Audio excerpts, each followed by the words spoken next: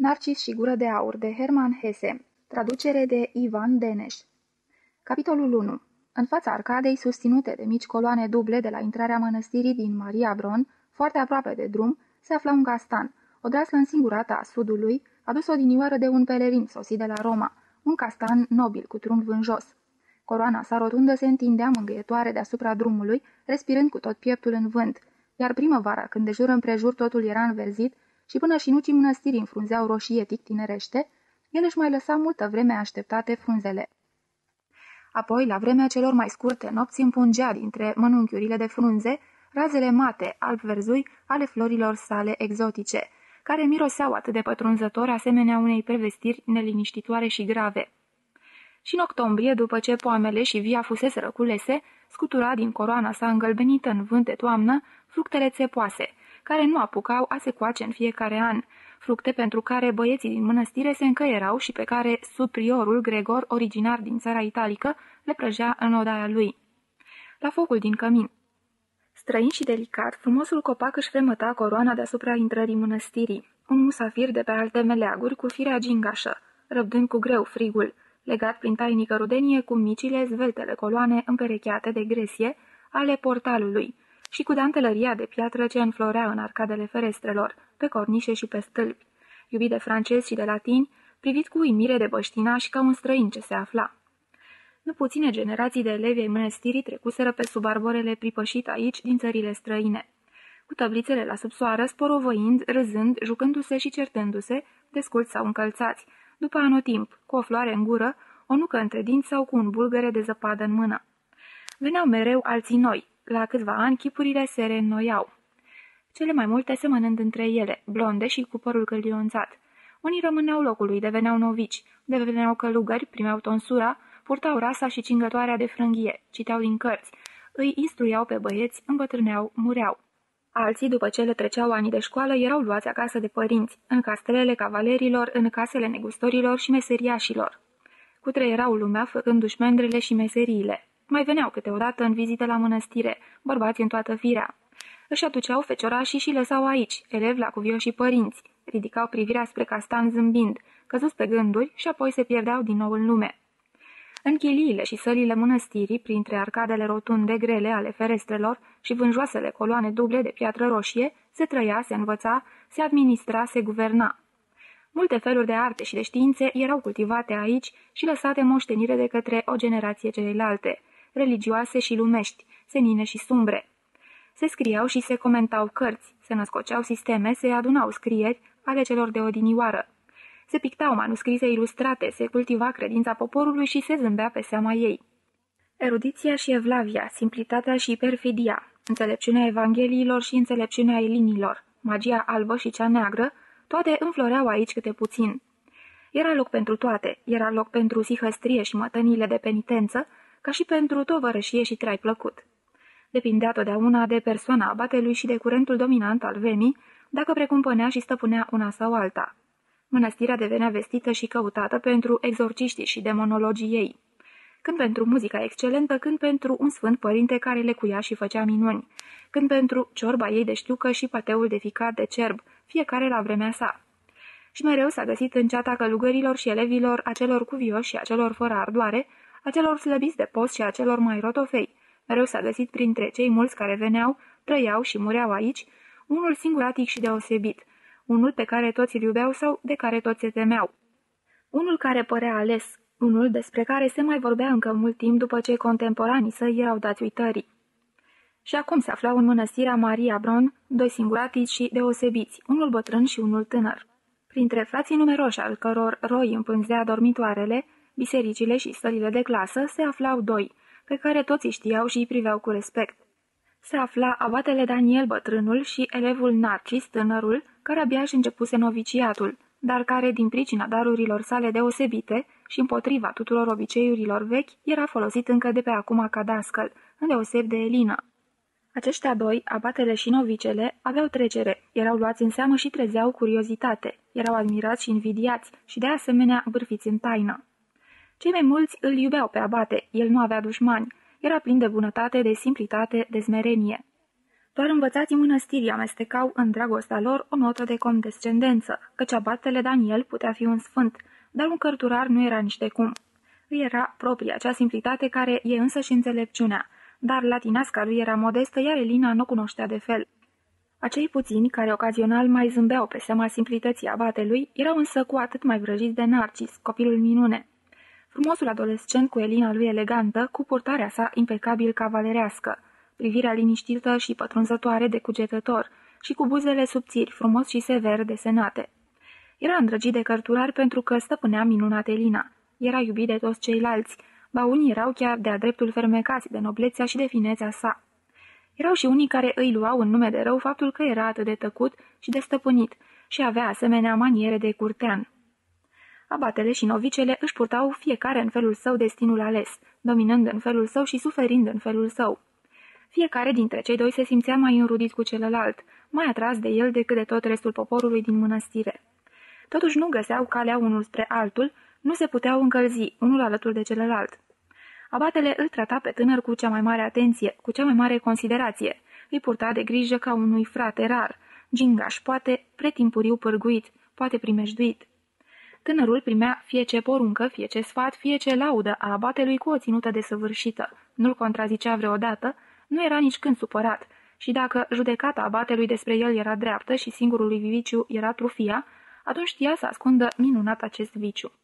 Nu se putea spune nimic împotriva lui, era desăvârșit, era superior tuturora. Numai că, în afară de cărturari, puținii deveneau într-adevăr prieteni, căci noblețea sa îl împrejmuia ca un suflu de aer înghețat. Narcis, îi zise abatele după o confesiune, mă recunosc vinovat de o judecată aspră pe seama ta. Adeseori te-am socotit trufaș și poate că astfel te-am nedreptățit. Ești foarte singuratic, tinere frate. Ești singuratic, ai admirator, dar nu prieteni. Tare aș fi vrut să am pricină a te dojeni din când în când, dar nu am pricină.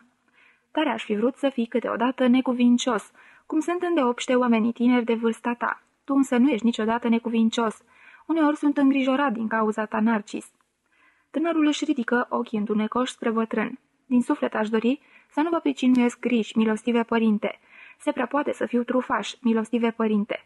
Vă rog să mă pedepsiți pentru asta. Eu însumi simt câteodată dorința de a mă pedepsi. Trimiteți-mă într-o sihăstrie, părinte, sau puneți-mă la treburi grosolane. Pentru amândouă ești prea tânăr, iubite frate, zise abatele. În afară de asta ești în mod deosebit dotat pentru limbi străine și pentru gândire, fiule. Ar fi o risipă a acestor daruri de la Dumnezeu dacă te-aș pune la treburi inferioare. Probabil că vei deveni dascăl și cărturar. Nu este asta și dorința ta? Iertați-mă, părinte, dar dorințele mele nu sunt încă atât de limpezi. Științele mă vor încânta întotdeauna, căci cum ar putea altminteri? Dar nu cred că științele vor fi singura mea preocupare. Și apoi nu întotdeauna dorințele hotărăsc soarta și menirea unui om, ci altceva, ceva predestinat. Abatele lua aminte și deveni serios. Totuși, pe chipul său bătrân stăruia un zâmbet când răspunse. În măsura în care am ajuns să cunosc oamenii, cu toții suntem puțin înclinați, mai ales în tinerețe, să confundăm providența cu dorințele noastre. Dar, cum tu crezi că cunoști dinainte chemarea, spune un cuvânt în privința aceasta. Pentru ce crezi că ești chemat? Narcis își închise pe jumătate ochii întunecoși, încât dispărură sub genele lungi negre. Tăcu. Vorbește, fiule, îl îndemnă abatele după o lungă așteptare. Cu voce înceată și ochii plecați, Narcis începu să vorbească.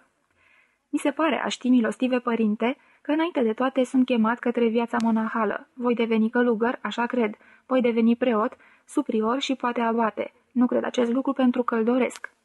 Dorința mea nu țintește funcții, dar ele îmi vor fi impuse. Tăcura amândoi vreme îndelungată. De ce nu trește această credință?" întrebă șovăind bătrânul.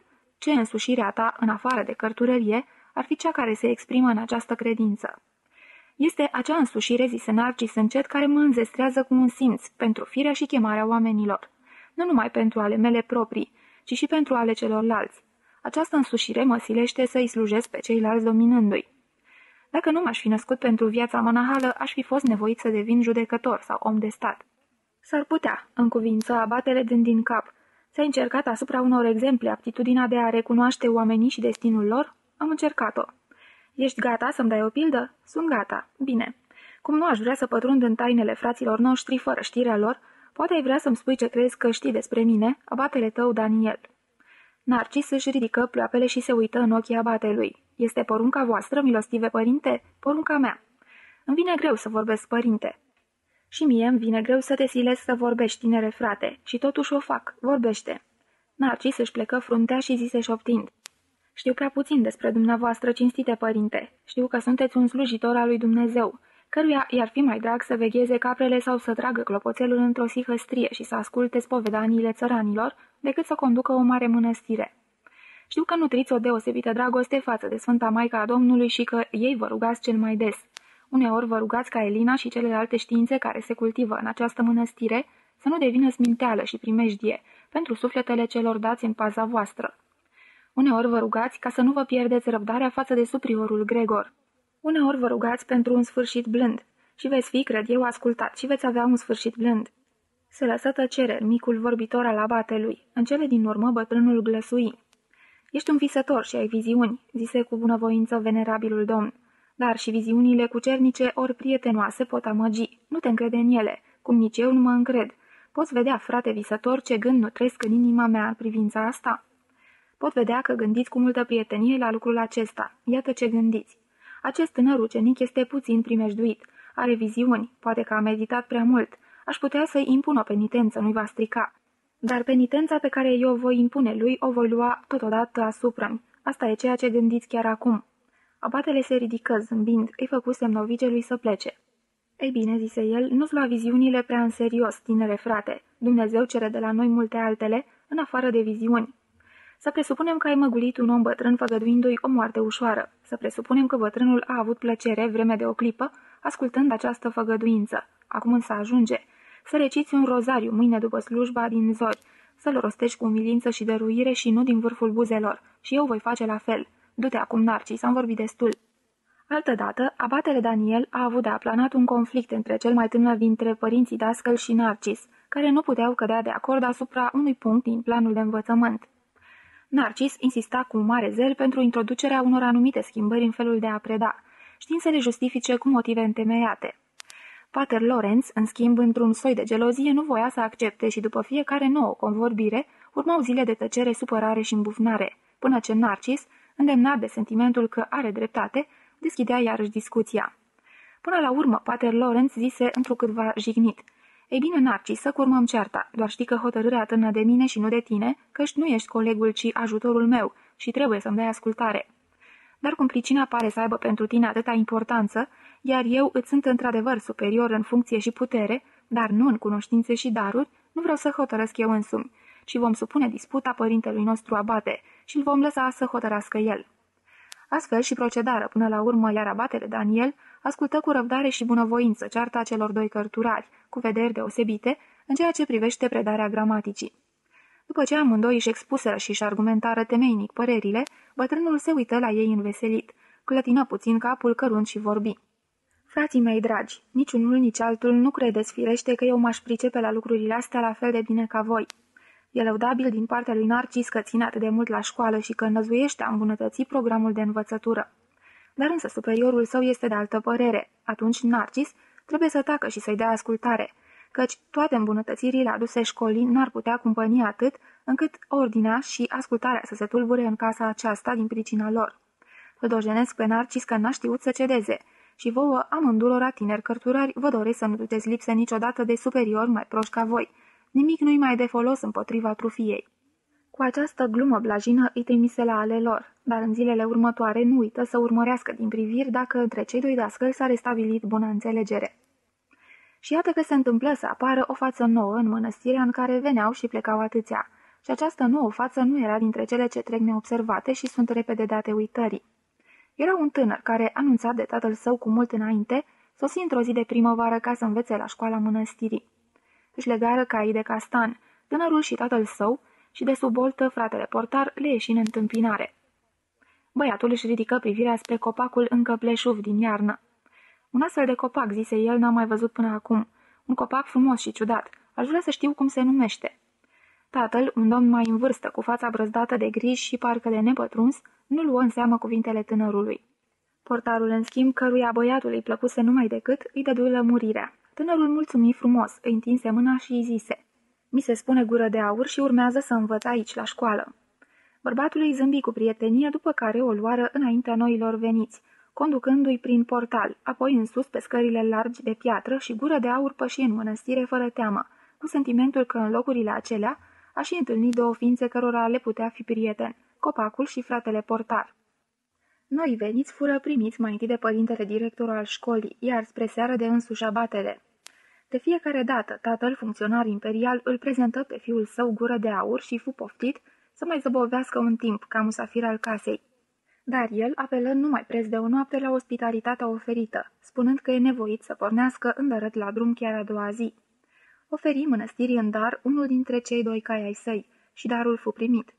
Discuția cu fețele bisericești fu politicoasă și rece, dar atât abatele cât și părintele priviră cu bucurie la gură de aur, care tăcea respectuos. Tânărul frumos și delicat le plăcu de la bun început.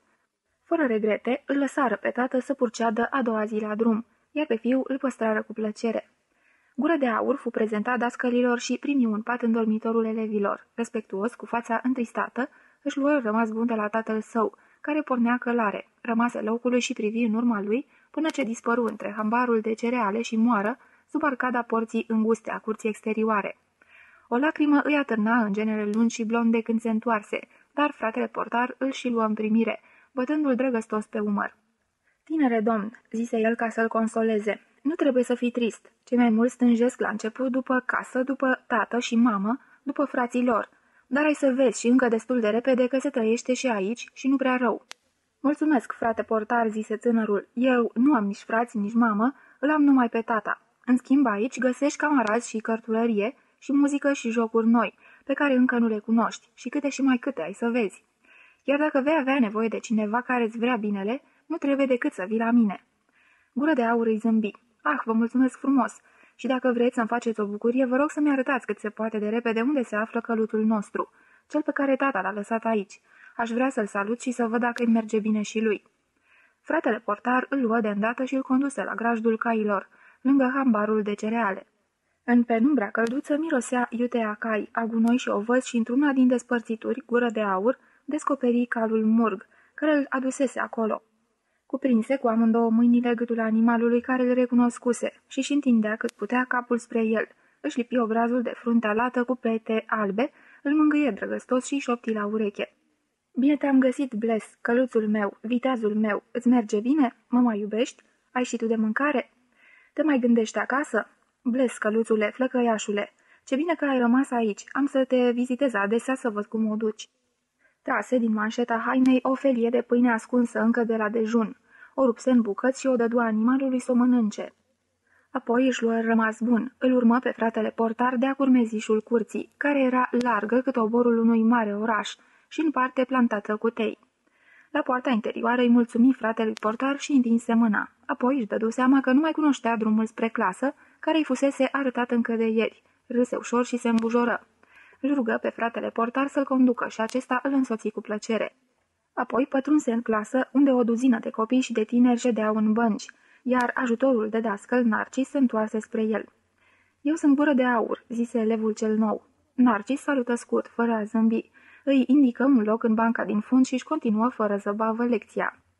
Gură de aur se așeză. Era mirat că dăduse peste un dascăl atât de tânăr, abia cu câțiva ani mai în vârstă ca el. Era mirat și nespus de bucuros să-l găsească pe acest tânăr dascăl atât de frumos, de distins, serios și în același timp cuceritor și demn de afecțiune. Fratele portar fusese prevenitor cu el. Abatele îl întâmpinase prietenos.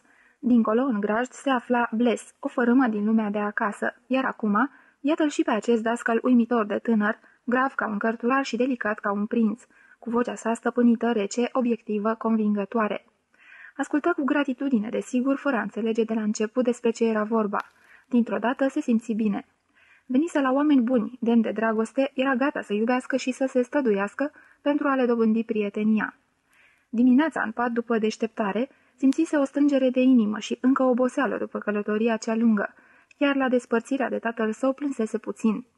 Dar acum totul se schimbase în bine, era mulțumit. Privirea îi stăruia îndelung și se întorcea mereu la dascălul cel tânăr. Îi plăcea statura lui zveltă și dreaptă, ochii care fulgerau reci, buzele severe, care formulau silabele limpede și răspicat, vocea neostoită plină de elan. Dar când ora se isprăvi și elevii se ridicară cu zgomot, gură de aur tresări și observă că am rușinat că dormise o bună bucată de vreme. Și nu numai el, ci și vecinii de bancă băgaseră de seamă și comunicaseră descoperirea mai departe, în șoaptă. Abia părăsise dascălul cel tânăr clasa și colegii, începură să-l ciupească și să-l îmbrâncească pe gură de aur din toate părțile. Te-ai săturat de somn?" întrebă unul și rânji. Grozav elev, își bătu joc altul. Ăsta o să fie o lumină a bisericii, să trage aghioase chiar din prima oră. Duceți-l la culcare pe mititel, propuse unul și îl apucară de mâini și de picioare ca să-l care de acolo, în mijlocul hohotelor de râs. Trezit brusc în felul acesta, gură de aur se înfurie. Începu să izbească în jurul său. Încercă să se elibereze, primi câțiva ghionți și până la urmă îl lăsară să cadă, în vreme ce unul continua să-l țină de un picior. Se desprinse printr-o zvâgnire violentă și se azvârli la nimeral asupra celui din tâi, care primi lupta încăierându-se cu el într-o bătălie crâncenă. Adversarul său era un flăcău voinic și toți urmăriră cu înfrigurare confruntarea. Cum gură de aur nu se lăsă biruit, ba îi cără voinicului și câțiva pumni zdraveni, domândi pe loc prieteni printre colegi, încă înainte de a cunoaște numele vreunuia dintre ei. Deodată însă se risipiră care încotro, în cea mai mare grabă și abia avură timp să dispară, că intră Pater Martin, directorul școlii, și se opri în fața lui Gură de Aur, care rămăsese singur locului. Se uită cu imire la băiatul ai cărui ochi albaștri îl priveau încurcați, dintr-o față învăpăiată și cam răvășită de buimăceală.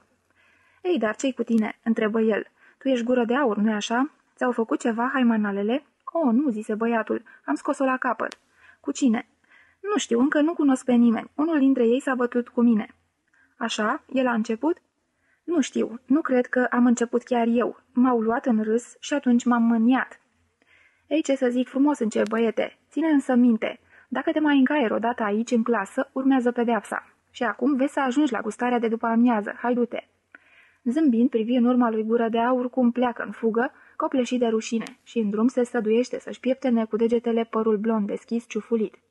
Gură de aur era și el de părere că prima lui ispravă din noua viață monahală fusese foarte necuvincioasă și neroadă.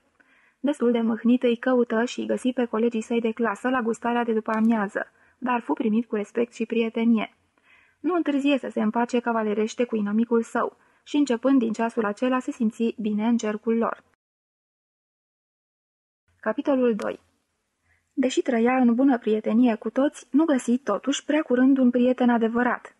Printre colegii de școală nu se afla niciunul de care să se fi simțit deosebit de apropiat sau înviat. În schimb, erau uimiți să descopere în persoana aprigului luptător cu pumnii pe care fusese înclinat să-l creadă un bătăuș simpatic, un coleg foarte pașnic, ce părea mai degrabă a năzui la faima de elev model. Doi oameni se aflau în mănăstire, către care inima lui Gură de Aur se simțea atrasă, care îi plăceau, care îi ocupau gândurile, față de care simțea admirație, dragoste și respect. Abatele Daniel și ajutorul de dascăl Narcis. Pe abate înclina să-l socotească un sfânt, simplitatea și bunătatea lui, privirea limpede și grijulie, felul său de a porunci și de a conduce cu umilința cu care și-ar fi îndeplinit o îndatorire, purtările sale frumoase, liniștite, toate le trăgeau cu putere. Cel mai mult i-ar fi plăcut să devină ajutorul acestui pios, să fie mereu în preajma lui, supunându-se și slujindu-l, să-i ofere ca un prinos permanent tot imboldul său copilăresc, spre devoțiune și dăruire, și să învețe de la el o viață pură, nobilă, cumpănită, în sfințenia ei. Pentru că Gură de Aur avea de gând nu numai să absolve școala mănăstirească, ci, pe cât era cu putință, să rămână pentru totdeauna în mănăstire și să-și încline viața lui Dumnezeu, aceasta era vrerea lui, aceasta era dorința și porunca tatălui său, și probabil că așa era statornicit și cerut de însuși Dumnezeu. Privind băiatul chipeș, strălucitor, nimeni nu-și putea da seama că totuși apăsa o povară asupra lui o povară a originii, o chemare tainică spre ispășire, spre sacrificiu. Nici abatele nu o întrezărea, deși tatăl lui Gură de Aur îi făcuse unele aluzii și își exprimase respicat dorința ca fiul său să rămână pentru totdeauna în mănăstire. Un tainic stigmat părea să pecetluiască nașterea lui Gură de Aur, ceva trecut sub tăcere, părea să pretindă ispășire. Dar tatăl îi plăcuse prea puțin abatelui. El îi întâmpinase cuvintele și întreg felul de a fi, încercările de a-și da importanță cu o răceală politicoasă și nu atribuise o însemnătate deosebită aluziilor sale.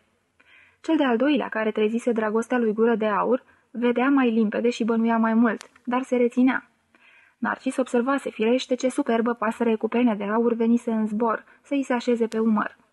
El cel însingurat în distinția lui recunoscuse în gură de aur un frate al său, deși în toate privințele părea să-i fie contrariul. Pe cât se înfățișa Narcis de întunecat și uscățiv, pe atât era gură de aur de luminos și înfloritor.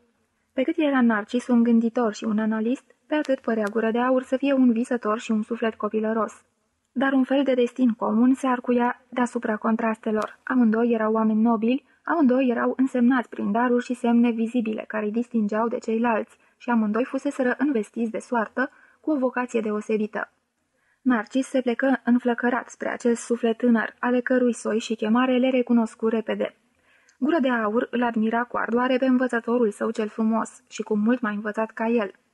Însă Gură de aur era timid, nu găsea alt mod de a-l cuceri pe Narcis decât să se străduiască până la epuizare ca să devină un elev atent și studios. Și nu singură timiditatea îl reținea, îl mai reținea presimțirea că Narcis ar reprezenta o primejdie pentru el. Nu și-l putea alege drept ideal și exemplu pe abatele cel bun și umil și totodată pe eruditul și lucidul Narcis. Totuși, jinduia cu toate puterile tinereții după amândouă aceste idealuri neîmpăcate, ceea ce adesea îl făcea să sufere. Câteodată, în primele luni de școală, gură de aur își simțea inima atât de tulburată și pătrunsă de sfâșietoare îndoieli, încât era teribil de ispitit să fugă sau să-și descarce sufletul și mânia lăuntrică în raporturile sale cu colegii. Adeseori, el, blajinul, se dezlănțuia pe neașteptate o glumă sau vreo mică obrăznicie a unui școlar, îl făcea atât de năpraznic, de sălbatec și de rău, încât nu se mai putea stăpâni, decât cu prețul unei încordări extreme, și atunci întorcea spatele celui din fața lui, fără o vorbă, cu ochii închiși și palii de moarte. Apoi îl căuta în grajd pe căluțul său, Bles, își rezema capul de gâtul lui, îl săruta și plângea lângă el. Încetul cu încetul, suferința lui spori și deveni evidentă. Obrajii se subțiau, privirea îi era stinsă, râsul lui, îndrăgit de toți, devenea tot mai rar. El însăși nu-și dădea seama de starea asta. Dorința și voința lui sinceră era să ajungă un elev bun, să fie admis în curând la noviciat și apoi să devină un frate credincios și liniștit al călugărilor. Credea într-adevăr că toate puterile și darurile sale năzuiesc spre această țintă pioasă, blândă, și alte năzuinți nu avea cunoștință. Cât de straniu și trist se părea așadar să fie nevoit să constate că această țintă simplă și frumoasă este atât de greu de atins. Cât de descurajat și uimit era descoperind din când în când în sine tendințe și însușiri condamnabile, neatenție și stilă de învățătură, visare și plăzmuire de fantome sau chiar somnolență în timpul lecțiilor, răzvătire și repulsie împotriva dascălului de latină, iritare și nerăbdare mânioasă față de colegii de școală. Dar cel mai tulburător rămânea faptul că dragostea pentru Narcis se lăsa atât de greu împăcată cu dragostea pentru abatele Daniel. Totuși câteodată credea că simte cu cea mai intimă certitudine că și Narcis îl iubește, se interesează de el și îl așteaptă. Gândurile lui Narcis îi erau închinate mult mai mult decât ar fi bănuit băiatul și îl dorea prieten pe tânărul acela frumușel, luminos și fermecător. Bănuia în el contrariul și completarea sa. Ar fi vrut să-l ia pe lângă dânsul, să-l conducă, să-l instruiască, să-l înalțe și să-l aducă la înflorire, dar se reținea. Proceda astfel din mai multe motive, fiind în mare parte conștient de ele. Mai întâi îl împiedica și îl paraliza dezgustul resimțit față de acei dascăli și călugări, nu puțin, care se îndrăgosteau de elevi sau de novici. Prea des simțise el însuși cu oroare ochii pofticioși ai unor bărbați mai bătrâni zăbovind asupra lui. Prea des întâmpinase el însuși cu repulsie mută gesturile lor drăgăstoase și alintătoare. Acum îi înțelegea mai bine. Se vedea și el ispitit să-l iubească pe frumosul gură de aur, să-i stârnească râsul drăgălaș, să-și treacă mâna cu gingășie prin părul lui blond deschis. Dar niciodată el nu s-ar purta astfel, niciodată. Afară de asta, ca ajutor de dascăl care, fără a fi investit cu funcția și autoritatea unui dascăl plin, avea totuși rangul acestuia, era obișnuit cu o prudență și o vigilență deosebită. Era obișnuit să stea în fața celor cu câțiva ani mai tineri ca el, parcă ar fi fost cu 20 de ani mai în vârstă. Era obișnuit să-și interzică sever orice părtinire a vreunui elev, impunându-și dreptate și grijă deosebită, cu atât mai mult față de un elev care îi repugna. Slujba lui era o slujbă a spiritului. Acestuia era închinată viața lui austeră și numai în taină, în clipele cele mai puțin supravegheate, își îngăduia savoarea trufiei, orgoliul celui superior în erudiție și inteligență. Nu prietenia cu gură de aur, oricât ar fi fost de ispititoare, constituia o primejdie și nu putea îngădui ca însuși miezul vieții sale să fie atins de ea. Miezul și sensul vieții sale erau slujirea spiritului, slujirea cuvântului, îndrumarea tăcută, superioară, dezinteresată a elevilor săi, și nu numai a elevilor săi, spre ținte spirituale înalte. Un an și mai bine trecuse de când Gură de Aur era elev la mănăstirea din Maria Bron. De o sută de ori jucase cu camarazii săi sub tei din curte și sub frumosul castan jocuri de școlar, jocuri de aprinsele, jocuri cu mingea, jocuri de abandiții, bătălii cu bulgări de zăpadă. Acum era primăvară, dar Gură de Aur era obosit și se simțea parcă bolnav. Deseori îl durea capul și la școală trebuia să depună un efort pentru a se menține treaz și atent. Iată că într-o seară se apropie de el Adolf, același elev care la prima întâlnire îi prilejuise acea bătaie cu pumnii și cu care începuse în iarna aceasta să-l studieze pe Euclid. Era la ceasul de după cină, un ceas liber, când erau îngăduite jocuri în dormitoare, sporovoiala în sările de clasă, chiar și plimbarea în curtea exterioară a mănăstirii. Gură de aur, zise el trăgându-l în jos, pe scări. Am ceva să-ți povestesc, ceva vesel, însă tu ești un băiat model. Vrei, fără îndoială, să devii cândva episcop. Întâi dăm cuvântul că ai să respecti camaraderia și nu să mă denunți dascălilor. Gură de aur își dădu fără ezitare cuvântul. Exista o onoare a mănăstirii și exista o onoare de elev și cele două intrau câteodată în conflict.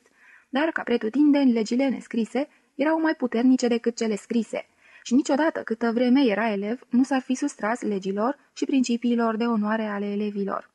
Șușotind, Adolf îl trase afară, dincolo de portal, până sub copaci. Se află aici, îi spuse câțiva colegi buni, curajoși, printre care se numără și el, care au preluat de la generațiile anterioare obiceiul de a-și aminti din când în când că, de fapt, ei nu erau călugări, de a părăsi pentru câte o seară mănăstirea și a merge în sat. E o glumă, o aventură de care un băiat de nădejde nu s-ar lipsi, iar noaptea se vor întoarce. Bine, dar atunci poarta e închisă, obiectă gură de aur. Desigur, firește că va fi închisă, dar tocmai ăsta e hazul. Ei știu însă cum să intre neobservați pe căi secrete și apoi nu o făceau pentru prima dată. Gură de aur și aduse aminte. Vorba aceasta, a merge în sat, o mai auzise. Prin ea se înțelegeau excursiile nocturne ale elevilor în căutarea tot soiul de petreceri și aventuri misterioase. Iar legea mănăstirii le interzicea sub amenințarea cu pedepse grele. Se sperie. A merge în sat era un păcat, era interzis. Dar pricepu prea bine că tocmai de aceea, în ochii băieților de nădejde, înfruntarea primejdiei putea face parte din onoarea de elev și că a fi poftit la o asemenea aventură însemna o favoare specială. Ar fi preferat să spună nu, să fugă îndărăt și să se culce în pat. Era atât de obosit și se simțea atât de rău. Toată după amiaza îl duruse capul. Dar îi era mai puțin rușine de Adolf și cine știe, poate acolo, afară, în toiul aventurii, va găsi ceva frumos și nou, ceva ce l-ar face să uite durerea de cap și toropeala și deznădejdea. Era o ieșire în lume, cei drept, tainică și interzisă, nu prea lăudabilă, dar poate totuși o descătușare, un eveniment. Stătea șovăind în vreme ce Adolf îi vorbea, căutând să-l convingă și deodată izbucni în râs și zise da. Se pierdu neobservat cu Adolf pe sub tei, prin curtea largă peste care se și lăsase întunericul și a cărei poartă exterioară era închisă la ceasul acela. Camaradul îl conduse la moara mănăstirii, unde sub ocrotirea crepusculului și în uruitul continuu al roților era ușor să te strecori neauzit și nevăzut. Printr-o fereastră se ajungea în beznă desăvârșită pe o stivă umedă și lunecoasă de grinzi de lemn, printre care una trebuia desprinsă și așezată de-a curmezișul peste pârâu. Pentru a ajunge dincolo, iar acum se aflau afară pe șoseaua alburie ce se topea în întunericul pădurii. Toate acestea erau captivante și pline de taină și îi plăceau grozav băiatului. La marginea pădurii îl întâlniră pe Conrad, iar după ce așteptară vreme îndelungată, mai veni cu pas apăsat și lunganul Eberhard. În patru, tinerii străbătură pădurea. Păsări de noapte își luau zborul peste capetele lor. Câteva stele licăreau senin umede printre norii liniștiți. Conrad flecărea și glumea. Din când în când, ceilalți râdeau și ei totuși plutea deasupra lor misterul nopții, neliniștit și solemn, și inimile le băteau mai repede. Dincolo de pădure, după un ceas de drum, ajunseră în sat. Aici totul părea adormit. Acoperișurile scunde ale caselor luceau palide, crestate de coastele întunecoase ale grinzilor. Nicăieri nu se zărea vreo lumină. Adolf mergea în față. Înconjurară tiptil și în tăcere câteva case, se cățărară pe un gard, nimeriră într-o grădină, călcară în țărâna moale a unor straturi, se împleticiră pe niște trepte, se opriră lângă un perete. Adolf bătu un oblon, așteptă. Bătu încă o dată. Înăuntru se stârni zgomot și curând licări o lumină. Oblonul se deschise și ei se cățărară unul după altul intrând într-o bucătărie cu horn negru și culut pe jos. Pe vatră, într-o lampă de ulei cu o feștilă subțire, ardea pâlpâind o flacără slabă. Aici întâmpina o fată, o țărâncuță firavă care dădu mâna cu cei sosiți. Din spatele ei, în întuneric, apăru o a doua copilă cu cozi lungi negre. Adolf adusese plocon o jumătate de pâine albă mănăstirească și ceva într-o pungă de hârtie. Gură de aur bănuică trebuie să fi fost puțină tămâie furată sau ceară de lumânare, oriceva asemănător. Cea mai tânără, Codana, ieșise pe bâșbuite, fără a se folosi de lumină. Zăbovi afară vreme îndelungată și se întoarse cu un ulcior de lut cenușiu, împodobit cu o floare albastră, pe care îl întinse lui Conrad. El bău și îl dădu mai departe. Băură toți. Era un cidru tare. La lumina flăcării mici a lămpii se așezară fetele pe taburete scunde, tari, iar împrejurul lor pe jos școlarii. Se vorbea pe șoptite și se bea cidru. Adolf și Conrad conduceau discuția. La răstimpuri câte unul se scula și mângâia fata cea slăbuță, pe păr și pe ceafă, îi șoptea câte ceva la ureche, de cea mică nu se atingea nimeni. Probabil gândi gură de aur, cea mare era slujnica, cea mică și frumoasă, copila gospodarului. De altminteri nu avea nicio importanță, pe el nu-l privea nimic din toate acestea, căci nu se va mai întoarce niciodată aici. Evadarea tainică și marșul în toiul nopții prin pădure, acestea fuseseră frumoase, fuseseră neobișnuite, captivante și totuși neprimejdioase. Adevărat, erau interzise, dar încălcarea interdicției nu împovăra prea greu conștiința. Însă ceea ce se petrecea aici, această vizită nocturnă la fete, era mai mult decât un lucru interzis. Simțea el, era un păcat. Pentru ceilalți, poate că și asta era numai o mică escapadă. Pentru el însă nu. Lui, care se știa destinat vieții monahale și ascezei, nu era îngăduit niciun fel de joc cu fetele. Nu, niciodată nu s-ar mai întoarce aici. Dar inima îi bătea tare și speriată în zarea de lumină a lămpii din bucătăria sărăcăcioasă.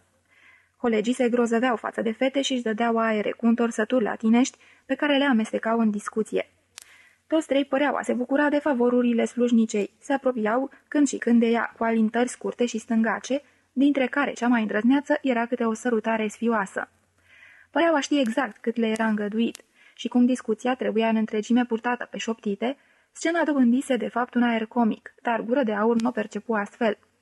Ședea nemișcat pe dușumeaua de lut și privea fix în flăcăruia feștilei, fără a rosti vreun cuvânt. Uneori prindea cu o privire piedișă cam pofticioasă câte una din giugiulerile cu care se încântau ceilalți. Rigid își ținea privirea țintită drept înainte, cel mai mult i-ar fi plăcut să nu piardă din ochi pe codana mititică, dar tocmai asta și interzise. Ori de câte ori voința lui ceda și privirea îi rătăcea într-acolo, spre chipul blând și dulce al fetei, întâlnea fără greș ochii ei negri, ațintiți asupra chipului său, uitându-se la el ca vrăjită. Trecu poate o oră, niciodată nu trăise gură de aur o oră atât de lungă, până ce vorbele și gingășiile elevilor se sfârșiră. Se lăsă tăcere și toți cedeau cam stingheriți. Eberhard începu să caște.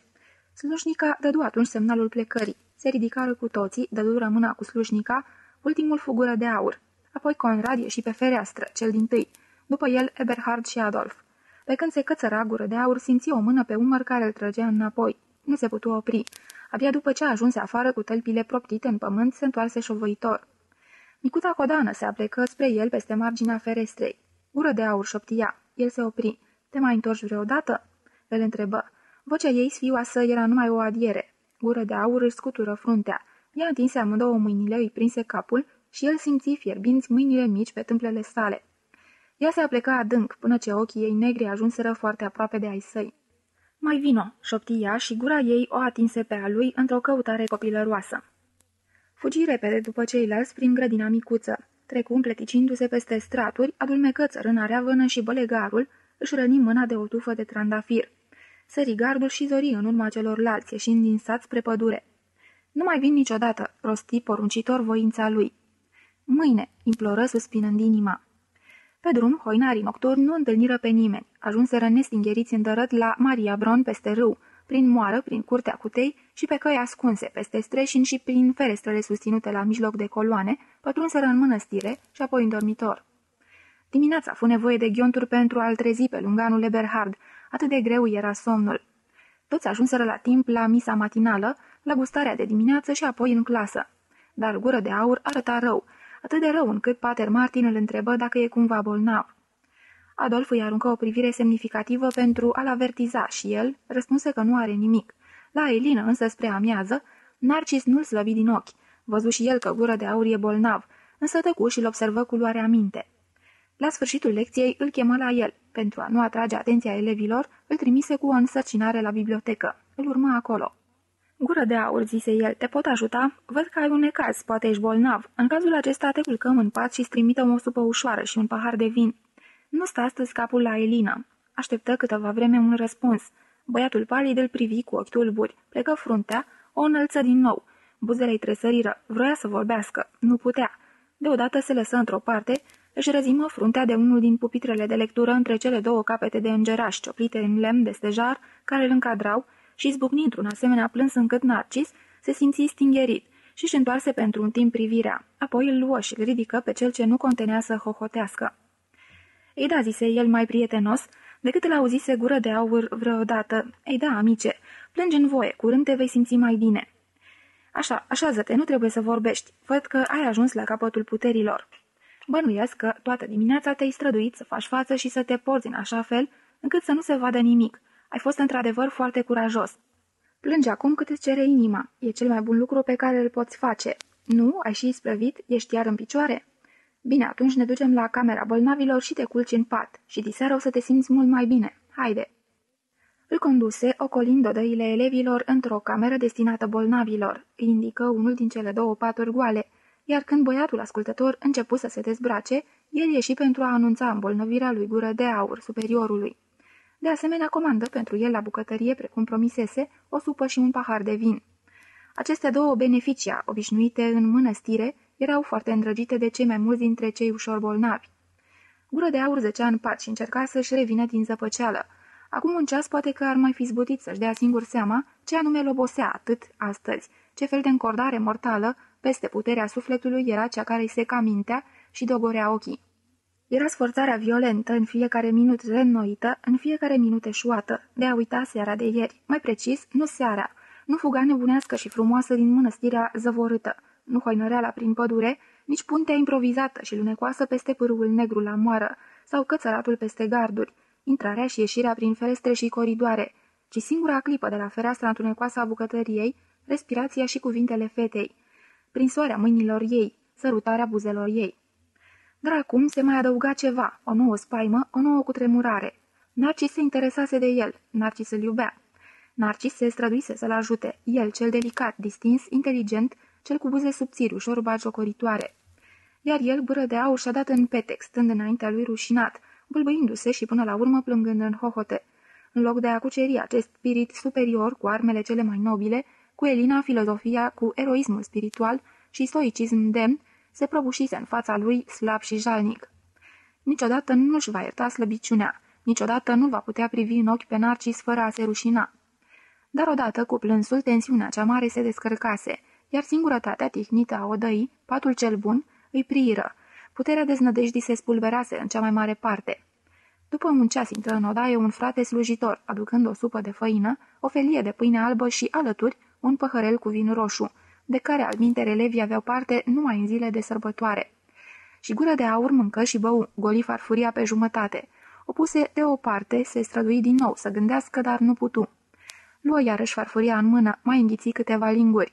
Și când mai târziu ușa se deschise încet și Narcis intră ca să vadă de bolnav, acesta dormea liniștit, având iarăși bujori în obraj. Narcis îl privi îndelung, cu dragoste, cu iscoditoare curiozitate și chiar cu puțină invidie. Gură de aur nu era bolnav, vedea bine asta. Mâine nu va mai trebui să-i trimită vin. Și mai știa că vraja nefastă era ruptă, că vor deveni prieteni. Prea bine, gură de aur să fie astăzi cel care are nevoie de el, căruia îi putea fi de folos. Altădată va fi poate el, însuși cel slab, cel care va avea nevoie de ajutor, de dragoste, și l-ar putea primi de la acest băiat, dacă va fi să fie cândva. Capitolul 3 era ciudată prietenia care se înfiripă între Narcis și Gură de Aur. Prea puțini erau cei cărora le era pe plac și câteodată s-ar fi zis că displace chiar și celor doi.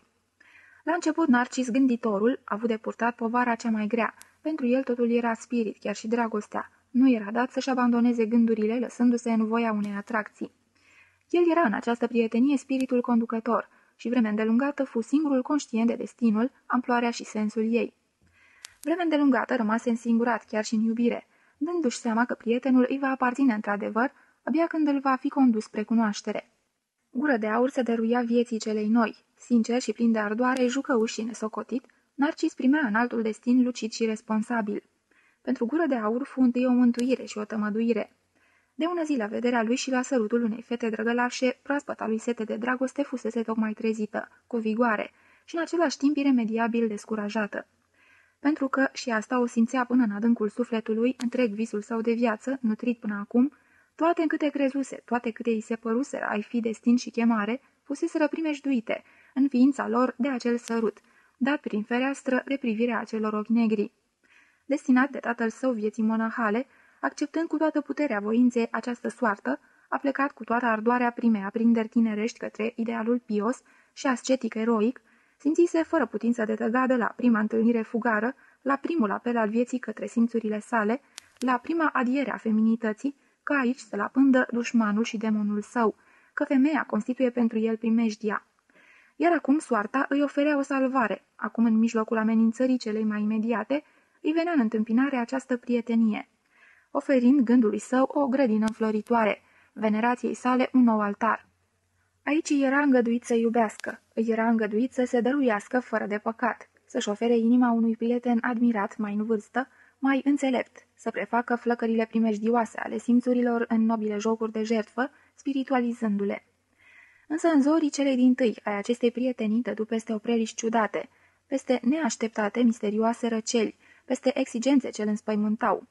Căci el era departe de a-și imagina pe prieten drept polul opus, reversul personalității sale. I se părea că e nevoie numai de dragoste, numai de dăruire sinceră pentru a face din doi unul, pentru a șterge deosebirile și a netezi contradicțiile. Dar cât de aspru și sigur, cât de limpede și de riguros era acest narcis. Se părea că lui îi era de o potrivă necunoscută și nedorită, o inocentă dăruire de sine, o inăreală comună și plină de gratitudine prin țara prieteniei.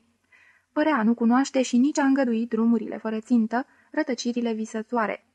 Cei drept, când gură de aur păruse bolnav, se arătase îngrijorat. Cei drept îi stătea credincios alături, îl ajuta și îl sfătuia în tot ce avea legătură cu școala și învățătura.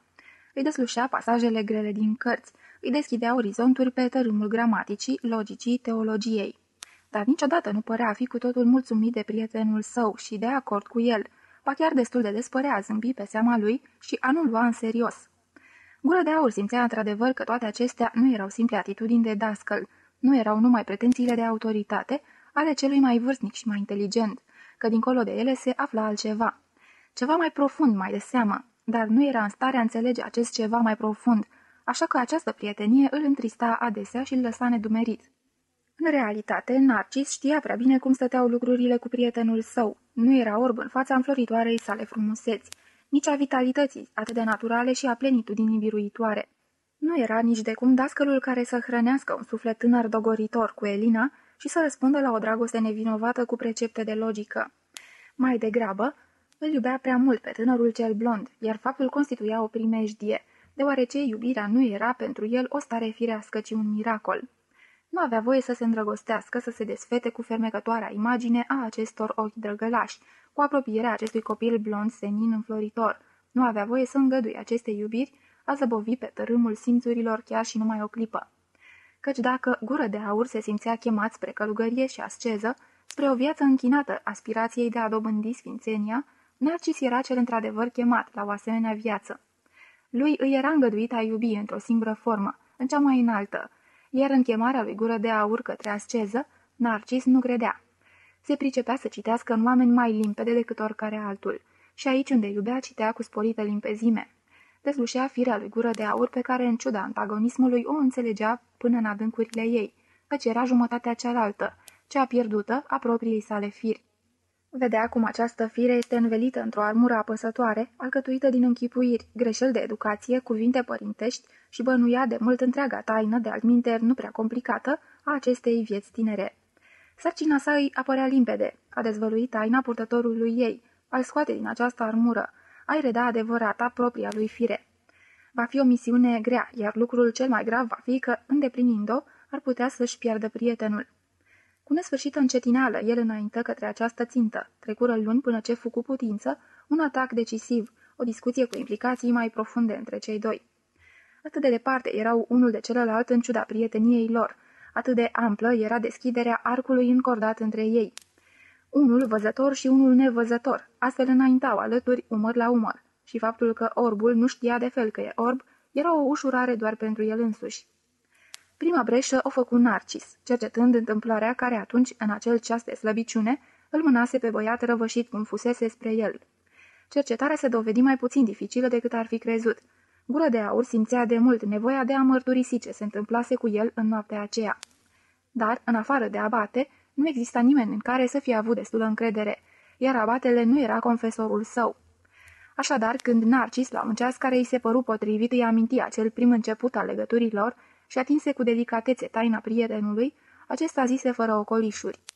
Păcat că nu ești hirotonisit și nu poți asculta confesiuni. Aș dori să mă eliberez prin mărturisire de apăsarea acelei întâmplări și să primesc un canon ca ispășire, dar părintelui meu confesor nu i-am putut-o împărtăși. Prudent, cu viclenie, Narcis săpă mai departe, odată ce făgașul fusese descoperit. Îți aduce aminte, încercă el, de dimineața aceea în care păreai a fi bolnav? Nu ai uitat-o? Căci atunci am devenit prieteni. Adesea m-am simțit îndemnat să mă gândesc la ea. Poate nu ai băgat de seamă, dar eu am fost atunci de-a dreptul neajutorat. Tu, neajutorat, strigă neîncrezător prietenul. Dar eu eram cel neajutorat. Eu eram cel ce stătea locului și înghițea în sec și nu era în stare să scoată un cuvânt și până la urmă a început să plângă, asemenea unui copil. Tiu și astăzi încă mi-e rușine din pricina acelui ceas. Am crezut că niciodată nu voi mai putea da ochii cu tine, că m-ai văzut atât de jalnic, de slab. Narcis înaintă, pipăind. Înțeleg, zise el, că ți-a fost neplăcut. Un flăcău așa de tare și de viteaz ca tine să plângă în fața unui străin și încă a unui dascăl, asta într-adevăr nu ți se potrivea. E bine, atunci te socoteam într-adevăr bolnav. Când îl scutură febra, până și un Aristotel se poate bucura altfel decât îi e firea. Dar tu atunci, de fapt, nici nu erai bolnav, nici nu aveai febră. Și tocmai de asta ți era rușine. Nimeni nu se rușinează pentru că e răpus de febră, nu-i așa? Ție ți era rușine pentru că te copleșise altceva, pentru că ceva te învinsese. Oare se întâmplase ceva deosebit? Gură de aur șovăi puțin. Apoi zise încet. Da, se întâmplase ceva deosebit. Hai să spunem că ai fi părintele meu confesor. Odată și odată tot trebuie mărturisit. Cu capul plecat, el povesti prietenului istoria acelei nopți. Narcis îi răspunse zâmbind. Ei da, a merge în sat e într-adevăr oprit, dar poți făptui multe din câte sunt oprite și poți râde apoi sau poți mărturisi. Și cu asta totul isprăvit și nu te mai privește. De ce nu ai comite și tu odată, ca mai toți elevii, una din aceste prostii mărunte? E chiar atât de grav? De asta dată gură de aur se dezlănțui mânios. Vorbește într-adevăr ca un dascăl, doar știi prea bine despre ce este vorba. Firește că nu văd un mare păcat în a ocoli odată regulile mănăstirii și a participa la o poznă școlărească, deși asta nu ține chiar de exercițiile pregătitoare pentru viața monahală. Stai, strigă Narcis tăios. Tu știi, prietene, că pentru mulți cuvioși părinți, tocmai aceste exerciții de pregătire au fost necesare? Nu știi că unul din drumurile cele mai scurte către viața sfințită poate fi viața ușuratică? Ah, nu vorbi, se apără gură de aur. Voiam să spun că nu acea mică nesupunere mi-a împovărat conștiința. Altceva a fost. A fost fata. A fost un sentiment pe care nu ți-l pot zugrăvi. Sentimentul că dacă cedez aceste ispite, dacă întind doar mâna ca să ating fata, nu mai am vreodată cale de întoarcere, că păcatul mă va înghiți, precum o gură de iad și niciodată nu-mi va mai da drumul, că atunci s-a isprăvit cu toate visele frumoase, cu toate virtuțile, cu toată dragostea față de Dumnezeu și față de bine. Narcis în cuvință acum îngândurat de-a binelea. Dragostea față de Dumnezeu, zise el încet căutându-și cuvintele, nu este întotdeauna una și aceeași cu dragostea față de bine. Ah, dar fi fost atât de simplu! Ce este bine știm că ce este cuprins în porunci, dar Dumnezeu nu este numai în porunci. Ascultă ce spun, poruncile nu sunt decât fărâma cea mai măruntă din ființa lui. Se prea poate să împlinești în tocmai poruncile și să fii foarte departe de Dumnezeu. Dar nu mă înțelegi, sejelui gură de aur. Firește că te înțeleg. Tu simți în femeie, în sex, conținutul însuși a tot ce numești lume și păcat. Toate celelalte păcate, așa ți se pare, fie că nu ești în stare să le săvârșești, fie că dacă le-ai săvârși nu te-ar strivi, s-ar lăsa mărturisite și îndreptate. Numai acest păcat nu. Da, așa e, chiar astfel simt. Precum vezi, te înțeleg. Și apoi nici nu greșești prea mult. Povestea Evei și a șarpelui, într-adevăr, nu este o simplă fabulă fără rost. Și totuși nu ai dreptate, dragule. Ai avea dacă ai fi abatele Daniel sau sfântul al cărui nume îl porți, sfântul Hrisostom, dacă ai fi episcop ori preot, sau chiar măcar un simplu călugăraș, dar nu ești. Ești elev și chiar dacă nu treci dorința de a rămâne pentru totdeauna în mănăstire, sau dacă tatăl tău nu trește această dorință pentru tine, nu ai făcut încă legământ, nu ai fost hirotonisit. Dacă azi sau mâine ai fi sedus de o fată frumoasă și ai ceda ispitei, nu ai trădat niciun jurământ, nu ai călcat niciun legământ. Nu un legământ scris, strigă gură de aur, pradă unei puternice emoții, dar unul nescris da, și încă ce mai sfânt din câte port în mine. De ce nu ești în stare să vezi că ce poate fi valabil pentru mulți alții nu este valabil și pentru mine? Doar nici tu nu ai fost încă hirotonisit, nu ai făcut încă niciun legământ și totuși niciodată nu ți-ai îngăduit să te atingi de o femeie. Ori poate mă înșel în privința asta. Nu ești astfel? Nu ești cel ce crezusem eu că ești? Jurământul pe care încă nu l-ai depus în cuvinte în fața superiorilor, oare nu l-ai pecetuit și tu de mult în inima ta și nu te simți legat de el pentru totdeauna? Nu ești și tu asemeni mie? Nu, gură de aur, nu sunt asemenea ție, nu așa cum crezi tu. Într-adevăr, respect și eu un legământ nerostit în privința aceasta ai dreptate, dar nu sunt de fel asemenea ție. Îți spun astăzi o vorbă de care îți vei aduce aminte odată. Prietenia noastră nu are altă țintă și alt sens decât a-ți arăta că ești cu desăvârșire diferit de mine. Gură de aur încremeni, izbit de ce fusese dat să audă. Narcis vorbise cu acea privire și acel ton care nu admiteau contrazicere. Tăcu, dar de ce rostise Narcis asemenea cuvinte? De ce ar fi legământul nerostit al lui Narcis mai sacru decât al său? Nu lua oare de fel în serios, vedea în el numai un copil? Confuziile și tristețile acestei neobișnuite prietenii începeau. Narcis nu mai avea nicio îndoială în ce privește natura tainei lui Gură de Aur. În spatele ei se ascundea Eva, mama originară. Dar cum era cu putință ca într-un tânăr atât de frumos, de sănătos, de înfloritor, sexul în curs de trezire să dea peste o atât de acerbă dușmănie? Trebuie să fi fost isprava unui demon, a unui dușman ascuns care izbutise să scindeze acest om superb, învrăjbindu-l cu instinctele sale primare. Bine, așadar, demonul trebuie descoperit, adus la suprafață și dezvăluit privirilor, numai astfel va putea fi biruit. Între timp, gură de aur fusese din ce în ce mai ocoli de colegi. Părăsiți sau mai degrabă, ei se simțiseră părăsiți de gură de aur și într-un fel trădați. Nimeni nu vedea cu ochi buni prietenia lui cu Narcis. Cei perfizi o discreditau, ca fiind potrivnică firii, și anume tocmai cei ce fuseseră ei înșiși îndrăgostiți de unul dintre cei doi tineri. Însă și ceilalți, pentru care era evident că aici nu se putea bănui niciun viciu, clătinau din cap. Nimeni nu se bucura să-i vadă pe acești doi oameni împreună. Prin alianța lor, păreau a se fi separat trufași ca niște aristocrați de toți ceilalți, pe care nu-i prețuiau unde a ajuns. Nu era o atitudine colegială, nici monahală, nici creștinească. Abatelui Daniel îi ajunseră la ureche tot soiul de vorbe despre cei doi, zvonuri, învinuiri, defăimări. În mai bine de 40 de ani de viață monahală, el văzuse multe prietenii între tineri. Făceau parte din însă și imaginea mănăstirii. Era un adaos plăcut, uneori o distracție, alteori o primejdie. El se ținuse departe cu ochii deschiși, fără a se amesteca. O prietenie de asemenea intensitate și exclusivitate era ceva rar. Fără îndoială nu e lipsit de primejdii, dar, cum nicio clipă nu-i pusese la îndoială puritatea, o lăsă în voia ei. Dacă Narcis n-ar fi avut o poziție excepțională printre elevi și dascăli, abatele n-ar fi șovăit să ordone anumite măsuri de separare a celor doi. Nu era bine pentru gură de aur să se retragă din mijlocul colegilor de școală și să cultive exclusiv raporturi apropiate cu cineva mai vârstnic, cu un dascăl. Însă Narcis, neobișnuitul, prea înzestratul, cel considerat de toți dascălii ca egalul, ba chiar superiorul lor, putea fi oare tulburat în cariera sa privilegiată și scos din activitatea de dascăl?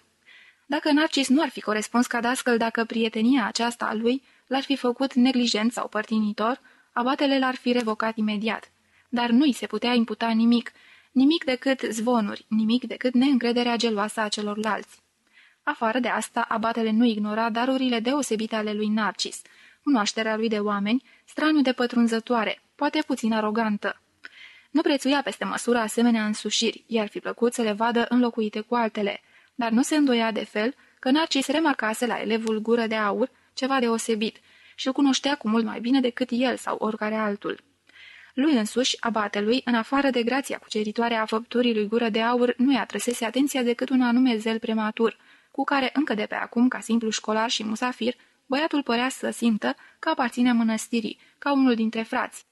Socotea că nu era nimic de temut dacă Narcis va ocroti și stimula și mai mult acest zel mișcător, dar imatur. Mai degrabă era de temut pentru gură de aur ca prietenul lui să-l molipsească de o anumită înfumurare spirituală și trufie cărturărească. Dar primejdia nu i se părea prea mare, în cazul acestui elev, deci lucrurile puteau fi lăsate să-și urmeze cursul. Gândindu-se cu mult mai simplu, mai liniștit și mai comod pentru un superior să guverneze oameni mediocri, în loc de fir profunde și puternice, îi veni să ofteze și să zâmbească totodată. Nu, nu voia să se lase molipsit de neîncredere. Nu voia să se arate ingrat, pentru că îi fuseseră încredințați doi oameni ieșiți din tiparele comune. Narcis medita mult pe seama prietenului său, darul lui special de a întrezări firea și chemarea oamenilor, de a le recunoaște prin intuiție, îi dăduse de mult răspunsul în privința lui Gură de Aur. Tot ce era viu și strălucitor la tânărul acesta, grăia cât se poate de limpede. Se vedeau în el toate semnele unui om puternic, bogat, înzestrat în ce privește simțurile și sufletul, ale unui artist, poate, în orice caz ale unui om cu o mare putere de a iubi, a cărui vocație și fericire consta în capacitatea de a se putea înflăcăra și dărui. Ei bine, de ce acest om al iubirii, acest om cu simțurile delicate, exuberante, care putea percepe și iubi atât de adânc, un parfum de floare, soarele în zori, un cal, un zbor de pasăre, de ce se înverșuna el atât să devină un om al spiritului, un ascet? Narcis cugeta îndelung la toate acestea. Știa că tatăl lui Gură de Aur încurajase această încrâncenare. Dar oare el s-o fi provocat? Cu ce vrăji își fermecase fiul încât îl făcuse să creadă într-o asemenea chemare și datorie? Ce fel de om să fi fost acest tată? Deși în mod intenționat aducea adeseori vorba despre el și Gură de Aur îi povestea multe, totuși Narcis nu putu să-și îl închipuie pe acest tată, nu-și putea făuri imaginea lui. Nu era un lucru ciudat și suspect când Gură de Aur vorbea despre un păstrăv pe care îl prinsese în frageda sa copilărie, când descria un fluture, imita cântecul unei păsări, povestea despre un camarad, un câine sau un cerșetor, se nășteau imagini, se vedea ceva. Când vorbea despre tatăl său, nu se vedea nimic. Nu, dacă ar fi fost într-adevăr o figură atât de însemnată, de dominantă în viața lui Gură de Aur, băiatul ar fi fost în stare să-l descrie, altminteri, să evoce alte imagini ale lui. Narcis nu-l prețuia prea mult pe acest om, omul nu-i plăcea. Câteodată chiar se îndoia că este într-adevăr tatăl lui Gură de Aur. Era un idol găunos. Dar de unde avea asemenea putere? Cum de fusese în stare să încarce sufletul băiatului de vise atât de străine de esența acestui suflet? Și gură de aur despica deseori firul în patru, deși dragostea devotată a prietenului său îi se părea sigură, avea mereu sentimentul stingheritor că nu e luat în serios de el, pe cât s-ar fi cuvenit, și că e mereu tratat oarecum ca un copil, și apoi ce însemnau vorbele prin care prietenul îi dădea mereu a înțelege că nu este asemeni lui. Totuși, reflexiile acelea nu umpleau zilele lui Gură de Aur, nu era în stare să se cufunde în gânduri pentru mult timp. Cât era ziua de lungă, erau altele de făcut.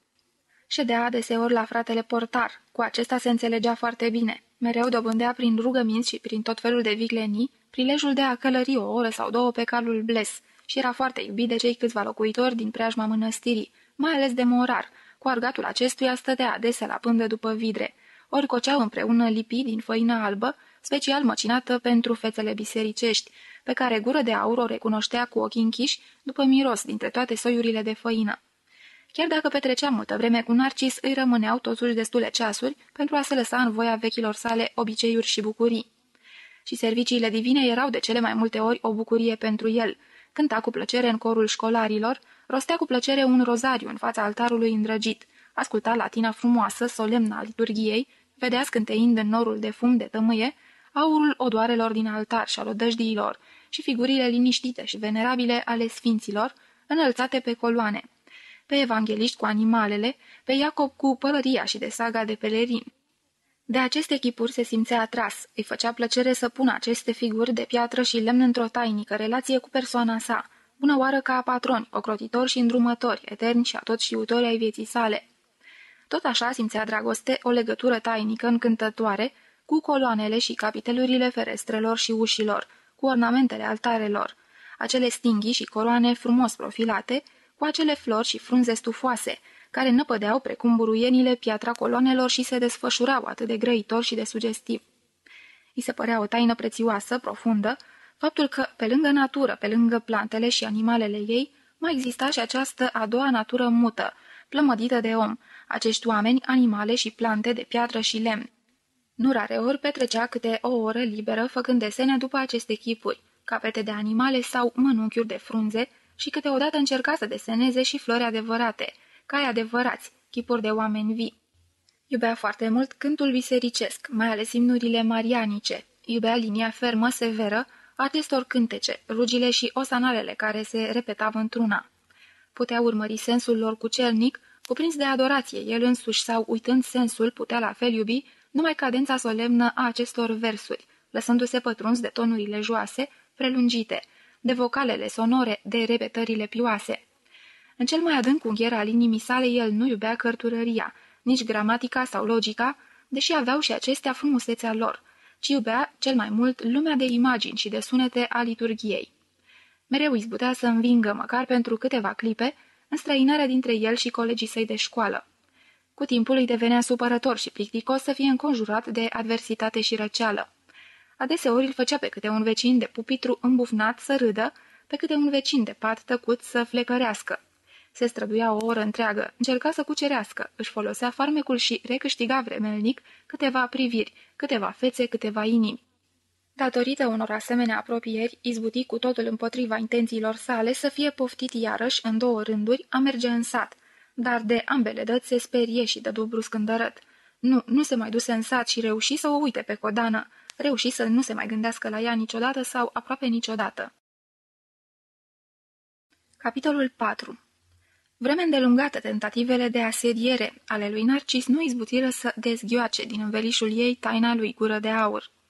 Vreme îndelungată el se străduia aparent zadarnic să-l trezească, să-l învețe graiul în care taina s-ar fi putut împărtăși. Povestirile prietenului despre obârșia și patria lui nu se închegaseră într-o imagine. Exista în ele un tată, un fel de umbră fără chip, venerată totuși, apoi mitul unei mame de multă vreme dispărută sau prăpădită, din care nu mai era decât un nume palid. Treptat, Narcis, versat în deslușirea sufletelor, își dădu seama că prietenul său era unul dintre oamenii cărora o parte din propria viață li se sustrage, care sub apăsarea unei primejdii sau a unei vrăji au trebuit să se deprindă a uita o parte din trecutul lor. Recunoștea că simplele întrebări și povețe erau aici inutile. Recunoștea de asemenea că acordase prea multă încredere puterii rațiunii și că zadarnic vorbise atât de mult. În schimb, rămaseră zadarnice dragostea ce lega de prieteni și obișnuința de a fi împreună.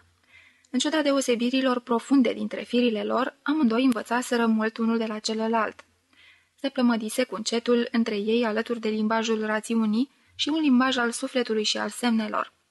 Astfel cum între două așezări omenești se poate dura un drum lung, pe care trec căruțele și călăreții, însă alături de el mai apar numeroase alte făgașuri lăturalnice, de joacă sau de taină. Drumeaguri ale copiilor poteci pentru îndrăgostiți, cărări abia luate în seama ale câinilor și pisicilor.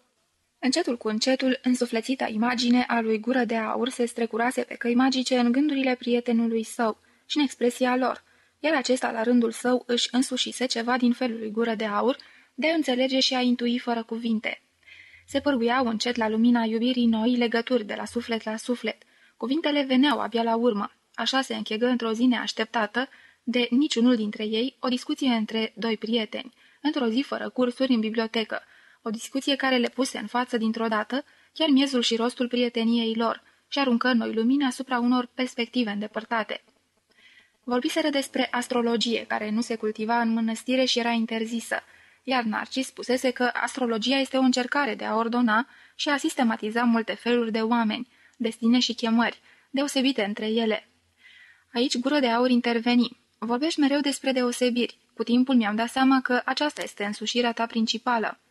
Când vorbești despre marea deosebire care bună oară ar exista între tine și mine, atunci îmi pare că ea nu constă în nimic altceva decât tocmai în ciudata ta obsesie de a găsi deosebiri. Narcis, firește, ai pus punctul pe ei. În fapt, pentru tine deosebirile nu sunt prea importante, pe când mie mi se par singurul lucru important. Eu sunt, după fire, cărturar. Chemarea mea este știința. Și știința nu este nimic alta decât pentru a cita cuvintele tale, obsesia de a găsi deosebiri. Nici nu s-ar putea defini mai bine esența. Pentru noi, oamenii științei, nimic nu este important decât constatarea unei deosebiri. Știința înseamnă arta de a deosebi. De pildă, a găsi în fiecare om trăsăturile care îl deosebesc de ceilalți înseamnă a-l cunoaște. Gură de aur. Ei da, unul poartă încălțări țărănești și e țăran, celălalt poartă coroană și e rege. Acestea sunt într-adevăr deosebiri, dar le pot vedea și copiii fără niciun fel de știință. Narcis. Dar dacă țăranul și regele poartă aceleași straie, copilul nu-i mai deosebește. Gură de aur. Nici știința. Narcis. Ba poate că da. Admit că ea nu este mai deșteaptă decât copilul, însă are răbdare mai multă. Nu se oprește la acele caracteristici care sar în ochi. Gură de aur. Așa procedează și orice copil inteligent. Îl va recunoaște pe rege după priviri sau după ținută. Pe scurt, voi învățații sunteți trufași, ne socotiți mereu mai proști pe noi ceilalți. Poți fi foarte deștept chiar dacă te lipsești de știință. Narcis, mă bucur că începi să înțelegi lucrul acesta. În curând vei mai înțelege că nu la inteligență mă refer când vorbesc de deosebirea dintre mine și tine. Nu spun ești mai inteligent sau mai prost, mai bun sau mai rău. Spun doar, ești altfel. Gură de aur. Asta e ușor de priceput. Dar tu nu vorbești numai despre deosebirile în ce privește însușirile. Vorbești adeseori și despre deosebiri între destinele, între chemările noastre. De ce, de pildă, ai avea tu altă chemare decât mine? Ești la fel ca mine, creștin, te-ai hotărât la fel ca mine pentru viața monahală. Ești la fel ca mine un copil al tatălui milostiv din ceruri. Scopul nostru, al amândurora, e comun, mântuirea veșnică. Și chemarea noastră este comună, întoarcerea la Dumnezeu. Narcis, foarte bine. În manualul de dogmatică, bineînțeles că fiecare om este a idoma celuilalt. În viață însă nu. Mi se pare mie sau apostolul preferat al Mântuitorului, la pieptul căruia se odihnea și celălalt apostol care l-a trădat, nu puteau avea amândoi aceeași chemare? Gură de aur, ești un sofist, Narcis. Pe calea aceasta nu ne apropiem nici de cum unul de altul. Narcis, noi nu ne apropiem unul de altul pe nicio cale. Gură de aur, nu vorbi astfel. Narcis, o spun serios, nu este de datoria noastră să ne apropiem unul de altul, tot așa cum nu se apropie soarele și luna sau marea și uscatul. Noi doi, dragă prietene, suntem soare și lună, suntem mare și uscat. Scopul nostru nu este de a ne contopi unul într-altul, ci a ne recunoaște reciproc și a învăța să vedem și să respectăm, fiecare în celălalt, ceea ce e contrariul și completarea sa. Impresionat, gură de aur rămase cu fruntea plecată, fața îi se întristase. În sfârșit zise, aceasta e pricina pentru care de atâtea ori nu mi-ai gândurile în serios? Narcis șovăi puțin cu răspunsul, apoi zise cu voce limpede și dură, aceasta este. Trebuie să te obișnuiești, dragă gură de aur, cu faptul că nu te iau în serios decât pe tine. Crede-mă, iau în serios fiecare nuanță a glasului tău, fiecare gest, fiecare zâmbet, dar gândurile tale le iau mai puțin în serios. Iau în serios la tine ceea ce recunosc ca fi esențial și necesar. De ce anume ți neapărat să se acorde atenție deosebită gândurilor tale, când ai atâtea alte daruri? Gură de aur zâmbia amar. Am spus-o doar, din totdeauna am mai socotit un copil. Narcis rămase ferm. O parte din gândurile tale le socotesc gânduri de copil. Aduți aminte, din aur am convenit că un copil deștept nu trebuie de fel socotit mai prost decât un cărturar. Însă când un copil vrea să aibă un cuvânt de spus despre știință, cărturarul bineînțeles că nu-l va lua în serios. Gură de aur strigă impetuos. Chiar și când nu vorbim despre știință, zâmbești pe seama mea. Te poți mereu de parcă toată evlavia, toate strădanile mele pentru a progresa la învățătură, dorința mea de a îmbrăca rasa monahală ar fi simple copilării. Narcis îl privi sever. Te iau în serios atunci când ești gură de aur, dar nu ești întotdeauna gură de aur. Nu doresc nimic altceva decât să devii gură de aur pe de întregul. Tu nu ești un cărturar, nu ești călugăr. Un călugăr sau un cărturar se pot făuri dintr-un lemn mai puțin prețios. Tu crezi că ai fi prea puțin învățat pentru gustul meu, prea puțin logician sau prea puțin pios. Ei nu, pentru mine ești prea puțin tu însuți. Deși după această discuție gură de aur se retrăsese afectat, ba chiar jignit, totuși curând, doar după trecerea câtorva zile, el însuși vădi dorința de a o continua. De asta dată Narcis izbuti ai da o imagine a deosebirilor dintre felul lor de a fi, pe care el o putu dezluși mai ușor. Narcis se încălzise vorbind, simțea că astăzi gură de aur se deschide mai bine voitor cuvintelor sale, că are putere asupra lui.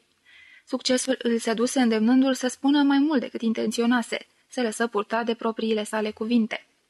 Uită-te, zise el, există un singur punct în care sunt superior, eu sunt treaz, în vreme ce tu abia ești pe jumătate treaz, iar câteodată ești adormit de abinelea.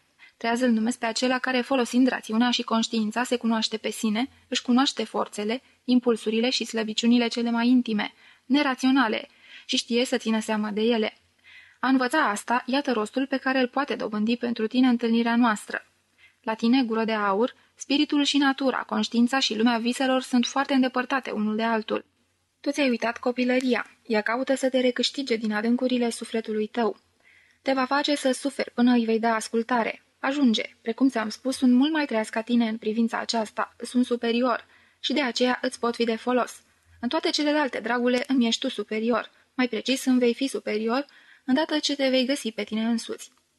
Gură de aur ascultase uimit, dar la cuvintele ți-ai uitat copilăria, tresărica lovi de o săgeată, fără ca Narcis să observe, căci avea obiceiul ca în timp ce vorbea să-și țină uneori ochii închiși o vreme, sau să privească țintă undeva drept în față, de parcă astfel și-ar fi găsit mai ușor cuvintele. Nu văzu cum fața lui gură de aur tresare deodată și începea să albi. Superior, eu ție, bolborosi gură de aur, numai ca să spună ceva, parcă era paralizat.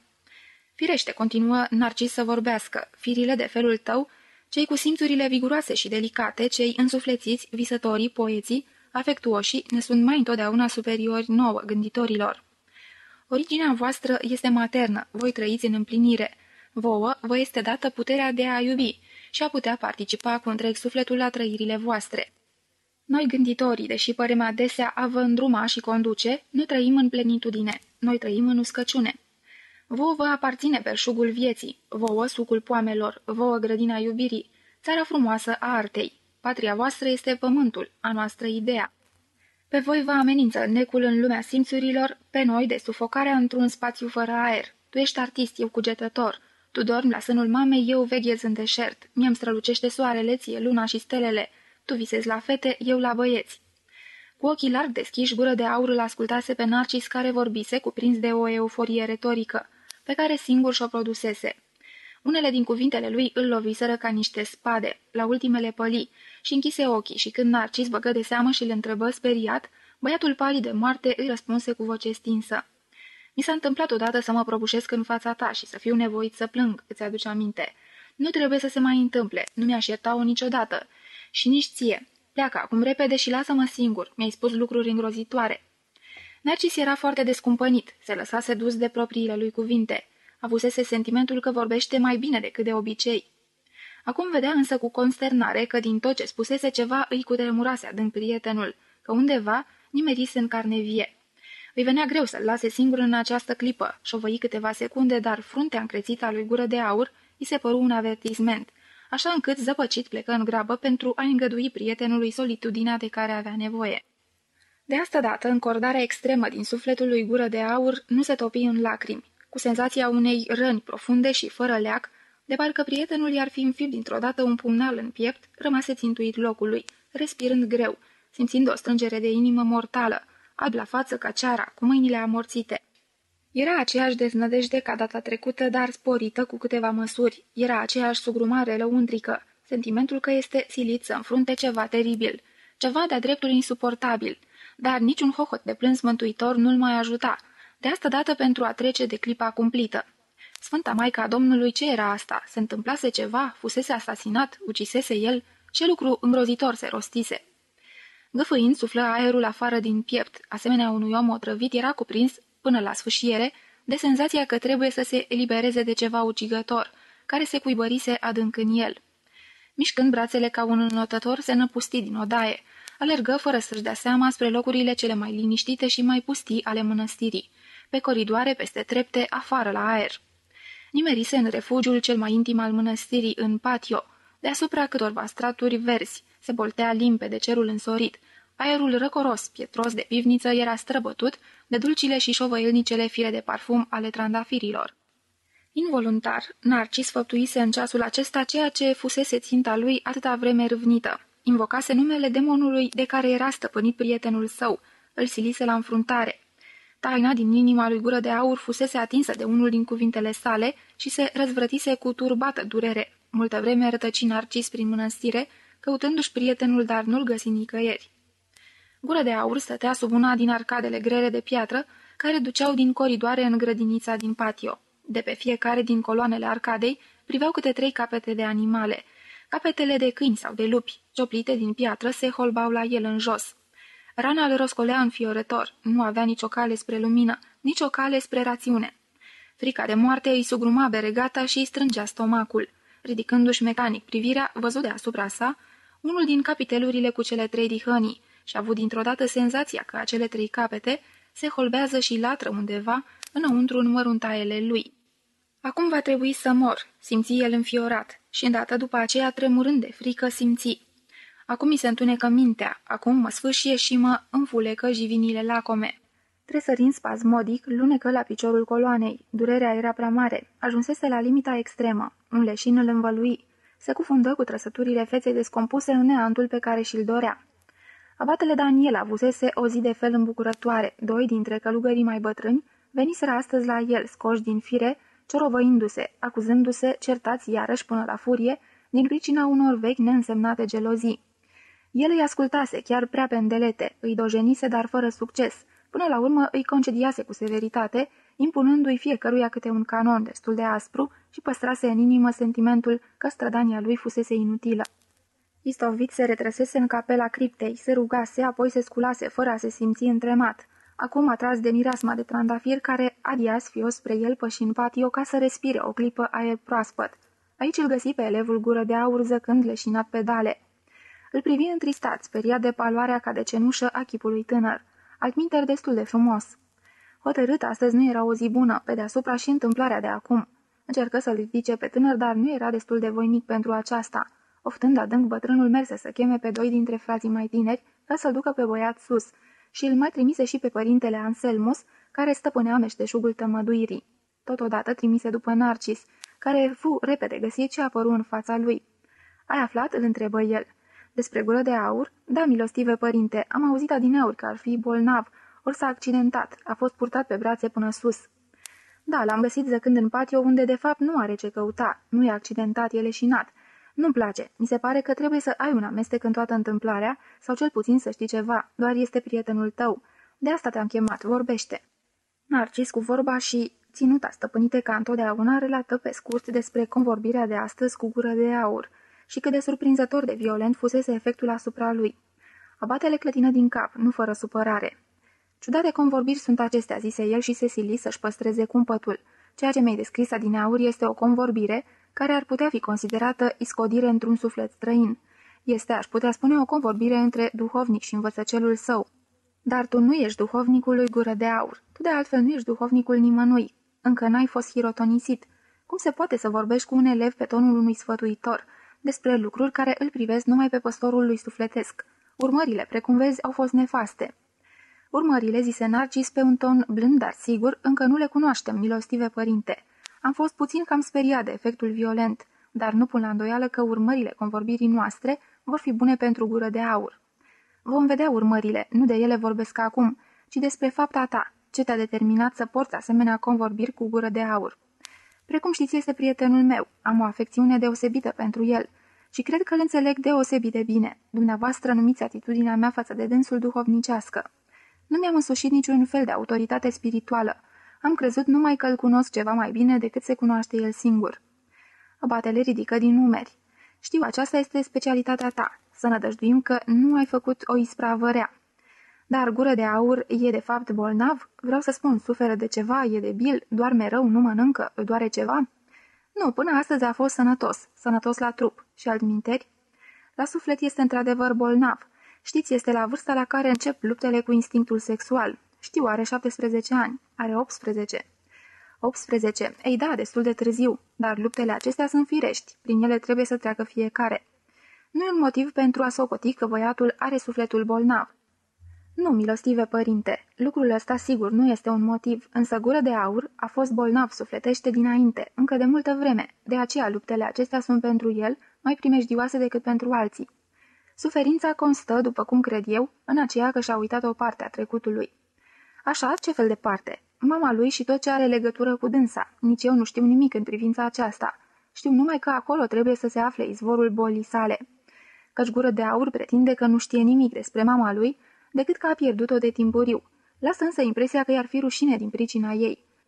Totuși, de la ea trebuie să fi moștenit cele mai multe dintre darurile sale, căci ceea ce are de povestit despre tatăl său nu ni-l înfățișează pe acesta ca pe omul care poate avea un fiu atât de frumos, atât de generos înzestrat și de ieșit din comun. Toate acestea nu le cunosc din povestiri, ci le deduc numai din semne. Abatele care la început zâmbise în sinea lui pe seama acestor cuvinte, socotindu-le prea îndrăznețe și înfumurate, și pe care întreaga întâmplare îl stingerea și lobosea început să reflecteze. Își aduse aminte de tatălui gură de aur, de bărbatul acela ascuns care strânea neîncredere și își mai aminti deodată acum când își răscolea memoria și de unele cuvinte pe care omul le spusese cu privire la mama lui gură de aur. El a acoperit de rușine și a fugit de la el, spusese omul, iar el se străduise să reprime în băiețel amintirea mamei și viciile pe care le-ar fi putut eventual moșteni de la ea. Izbutise într-adevăr și băiatul era doritor într-o ispășire a celor făptuite de mamă să-și închine viața lui Dumnezeu. Niciodată Narcis nu-i plăcuse abatelui așa de puțin ca astăzi Și totuși cât de bine ghicise acest gânditor, cât de bine părea într-adevăr al cunoaște pe gură de aur.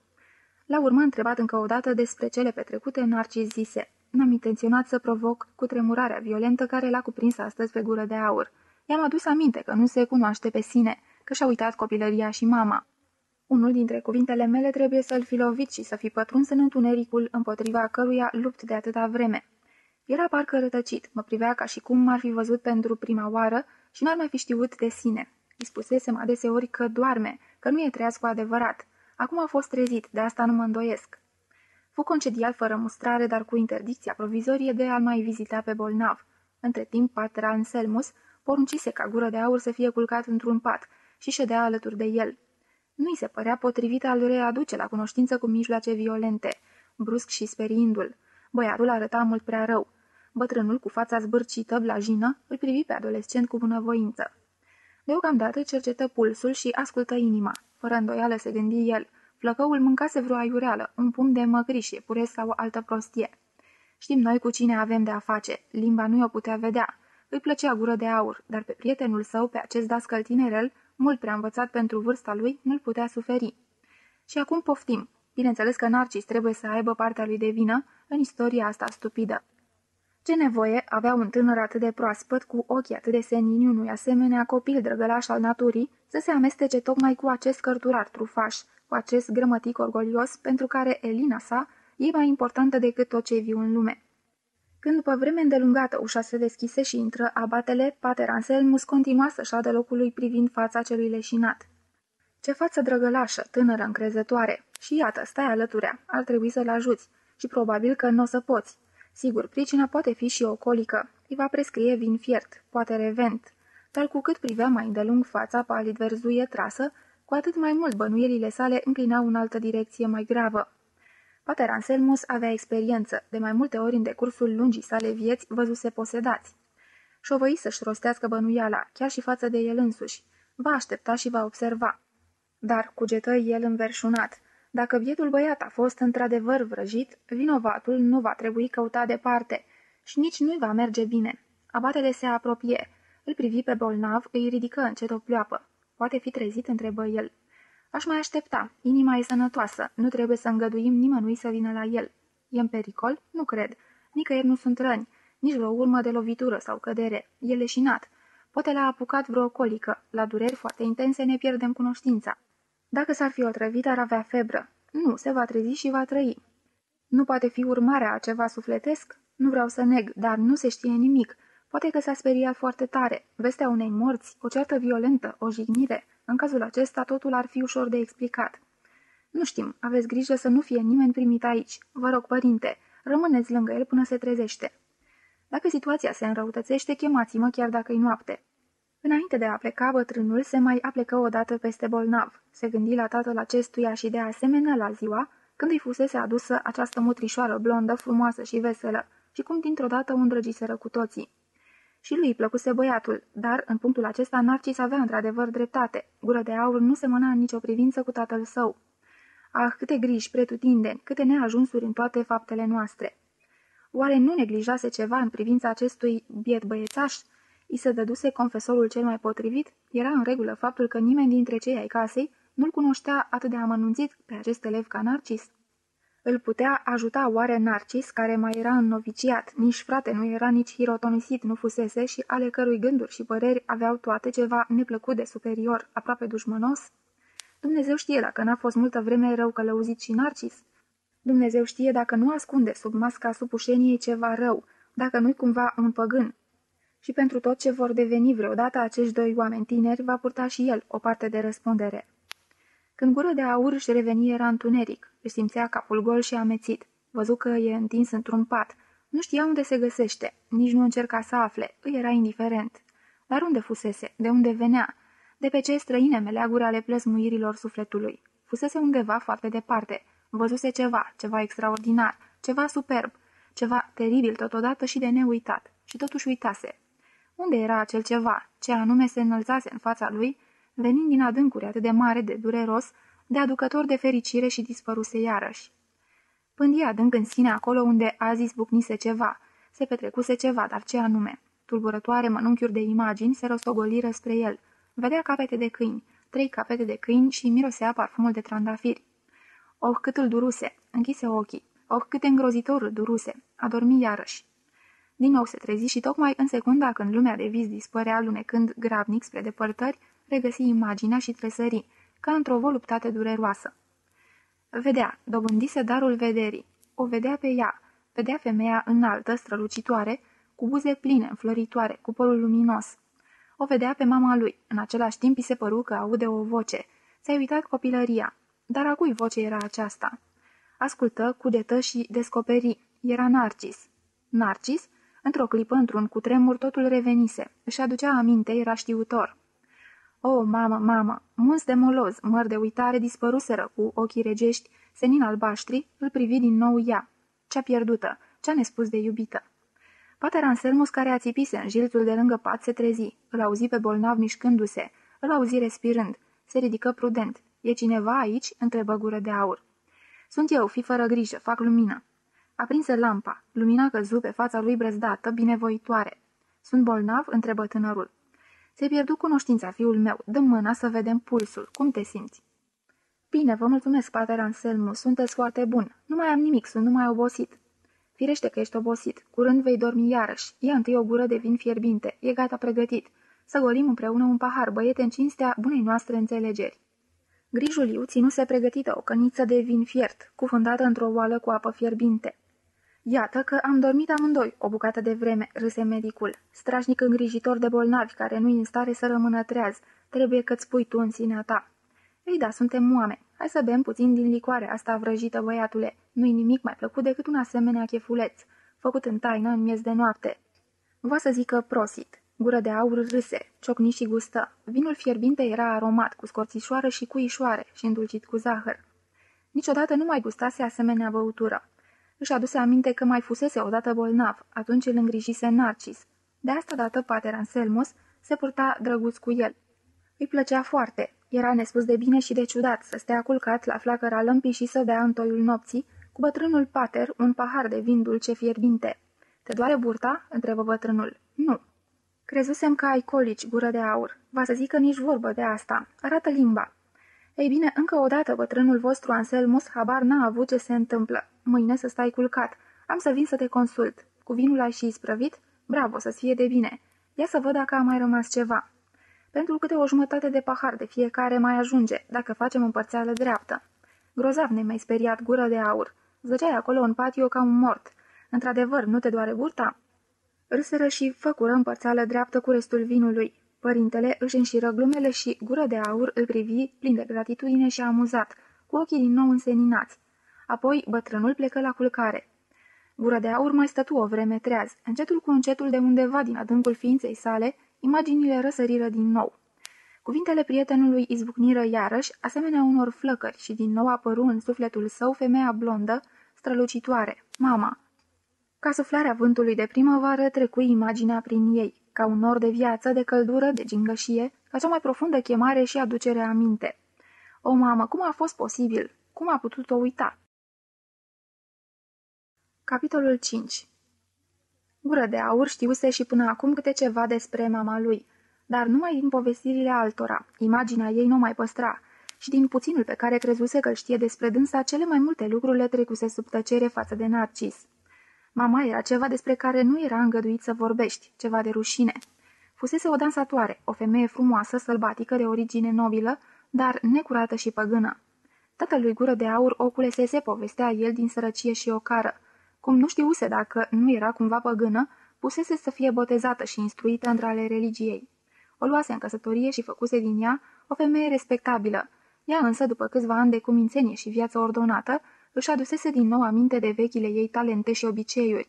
Pricinuise necazuri, se dusese bărbați, lipsise zile și săptămâni de acasă, dobândise renumele unei vrăjitoare și până la urmă, după ce bărbatul o strânsese în mai multe rânduri de pe drumuri și o luase iarăși la el, dispăruse pentru totdeauna. Faima ei mai stăruise câtva timp, o faimă rea, pâlpâind ca o coadă de cometă, pentru ca apoi să se stingă. Soțul își reveni încetul cu încetul după ani de neliniște, spaimă, rușine și surprize permanente pe care îi le oferise ea. În locul femeii denaturate se ocupă el de creșterea băiețelului care semăna leit cu mama la trup și la chip. Omul se acri, deveni bisericos și sădi în gură de aur, credința că trebuie să-și închine viața lui Dumnezeu, pentru a-i spăși păcatele mamei. Cam atât povestea de obicei tatăl lui Gură de Aur despre nevasta sa pierdută, deși nu abătea cu plăcere discuția spre acest subiect. Unele aluzii făcuse și abatelui, când îl adusese pe Gură de Aur la mănăstire, și toate acestea erau cunoscute și fiului ca o teribilă legendă, deși el se deprinsese să le dea deoparte, aproape să le uite însă. Cu desăvârșire uitase și pierduse imaginea reală a mamei, acea imagine complet alta, nu cea alcătuită din povestirile tatălui și ale servitorilor, sau din zvonuri tenebroase, nesăbuite. Propria sa amintire, cea aievea trăită despre mama sa, o uitase. Acum însă imaginea aceasta, steaua celor din tâi ani ai vieții sale, răsărise din nou. Este de neînțeles cum de-am putut-o uita, zise el către prietenul său. Niciodată în viață n-am iubit pe cineva atât de mult ca pe mama, atât de total și de arzător. Niciodată nu am venerat, nu am admirat pe nimeni atât de mult. Ea a fost soarele și luna mea. Dumnezeu știe cum a fost cu putință să întunec în sufletul meu această imagine luminoasă și să o prefac încetul cu încetul în acea vrăjitoare rea și palidă, cum a devenit ea de mulți ani în ochii tatei și ai mei.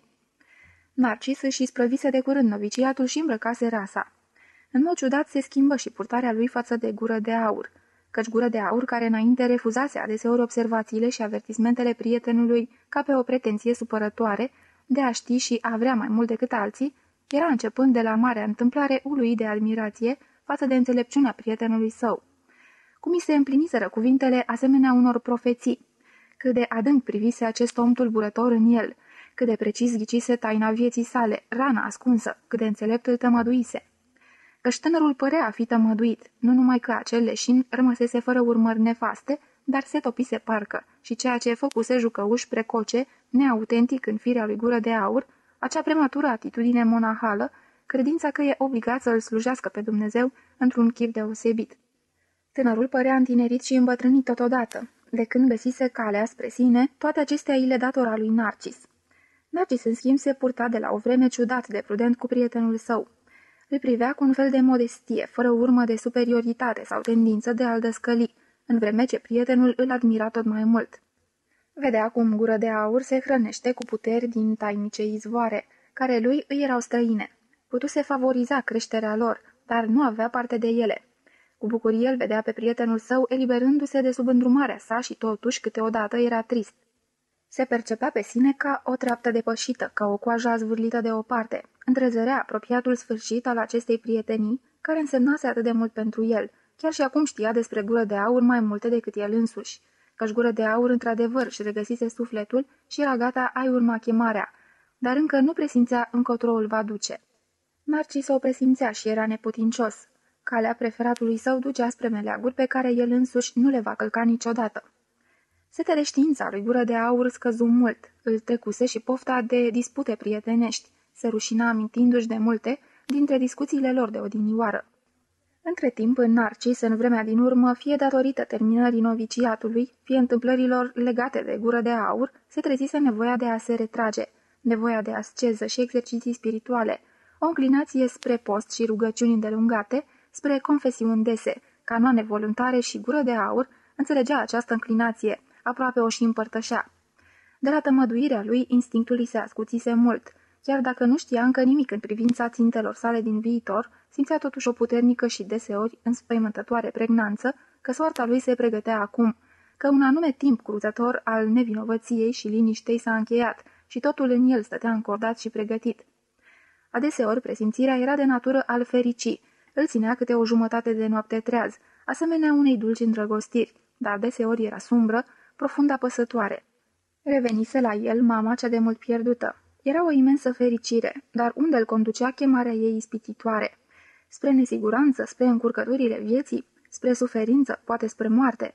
Nici de cum spre liniște, spre blândețe, spre certitudini, spre chilia de călugări și comunitatea mănăstirii care ținea cât o viață de om. Chemarea ei nu avea nimic de a face cu acele porunci părintești, pe care atâta vreme le confundase cu propriile sale dorințe. Din acest sentiment, care de multe ori devenea puternic, neliniștit și arzător, ca o violentă senzație trupească, se nutrea Evlavia lui Gură de Aur, repetând îndelungi rugăciuni adresate Sfintei Maicea Domnului, el lăsa să se reverse prea plinul de simțire care îl atrăgea spre propria sa mamă. În dese rânduri însă rugăciunile sale se isprăveau iarăși cu acele vise strani, superbe, care îl bântuiau acum atât de des. Vise primite cu ochii deschiși, cu simțurile pe jumătate treze, vise despre dânsa, la care luau parte toate simțurile sale.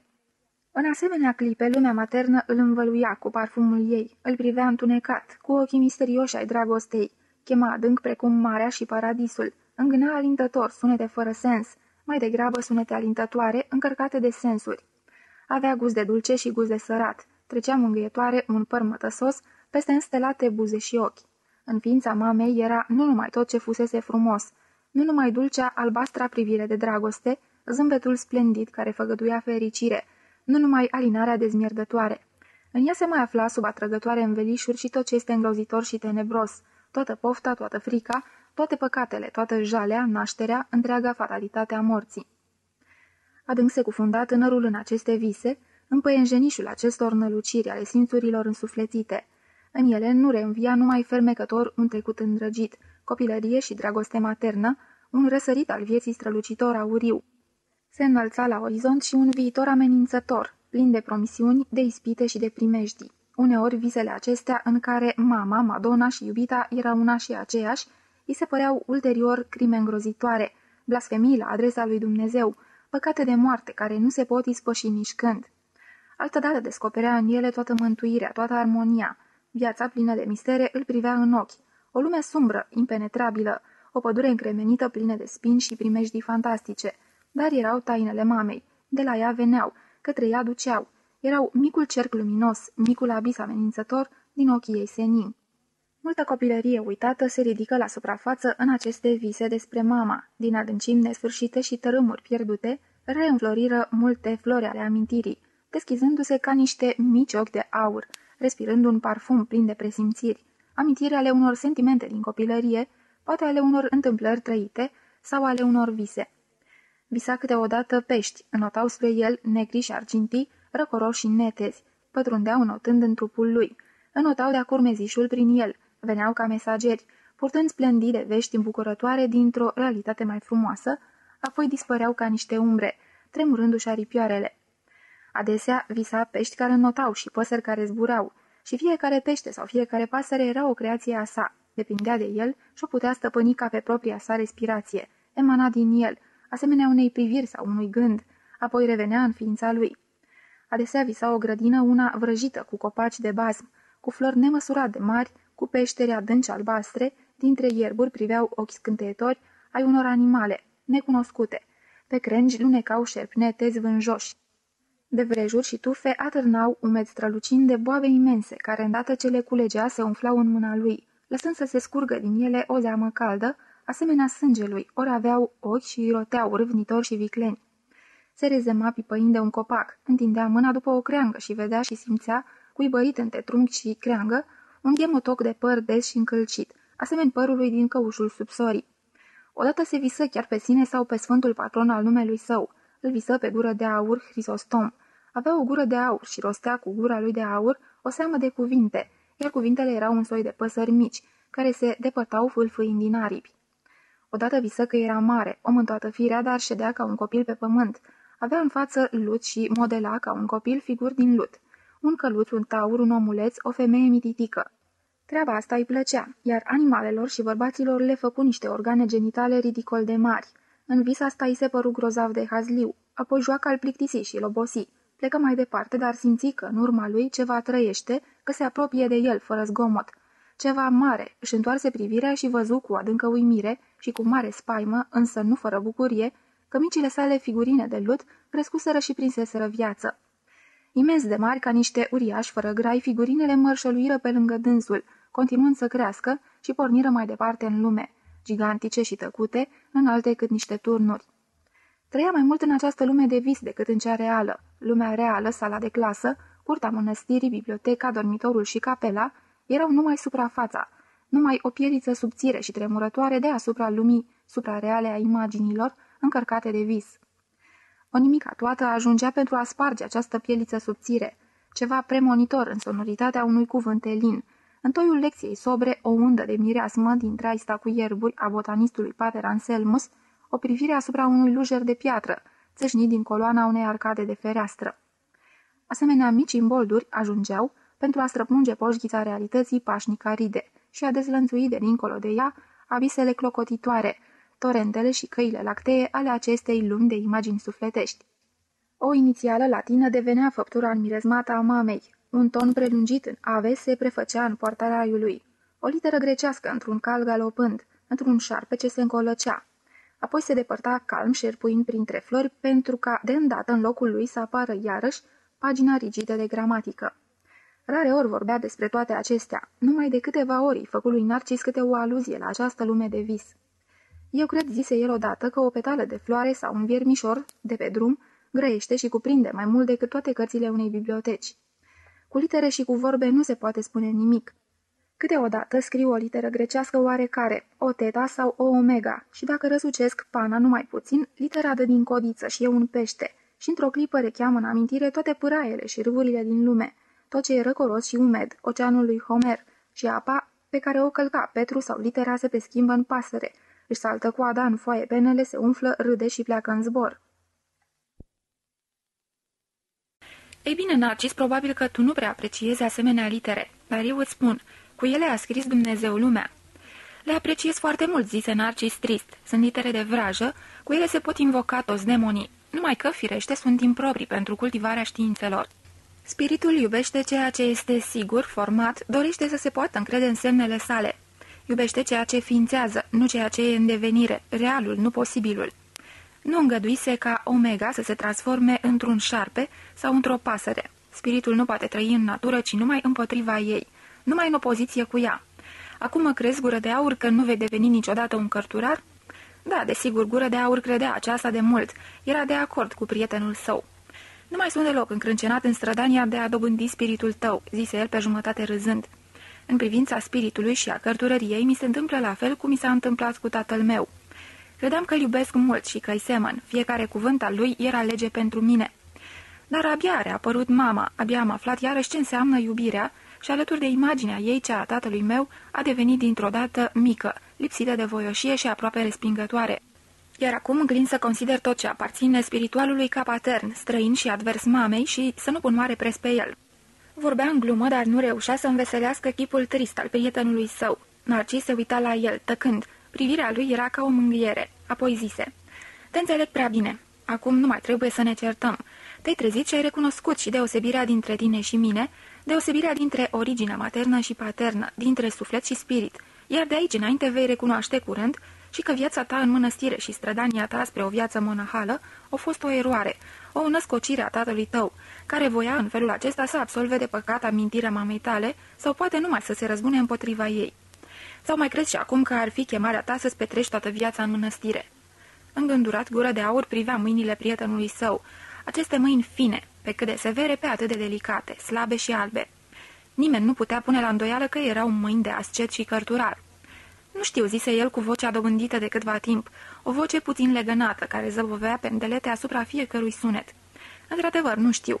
Îl judeci cam aspru pe tatăl meu. Nu i-a fost ușor, dar poate că ai dreptate și în privința aceasta. Sunt de mai bine de trei ani aici la școala mănăstirii și nu m-a vizitat încă niciodată. Nădăjduiesc că voi rămâne pentru totdeauna aici. Poate că ar fi cel mai bine, doar am dorit-o eu însumi din totdeauna. Dar astăzi nu mai știu de fapt ce vreau și ce doresc. Înainte vreme totul era simplu, la fel de simplu ca literele din cartea de citire. Acum nimic nu mai este simplu, nici măcar literele. Totul a dobândit multe sensuri și fețe. Nu știu ce ar trebui să devin. Acum nu sunt în stare să mă gândesc la asemenea lucruri. Nici nu trebuie fu de părere în Narcis. Se va vădi de la sine încotro te poartă drumul tău. A trecut prin a te readuce la mama ta și te va apropia și mai mult. În ce privește însă pe tatăl tău, nu îl judec prea aspru. Ai vrea poate să te întorci la el? Nu, Narcis, fără îndoială că nu, altfel aș face odată ce aș isprăvi școala sau chiar acum. Căci de vreme ce nu voi deveni cărturar, am învățat de fapt destulă latină, elină și matematică. Nu vreau să mă întorc la tata. Privi îngândurat în gol și deodată exclamă. Dar cum te izbutești să-mi spui mereu cuvinte sau să-mi pui întrebări care aruncă în mine o lumină și mă limpezesc pe mine însumi? Și acum, de pildă, întrebarea ta, dacă aș vrea să mă reîntorc la tata, a fost cea care mi-a arătat dintr-o dată că nu vreau. Cum de izbutești? Par să știi totul. Mi-ai spus atâtea lucruri despre tine și despre mine, pe care nici nu le-am priceput atunci când le-am auzit, dar care mai târziu au căpătat atâta importanță pentru mine. Tu ai definit originea mea, cea maternă, și tu ai descoperit că stăteam sub semnul unui blestem și că îmi uitasem copilăria. De unde cunoști atât de bine oamenii? Nu pot să învăț și eu meșteșugul ăsta?" Narcis zădu din cap zâmbind. Nu, dragul meu, nu-l poți învăța. Există oameni care pot învăța multe, dar tu nu faci parte dintre ei. Tu nu vei fi niciodată unul dintre cei ce învață. Și la ce bun. Nici nu ai nevoie. Tu ai alte daruri, mai multe decât am eu. Ești mai bogat ca mine și totodată mai slab. Tu vei avea o cale mai frumoasă și mai grea ca mine. Uneori n-ai vrut să mă înțelegi, adeseori te-ai împotrivit ca un mânz și nu a fost întotdeauna ușor și de multe ori a trebuit să-ți pricinuiesc durere. Trebuia să te trezezi că-și dormeai și când ți-am adus aminte de mama ta, întâi te-a durut. Te-a durut grozav, ai fost găsit zăcând asemenea unui mort în patio. Trebuia să se întâmple așa. Nu, nu mângâia părul. Nu, lasă, nu pot îndura asta. Și deci nu pot învăța nimic? Voi rămâne întotdeauna un prost și un copil? Alții vor fi cei de la care vei învăța. Am ajuns la capăt cu ceea ce ai putut învăța de la mine, copilule. O, nu, strigă gură de aur. Nu pentru asta am devenit prieteni. Ce fel de prietenie ar mai fi aceasta, care după o bucată de drum când și-a atins ținta, poate conteni? Te-ai săturat de mine? Mai scos din inima ta?" Narcis umbla agitat de colo până acolo cu privirile în pământ. Apoi se opri în fața prietenului. Fii pe pace, zise el cu blândețe, știi prea bine că nu te-am scos din inima mea. Își privi cu îndoială prietenul, apoi imediat își reluă plimbarea, încolo și încoace și se mai opri odată și se uită la gură de aur. De pe fața aspră și slabă, ochii săi priveau cu fermitate. Cu voce înceată, dar hotărâtă și dură, zise. Ascultă gură de aur. Prietenia noastră a fost bună. A avut o țintă și a atins-o, te-a trezit. Sper să nu fie ajuns totuși la capăt. Sper că se va reînnoi încă o dată și mereu și va duce spre ținte noi. Pentru moment ea nu mai are nicio țintă. A ta e incertă. Într-acolo eu nu te pot nici conduce, nici însoți. Întreabă pe mama ta. Întreabă imaginea ei, de ascultare. Ținta mea, în schimb, nu plutește în incertitudine. Ea e aici, în mănăstire, mă solicită în fiecare ceas. Mi-a îngăduit să fiu prieten, dar nu mi-a îngăduit să fiu îndrăgostit. Sunt călugăr, am făcut un legământ. Înainte de a fi hirotonisit, mă voi lăsa concedia din funcția de dască și mă voi retrage vreme de multe săptămâni pentru post și rugăciune. În răstimpul acesta nu voi vorbi despre nimic lumesc, nici măcar cu tine. Gura de aur înțelese, zise trist. Vei face deci acum ceea ce aș fi făcut și eu, dacă aș fi intrat pentru totdeauna în ordin. Și când pocăința ta va fi încheiată, când vei fi postit și te vei ruga și vei fi vegheat destul, atunci încotro vei mai ținti. Știi bine, zise Narcis. Ei da, în câțiva ani vei deveni dascăl principal, poate chiar director al școlii. Vei îmbunătăți învățământul, vei mări biblioteca. Poate vei scrie și cărți, nu? Ei bine, nu. Dar care-ți va fi ținta? Narcis zâmbi palid. Ținta? Poate că voi muri director de școală sau abate sau episcop, tot una. Ținta e aceeași, să mă aflu întotdeauna acolo unde pot sluji cel mai bine, unde felul meu de a fi, aptitudinile și darurile mele găsesc solul cel mai roditor, câmpul de acțiune cel mai întins. Nu există altă țintă. Gură de aur. Nu există altă țintă pentru un călugăr? Narcis. Ba da, ținte sunt destule. Un călugăr poate hotărâ că scopul vieții lui este să învețe ebraica, să-l comenteze pe Aristotel, sau să împodobească biserica mănăstirii sau să se claustreze pentru a medita, sau să întreprindă o sută de alte lucruri. Pentru mine acestea nu sunt țeluri. Eu nu vreau nici să sporesc avuția mănăstirii, nici să reformulez ordinul sau biserica. Vreau să slujesc spiritul în limitele puterilor mele, așa cum înțeleg eu, nu alt minteri. Asta nu e o țintă? Îndelung își cumpăni în gură de aur răspunsul. Ai dreptate, zise el. Te-am stingherit foarte mult pe drumul tău spre această țintă?" Stingherit? O, gură de aur, nimeni nu m-a ajutat mai mult ca tine. Mi-ai făcut greutăți, dar eu nu sunt adversarul greutăților. Am învățat din ele și în parte le-am depășit." Gură de aur le întrerupse și zise jumătate în glumă. Minunat le-ai depășit. Dar spunem totuși, dacă m-ai ajutat, m-ai condus și m-ai eliberat și mi-ai tămăduit sufletul, în felul acesta ai slujit oare într-adevăr spiritul? Așa ai sustras probabil mănăstirii un novice zelos și bine intenționat și ai crescut poate un adversar al spiritului, unul care va făptui, va crede și va râvni exact contrariul la ceea ce tu socotești că este bine. De ce nu, zise Narcis cu profundă seriozitate. Dragă prietene, cât de puțin mă cunoști încă. Probabil că am împiedicat devenirea unui viitor călugăr. În schimb, am deschis în tine calea către un destin ieșit din comun. Chiar dacă mâine ai incendia frumoasa noastră mănăstire sau ai predica lumii vreo erezie oarecare smintită, nicio clipă n-aș regreta că te-am îndemnat să mergi pe această cale. Prietenos își așeză ambele mâini pe umerii prietenului. Vezi gură de aur? De scopul meu ține și aceasta. Orice aș fi dascăl sau abate, confesor sau orice altceva, niciodată n-aș vrea să ajung în situația de a întâlni un om puternic, valoros și deosebit, și a nu-l putea înțelege, a nu-l cunoaște și a nu-l deschide lumii, a nu-l putea încuraja. Și îți mai spun, orice am devenit tu sau eu, oricum ne va merge rău sau bine, niciodată în clipa în care mă vei chema cu tot din adinsul și vei crede că ai nevoie de mine, nu mă vei afla cu inima zăvorâtă, niciodată. Toate acestea sunau abul rămas și, într-adevăr, era o anticipare a despărțirii. Stând în fața prietenului său și privindu-i chipul hotărât, ochii ațintiți spre scopul statornice, gură de aur simțea fără greș că ei doi nu mai erau frați și camarazi și egali, că drumurile lor se vor despărți. Cel din fața lui nu era un visător și nici nu aștepta cine știe ce chemări ale destinului. Era un călugăr, se înrolase, aparținea unei rânduieli și unei datorii ferme. Era slujitor și ostaș al ordinului, al bisericii, al spiritului. El însuși însă, iar asta îi se limpezise astăzi, nu avea ce căuta aici. Era fără patrie, o lume necunoscută l-aștepta. La fel se petrecuseră lucrurile odinioară cu mama lui. Părăsise casa și gospodăria, bărbatul și copilul, comunitatea și ordinea, datoria și onoarea pentru a pleca în necunoscut. Probabil că de mult se și prăpădise pe undeva. Altora le era dat să aibă țeluri. Avusese o țintă cum nici el nu avea vreuna. O cât de limpede văzuse Narcis încă de multă vreme toate acestea și câtă dreptate avusese. Curând după această zi, Narcis dispăru. Se făcu dintr-o dată nevăzut.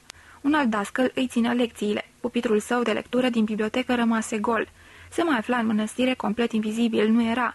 Când și când putea fi zărit trecând prin patio, câteodată putea fi auzit murmurând rugăciuni într-una din capele, îngenunchiat pe dalele de piatră. Se știa că începuse marea penitență, că postea și se scula de trei ori pe noapte pentru rugăciuni. Se mai afla aici și totuși trecuse în altă lume. Puteai să-l vezi destul de rar, dar nu-l puteai atinge. Nu puteai avea nimic comun cu el. Nu-i puteai vorbi. Gură de aur știa că Narcis va apărea din nou, își va ocupa din nou pupitrul de lucru și scaunul din reflectoriu, va vorbi din nou, dar nimic din ce fusese altădată nu va mai reveni. Narcis nu-i va mai aparține. Gândindu-se la toate acestea, lui Gură de Aur îi fu limpede că, numai lui Narcis, îi datora faptul că mănăstirea și călugăria, gramatica și logica, studiul și spiritul îi deveniseră prețioase și dragi. Exemplul său îl ispitise, își făcuse un ideal din încercarea de a-i semăna. Firește, mai exista și abatere și pe el îl respectase, îl iubise și întrezărise în el un exemplu înălțător. Dar ceilalți, dascării, colegii, dormitorul, sala de mese, școala, exercițiile, serviciile divine, întreaga mănăstire, fără Narcis, nu-l mai interesau. Ce căuta aici? Aștepta. Stătea sub acoperișul mănăstirii, așa cum un drumez nehotărât se oprește pe timp de ploaie, sub un acoperiș oarecare, sau sub un copac, numai în trecere, numai ca musafir, numai de frica lipsei de ospitalitate a depărtărilor. Viața lui Gură de Aur în vremea aceea nu mai era decât o amânare și o pregătire a despărțirii. Se ducea în toate locurile care îi fuseseră dragi sau dobândiseră vreo semnificație pentru el. Mirat înstrăinat, constata că sunt puține echipuri și oameni de care i-ar veni greu să se despartă. Erau Narcis și bătrânul abate Daniel, bunul și dragul pater Anselmus, poate credinciosul frate portar și vecinul cel vesel morarul, dar și aceștia deveniseră aproape ireali. Mai greu îi va fi să se despartă de Marea Madonă de piatră din capelă și de apostolii portalului. Se oprea îndelung în dreptul lor ca și al frumoaselor cioplituri din lemn ale scaunelor corului, în dreptul fântânii din patio, al coloanei cu cele trei capete de animale. Se rezema de tei din curte de trunchiul castanului. Toate acestea vor deveni cândva amintiri, o cărticică cu poze păstrată în inima lui. Încă de pe acum, când se mai afla în mijlocul lor, toate păreau să lunece departe de el, își pierdeau realitatea, se transformau fantomatic în ceva de odinioară. Cu pater Anselmus, care îl ținea cu plăcere în preajma lui, se ducea la cules de ierburi. La morarul mănăstirii stătea și privea slugile, iar când și când se lăsa invitat la vin și la pește prăjit, dar totul era încă de pe acum străin, pe jumătate amintire. Precum, dincolo, în penumbra bisericii și în chilia de penitență, prietenul său Narcis mai umbla și trăia, dar pentru el devenise o umbră. Tot astfel lumea din jurul său își pierduse consistența, respira toamnă și nestatornicie. Reală și vie nu mai era decât viața dinăuntrul său, bătaia speriată a inimii, spinul dureros al dorului, bucuriile și temerile viselor sale. Lor le aparținea, lor li se dăruia. În toiul cititului sau al învățatului, în mijlocul camorazilor săi se putea cufunda în sine și uita de toate, dăruit în întregime torentelor și glasurilor lăuntrice care îl trăgeau de aici spre fântânii adânci, pline de melodii sumbre, în abisuri colorate, pline de legendare aventuri, ale căror sunete răsunau toate, asemenea glasului mamei, ai căror mii de ochi erau toți ochii mamei. Capitolul 6 Într-o zi, pater Anselmus îl chemă pe gură de aur în farmacia sa.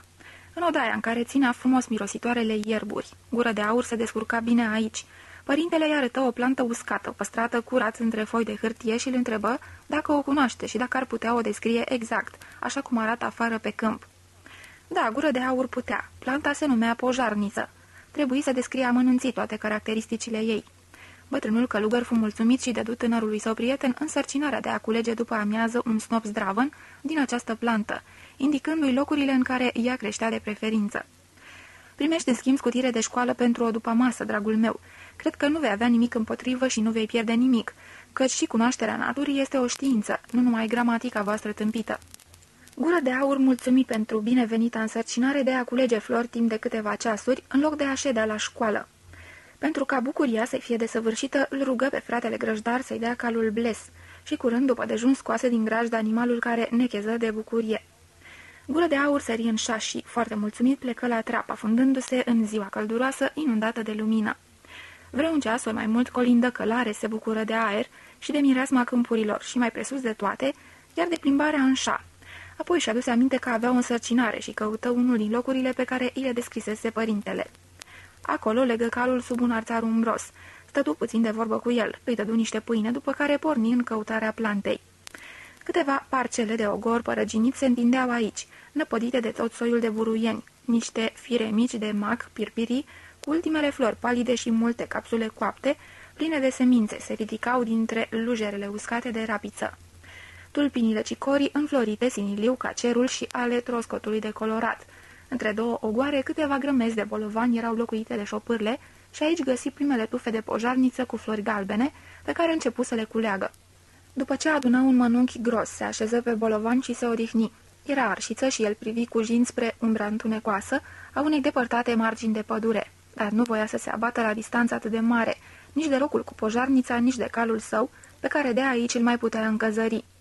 Rămase așezat pe bolovanii fierbinți, stătul liniștit ca să vadă șopârlele care întâi fugiseră și acum ieșeau din nou la iveală.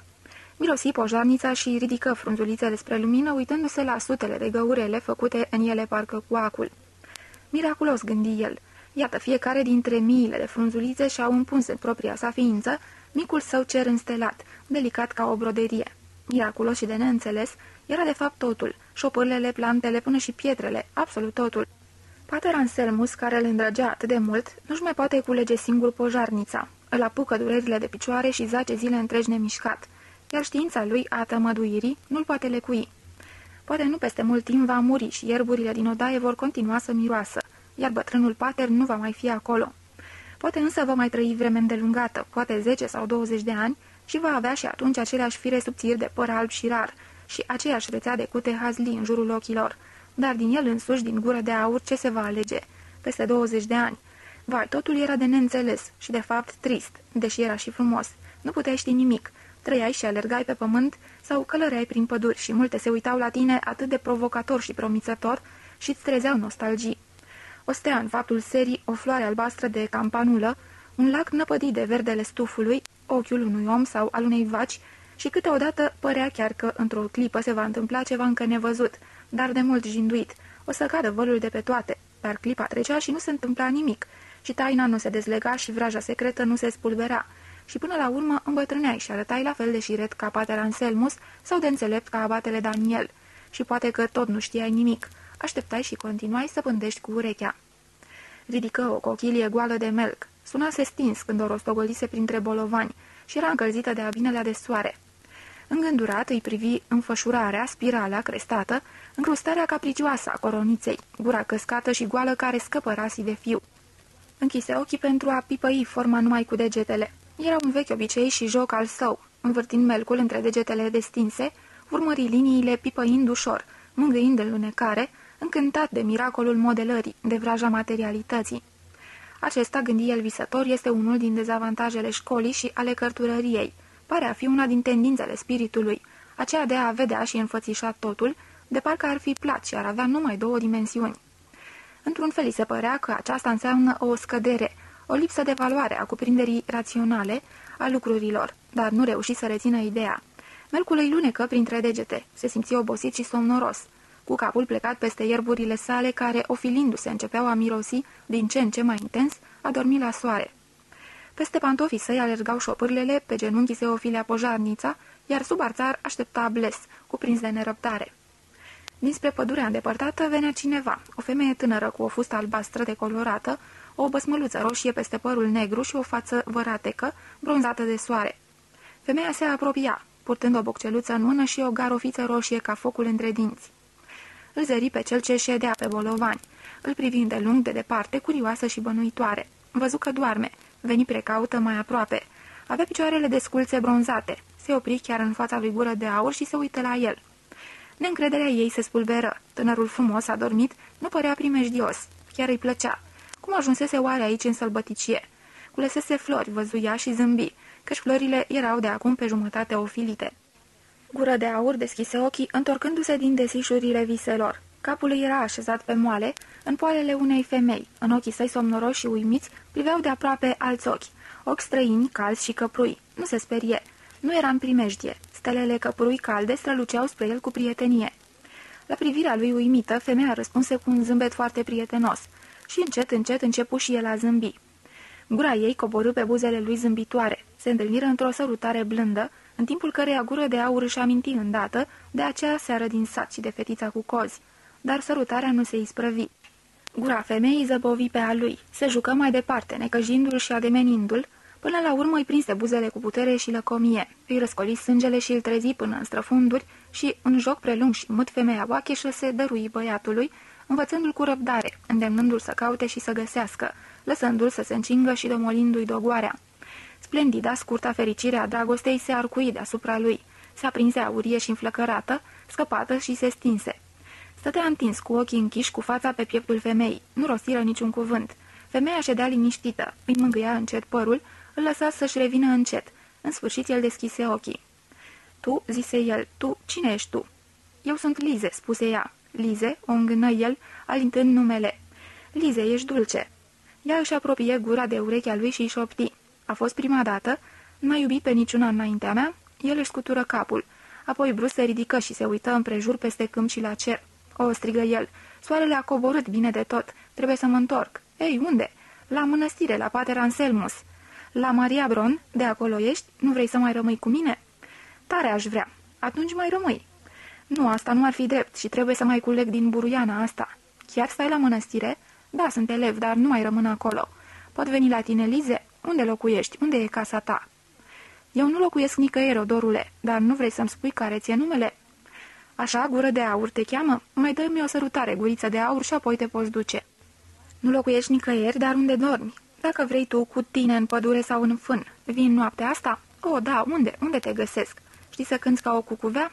N-am încercat niciodată. Încearcă." El încercă, ea râse și fu mulțumită. Atunci vin o noapte asta. Ieși din mănăstire și cântă ca o cucuvea. Eu o să fiu prin apropiere. Dar îți plac gură de aur, băiețașul meu? O, îmi place, grozav, Lise. Vin, Dumnezeu să te aibă în pază, acum trebuie să plec. Cu calul aburin, sosi gură de aur la mănăstire în Amurg și fu încântat să-l găsească pe pater Anselmus foarte ocupat. Un frate se desfătase desculț în pârâu și se alesese cu un ciob în talpă. Acum trebuia să-l caute pe Narcis. Întrebă pe unul din frații slujitori care serveau în reflectoriu. Nu ziseră ei.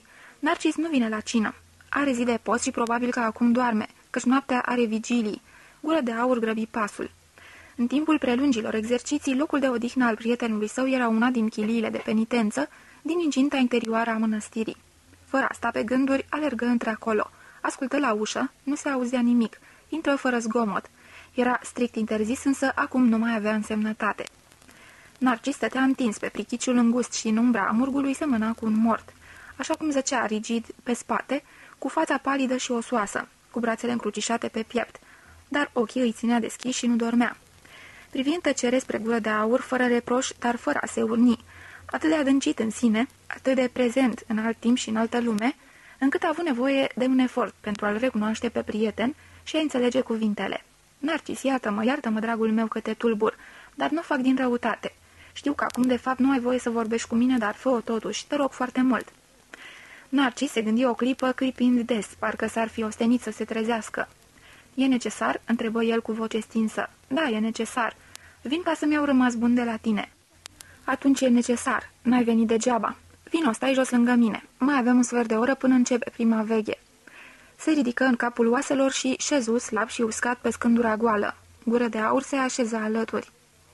Să mă ierți, zise el simțindu-se vinovat.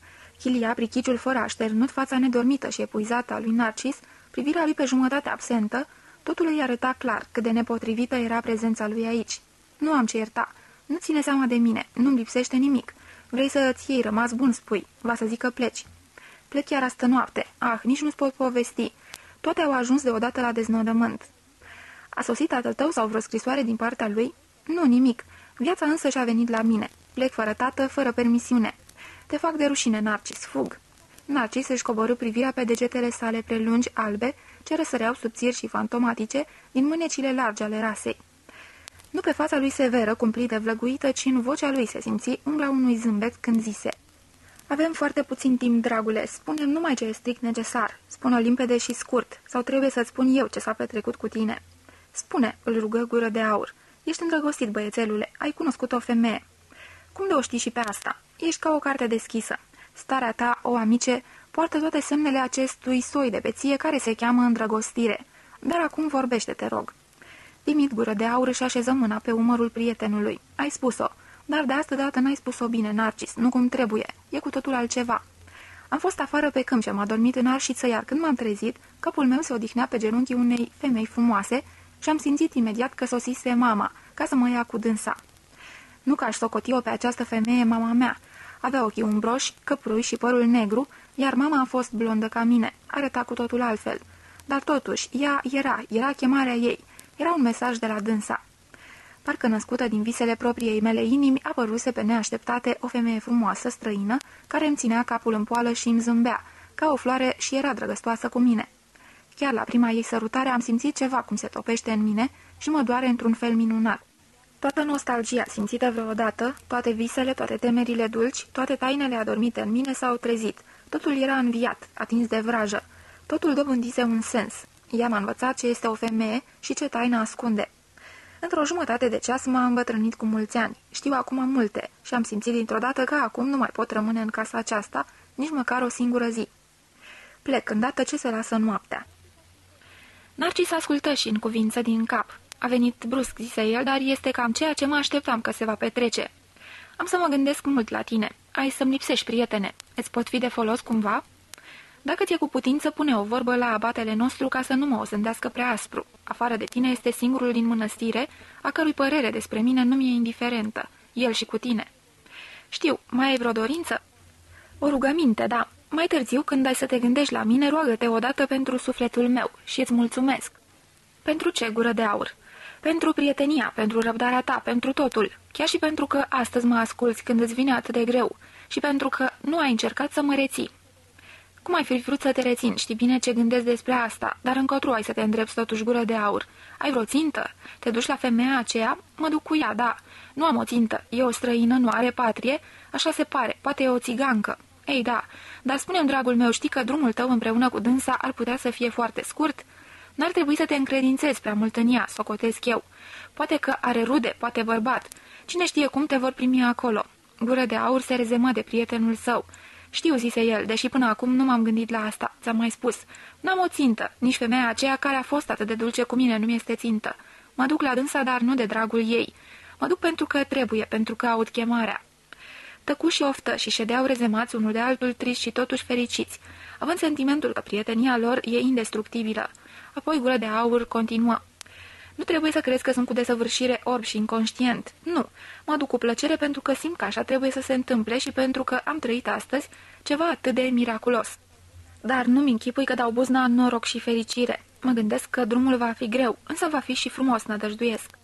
Este atât de frumos să aparții unei femei, să-i te dăruiești. Nu râde de mine dacă ceea ce îți spun aduce aneghiobie. Însă a iubi o femeie, a-i te dărui, a o învălui în întregime cu propria ta ființă, și a te simți învăluit de dânsa nu este același lucru cu ceea ce numești tu a fi îndrăgostit și par să-ți bați joc puțin. Nu este de jocorit. Pentru mine e calea spre viață și calea spre sensul vieții. Ah, Narcis, trebuie să te părăsesc. Te iubesc, Narcis, și îți mulțumesc că mi-ai sacrificat astăzi puțin din somnul tău. Greu îmi vine să te las și să plec. N-ai să mă uiți? Nu mai împovăra și nu-ți mai împovăra inima. Nu o să te ui niciodată. Hai să te întorci, e rugăciunea mea. Te aștept. Dacă vreodată îți va merge rău, vino la mine sau cheamă-mă. Cu bine, gură de aur, domnul fie cu tine." Se ridicase, gură de aur îl îmbrățișă. Cunoscând la prietenului său față de gesturile tandre, nu-l sărută, îi mângâie numai mâinile. Se lăsase noaptea. Narcis închise chilia în urma sa și trecut dincolo în biserică. Sandalele sale răsunară pedalele de piatră. Gură de aur urmări cu ochii plini de dragoste silueta subțire, până se topi la capătul coridorului, ca o umbră înghițită de bezna din ușa bisericii. Absorbită, acaparată cu totul de exerciții, de îndatoriri, de virtuți. O, cât de ciudat, de infinit de straniu și de încurcat era totul. Cât de ciudat și înfricoșător a mai fost și asta. Să vină la prietenul său cu inima încărcată până la revărsare, amețit de dragostea ce înflorea în el.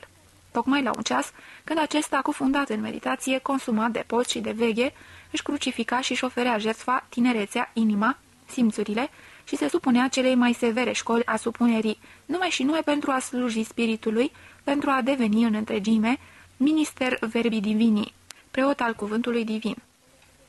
Zăcuse acolo obosit de moarte și stins, cu fața palidă și mâinile slăbite, cu înfățișarea unui mort, și totuși acceptase îndată convorbirea cu prietenul său.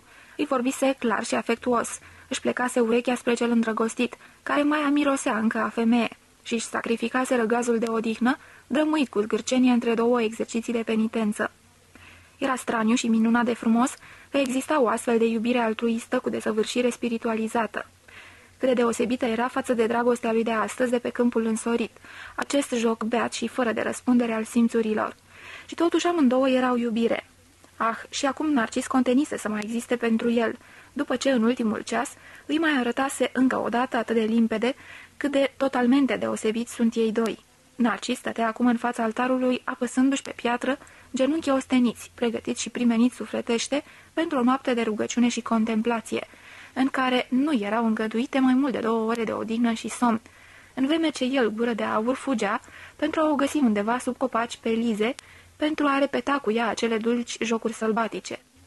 Narcis ar fi știut să spună câte ceva demn de luat în seamă despre acest subiect. Ei bine, el, gură de aur, nu era Narcis. Nu era de datoria lui să cerceteze aceste frumoase și înfiorătoare enigme și confuzii și să spună lucruri de seamă despre ele.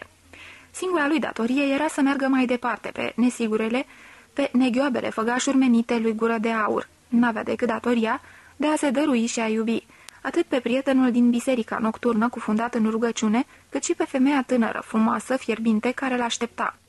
Pe când se strecura printre teii din curte și căuta ieșirea prin moară, având inima răvășită de o sută de sentimente potrivnice, îi veni totuși să zâmbească, deoarece își aduse deodată aminte de seara în care odinioară părăsise mănăstirea cu Conrad, pe același drum ascuns, pentru a merge în sat.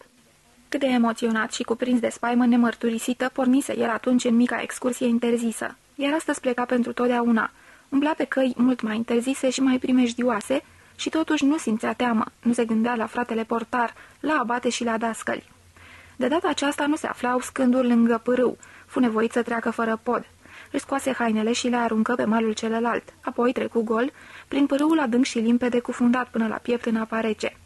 În vreme ce se îmbrăca dincolo, gândurile sale se întoarseră din nou la Narcis. Rușinându-se, își dădea seama acum cu mare limpezime că la ceasul acesta nu face decât să împlinească ceea ce Narcis știuse dinainte și se îndrepta spre țelul pe care fusese condus de prietenul său.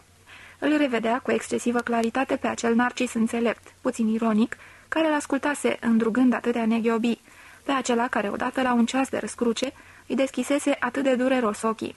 Ceva din cuvintele rostite de Narcis atunci le auzea acum din nou răspicat. Tu dormi la sânul mamei, eu veghez în deșert. Tu visezi la fete, eu la băieți. O clipă inima îi se strânse înfrigurată. Se afla teribil de singur, acolo noapte. În spatele lui era mănăstirea, o patrie iluzorie numai, totuși îndrăgită, care îl ținuse atâta timp la sânul ei. În același timp însă simți și celălalt adevăr, că de acum încolo nu mai avea în Narcis un conducător care să-l avertizeze, care să știe totul mai bine, care să-l trezească. Astăzi simțea el, călcase pe un tărâm unde își va găsi cărările singur, unde niciun Narcis nu-l mai putea conduce. Se bucură că devenise conștient de asta. Simțea apăsare și rușine privind astfel îndărăt către vremea dependenței sale. Acum dobândise darul vederii. Nu mai era nici copil, nici școlar. Și totuși cât îi era de greu să-și ia rămas bun. Îi făcea bine să o știe. Să știe acolo, îngenunchiat în biserică, să nu-i poată da nimic, să nu-l poată ajuta cu nimic, să nu mai fie nimic pentru el. și să fie de acum încolo despățit de el pentru lungă vreme, poate pentru totdeauna, să nu știe nimic despre el, să nu-i mai audă glasul, să nu-i mai vadă ochii frumoși, nobili. Se smulse din loc și înainte pe drumeagul pietros. Când se depărtă cam o sută de pași de zidul mănăstirii, se opri, răsufla adânc și imită cum putu mai bine țipătul cucuvelei. Îi răspunse un țipăt asemănător de departe, din josul pârâului. Țipăm precum animalele, unul după altul, gândi el, și și-a aduse aminte de ceasul de dragoste de după amiază. Abia acum își dădu seama de faptul că numai la urmă, după ce alintările se istoviseră, el și Lize schimbaseră câteva cuvinte, și chiar și atunci doar puține, lipsite de însemnătate. Câte lungi convorbiri purtase cu Narcis, dar acum pare să pășise într-o lume unde nu se vorbea, unde oamenii se chemau unul pe altul, se momeau cu țipete de cucuvea, unde cuvintele nu aveau importanță. N-avea nimic împotrivă. Azi nu mai simțea nevoia nici de cuvinte, nici de gânduri, ci numai de lise, numai de aceste mute oarbe, simțiri și răscoliri, fără cuvinte, de această dizolvare plină de suspans. Lise era aici, o și vedea ieșind din pădure și venindu-i în întâmpinare. Întinse mâinile pentru a o simți. Îi cuprinse cu mâini gingașei scoditoare capul, părul, gâtul, ceafa, trupul subțire, șoldurile rotunde. Petrecu un braț după mijlocul ei și merse cu ea, fără a vorbi, fără a întreba încotro. Ea călca fără șovăială prin pădurea adormită, el se ostenea să țină pasul cu dânsa. Asemenea unei vulpi sau unui jder, ea părea să vadă prin întuneric. Călca fără să se lovească de ceva în cale, fără să se împiedice. El se lăsa călăuzit de ea în noapte, în pădure, pe meleagurile oarbe, tainice, fără cuvinte, fără gânduri. Nu se mai gândea la nimic, nici la mănăstirea pe care o părăsise, nici la Narcis. În tăcere, zoriră pe drumul întunecos al pădurii, călcând ba pe mușchiul moale ca o pernă, ba pe rădăcini tari și descărnate. Când se arcuia deasupra lor cerul senin, printre coroane de arbori rare și înalte, când era beznă desăvârșită. Crengile tufelor îl loveau peste față, Lujere de mure îi agățau haina. Ea cunoștea locurile și găsea lezne drumul, arare ori se oprea, arare ori șovăia. După o bună bucată de vreme, ajunseră la niște pini solitari, crescuți la mare distanță unul de altul.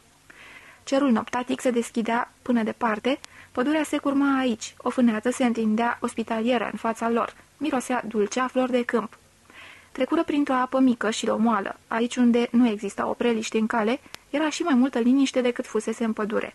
Nici o tufă foșnitoare, nici un animal de noapte, stârnit din culcușul lui, nici un tros net de lemn uscat. În dreptul unei clăi mari de fân, li se se opri. Aici rămânem, zise ea.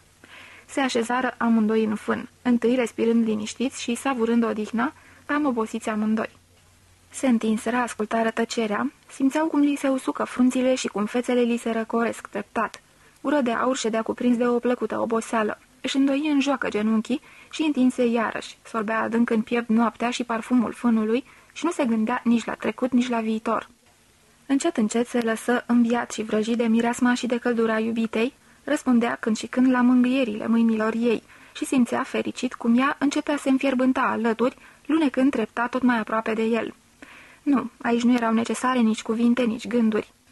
Simțea limpede tot ce era însemnat și frumos, puterea tinerească și simpla, sănătoasa frumusețe a trupului de femeie.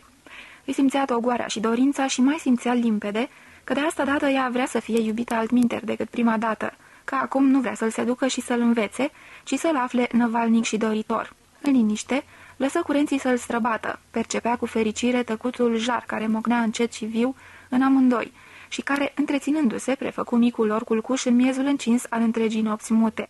Când se aplecă peste fața Lizei și începu să-i sărute în întuneric buzele, zări deodată ochii și fruntea ei licărind într-o lumină molcomă și urmări plin de uimire cum licărul răsare și crește repede. Înțelese și se întoarse. Peste liziera neagră întinsă a pădurii răsărea luna. Văzu scurgându-se miraculoasă, lumina albă, molcomă, peste fruntea și obrajii femeii, peste gâtul rotund, strălucitor și zise încet fermecat. Cât ești de frumoasă! Ea surâse de parcă ar fi primit un dar. El o ridică pe jumătate. Îi descheie rochia la gât, îi ajută să o scoată, parcă de cojind-o, până ce umerii și pieptul ei licăriră goale în lumina răcoroasă a lunii. Cu ochii și cu buzele cercetă, îmbătat, gingașele umbre, privind și sărutând. Ea stătea ca vrăjită, nemișcată, cu privirea plecată, cu o expresie solemnă, de parcă și ei abia în clipa aceasta, pentru prima dată, i s-ar fi descoperit și revelat propria ei frumusețe. Capitolul 7 În vreme ce peste câmpuri se lăsa răcoarea și luna urca de la un ceas la altul, îndrăgostiții se odihneau pe culcușul luminat de raze blânde, pierduți în jocurile lor, alunecând împreună în somn, în clipa trezirii întorcându-se iarăși unul spre celălalt și aprinzându-se împletiți încă o dată, unul cu altul, apoi adormind din nou. După ultima îmbrățișare zăceau vlăguiți. Lise se afundase adânc în fân și respira greu. Gură de aur ședea pe spate nemișcat și privea încremenit cerul palid, bătut de lună. Creștea în amândoi tristețea cea mare, din fața căreia evadară în somn. Dormiră adânc și deznădăjduit, cu lăcomie, de parcă ar fi fost pentru ultima oară, de parcă ar fi fost osândiți la o veche eternă și în ceasurile acestea dinainte ar fi trebuit să adape cu întreg somnul lumii. La trezire, gură de aur, o zări pe Lize, ocupată să-și o rânduiască părul negru. O privi câtva timp distrat și doar pe jumătate dezmeticit din somn. Te-ai și trezit, întrebă el până la urmă. Ea se întoarse cu o tresărire către el de parcă s-ar fi speriat. Trebuie să plec acum, zise ea, cumva întristată și stingherită. N-am vrut să te trezesc. Iată, sunt treaz, trebuie să plecăm mai departe, doar suntem liberi. Eu da, zise Lize, locul tău e însă în mănăstire. Nu mai sunt la mănăstire, sunt cu tine, singur și fără țintă, așa că merg cu tine, firește. Ea își feri privirea. Gură de aur, nu poți veni cu mine. Eu trebuie să mă întorc la bărbatul meu. O să mă bată pentru că am lipsit asta noapte. Am să-i spun că m-am rătăcit, dar mai mult ca sigur că el nu o să mă creadă. În clipa aceasta, gură de aur și-a aduse aminte că Narcis îi prezisese ce se va întâmpla. Va să zică așa stăteau lucrurile. Se sculă și dădu mâna. M-am înșelat, zise el. Am gândit că noi doi vom rămâne împreună. Ai fi vrut într-adevăr să mă lași să dorm și să fugi fără să ți rămas bun? Ah, am crezut că ai să te superi și poate ai să mă bați, că bărbatul meu mă bate. Ei da, așa este fire să fie, dar nu voiam să mă lovești și tu. El îi reținu mâna. Lize, zise el, eu nu te voi bate nici astăzi, nici altă dată. Nu vrei să mergi mai bine cu mine în loc să te întorci la bărbatul tău dacă el te chinuie? Ea se smuci din răsputeri pentru a-și elibera mâna. Nu, nu, strigă ea cu voce plângăreață. Și cum simțea că inima o trage să plece de lângă dânsul și că prefera să primească loviturile celuilalt decât vorbele lui bune, gură de aur îi dădu drumul și atunci ea a început să plângă. Dar în același timp o rupse la fugă. Fugi acoperindu-și cu mâinile ochii plini de lacrimi. El nu mai zise nimic, privea numai în urma ei. Îi era milă văzând-o cum zorea peste fânețele ponosite, chemată, atrasă de o putere anume, o putere necunoscută la care va trebui să cugete. Îi era milă de ea și întrucâtva și de el însuși, fiindcă de asta dată nu avusese noroc, așa se părea. Și de-a locului părăsit singur și cam nătâng. Între timp însă continuă să simtă oboseala și nevoie de somn. Niciodată înainte nu fusese atât de stors de puteri. Mai târziu va avea răgaz destul ca să fie nefericit. Așadar a dormit din nou, fără zăbavă și se trezi abia când îl încinse soarele, înălțat până aproape de crucea cerului. Acum era într-adevăr odihnit, se ridică repede, alergă la pârâu, se spălă și bău. Din ceasurile de dragoste ale nopții trecute, îi reveneau multe amintiri, îl învăluiau, asemenea miresmelor unor flori străine, multe imagini splendide, multe senzații gingașe, iscate în ființa lui. Le căuta în gând în vreme ce se așternu sprinten la drum. Simțea totul încă o dată. Gusta, mirosea și pipăia totul încă și încă o dată. Câte vise îi împlinise femeia oacheșă străină, câți muguri adusese la înflorire, câtă curiozitate și cât dor domolise și câte altele noi trezise. Iar în fața lui se întindeau câmpul și lunga, se întindeau pârloaga asă și pădurea întunecoasă. Undeva dincolo de ele puteau fi ogrăzi și mori, un sat, un oraș.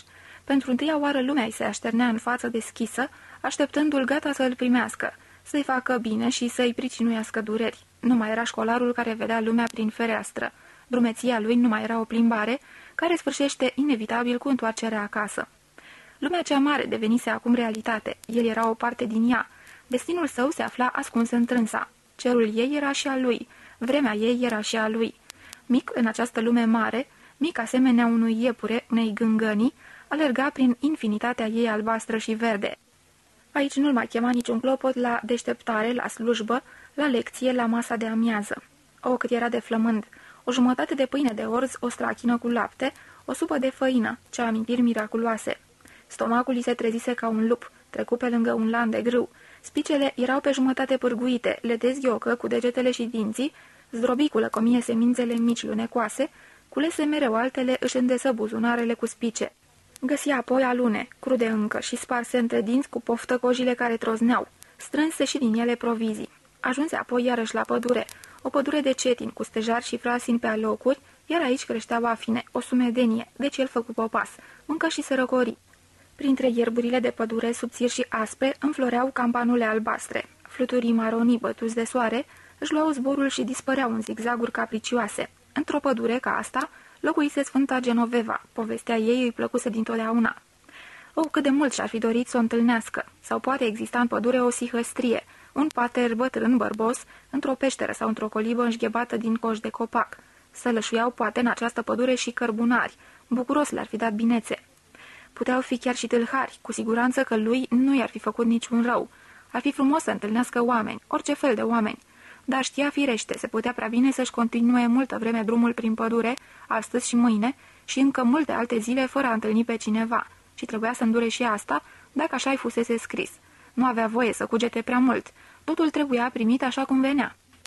Auzi cum ciocăne o ghionoaie și încercă tiptil să se apropie de ea. Se străduind de lung până să o zărească. În sfârșit izbuti și câtva timp rămase locului nemișcat să o privească, așa cum stătea singuratică, lipită de trunchiul copacului, ciocănind și mișcându-și sârguincios capul într-o parte și în alta. Păcat că nu se putea vorbi cu păsările. Ar fi fost frumos să strige ghionoaia, să-i spună ceva prietenos și să afle poate câte ceva despre viața ei în copaci, despre truda și bucuriile ei. Oh, de-am putea deveni altceva. Își aduse aminte cum în ceasurile lui libere se îndeletnicise câteodată cu desenul, cum așternuse cu condeiul figuri pe tăblița de ardezie, flori, frunze, copaci, animale, capete de oameni. Adeseori se jucase astfel și uneori plămădise după voința sa asemenea unui mic Dumnezeu, creaturi mărunte. În cupa unei flori desenase ochi și o gură.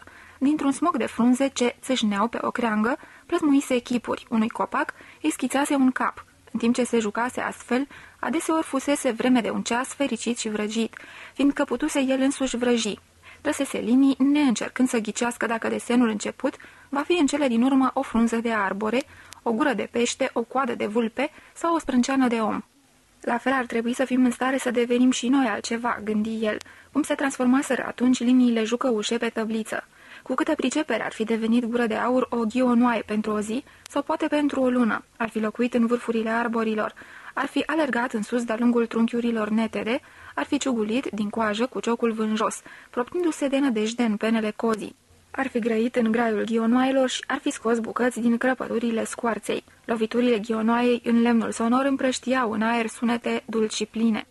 Multe animale întâlni gură de aur pe drumul său prin pădure. Întâlni câțiva iepuri la apropierea lui, ei țâșneau brusc din tufe, se uitau fix la el, se întorceau și o rupeau la goană, cu urechile culcate pe spinare și cu o pată deschisă sub coadă. Într-un mic luminiș găsi un șarpe lung. Acesta nu fugi. Nu era un șarpe viu, ci numai pielea goală. O ridică și o privi. De-a lungul spatelui avea un desen frumos, brun cenușiu, și soarele lumina prin el. Era subțire ca pânza de păianjen. Văzu mierle negre cu ciocuri galbene. Priveau țintă printre ploapele strânse din mărgelele rotunde ale ochilor negri și fricoși și plecau în zbor razant aproape de pământ. Măcăleandri și pițigoi erau mulți. Într-un loc în pădure se afla o groapă, o baltă plină cu apă verde groasă, pe care alergau de zor ca nebunii pradă unui joc fără noimă, păianjen cu picioarele lungi, iar deasupra bălții zburau câteva libelule cu aripi de un albastru foarte închis. Și odată era târziu, aproape de seară. Văzu ceva, adică mai degrabă nu văzu decât frunziș agitat, răscolit. Auzi sfărmându-se crenci și plescăind pământul ud și un animal mare, abia întrezărit, goni cu vigoare năprasnică prin desiș, rupându-l, poate un cerb, poate o scroafă, nu știa. Multă vreme stătu locului respirând ușurat după spaima pe care o trăsese. Adânc tulburat, încercă a ghici, cu auzul la pândă, făgașul pe care și-l croia animalul și continuă să asculte, și după ce liniștea învăluise de mult totul. Nu găsi drum de ieșire prin pădure. Fu nevoit să nopteze aici. În vreme ce își alese un culcuș și își clădi un pa din mușchi, încercă să-și imagineze ce s-ar petrece dacă nu ar mai găsi niciodată drumul și ar trebui să rămână veșnic aici în pădure.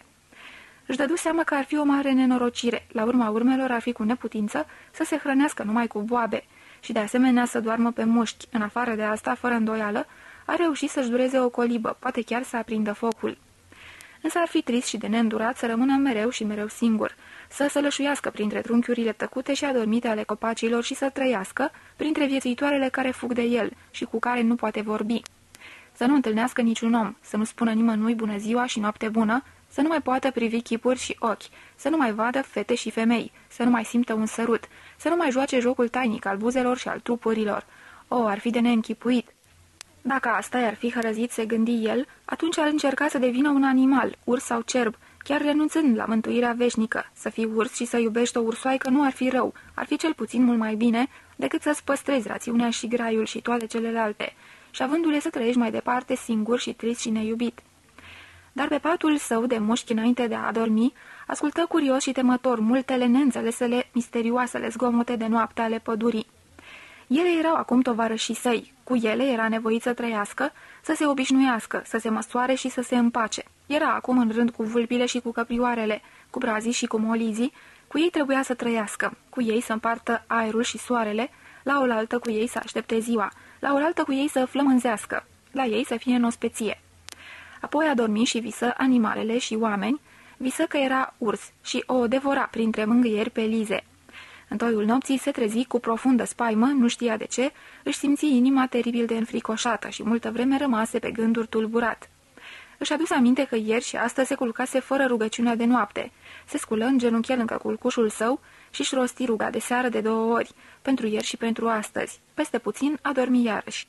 Uimit, privi de dimineață de jur împrejur. Uitase unde se află. Teama de pădure începu acum să-l părăsească. Se lăsă în voia vieții de codru, cu încântare reînnoită, având însă grijă să meargă drept înainte și potrivindu-și calea după soare. Găsi odată o porțiune de pădure complet netedă, cu foarte puține tufe și desiș, iar pădurea însă și era alcătuită din brazi albi foarte groși, bătrâni și drepți. După ce umblă câtva timp printre aceste coloane, el începură să-i amintească de coloanele bisericii mari din mănăstire, ale aceleiași biserici, în al cărei portal negru îl văzuse dispărând nu de mult pe prietenul său Narcis. Când anume, să fi fost într-adevăr numai cu două zile în urmă? Abia după două zile și două nopți ieși din pădure, cu bucurie recunoscu semnele vecinătății omenești, pământ lucrat, fâșit de ogoare cu secară și ovăz, fânețe prin care se vedea aici colo câte o porțiune de cărare îngustă. Gură de aur culese secară și o mestecă. Lanul îl privi prietenos după îndelungata sălbăticie a pădurii. Totul părea că poartă pe cetea omului și totul îi făgăduia tovărășie. Cărăruia ovăzul florile de mendă trecute albite. Va ajunge acum printre oameni. După un ceas ce trecu repede, poposi în dreptul unui ogor, la marginea căruia se înălța o cruce. Îngenunche și se rugă la picioarele ei. Ocolind o costișă de deal, se trezi deodată în fața unui tei umbros. Ascultă încântat melodia unei fântâni, a cărei apă curgea dintr-o țeavă, într-un șgheab lung de lemn. Bău apa rece gustoasă și văzu cu bucurie câteva acoperișuri de paie, înălțându-se deasupra unor tufe mari de soc, ale căror boabe se și înnegriseră. Dar mai profund decât toată această priveliște prietenoasă, îl mișcă mugetul unei vaci. Era plăcut, cald și domestic, asemenea unui salut și unei urări de bun venit. Iscodind împrejurimea, se apropie de coliba dinspre care venise mugetul. În colbul din fața ușii ședea un băiețaș cu păr roșcat și ochi albaștri deschis. Lângă el, pe jos, se afla o oală de lut plină cu apă. Copilul frământa din praf și apă o cocă. Picioarele sale de sculțe erau mânjite de-a binelea cu ea. Fericit și serios, pritocea glodul umed cu mâinile. Privea cum îi mustește printre degete, modela din el cocoloașe și pentru a-l frământa și a-i da formă se mai folosea și de vărbie. Bună ziua, băiețaș!" zise gură de aur foarte prietenos, dar când mititelul își ridică privirea și văzu un străin, rămase cu gura căscată. Își strâmbă fața rotofee și o tuli în patru labe pe ușă scâncind. Gură de aur îl urmă și ajunse în bucătărie. Era atât de întunecoasă încât, venind din strălucirea intensă a miezii, la început nu fu în stare să deslușească nimic. Pentru orice eventualitate rosti un salut cuvincios și nu primi niciun răspuns, dar printre țipetele speriate ale copilului se făcu auzită cu încetul o voce pițigăiată bătrânească, grăindu-i puștiului, ogoindu-l. În sfârșit din întuneric se ridică și se apropie o femeie mărunțică, o băbuță care își feri cu o mână ochii și își înălță privirea către musafir. Dumnezeu să te binecuvânteze, mamă!" strigă gură de aur și toți ființii să-ți blagoslovească fața că e bună. De trei zile n-am mai văzut obraz de om. Băbuța îl privi nătâng, cu ochii slăbiți de bătrânețe. Ce vrei?" întrebă ea nesigură. Gură de aur îi întinse mâna, apoi o mângâie încet pe a ei. Vreau să-ți dau binețe, bunicuțo, și să mă odihnesc puțin și să-ți ajut să aprins focul. O bucată de pâine, dacă vrei să-mi dai, nu o disprețuiesc, dar nici nu-ți doriți o capăt. Zări o laviță la perete se așeză pe ea, în vreme ce bătrâna tăie o felie de pâine băiețașului, care se mai zgâia la străin, curios și încordat. gata așa cum să izbucnească în orice clipă în plâns și sotulească. Bătrânată e o a doua felie și o dete lui gură de aur. Mulțumesc, zise el. Dumnezeu să te răsplătească. Ți-e burta goală?" întrebă femeia. E plină cu afine. Ei, atunci mănâncă. De unde vii?" De la Maria Bron, din mănăstire." Ești popă?" Nu sunt elev, călătoresc." Ea îl privi mai în jocură, mai în prostie și își clătină ușor capul pe gâtul slăbănoc și stafidit. Îl lăsă să mestece câteva îmbucături și îl scoase pe mititel iarăși la soare, apoi se întoarse curioasă și le întrebă. Ai noutăți? Îl cunoști pe pater Anselmus? Nu, ce cu el?" E bolnav. E bolnav? Trage să moară?" Nu știu, l-au apucat picioarele. Nu poate să umble." Trage să moară? Nu știu, poate. Ei, n-are decât să moară. Trebuie să fierb supa. Ajută-mă să tai surcele." Îi dădu un butuc de brad uscat grijuliu pe vatră și un cuțit. El tăie surcele câte voia și urmări din priviri cum le așează bătrâna în cenușă, cum se pleacă deasupra lor, cum se ostenește și suflă până ce ele se aprind. Cu o ordine precisă ea stivui lemnele, brad și fag. Focul din vatra deschisă străluci voios. Ea împinse în mijlocul flăcărilor cea unul mare, negru, prins de un lanț îmbâxit de funingine ce atârna din coșul sobei. La porunca ei gură de aur, cără apa de la fântână. Smântâni laptele din oală, șezun pe numbra afumată a odăii, privi jocul flăcărilor și pe deasupra lor, fața brăzdată osoasă a bătrânei, apărând și dispărând în licărul roșu.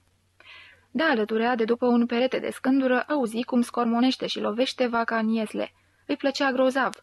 Teiul, fântâna, focul pâlpâind sub ceaun, sfărăitul și mestecatul vacii, izbiturile ei surde în perete, încăperea semiobscură cu masa și lavița, trebăluitul femeii mititele bătrâne, toate îi se părură frumoase și bune. Miroseau a hrană și pace, a oameni și a căldură, a patrie. Mai erau acolo și două capre, iar de la bătrână află că în dosul colibei aveau și o cocină de porc și că băbuța era bunica țăranului, străbunica băiețașului. Acesta se numea Cuno. Din când în când venea înăuntru și chiar dacă nu scotea niciun cuvințel și continua să arunce priviri sperioase, totuși nu mai plângea. Sosi țăranul împreună cu femeia lui și fură nespus de mirați să găsească un străin în casă. Țăranul fugata să înceapă a ocărâ, neîncrezător îl trase de braț pe tânăr spre ușă ca să-i vadă fața la lumina zilei. Apoi râse, îl bătu binevoitor pe umăr și îl pofti la masă. Se așezară și fiecare își muie pâinea în stachina cu lapte comună, până ce pe fundul ei mai rămăseseră doar câteva linguri, iar țăranul le sorbi. Gură de aur întrebă dacă îi îngăduiau să stea la ei până a doua zi și să doarmă sub acoperișul lor. Nu, fu de părere bărbatul, nu ar fi loc, dar pretutindene afară este fân destul. Își va găsi el negreșit un culcuș. Țăranca îl ținea pe mititel alăturea. Nu se amesteca în vorbă, dar în timpul mesei, ochii ei curioși puseră stăpânire pe străinul cel tânăr. Părul lui inelat și privirea o impresionaseră de la început. Apoi îi descoperi cu plăcere și gâtul frumos, alb, mâinile distinse cu pielea netedă și mișcările lor degajate frumoase. Era un străin chipe și ales și atât de tânăr. Ceea ce o atrăgea însă în mod deosebit și o făcu să se îndrăgostească fu vocea străinului. Această voce de bărbat tânăr ce purta în ea o melodie ascunsă, radind căldură, îmbiind-o cu blândețe, care suna asemenea unei alintări. Ar fi stat oricât să o asculte. După masă, țăranul își găsi de treabă în grajd, gură de aur, ieșise din casă, își spălase mâinile la fântână și ședea acum pe muchii ascunda a puțului, răcorindu-se și ascultând susurul apei. Ședea nehotărât, nu mai avea ce căuta aici și totuși îi părea rău că trebuie să plece. Tocmai atunci ieși din casă țăranca. Ținea în mână o căldare, o așeză sub firul de apă și așteptă să se umple. Cu glas căzut îi zise, Dacă diseară mai ești pe aici, am să-ți aduc de mâncare. Uite, după ogorul acela mare cu orz, e fân. Abia mâine îl vor strânge. Ai să fii acolo?" Se uită la fața ei pistruiată, la brațele puternice încordate ca să ridice căldarea, la ochii ei mari care îl priveau senin și cu căldură. Îi zâmbi și în cuvință din cap și în aceeași clipă ea porni îndărât cu căldarea plină și dispăru în întuneticul ușii. Cu un sentiment de gratitudine mai zăbovi locului, foarte mulțumit și ascultă clipocitul apei. Ceva mai târziu intră în casă, îl căută pe țăran, dădu mâna cu el și cu bunicuța și le mulțumi. În colibă mirosea a foc, a funingine și a lapte. Adineauri îi era încă adăpost și patrie. Acum îi devenise iarăși un loc străin. Își luă rămas bun și ieși. Dincolo de cele câteva colibe găsi o capelă și în apropierea ei o pădurice frumoasă cu un pâlc de stejar bătrâni vânjoși și printre ei un covor de iarbă măruntă. Rămase aici la umbră, umblând de colo până colo, plimbându-se printre trunchiurile groase. Ciudat lucru cugetă el, cu femeile și cu dragostea. De fapt, ele nu aveau nevoie de cuvinte. Femeia folosise unul singur pentru a indica locul întâlnirii. Restul îi spusese fără cuvinte. Dar cu ce? Cu ochii, da, și cu un sunet anume al glasului ei învăluit. Și cu încă ceva. Poate o mireasmă, o radiație imperceptibilă, gingașa a pielii, după care femeile și bărbații sunt în stare să recunoască numai decât că se doresc unul pe altul. Totul era ciudat, precum o delicată limbă secretă, dar ce repede o învățase. Aștepta seara cu multă bucurie. Era curios să afle cum va fi oare această femeie blondă înaltă, ce fel de priviri și de sunete, ce fel de trup, de mișcări și de sărutări va avea. Desigur, cu totul altele, deosebite de cele ale Lizei. Unde putea fi acum Lize, cea cu părul negru și aspru cu pielea brună, cu oftaturile scurte? Au bătuse bărbatul ei? Se mai gândea oare la el? Găsise un nou amant, cum și el găsise astăzi o nouă femeie? Cât de repede se petreceau toate acestea. Cum se ivea pretutindeni în drum norocul, cât de frumos și fierbinte era totul și cât de straniu de trecător. Era un păcat, un adulter. Nu de mult s-ar fi lăsat mai degrabă ucis decât să comită păcatul acesta. Iar acum o și aștepta pe cea de-a doua femeie, iar conștiința lui tăcea și era liniștită. Adică liniștită poate nu era totuși, dar nu adulterul și voluptatea îi nelinișteau câteodată conștiința și o împovărau. Era ceva de altă natură, ceva căruia el nu era în stare să-i spună pe nume. Era sentimentul unei culpe nelegată de vreo faptă, o culpă cu care ai venit pe lume. Să fi fost ceea ce teologia numește păcat originar, se prea poate. Da, viața însă își purta în sine ceva asemănător unei culpe. Altminteri de ce un om atât de curat și de înțelept ca Narcis s-ar fi supus unei penitențe, asemenea unui condamnat. Sau de ce o fi trebuind ca el însuși gură de aur să simtă undeva în adâncul inimii această culpă? Nu era oare fericit, nu era tânăr și sănătos, nu era liber ca pasărea cerului, nu-l iubeau femeile? Nu era oare minunat să simtă că el, amantul, putea dărui femeii aceeași voluptate profundă pe care o gusta și el? Prin urmare, de ce nu era totuși pe deplin fericit? De ce putea pătrunde când și când în fericirea lui, ca și în virtutea și înțelepciunea lui Narcis? Această stranie durere, această frică surdă, această plângere, a ceea ce este trecător. De ce era de atâtea ori nevoit să cadă pe gânduri, să-și stoarcă mințile, deși știa bine că el nu este un cugetător? În sfârșit, cu toate acestea, era minunat să trăiești. Culese din iarbă o floricică violetă, o ridica aproape de ochi. Se uită în cupele mici înguste, acolo șerpuiau vinișoare și pulsau vii mădulare mărunte, subțiri ca firul de păr, ca în poala unei femei sau în creierul unui cugetător. Vibra și acolo viața, tremura și acolo voluptatea. O, de ce se știe atât de puțin? De ce nu se poate vorbi cu floarea aceasta? De fapt, nici măcar doi oameni nu-și pot vorbi cu adevărat. Pentru asta e nevoie de prietenie deosebită și deschidere. Nu, e un adevărat noroc că dragostea nu are nevoie de cuvinte. Adminteri s-ar împotmoli cu totul în neînțelegeri și neghiobii. Ah, cum se frânsese privirea Lizei pe jumătate ascunsă sub ploape în revărsarea copleșitoare a voluptății și cum se zărea numai albul ochilor sub genele ce tresăltau. Nici cu zece mii de cuvinte savante sau poetice nu se putea exprima clipa aceea. Nimic, ah, absolut nimic nu se lăsa exprimat în niciun fel, nu se lăsa gândit în niciun fel și totuși simțea în tine, mereu reînnoită, nevoia stăruitoare de a vorbi, impulsul veșnic de a gândi.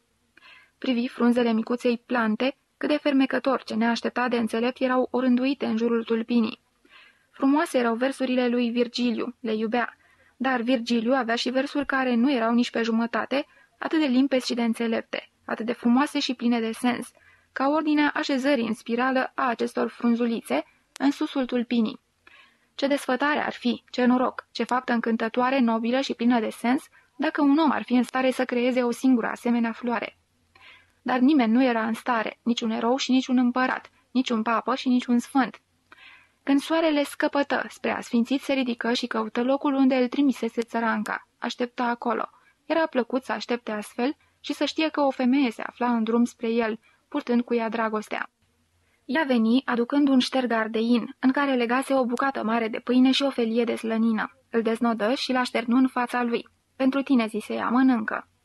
Mai târziu, răspunse el, nu sunt flămând de pâine, sunt flămând de tine. O, arată-mi ce mi-ai adus frumos. Multe frumuseții adusese ea, buze tari setoase, dinți tari scânteietori, brațe puternice, arse de soare, dar pe partea lor, din lăuntru, ca și pe gât și mai jos, pielea era albă și gingașă. Cuvinte știa puține, însă adânc în gâtlej, cânta pe un ton dulce îmbietor. Și când îi simțim mâinile pe trupul ei, mâini atât de delicate, drăgăstoase și blânde, cum nu mai simțise niciodată, pielea ei se înfioră iar în gât lejei susură parcă ar fi tors o pisică. Știa puține din jocurile dragostei, mai puține decât Lize, dar era minunat de puternică. Îl strângea de parcă ar fi vrut să-i frângă grumazul. Dragostea ei era copilăroasă și lacomă, simplă și plină de vigoare, încă rușinoasă. Gură de aur fu foarte fericit cu dânsa. Ea pleca apoi oftând, se smulse din loc cu greu, totuși nu mai putea să zăbovească. Gură de aur rămase singur, fericit și în același timp trist. Abia într-un târziu și aduse aminte de pâine, de slănină și mâncă de unul singur. Se noptase de-a binelea. Capitolul 8 Trecuse multă vreme de când gură de aur călătorea. A rare ori rămânea două nopți la rând în același loc. Pretutindeni, dorit și fericit de femei, bronzat de soare, slăbit de drumeție și de mâncarea frugală. Multe femei se despărțiseră de el în zorii zilei și plecaseră, unele cu lacrimi în ochi, și câteodată se gândise, de ce nu rămâne oare niciuna la mine? De ce, din moment ce mă iubesc și pentru o noapte de dragoste comit adulterul, de ce toate se întorc neîntârziat la bărbații lor, de la care de cele mai multe ori trebuie să îndure chiar bătaie?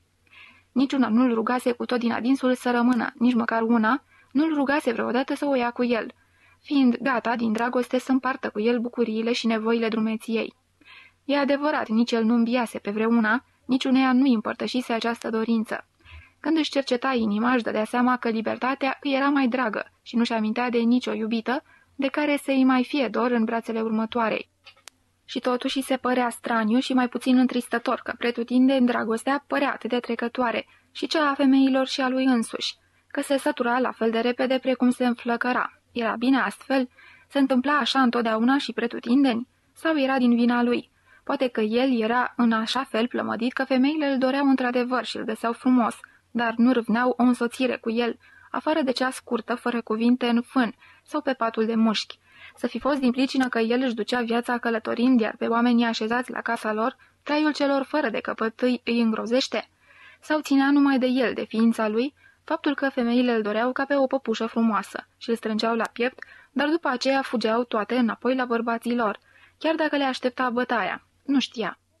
Nu ostenea să învețe de la femei, deși se simțea mai atras de fete, de cele tinere de tot, care încă nu avuseseră bărbat și încă nu știau nimic din ale dragostei, de ele era în stare să se îndrăgostească arzător. Însă de cele mai multe ori fetele erau inaccesibile, ele, cele iubite, sfioase, prea bine păzite. Dar și de la femei învăța cu plăcere, fiecare îi lăsa ceva amintire, un gest, un fel de a săruta, un joc deosebit, un fel anume de a se dărui sau de a se apăra. Gură de aur primea orice, era nesățios și gata la toate ca un copil, era dispus să accepte orice seducție. Numai astfel devenea el însuși atât de seducător. Singură, frumusețea lui nu ar fi fost de ajuns ca să atragă femeile către el cu atâta ușurință. Era însă această fire de copil, această receptivitate deschisă, această nevinovăție plină de curiozitate a dorinței, disponibilitatea desăvârșită față de tot ce o femeie putea dori de la el. Fără să-și dea seama, era pentru fiecare iubită exact cel pe care ea și-l dorise și și-l visase, pentru una ginga și răbdător, pentru cealaltă iute și energic, când copilăros precum un băiat care abia acum cunoaște dragostea când rafinat și cunoscător. Era gata de joc și de luptă, în stare să suspine și să râdă plin de pudoare și impudic. Nu dăruia unei femei decât ceea ce ea dorea și căuta întrânsul. Ori tocmai asta ghicea repede la el orice femeie cu simțurile treze, de asta devenea favoritul tuturor. Iar el învăța, nu învăță numai în scurt timp meșteșugurile și felurile iubirii și nu-și însuși numai experiența multor iubite. Învăță de asemenea să vadă femeile în diversitatea lor, să le simtă, să le perceapă, să le adulmece, dobândi o ureche sensibilă la nuanțele oricărui glas și învăță a bănui fără greș, numai după sunetul glasului unor femei, felul și amploarea capacităților de a iubi.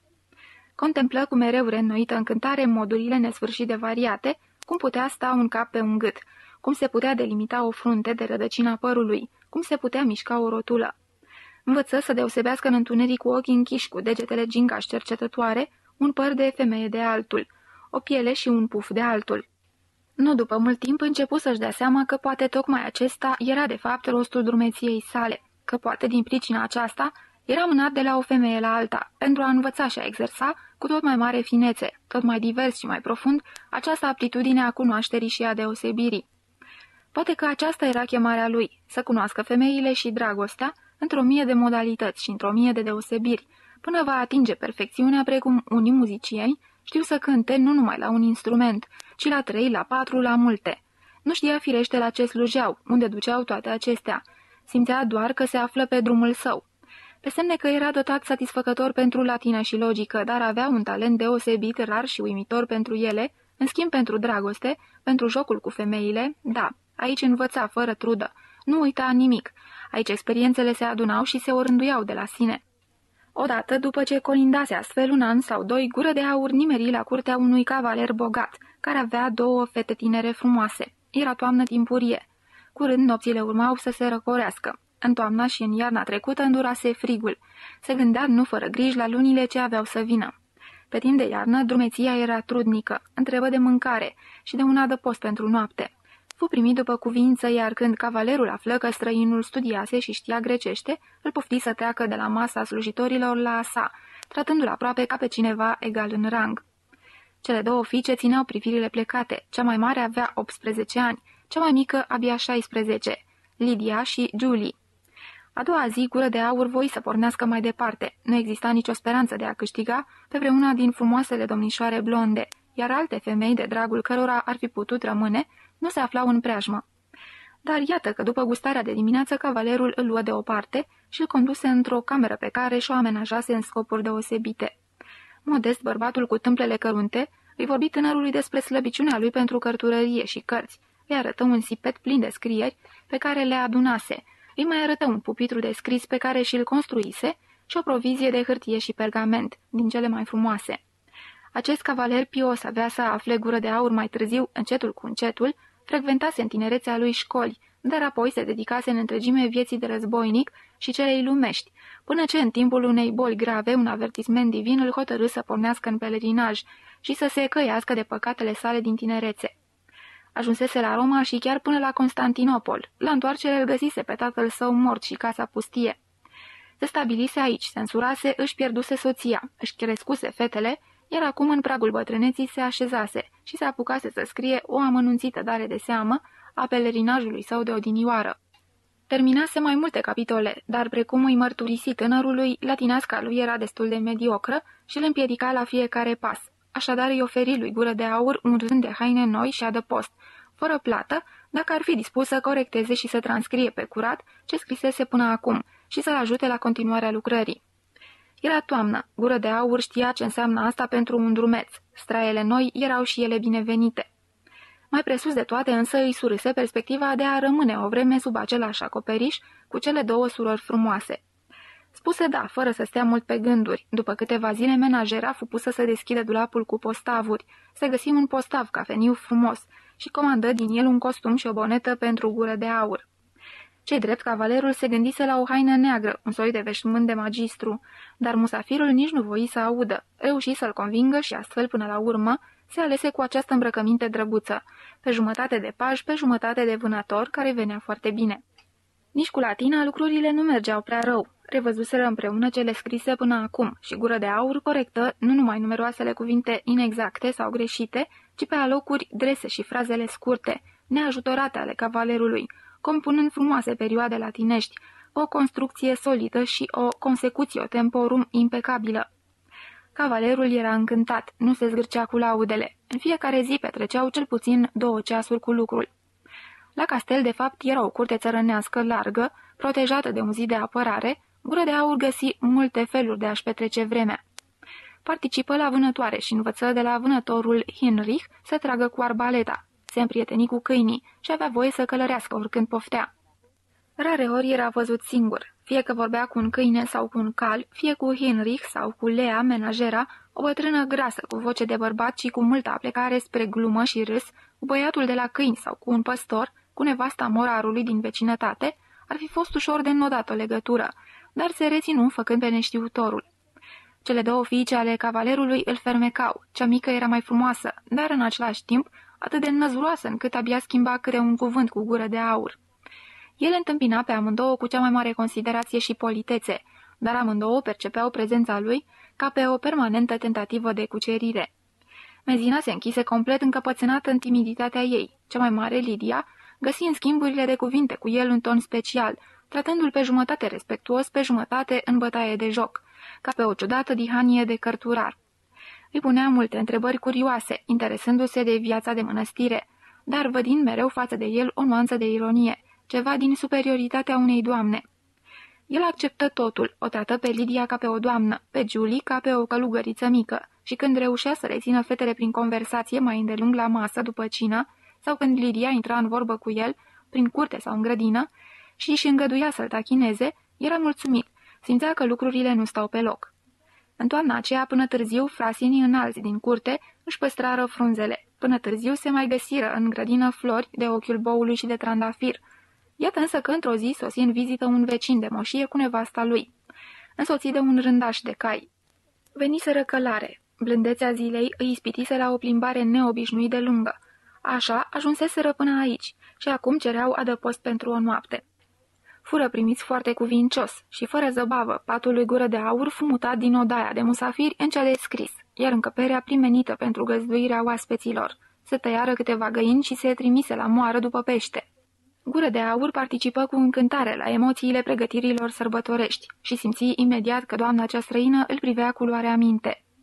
Și îndată ce vocea ei și ceva din privire îl făcură să ghicească simpatia și dorința, observă cu încordare sporită cum Lidia se schimbă, cum devine tăcută și închisă, cum începe să-i urmărească din ochi pe el și pe soția vecinului. Când în timpul festinului piciorul doamnei începu să se joace sub masă cu piciorul lui, pe gură de aur nu-l încântă numai jocul în sine, ci și mai mult tensiunea sumbră, tăcută, cu care Lidia observă jocul cu ochii curioși și învăpăiați. Până la urmă, lăsă din adin să-i scape un cuțit pe jos. Se aplecă pentru a-l ridica de sub masă și își trecu mângâietor mâna peste piciorul și gamba doamnei. O văzu pe Lidia cum împălește și-și mușcă buzele și continuă să povestească anecdote mănăstirești, simțind că străina ascultă cu dăruire mai puțin poveștile propriu-zise, cât mai mult glasul său învăluitor.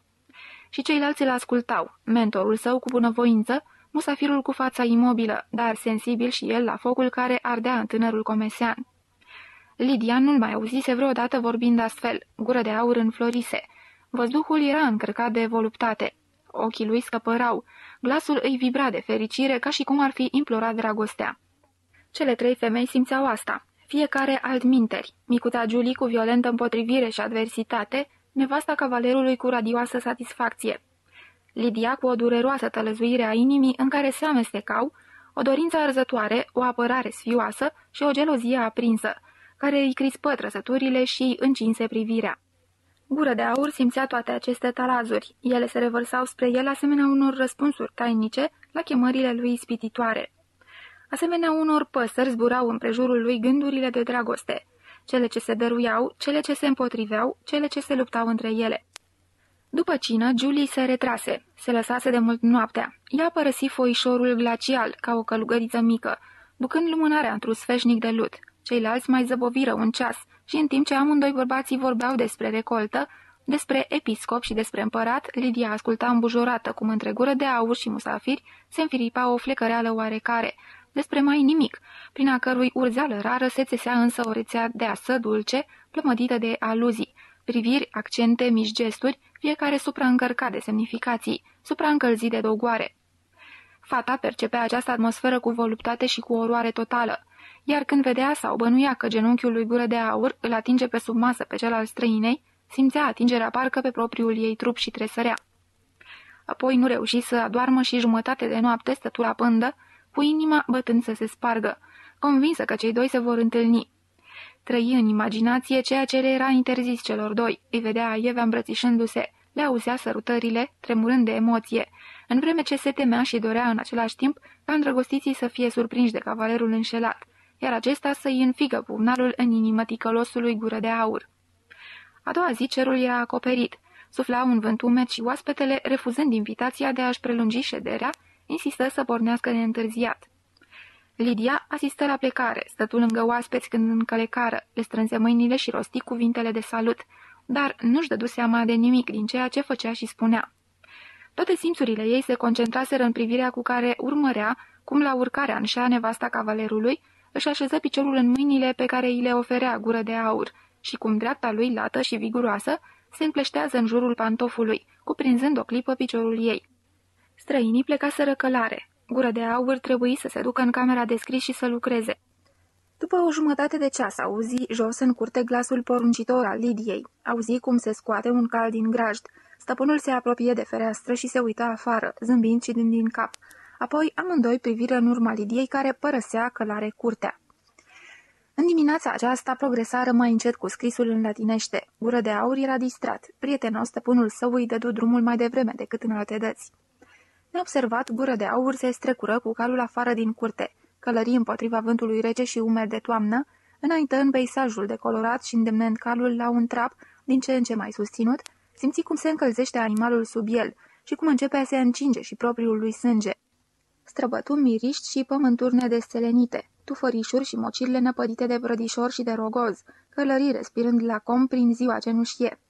Trecu prin vâlcele cu arini, prin crânguri de molizi ce musteau de glod și peste lungi brumate pustii. Pe o coamă înaltă de deal, profilându-se limpede pe cerul cenușiu deschis, înnorat, descoperi silueta Lidiei. Ședea semeață pe cal, înaintând în trap lent.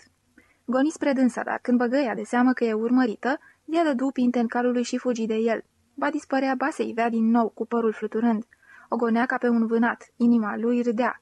Își îndemna calul cu strigăte scurte, gingașe. Deslușea din zbor, cu ochii încântați reperele peisajului, câmpurile tupilate, păduricea de arini, cetele de arțari, malurile norolase ale bălților și își întorcea mereu privirea spre ținta din fața lui, frumoasa care fugea.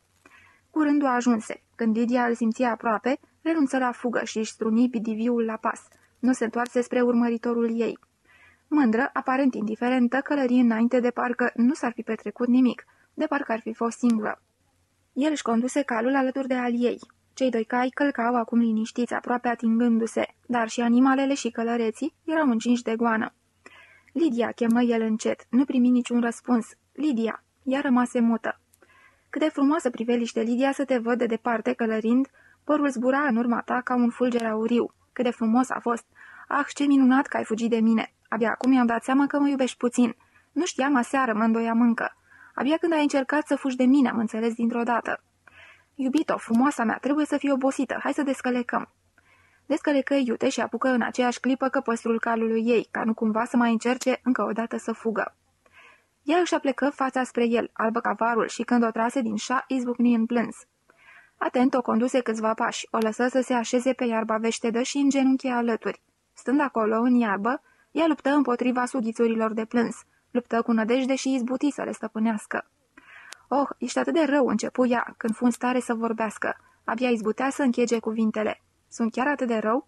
Ești un seducător, gură de aur. Vreau să uit ce mi-ai spus adineauri. Au fost cuvinte nerușinate. Nu se cuvine să vorbești cu mine astfel. Cum de poți crede că te-aș iubi? Hai să uităm toate astea.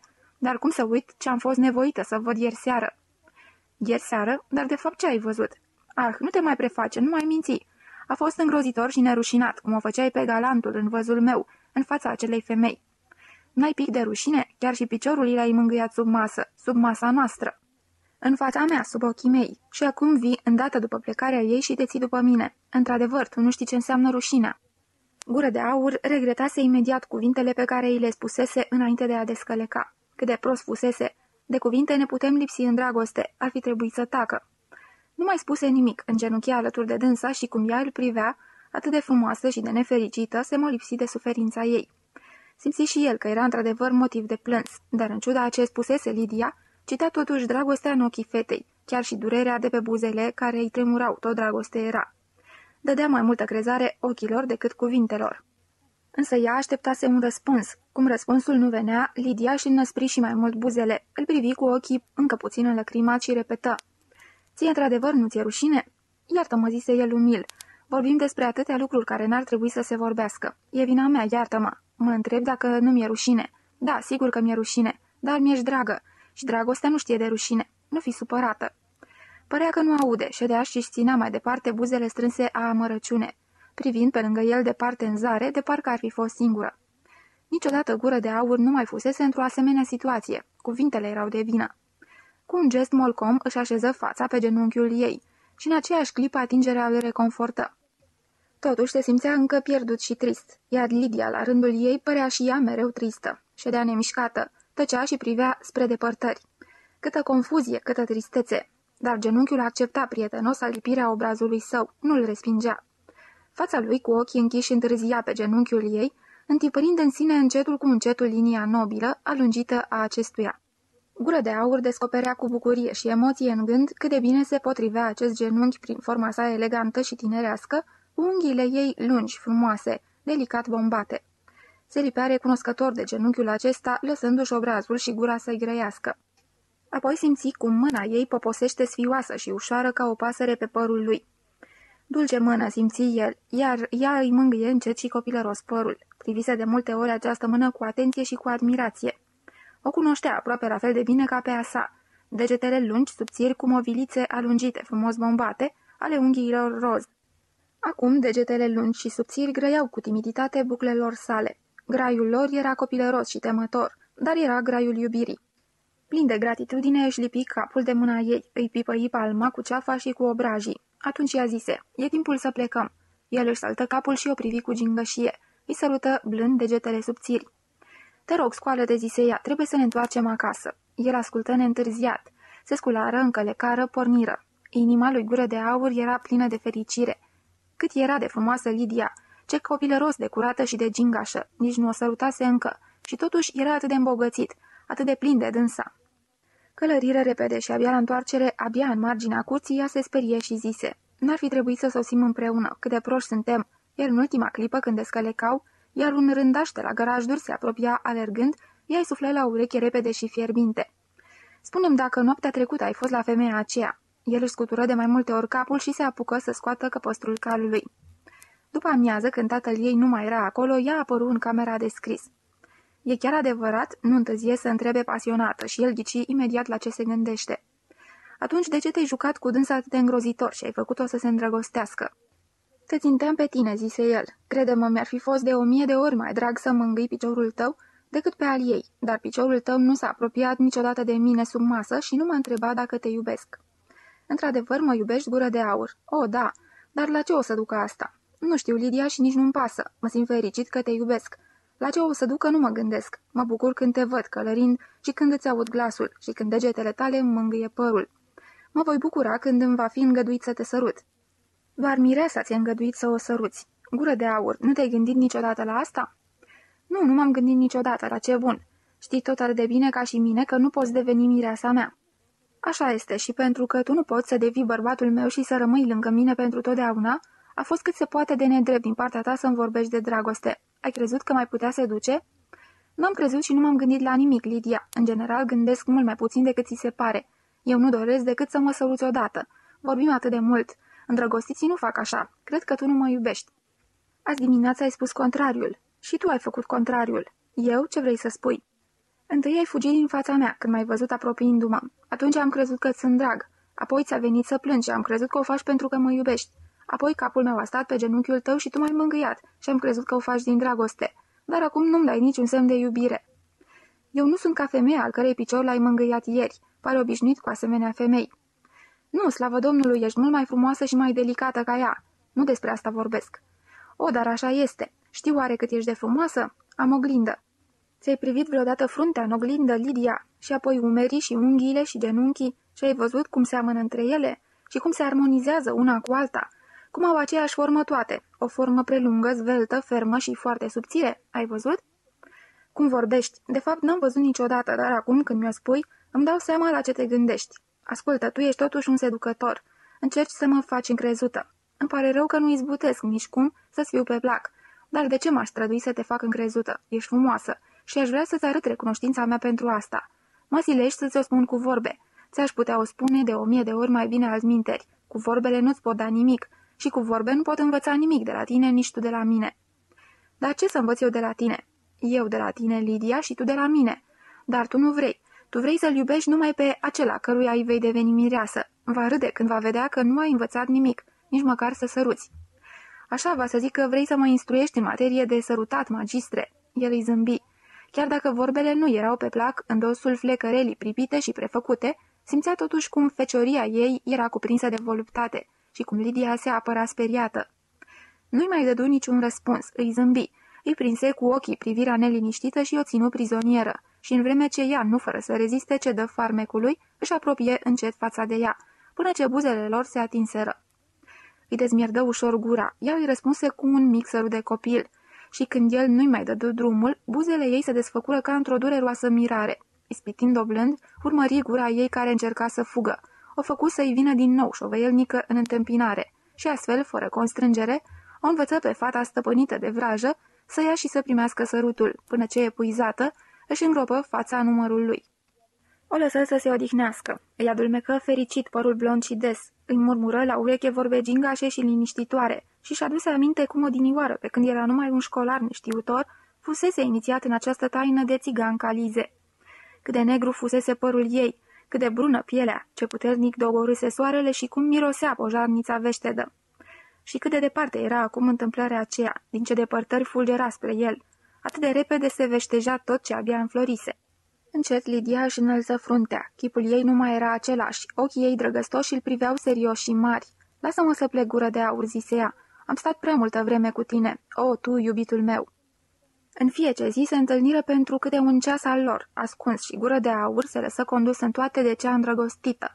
Această dragoste de fată îl mișca și îl fericea ca un miracol. Câteodată, vreme de o oră întreagă, ea nu voia decât să-i țină mâinile între ale ei și să se uite în ochii lui, luându-și apoi rămas bun cu un sărut de copil. Altădată săruta, dăruită și nesățioasă, dar nu răbda nicio atingere. Odată, roșind adânc și înfrângându-se în dorința ei de a-i face o mare bucurie, îl lăsă să-i vadă unul din sâni. Cu sfială i-a scoase micul fruct alb din rochie, dar după ce el așezat în genunchi îl sărută, ea îl ascunse din nou, grijulie, îmbujorată până la gât. Mai și vorbeau însă într-un fel nou, nu ca în prima zi. Își inventau unul altuia nume. Ea îi povestea cu plăcere despre copilăria ei, despre vise și jocuri. Adesea fata vorbea despre faptul că dragostea lor era nedreaptă, pentru că el nu o putea lua în căsătorie. Pomenea toate acestea cu tristețe și resemnare și își împodobea dragostea cu taina acestei tristeți, asemenea unui văl negru. Pentru prima oară gură de aur se simțea nu numai dorit de o femeie, ci și iubit. Lidia zise odată. Ești atât de drăguț și de vesel, dar adânc în ochii tăi nu-i veselie, e numai jale, de parcă ochii tăi ar ști că nu există fericire și că nu putem păstra prea mult ceea ce e frumos și drag. Ai ochii cei mai frumoși ce pot exista și cei mai triști. Cred că sunt așa pentru că tu nu ai un cămin. Ai venit la mine din pădure. Și cândva ai să pleci iarăși, ai să dormi pe mușchii tăi și ai să colinzi lumea. Dar unde-i oare căminul meu? Dacă tu pleci, mai am cei drept un tată și o soră și mai am o odaie și o fereastră unde pot ședea gândindu-mă la tine, dar voi fi dezrădăcinată pentru totdeauna. El o lăsa să vorbească, uneori zâmbea ascultând-o, uneori se întrista.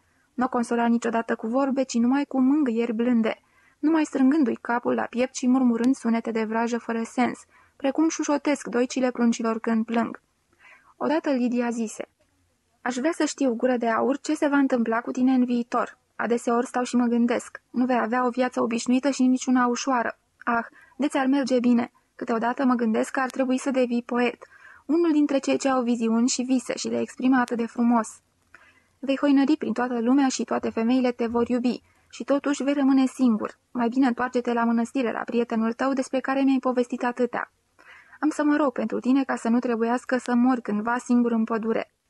Asemenea lucruri era în stare să spună profund serioasă, cu ochii pierduți, însă pe urmă călărea iarăși cu el râzând peste câmpurile tomnatice sau îi dădea ghicitor glumețe de dezlegat sau a zvârlea pe el crânguțe veștede și ghini strălucitoare.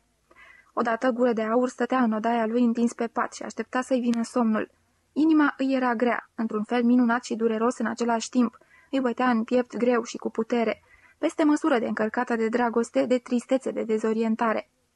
Auzea cum vântul de noiembrie zgâlția acoperișul. Se obișnuise să stea astfel mult timp înainte de a dormi, somnul se lăsa așteptat.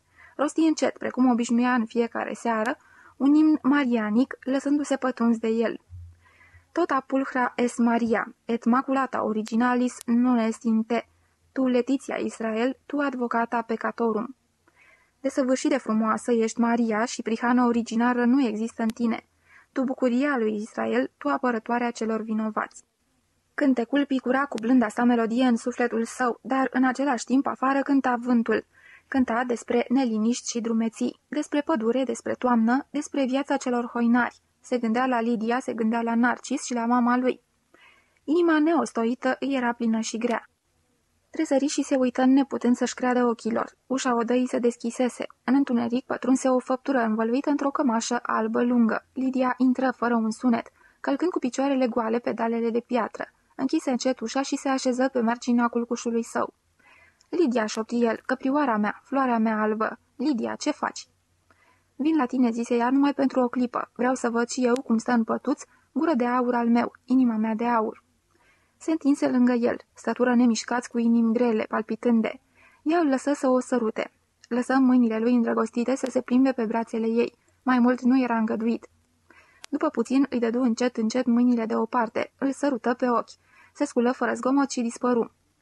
Ușa scârțâi, pe acoperiș vântul se zbătea și zornăia. Vântul era vrăjit, plin de mister, plin de spaime, plin de promisiuni, plin de amenințări. Gură de aur nu mai știa nici ce gândește, nici ce face. Când după un somn scurt și neliniștit se trezise din nou, perna îi era udă de lacrimi. Ea a revenit peste câteva zile. Dulce fie albă și stătu un sfert de ceas lângă dânsul în pat ca și prima dată. Cuprinsă de brațele lui, își șopti la ureche, avea îi spune și îi se plânge de multe. O ascultă cu dedicatețe. Ea se culcase pe brațul lui stâng. Cu mâna dreaptă îi mângâia genunchii. Guriță de aur, zise ea cu vocea foarte scăzută, aproape de obrazul lui. E atât de trist că niciodată nu voi putea fi a ta. Mica noastră fericire, mica noastră taină nu va mai dura mult. Julie a și intrat la bănuială, în curând mă va sili să mărturisesc tot, sau va băga de seamă tata. Dacă m-ar găsi la tine în pat, pastarea mea de aur ar fi rău de Lidia ta. Ar sta cu ochii închiși, să se uite la copaci și l-ar vedea pe iubitul ei atârnat acolo, sus și clătinat de vânt. Ah, mai bine ai fugi chiar acum, în loc să aștept, spune-te leagă și te spânzură tata. Am văzut odată pe unul spânzurat, un hoț.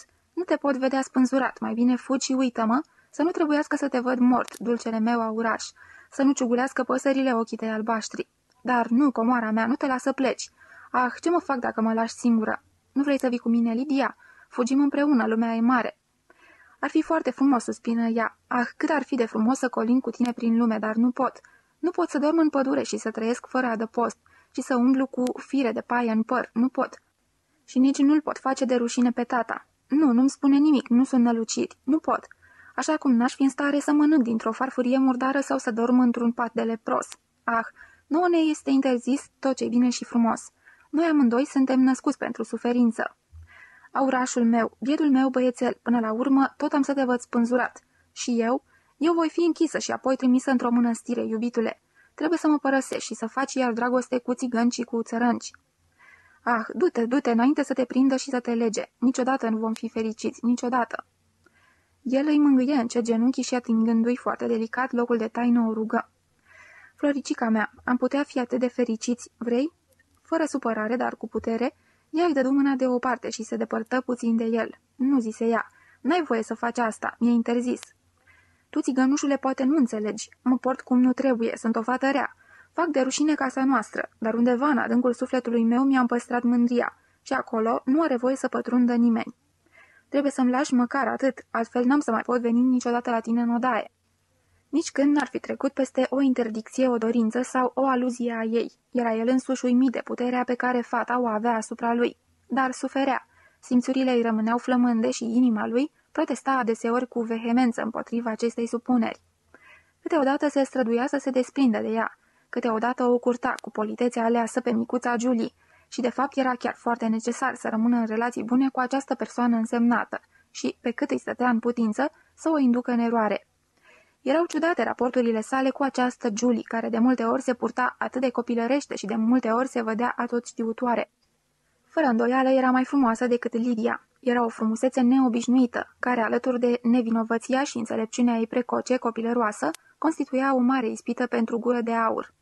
Era adesea foarte îndrăgostit de Julie. Tocmai datorită acestei ispite pe care Julie o exercita asupra simțurilor sale, recunoscu, în cele din urmă uimit, deosebirea dintre dorință și iubire. La început privise ambele surori cu aceiași ochi, le socotise pe amândouă vrednice de a fi dorite. Pe Julie o găsise însă mai frumoasă, meritând deci mai mult osteneala seducerii. Încercase fără deosebire a le cuceri pe amândouă, păstrându-le fără contenire pe amândouă în raza privirilor sale. Și acum Lidia dobândise această putere asupra lui. Acum o iubea atât de mult încât din dragoste renunța să o posede în întregime. Îi cunoscuse și îi îndrăgise sufletul copilăros cum era, ginga și înclinat spre tristețe. Îi se părea asemănător cu propriul său suflet. Adeseori rămânea profund uimit și încântat de corespondența desăvârșită dintre sufletul și trupul ei.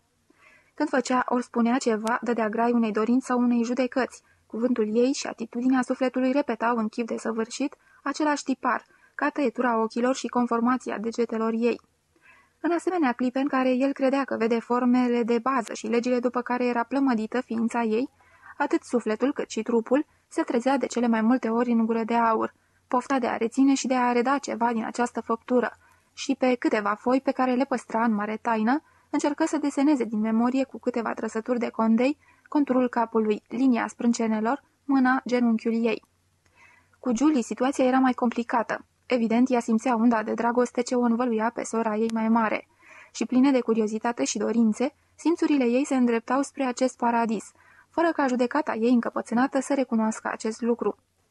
Pe gură de aur îl trata cu exagerată răceală și antipatie, și totuși în clipe de uitare se întâmpla să-l privească cu admirație și voluptoasă curiozitate. Cu Lidia se purta adeseori cu foarte multă delicatețe. Câteodată chiar se ducea în patul ei și în asemenea clipe respira cu tăcută lăcomie, atmosfera de dragoste și de sex.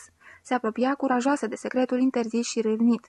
Apoi dădea iarăși a înțelege într-un fel aproape jignitor că știe fapta nepermisă a Lidiei și o disprețuiește.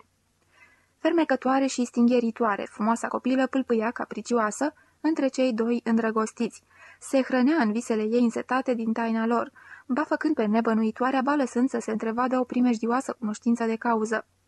Deveni repede, dintr-un copil, o putere de temut. Lidia avea mai mult de suferit de pe urma ei decât bură de aur, care afară de mese o zărea rar. De asemenea, nu-i putea scăpa Lidiei că gură de aur nu era insensibil la farmecul Juliei. Câteodată vedea privirea ei admirativă, plină de încântare, zăbovind asupra mezinei. Nu avea voie să spună nimic, totul era atât de complicat, totul atât de plin de primejdii. Julie mai ales nu trebuia indispusă și jignită. Ah, în orice zi și în orice clipă secretul iubirilor putea fi descoperit. Fericirea lor atât de împovărată de opreliși și temeri putea fi curmată, poate într-un fel îngrozitor. Câteodată gură de aur se mira că încă nu luase din loc, ceea ce de mult ar fi trebuit să facă.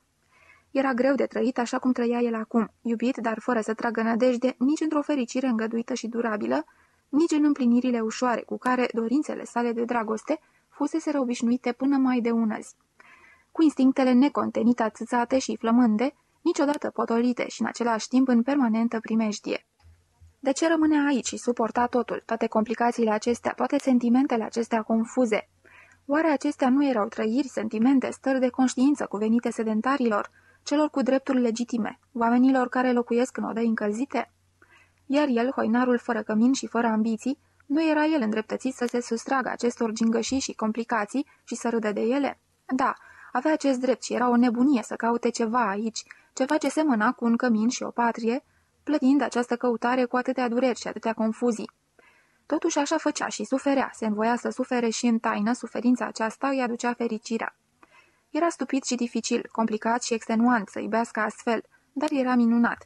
Era superbă tristețea splendid întunecată a acestei iubiri, ca și nebunia și deznădejdea ei. Aceste nopți frumoase erau fără somn, încărcate de gânduri, erau frumoase și pline de delicii toate acestea, ca și trăsătura de suferință ce se desena pe buzele Lidiei, ca și sunetul pierdut supus al glasului ei, când îi vorbea despre dragoste și despre îngrijorare. Trăsătura aceasta de suferință se crestase și îngremenise în puține săptămâni pe fața tânără a Lidiei, are cărei linii el le trasa, încă o dată cu condeiul, și acest lucru îi se părea frumos și foarte important, și simțea că în aceste câteva săptămâni el însuși devenise altfel, mult mai vârstnic, nu mai înțelept, dar totuși mai experimentat, nu mai fericit, dar totuși mult mai matur și mai bogat la suflet. Nu mai era un băiețandru. Cu glasul ei blând, pierdut, Lidia îi zise, Nu trebuie să fii trist din pricina mea. N-aș vrea decât să te înveselesc și să te văd fericit. Iartă-mă, te-am întristat, te-am molipsit cu teama și cu mâhnirea mea. Noaptea visez ciudățenii, umblu mereu printr-un deșert care e atât de întins și de întunecos, cum nici nu-ți pot spune. Și umblu și umblu și te caut, dar nu te aflu și știu că te-am pierdut și va trebui întotdeauna, întotdeauna să umblu astfel, singură de tot. Apoi când mă trezesc îmi spun, o, oh, ce bine, ce minunat că mai este aici, îl voi vedea. Poate încă săptămâni întregi, poate numai zile, tot una, dar mai este aici. Într-o dimineață, gură de aur se trezi curând după ce mijise răzorile și rămase câtva timp întins în pat, căzut pe gânduri, mai roiau în jurul lui imagini de vis, dar fără legătură între ele. Îi visase pe mama sa și pe Narcis. Continuă să vă limpede figurile amândurora. După ce se descălci din firele visului, lua aminte la lumina neobișnuită, la seninul acela ciudat, care pătrundea astăzi prin micul ochi de geam. Sări din pat și alergă la fereastră, iar de acolo văzu acoperișul grajdului, intrarea în curte și întreg peisajul de dincolo de ea. Toate licărind alb-albăstrui, acoperite de prima zăpadă a acestei ierni. Contrastul dintre neliniștea inimii sale și tihnita resemnata lume hibernală îl impresionă. Cât de calm, cât de emoționant și pios se dăruiau ogorul și pădurea, dealul și lunca soarelui, vântului, ploii, secetei, omătului, cât de frumos și domol își purtau arțarii și frasinii povara lor iernatică. Nu putea deveni asemenea lor, nu putea învăța nimic de la ei. Încărcat de gânduri, ieși în curte, își croi pârtie prin zăpadă, o pipăi cu mâinile, trecu dincolo spre grădină și privi peste gardul nins și el din belșug, spre tulpinile de trandafir, încovoiate de povara omătului. La micul dejun mâncare o supă de făină, vorbire despre prima zăpadă, toți, chiar și fetele, fuseseră în curte. Zăpada sosea târziu anul acesta, Crăciunul era aproape. Cavalerul povesti despre țările de la amiază zi, unde nu există zăpadă, însă ceea ce avea să-l facă pe gură de aur să nu uite niciodată această zi de iarnă, se petrecu abia mult timp după ce se lăsase noaptea. Cele două surori avuseseră astăzi o ceartă de care gură de aur nu știa. Noaptea, după ce casa se învălui în liniște și întuneric, Lidia veni la el, precum obișnuia. Se culcă lângă dânsul cu capul pe pieptul său pentru a auzi cum îi bate inima și pentru a găsi alinare în apropierea lui. Era abătută și speriată, se temea de trădarea Juliei, dar nu se putea decide totuși să-i vorbească iubitului ei despre toate necazurile acestea, împovărându-l și cu alte griji, așa că ședea liniștită cuibărită la inima lui. Îl auzea din când în când șoptindu-i câte un cuvânt alintător și simțea mâna care îi mângâia părul. Dar deodată nu stătuse prea multă vreme astfel, se sperie îngrozitor și se înălță cu ochii larg deschiși, și gură de aur se sperie și încă zdravăn când văzu cum se deschide ușa odăii lăsând să intre o persoană pe care, în prima lui spaimă, nici nu o recunoscu imediat. Abia când arătarea ajunse foarte aproape de pat și se aplecă peste el, văzu că era Julie și simți o violentă strângere de inimă.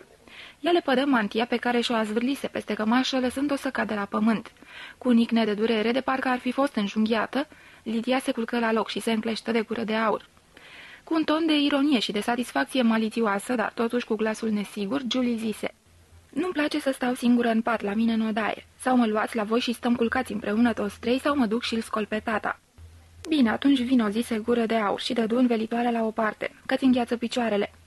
Ea se sui și pe el îl costă oarecare trudă să-i facă loc în culcușul îngust, căci Lidia și îngropase fața în pernă și ședea nemișcată.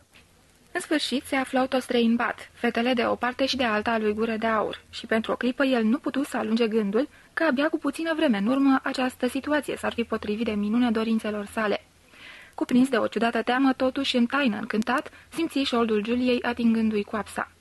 Trebuia să văd și eu odată, reîncepuia, cum se stă în patul tău, pe care sora mea îl vizitează cu atâta plăcere. Pentru a o potoli gură de aur, își frecă încet obrazul de părul ei și o mângâie, abia atingând-o pe șold și pe genunchi, cum se alintă o mâță, și ea se dărui mâinii sale tăcută și curioasă, cu tulburare și reculegere ca vrăjită, nu opuse nicio rezistență. Însă în timpul acestei descântări nu uită nici pe Lidia. Își opti la ureche încet cuvinte și alintări drăgăstoase și o hotărâ până la urmă să-și ridice măcar fața de pe pernă și să se întoarcă spre el. Îi sărută în tăcere gura și ochii, în vreme ce dincolo mâna lui o stăpânea pe sora cea mică, pe deplin conștient, aproape neputând să îndure penibilul și falsitatea întregii situații. Mâna lui stângă fucea care îl învăță de bine, în vreme ce ea făcea cunoștință cu trupul frumos al Juliei, care l-aștepta în tăcere, percepu pentru prima oară nu numai frumusețea și profunda deznădejde a dragostei sale față de Lidia, dar și ridicolul ei. Ar fi trebuit, așa îi se părea acum în vreme ce își dăruia buzele Lidiei, iar mâinile Juliei, ar fi trebuit fie să o constrângă pe Lidia la dăruire de plină, fie să purceadă mai departe pe drumul său.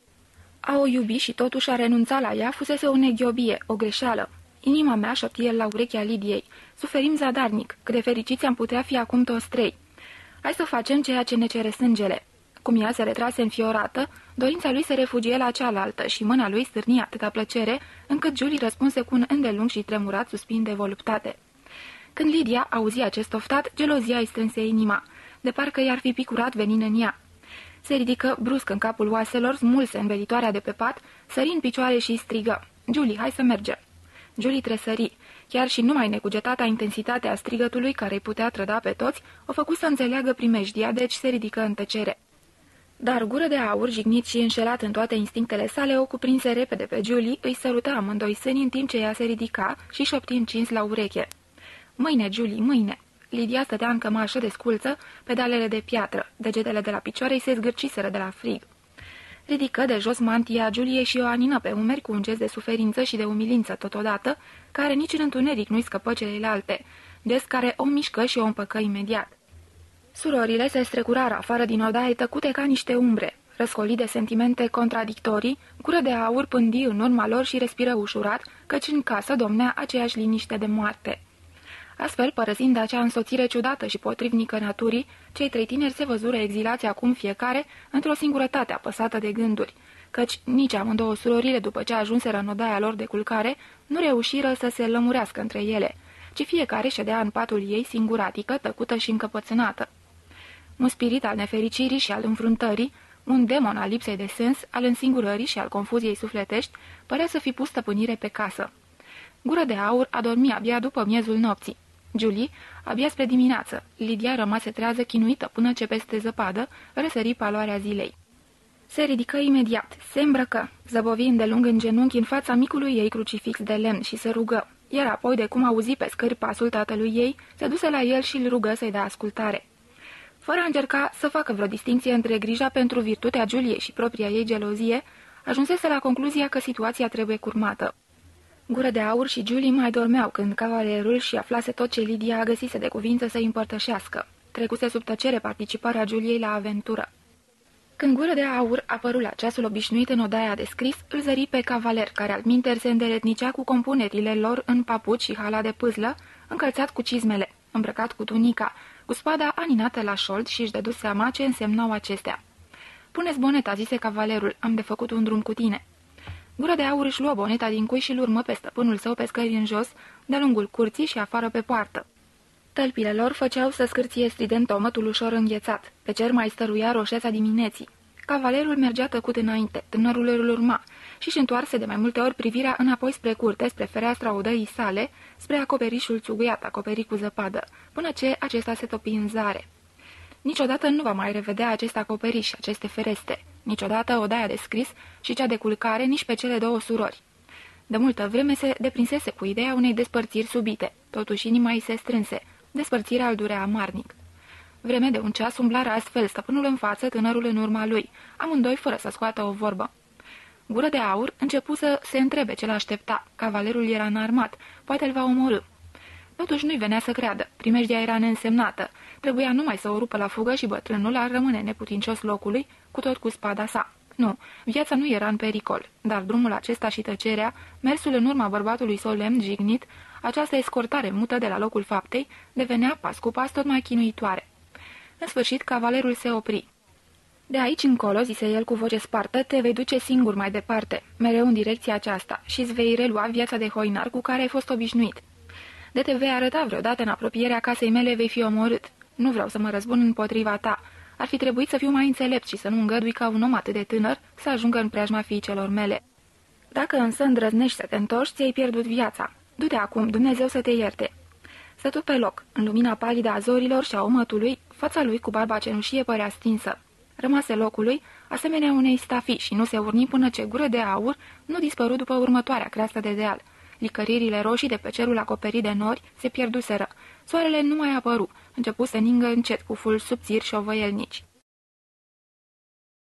Capitolul 9 După atâtea plimbări călare, gură de aur cunoștea împrejurimile. Știa că dincolo de stufăișul înghețat se află o șură a cavalerului, iar ceva mai încolo o gospodărie țărănească unde era cunoscut. Într-unul din locurile acestea va putea poposi și nopta. Mâine va hotărâ ce are de făcut mai departe. Treptat îl cuprinse din nou sentimentul libertății, al străinătăților de care se dezobișnuise de la o vreme. În această zi de iarnă morocănoasă și geroasă, străinătatea nu-l chema cu un parfum plăcut. Avea un iz iute de chin, foame și ananghe și totuși nemărginirea ei, grandoarea și crâncena ei asprime grăia inimii sale răsfățate, tulburate, cu un glas liniștitor, aproape consolator. Umblă până osteni.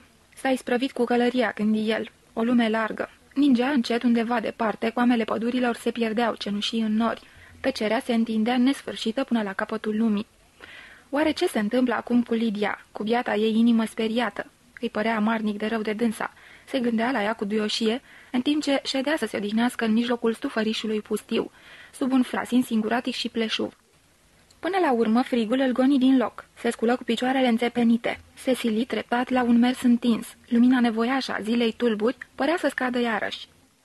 În timpul marșului îndelungat de-a curmezișul câmpurilor pustii, scăpă de toate gândurile. Acum nu era momentul să gândească ori să nutrească sentimente, oricât de gingașe, oricât de frumoase. Acum important era să nu înghețe, să ajungă la vreme într-un adăpost pentru noapte, să se strecoare asemenea jderului și vulpii prin această lume neospitalieră. De gheață și, pe cât cu putință, să nu se prăpădească aici, în câmp deschis. Nimic altceva nu mai avea însemnătate.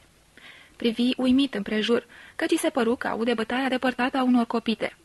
Ar fi cu putință să-l urmărească? Pipăi micul cuțile vânătoare din buzunar și desfăcute ca de lemn. Acum călărețul ajunse în raza privirilor sale și recunoscu de departe un cal din grajdul cavalerului ce se îndrepta stăruitor spre el. Fuga ar fi fost inutilă, se opri locului și așteptă, fără a se teme de fapt, însă foarte încordat și curios, cu inima bătându-i repede. Violent îl străfulgeră o clipă gândul. Dacă aș reuși să-l omor pe călărețul acesta, ce bine mi-ar merge. Aș avea un cal și a mea ar fi lumea. Dar când îl recunoscu pe călăreț, pe tânărul Hans, rândaș la grajduri, cu ochii săi apoși albaștri deschis, cu fața bună de băiețaș timid, îi veni să râdă. Ca să-l omoare pe acest băiat drăguț și bun, ar fi avut nevoie de o inimă de piatră.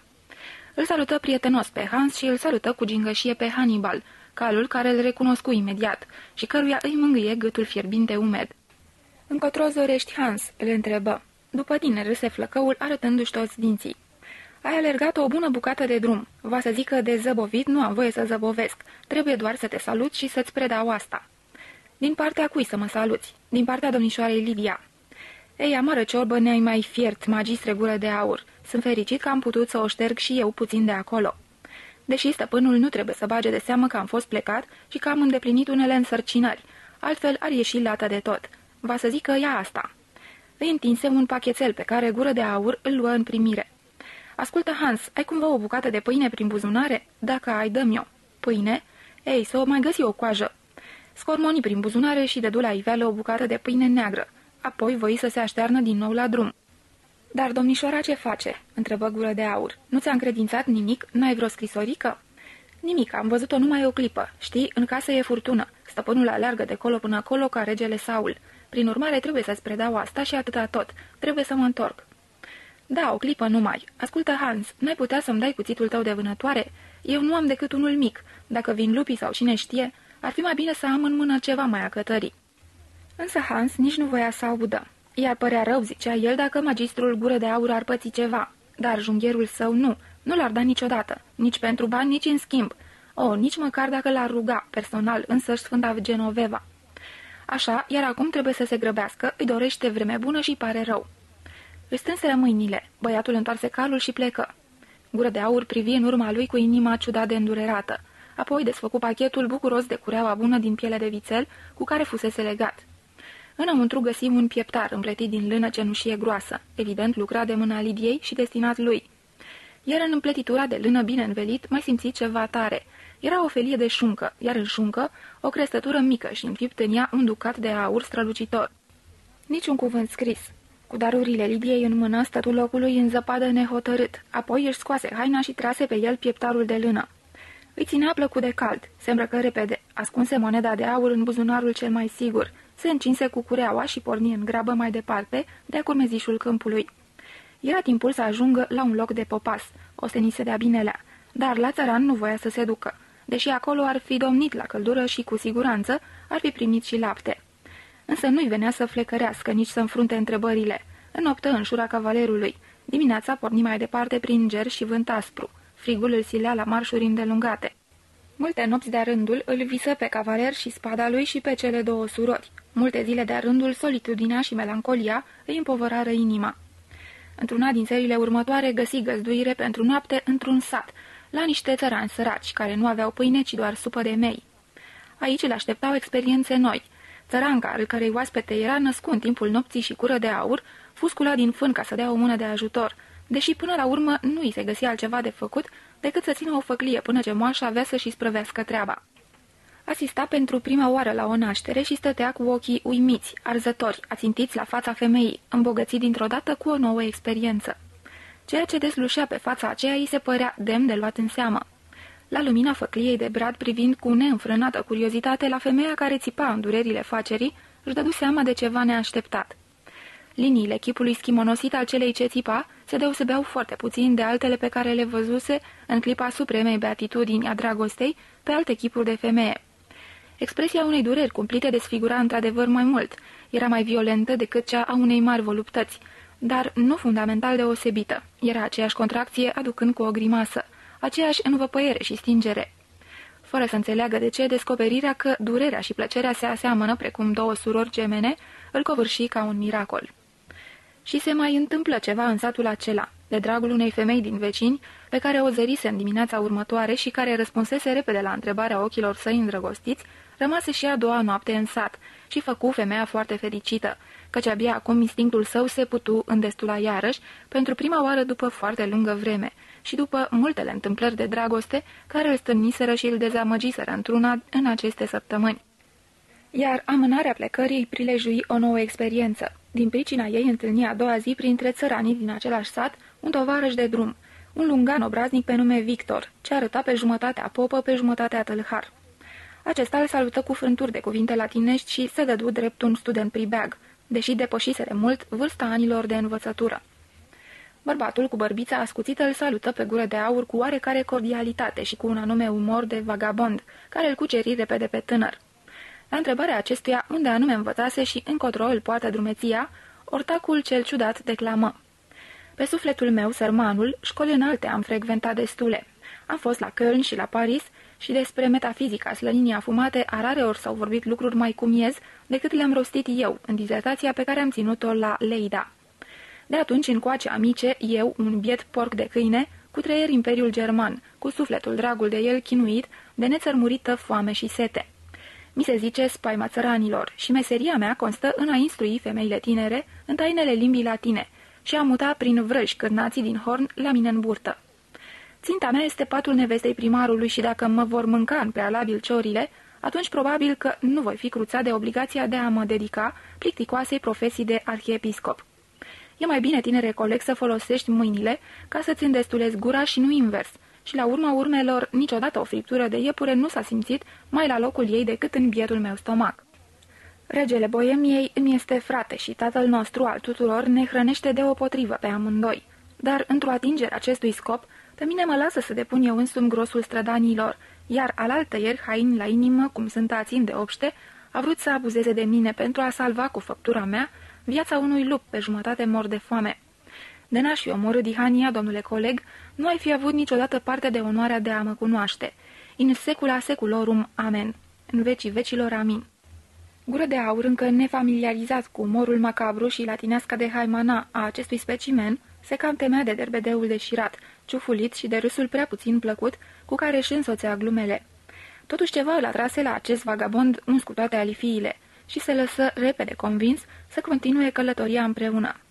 Căci fie că povestea cu lupul omorât fusese o născocire, fie că nu, îndouă erau în orice caz mai puternici și aveau a se teme de mai puține vitregii.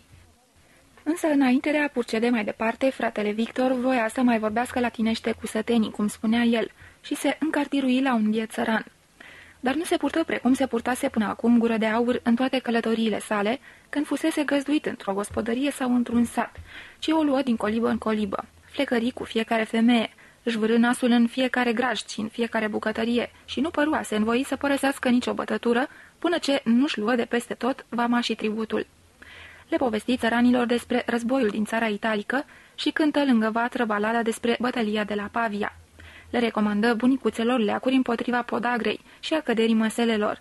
Părea să știe totul și a fost pretutindeni. Între timp își burduși cămașa deasupra curelei gata să pleznească, cu felii de pâine, cu nuci, cu pere primite în dar. Uimit, gură de aur îl privea cum își duce neobosit campania până la capăt, cum izbutea, ba să-i sperie pe oameni, ba să-i câștige lingușindu-i, cum se umfla în pene și cum se lăsa admirat, cum maltrata latina și făcea pe cărturarul, impresionând printr-un limbaj pestrit și obraznic de haimana. Cum în toiul povestirii sau al discursurilor savante, înregistra cu ochiageri vigilenți fiecare chip, fiecare sertar ce se deschidea, fiecare cheie și fiecare jimlă. Văzu că avea de-a face cu un vagabond viclean, spălat cu toate apele pământului, un bărbat care cunoscuse și trăise multe, răbdase adesea de foame și de frig, și în lupta încrâncenată pentru viața sa atât de sărăcăcioasă și mereu primejduită, devenise priceput și neobrăzat. Deci așa deveneau toți cei care trăiau vreme îndelungată pe drumuri. Oare și el va deveni cândva la fel? A doua zi porniră mai departe. Gură de aur încerca acum pentru prima oară gustul drumeției în doi. Umblau de trei zile împreună și Gură de Aur găsea mereu câte ceva de învățat de la Victor. Multe lucruri îl învățase pe vagabond în decursul anilor obișnuința, transformată în instinct de a reduce totul la cele trei nevoi principale ale omului lipsit de cămin. Asigurarea împotriva primejdiei de moarte, găsirea unui adăpost pentru noapte și procurarea hranei să recunoască din semnele cele mai puțin vizibile apropierea așezărilor omenești și pe timp de iarnă și în toiul nopții să cerceteze cu deamănunturi fiecare colțișor de pădure sau de câmp, ca să vadă dacă e bun sau dacă nu pentru popas, sau pentru un culcuș de noapte, ori să adulmece într-o secundă la intrarea într-o odaie măsura bunăstării sau a mizeriei în care trăiește proprietarul, precum și măsura generozității, curiozității ori a fricii sale. Toate acestea erau arte în care Victor dobândise o adevărată măestrie. El povesti mai întâi tânărului tovarăș de drum multe lucruri pline de învățăminte. Când odată gură de aur îi ripostă zicând că lui nu-i vine să se apropie de oameni cu atâta chipzuire calculată și că, deși nu cunoștea toate aceste arte la rugămintea lui prietenoasă numai de foarte puține ori, îi se refuzase dreptul la ospitalitate, lungănul Victor râse și spuse binevoitor. Ei da, guriță de aur, mititelule, s-ar putea ca ție să-ți zbutească. Ești așa de tânăr și frumușel și arăți așa de nevinovat încât învățișarea ta un bilet bun de încartiruire. Muierilor le place, iar bărbații cugetă. Ah, doamne, ăsta e nevinovat, ăsta nu face rău nimănui. Dar, uite, frățioare, omul îmbătrânește și pe mutra de copilandru crește barbă și se sapăriduri și pantalonii se găuresc și pe nesimțite devii un musafir urât și nedorit. Și în loc de tinerețe și nevinovăție, în ochii tăi nu se mai citește decât foame. Dacă până la ceasul acela omul încă n-a lepădat mila și n-a învățat câte ceva din lume, i-a zvârlit fără vorbă multă la gunoi și se pișă câinii pe el. Dar mie mi se pare că tu nici așa nu vei mai colinda prea multă vreme pe drumuri. Ai mâini prea fine, bucle prea frumoase. O să te aciuiești iarăși pe undeva unde se trăiește mai bine. Într-un pat cald dobândit cu cununie sau într-o mănăstire frumoasă, giftuită, sau într-o odaie de scris încălzită zdravă. Chiar și porți strai atât de frumușele încât ai putea fi luat drept un tânăr nobil. Tot râzând își petrecu mâna peste îmbrăcămintea lui gură de aur și simți cum degetele caută și pipăie toate buzunarele și cusăturile. Se feri gândindu-se la ducatul său de aur, povesti despre șederea lui în casa cavalerului și cum își câștigase straile cele frumoase, cum îți la latinească. Însă Victor voi să știe de ce părăsise în toiul iernii aspre un cuib atât de călduros și gură de aur, neobișnuit cu minciuna, povesti câte ceva despre fiicele cavalerului. Atunci izbucni prima ceartă între cei doi camarazi. Victor îl socoti pe gură de aur un netot fără pereche, pentru că își luase pur și simplu catrafusele și lăsase castelul și fecioarele care să lășuiau în el, în voia bunului Dumnezeu. Greșeala trebuia dreasă, va vedea el cum anume. Se vor duce la castel și bineînțeles că gură de aur nu trebuia să se arate acolo, ci doar să lase totul în seama lui. Va avea de întocmit o scrisorică pentru Lidia, așa și pe dincolo, și înarmat cu răvașul, el, Victor, va descinde la castel și pe rănile Mântuitorului nu se va întoarce de acolo fără atât și atât, socotind în bani și în bunuri. Gură de aur se împotrivi și până la urmă deveni violent, refuză să mai asculte o vorbă despre asta sau să-i dezvăluie numele cavalerului și drumul către el. Când Victorul văzu atât de mânios, râse din nou și își compuse o mină binevoitoare. Ei, zise el, am priceput, nu-ți răci gura de pomană. Atât îți spun. Ai lăsat să ne scape o pradă zdravă, băiețele. Și de fapt asta nu-i prea frumos, nici colegial din partea ta. Dar tu nu te învoiești, mă rog, doar ești nobil. Vrei să te întorci la castelul tău călare și să o iei de nevastă pe domnișoara.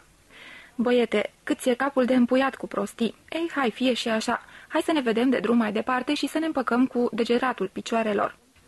Gură de aur rămase până seara supărat și tăcu, dar cum în ziua aceea nu dăduseră peste nicio așezare și peste nicio urmă de om, îl lăsă pe Victor, nu fără recunoștință, să caute un loc potrivit pentru adăpostul de noapte. Să înalțe o apărătoare între două trunchiuri la marginea pădurii și să adune multe crengi de brad, pentru a clădi un culcuș. Mâncară pâine și brânză din buzunarele pline ale lui Victor. Gură de aur se rușina de mânia sa dinainte, se arătă cuvincios și gata de orice ajutor. Îi oferi camaradului pentru noapte pieptarul său de lână, căzură la învoială de frica fiarelor, să stea de strajă cu schimbul și gură de aur preluă prima veghe, în timp ce Victor se culcă pe crengile de brad. Gură de aur stătu vreme îndelungată rezemat de un trunchi de molid și nu se mișcă pentru a nu-l tulbura pe celălalt care dormea. Apoi începu să se plimbe de colo până colo căci se făcuse frig. Umblă în sus și în jos pe o distanță tot mai lungă. Văzu cum vârfurile ascutite ale brazilor înțepau cerul palid. Ascultă cu solemnitate și cu oarecare spaimă liniștea profundă a nopții de iarnă. Își simți inima caldă, vie, bătând solitară, în tăcerea glacială ce nu-i dădea răspuns și, întorcându-se încet, auzi respirația camaradului adormit. Îl cuprinse mai puternic ca oricând sentimentul celui pierdut în lume, care nu a durat între ființa lui și marea spaimă ziduri despărțitoare de casă, de castel sau de mănăstire, care aleargă gol și însingurat prin lumea neînțeleasă, plină de dușmănie, însingurat pe sub stelele reci ironice, printre animalele pitite la pândă, printre copacii răbdători neclintiți. Nu, gândi el, nu va deveni niciodată asemenea lui Victor, chiar dacă va rămâne pe drumuri toată viața.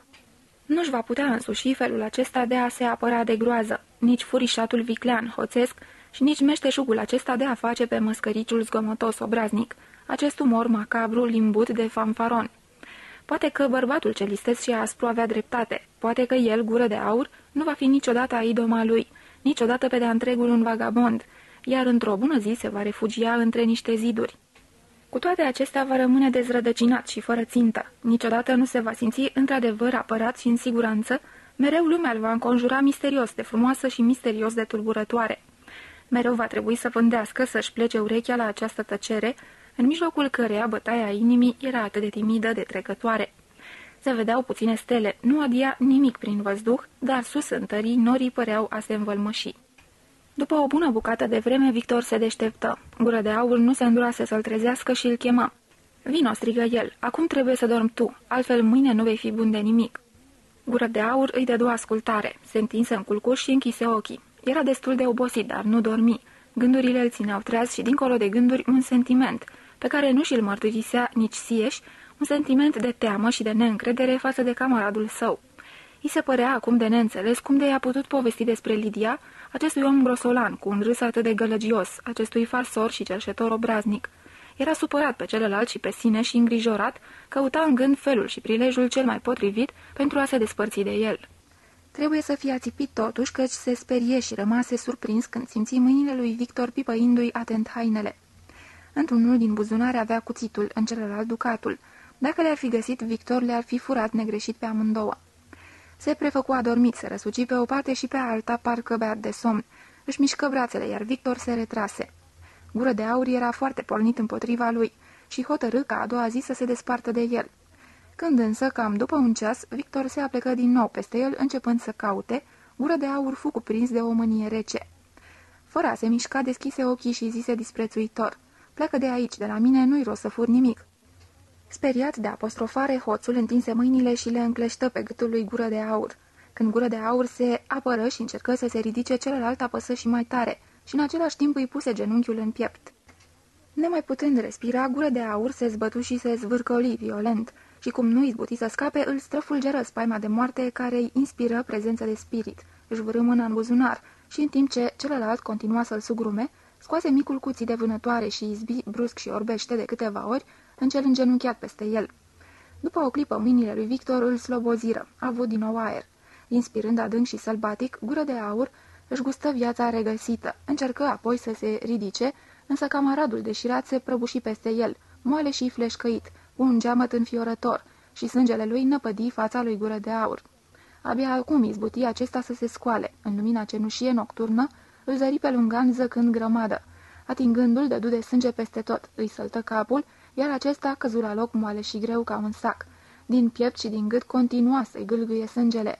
Viața îi se scurgea din trup cu oftaturi fără rost, din ce în ce mai slabe. Iată, am ucis un om, gândi gură de aur și gândul îi revenea într-una, pe când în genunchia deasupra mortului îi privea fața cuprinsă de paloare. Sfântă Maica a Domnului, am ucis un om, se auzi vorbind singur. Deodată simți că nu mai e în stare să zăbovească aici. Își luă cuțitul, îl șterse de pieptarul de lână purtat de celălalt și împleti de mâinile Lidiei pentru iubitul ei.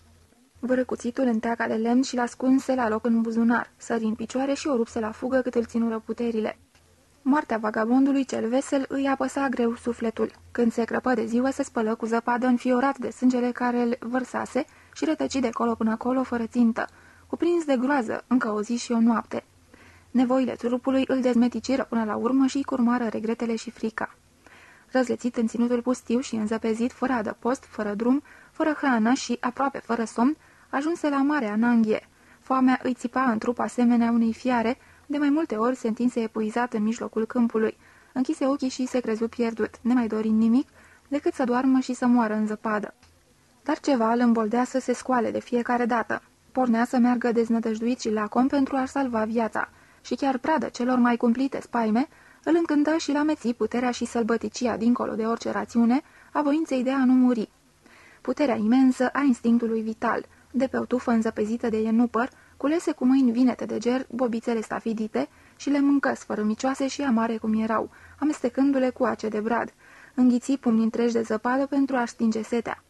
Cu respirația tăiată, suflând în mâinile înțepenite, șezu pe o movilă și își îngădui un scurt răgaz de odihnă. Pândi lacom în toate direcțiile, dar nu se vedea nimic decât câmp sterb și pădure, nicăieri o urmă de fum.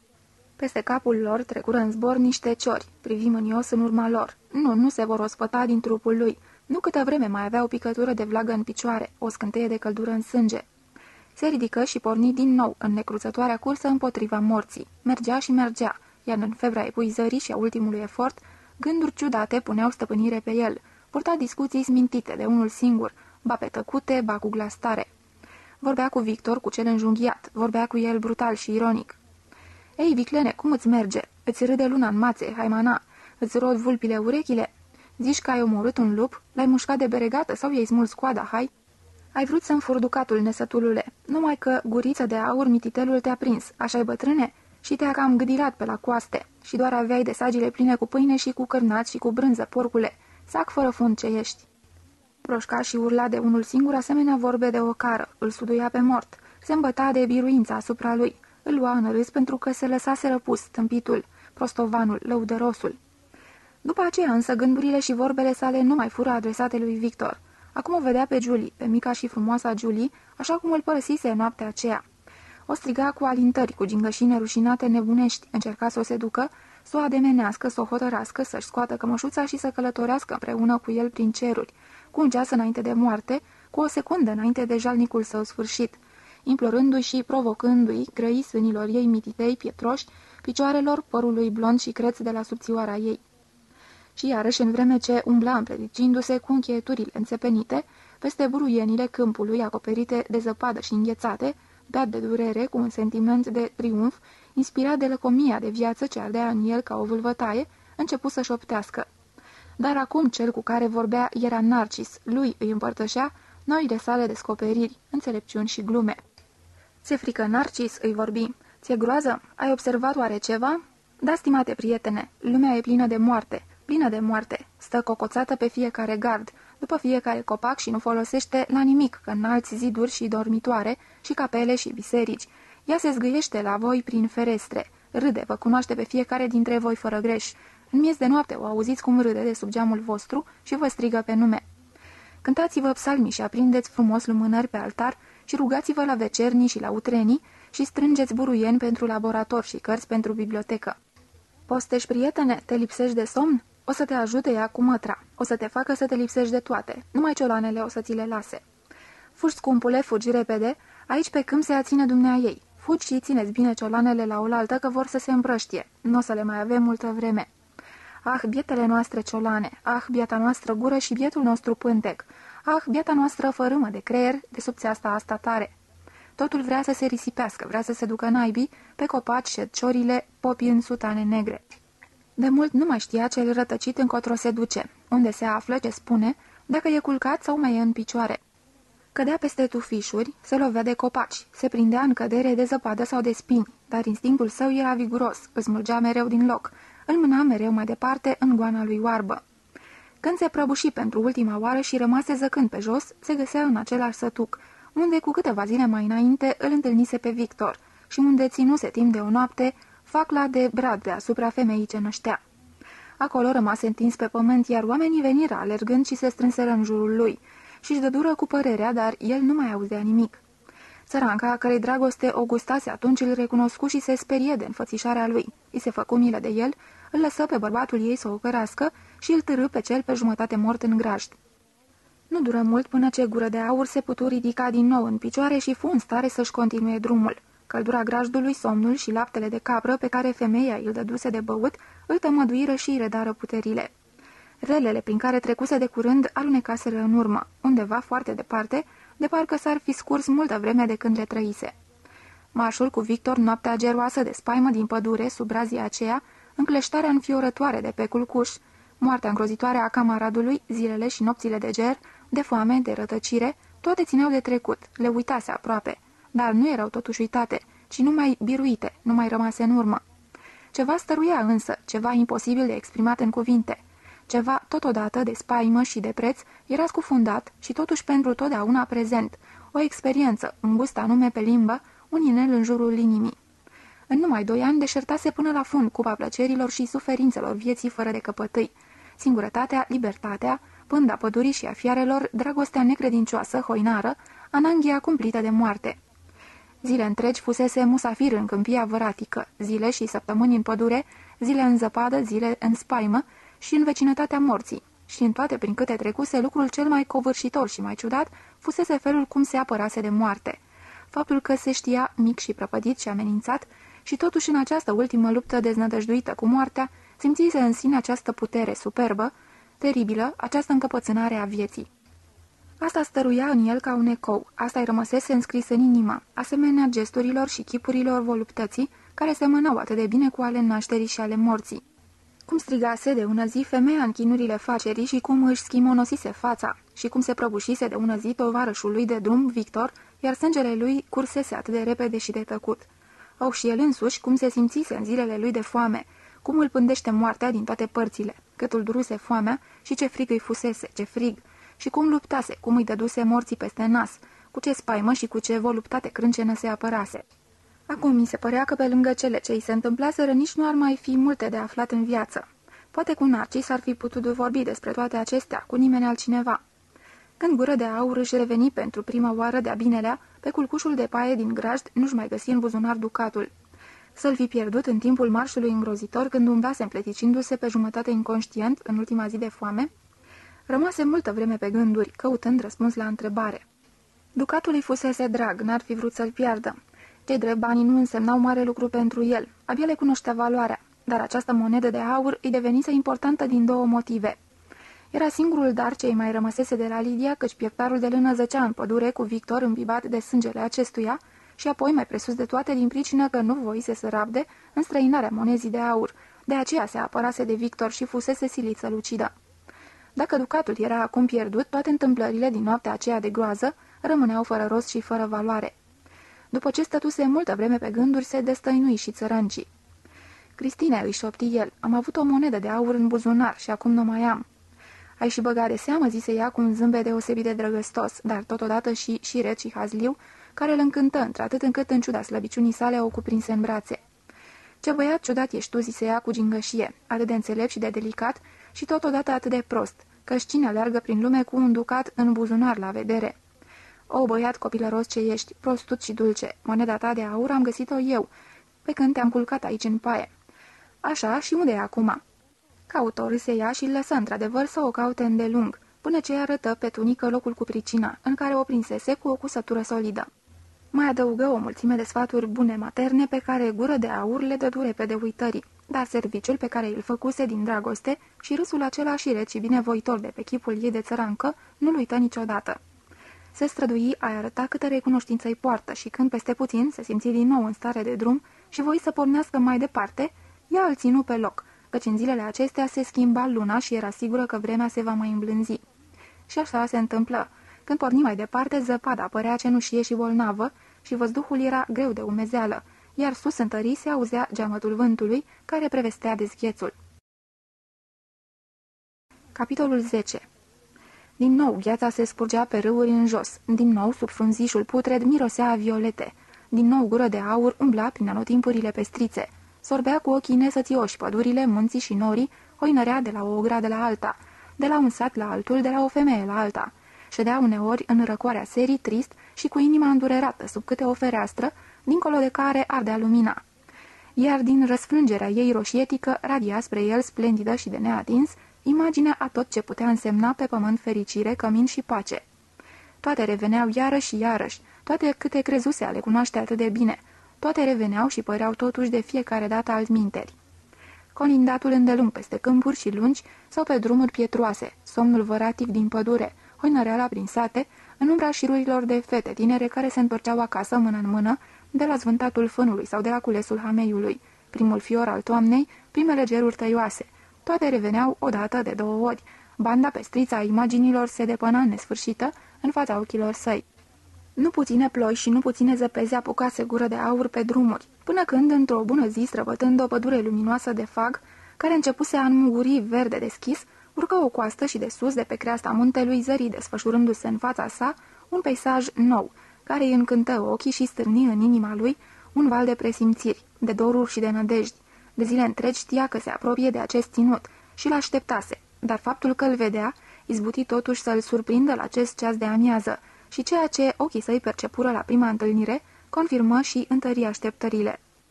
Printre trunghiurile cenușii și printre crengile ce se legănau molcom, văzu o vale colorată, în brun și verde, în mijlocul căreia licărea, albastru sticlos, un râulat. Își dădu seama că începând de acum se va isprăvi și pentru o bucată de vreme cu umblatul peste miriști, fără drumuri, prin câmpii sălbatice, prin păduri și singurătăți, în care numai rare ori putea poposi în câte o gospodărie sau în vreun sătuc nevoiaș. Aici în vale curgea râul și de-a lungul râului se întindea unul din cele mai frumoase și mai vestite drumuri ale Imperiului. Aici se așternea până în zare un ținut bogat îndestulat. Pe aici treceau plute și bărci, iar drumul ducea peste sate frumoase, spre castele, mănăstiri și orașe bogate. Și cine voia putea hălădui pe drumul acesta zile și săptămâni în șir, fără grijă că s-ar putea înfunda brusc. Asemenea unui șleau mizer de țară, undeva în desișul unei păduri sau în umezeala unei mocirle. Îl aștepta ceva nou și gură de aur se bucură. În seara aceleași zile se și afla într-un sat frumos, așezat pe șoseaua lată, între râu și roșcatele coaste cu vii, un sat unde casele cu fronton aveau grinzile aparente, vopsite vesel în roșu. Se vedeau porți cu intrări boltite și străduțe tăiate în trepte de piatră, dintr-o fierărie se revărsa pe uliță lumina roșie a focului și bătăile sonore ale Nicovalei. Plin de curiozitate, hoinăricel, proaspăt sosit, prin toate ulițele și umbierele, adulmecând dizul de butoi și de vin, ce izvora din gurile de pivniță, iar la malul râului mirosul proaspăt de apă și de pește. Se uită la casa domnului și cercetă cimitirul și nu uită să-și ochească o șură potrivită, în care la nevoie se putea aciui preț de o noapte. Dar înainte de asta, voia să-și încerce norocul la casa parohului, cerând ceva de alegurii. Dădu peste un preot gras cu fața stacojie care îl interogă și căruia îi relată povestea vieții sale trecând unele pasaje sub tăcere și adăugând altele născocite. În urma acestei povestiri fu primit cu prietenie și nevoit să petreacă seara în prelungi discuții cu sfinția sa, dar ospătat cu mâncări alese și vin. A doua zi porni mai departe de-a lungul șoselei care urma cursul râului. Văzut trecând plute și bărci împovărate. Lăsă în urmă căruțe, câte una, îl duse chiar o bucată de drum. Zilele de primăvară goniră una după alta repede și supraîncărcate de imagini, sate și orășele, îl găzduiau. Femei îi zâmbeau de după gardurile grădinilor sau îngenuncheau în țărâna brună, în care sădeau răsaduri. Fetele cântau pe ulițele satelor la ceasul înserării. Într-o moară, o slujnică tânără îi plăcu atât de mult încât rămase două zile încheiate în împrejurim și de târcoale. Ea râse și stătu cu plăcere la flecăreală cu el. Lui se păru că mai mult ca orice iar surâde să devină ajutor de morar și să rămână pentru totdeauna aici. Șezu cu pescarii, ajută cărăușilor să dea nutrețcailor și să-i sale, primi în schimb pâine și carne și putu să-și continue călătoria cu ei. Îi prii după îndelungata lui singurătate această lume de drumeți prietenoși, după atâta vreme petrecută numai cu gândurile lui, veselia la oaltă cu oameni vorbăreți și voioși, după nesfârșitele posturi, îndestularea cotidiană cu mâncare îmbelșugată. Bucuros se lăsa dus de valul acesta zglobiu, care îl săltă și îl purtă mai departe, și cu cât se apropia de orașul de reședință al episcopiei, cu atât șoseaua devenea mai aglomerată și mai veselă. Într-un sat, cum tocmai se însera, se duse să se plimbe de-a lungul apei, sub niște copaci cu coroane falnice. Râul curgea puternic și liniștit, șuvoiul murmura și ofta sub rădăcinii de arborilor, de după un deal răsărea luna, azvârlind scântei peste râu și umbre sub arbori. Întâlnia acolo o fată care ședea și plângea, se certase cu iubitul ei. El plecase și o lăsase singură. Gură de aur se așeză lângă ea și ascultă gelania. Îi mângâie mâna, îi povesti despre pădure și despre căprioare. O împăcă, o făcu să râdă puțin și ea îi îngăduie o sărutare. Dar atunci apăru iubitul fetei pornit în căutarea ei. Se potolise și regretase cearta. Când îl găsi pe gură de aur șezând lângă ea, se azvârli asupra lui și îl izbi cu pumnii. Gură de aur izbuti cu oarecare trudă să se apere. Până la urmă reuși totuși să se descotorosească de el. Flăcăul fugi ocărând spre sat. Fata se mistuise de mult. Dar, gură de aur, neîncrezător în această pace nestatornică, își părăsi culcușul pregătit și merse mai departe, preț de o jumătate de noapte, la lumina lunii, străbătând o lume tăcută, argintată, mulțumit foarte, încântat de picioarele lui zdravene. Nu se opri până ce roa nu-i spălă colbul alb de pe încălțări. Apoi, obosit dintr-o dată, se culcă sub cel mai apropiat copac și a dormi. Se făcuse de mult ziua când îl trezi un gâdilat pe obraz. Beat de somn căută să izgonească dând din mână presupusa gâză. A dormit la loc și în curând fu din nou trezit de același gâdilat. În fața lui stătea o țărâncușă care, în vreme ce îl privea, îl gâdila cu vârful unei nuielușe de salcie. Se ridică împleticindu-se, își dă dură binețe, zâmbindu-și unul altuia, iar el conduse într-un șopron, unde chipurile se dormea mai bine.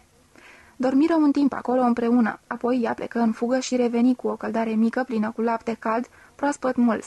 Dărui fetei o bentiță albastră de prins părul, pe care nu de mult o găsise în uliță și pe care o pusese bine, și apoi, înainte ca el să o pornească mai departe, se mai sărutară odată. Se numea Francisca și lui Gură de Aur îi păru rău că trebuia să o părăsească. În seara aceleași zile găsia de post într-o mănăstire, dimineața luă parte la misă. O mie de amintiri îi unduiră miraculos în inimă. Aerul de sub bolți, pietros și rece, sunetul sandalelor pedalele de piatră ale coridoarelor îl mișcară, trezindu-i o emoție parcă de acasă. După ce misa se isprăvi și în biserica mănăstirii se lăsă liniștea, gură de aur rămase îngenunchiat. Inima lui era tulburată într-un fel ciudat. Noaptea trecută visase multe. Simțea dorința de a se elibera într-un fel de propriul său trecut, de a-și schimba oarecum viața. Nu știa nici el de ce, poate că îl tulbura numai amintirea anilor de la Maria Bron și a tinereții sale pioase. Se simțea îndemnat să se confeseze și să se primenească. Avea de mărturisit multe păcate mărunte, multe vicii neînsemnate, dar, mai greu decât orice, îl apăsa moartea lui Victor, care se prăpădise de mâna lui. Găsi un preot, îi se spovedi, îi povesti una și alta, îndeoseb loviturile de cuțit în gâtul și în spatele bietului Victor. O, de cât timp nu se mai mărturisise, numărul și greutatea păcatelor sale îi se părură covârșitoare. Ar fi fost gata să îi spășească pentru ele luând asupra un canon greu, dar părintele confesor părea a cunoaște viața celor hoinari, nu se îngrozi, îl ascultă calm, îl dojeni și îl avertiză cu seriozitate și simpatie, fără a se gândi să-l afurisească. Gură de aur se ridică ușurat, își rosti rugăciunile în fața altarului după cum îl îndemnase părintele și era gata să părăsească biserica, dar în acea clipă o rază de soare pătrunse printr-o fereastră. Privirea lui o urmări și atunci zări într-o capelă laterală o statuie care parcă îi grăia și l trăgea atât de intens încât se întoarse spre ea, cu ochi de îndrăgostit și o privi, cu adâncă evlavie profund mișcat. Era o maică a domnului lucrată din lemn, nespus de gingașă, care stătea ușor aplecată și felul cum mantia albastră îi cădea de pe umeri înguști, cum întindea mâna gingașă de fată, cum priveau ochii ei mai sus de gura îndurerată, cum mi se arcuia fruntea superbă, toate acestea erau atât de vii, de frumoase, de profunde și de însuflețite, cum mi se păru nu mai văzuse niciodată. Nu se sătura să privească aceste buze, această curbură delicată, dulce a gâtului. I se părea că vede ceva ce mai întâlnise de nenumărate ori în visele și presimțirile lui, ceva după care tânjise adesea. În câteva rânduri dădu să plece, dar de fiecare dată ceva l trăgea îndărât. Când în sfârșit voi totuși să pornească, îl descoperi pe părintele căruia îi se mărturisise alineauri, stând în spatele său. Ți se pare frumoasă?" îl întreba acesta prietenos. Nespus de frumoasă," zise gură de aur. Mulți spun la fel, răspunse preotul, iar alții din potrivă spun că n-ar fi o adevărată Maica Domnului, că ar fi prea de modă nouă, prea lumească și totul de la exagerat și neadevărat. Mulți se contrazic pe seama ei. Va să zic că ție-ți place, îmi pare bine. Se află abia de un an aici în biserică, a donat-o un binefăcător al casei noastre. E cioplită de meșterul Niclaus. Meșterul Niclaus? cine e meșterul Niclaus? Unde stă? Îl cunoașteți? O, vă rog, spuneți-mi ceva despre el." Cel ce e în stare să creeze asemenea lucru trebuie să fie un om minunat și binecuvântat. Nu știu multe despre el. Este un sculptor în lemn din orașul de reședință al episcopului nostru, cale de o zi de aici, și ca artist se bucură de mare faimă. De obicei, artiștii nu sunt chiar așa de sfinți și probabil că nici el nu este, dar fără îndoială un bărbat de talent, un spirit ales. L-am văzut de câteva ori. Oh, l-ați văzut? Cum arată? Fiule, par cu totul vrăjit de el. Ei bine, caută-l și dui salutări din partea lui Pater Bonifatius. Gură de aur, mulțumi în cuvinte deosebit de însuflețite. Părintele plecă zâmbind. El însă zăbovi încă multă vreme în dreptul acestei statui misterioase, al cărei piept părea că respiră și pe a cărei față păreau să trăiască la oaltă atâta durere și atâta dulceață, încât îi se încleștă inima. Ieși din biserică schimbat. Pașii îl purtară printr-o lume cu desăvârșire nouă. În clipele acelea, trăite în fața statuii sfinte de lemn, gură de aur intrase în stăpânirea a ceva ce el însuși nu mai avusese niciodată și care la alții îi stârnise de atâtea ori zâmbetul sau invidia. Un scop. Avea un scop și poate că va izbuti să-l atingă și poate că astfel întreaga sa viață neînchegată va dobândi sens și valoare. Cu bucurie și cu teamă simțea cum îl străbate acest sentiment nou și înaripează pașii. Șoseaua frumoasă, veselă pe care umbla, nu mai era ce fusese ieri, un prilej permanent de sărbătoare câmpenească și un loc unde era o plăcere să zăbovești. Astăzi nu mai era decât un simplu drum. Era drumul spre oraș, drumul spre meșter. Zorin nerăbdător, ajunse încă înainte de a se însera. Văzut urnurile răsărinde după ziduri deasupra porții, zări blazoane dăltuite și steme pictate. Pășind înăuntru cu inima palpitândă și abia luă în seamă hărmălaia și la voioasă de pe străzi, cavalerii care treceau călare, căruțele și trăsurile. Nici cavalerii, nici căruțele, nici orașul și nici episcopul nu aveau vreo însemnătate pentru el. Întrebă pe primul om pe care îl întâlni la poartă unde locuiește meșterul Niclaus și rămase profund dezamăgit că acela nu știa nimic despre sculptor. Ajunse într-o piață cu case mari. Multe dintre ele erau împodobite cu picturi sau cu statui. Deasupra intrării unei case stătea mare și strălucitor chipul sculptat al unui lăncier, colorat în tonuri extrem de vii. Nu era atât de frumos ca statuia din biserica mănăstirii, dar felul anume cum stătea și-și arăta pulpa și înțepa cu barba către lume, îl făcu pe gură de aur să gândească totuși că putea să fi fost făurit de același meșter. Intră în casă, bătu la uși, urcă trepte, dădu până la urmă peste un om îmbrăcat cu un halat de catifea, împodobit cu blană și îl întrebă unde l-ar putea afla pe meșterul Niclaus. Ce vrea de la dânsul?" întrebă domnul și gură de aur, trebuie să facă un efort ca să se stăpânească și să se mărginească, ai spune, doar care de transmis un mesaj. Domnul îi indică numele străzii în care locuia meșterul și până ce gură de aur tot întrebând găsi drumul până acolo se făcuse noapte. Puțin cam speriat, dar totuși foarte fericit, stătea acum în fața casei meșterului cu privirea ridicată spre ferestre, gata să dea buzna. Dar luă aminte că era târziu, se arătă nădușit și colbuit de marșul de peste zi, așa încât se stăpâni și așteptă. Rămase vreme îndelungată în fața casei, văzu o fereastră luminându-se și, tocmai când se întoarse să plece, zări apropiindu-se de geam silueta unei fete blonde, foarte frumoase, prin părul căreia se scurgea venind din spate licărul blând al unei candele. Dimineața următoare, după ce orașul se deșteptă și hărmălaia reîncepu, gura de aur se spălă pe față și pe mâini la mănăstirea unde dormise peste noapte. Își curăță hainele și încălțările de praf, apoi căută iarăși drumul spre strada aceea și bătu la poartă. Apăru o servitoare care nu prea voi să-l conducă la meșter, însă el reuși să o îmbuneze, așa că până la urmă bătrâna îl conduse totuși înăuntru. Meșterul se afla într-o sală mică ce îi slujea de atelier, purta un șorț de lucru, era un bărbat înalt, bărbos, gură de aur i-ar fi dat 40 sau 50 de ani. Îl privi pe străin cu niște ochi albaștri tăioși și îl întrebă scurt ce dorește. Gură de aur îi transmise salutul lui Pater Bonifatius. Altceva nimic? Meștere zise gură de aur cu respirația tăiată. Acolo la mănăstire am văzut acea maica Domnului cioplită de dumneavoastră. Ah, nu vă uitați atât de neprietenos la mine. Numai dragostea și admirația mă aduc la dumneavoastră. Nu sunt fricos, am hoinărit multă vreme și cunosc gustul pădurii și al zăpezii și al foamei. Nu există om de care mă așteme. Dar de dumneavoastră mă tem. Oh, am o singură, o mare dorință, de care inima mi-e atât de încărcată încât mă doare. Și anume care dorință? Aș vrea să vă devin ucenic și să învăț la dumneavoastră. Nu ești singurul om care nu trește această dorință, tinere, însă mie ucenicii nu-mi plac, iar două calfe am. Dar de unde vii și cine sunt părinții? Nu am părinți și vin de nicăieri. Am fost școlar într-o mănăstire unde am învățat latina și greaca, apoi am fugit. Am de zile am fost tot pe drumuri, până astăzi. Și de ce crezi că ar trebui să devii sculptor? Ți-ai încercat vreodată mâna? Ai desene?" Am făcut multe desene, însă nu le mai am. De ce anume aș vrea să învăț această artă?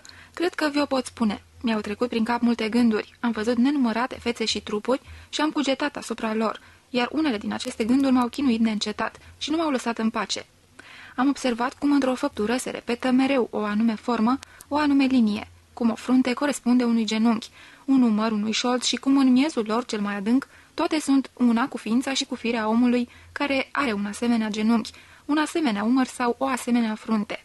Și am mai observat, asta am văzut-o într-o noapte în care a trebuit să ajut unei femei care năștea, că cea mai mare durere și cea mai mare voluptate au o expresie foarte asemănătoare.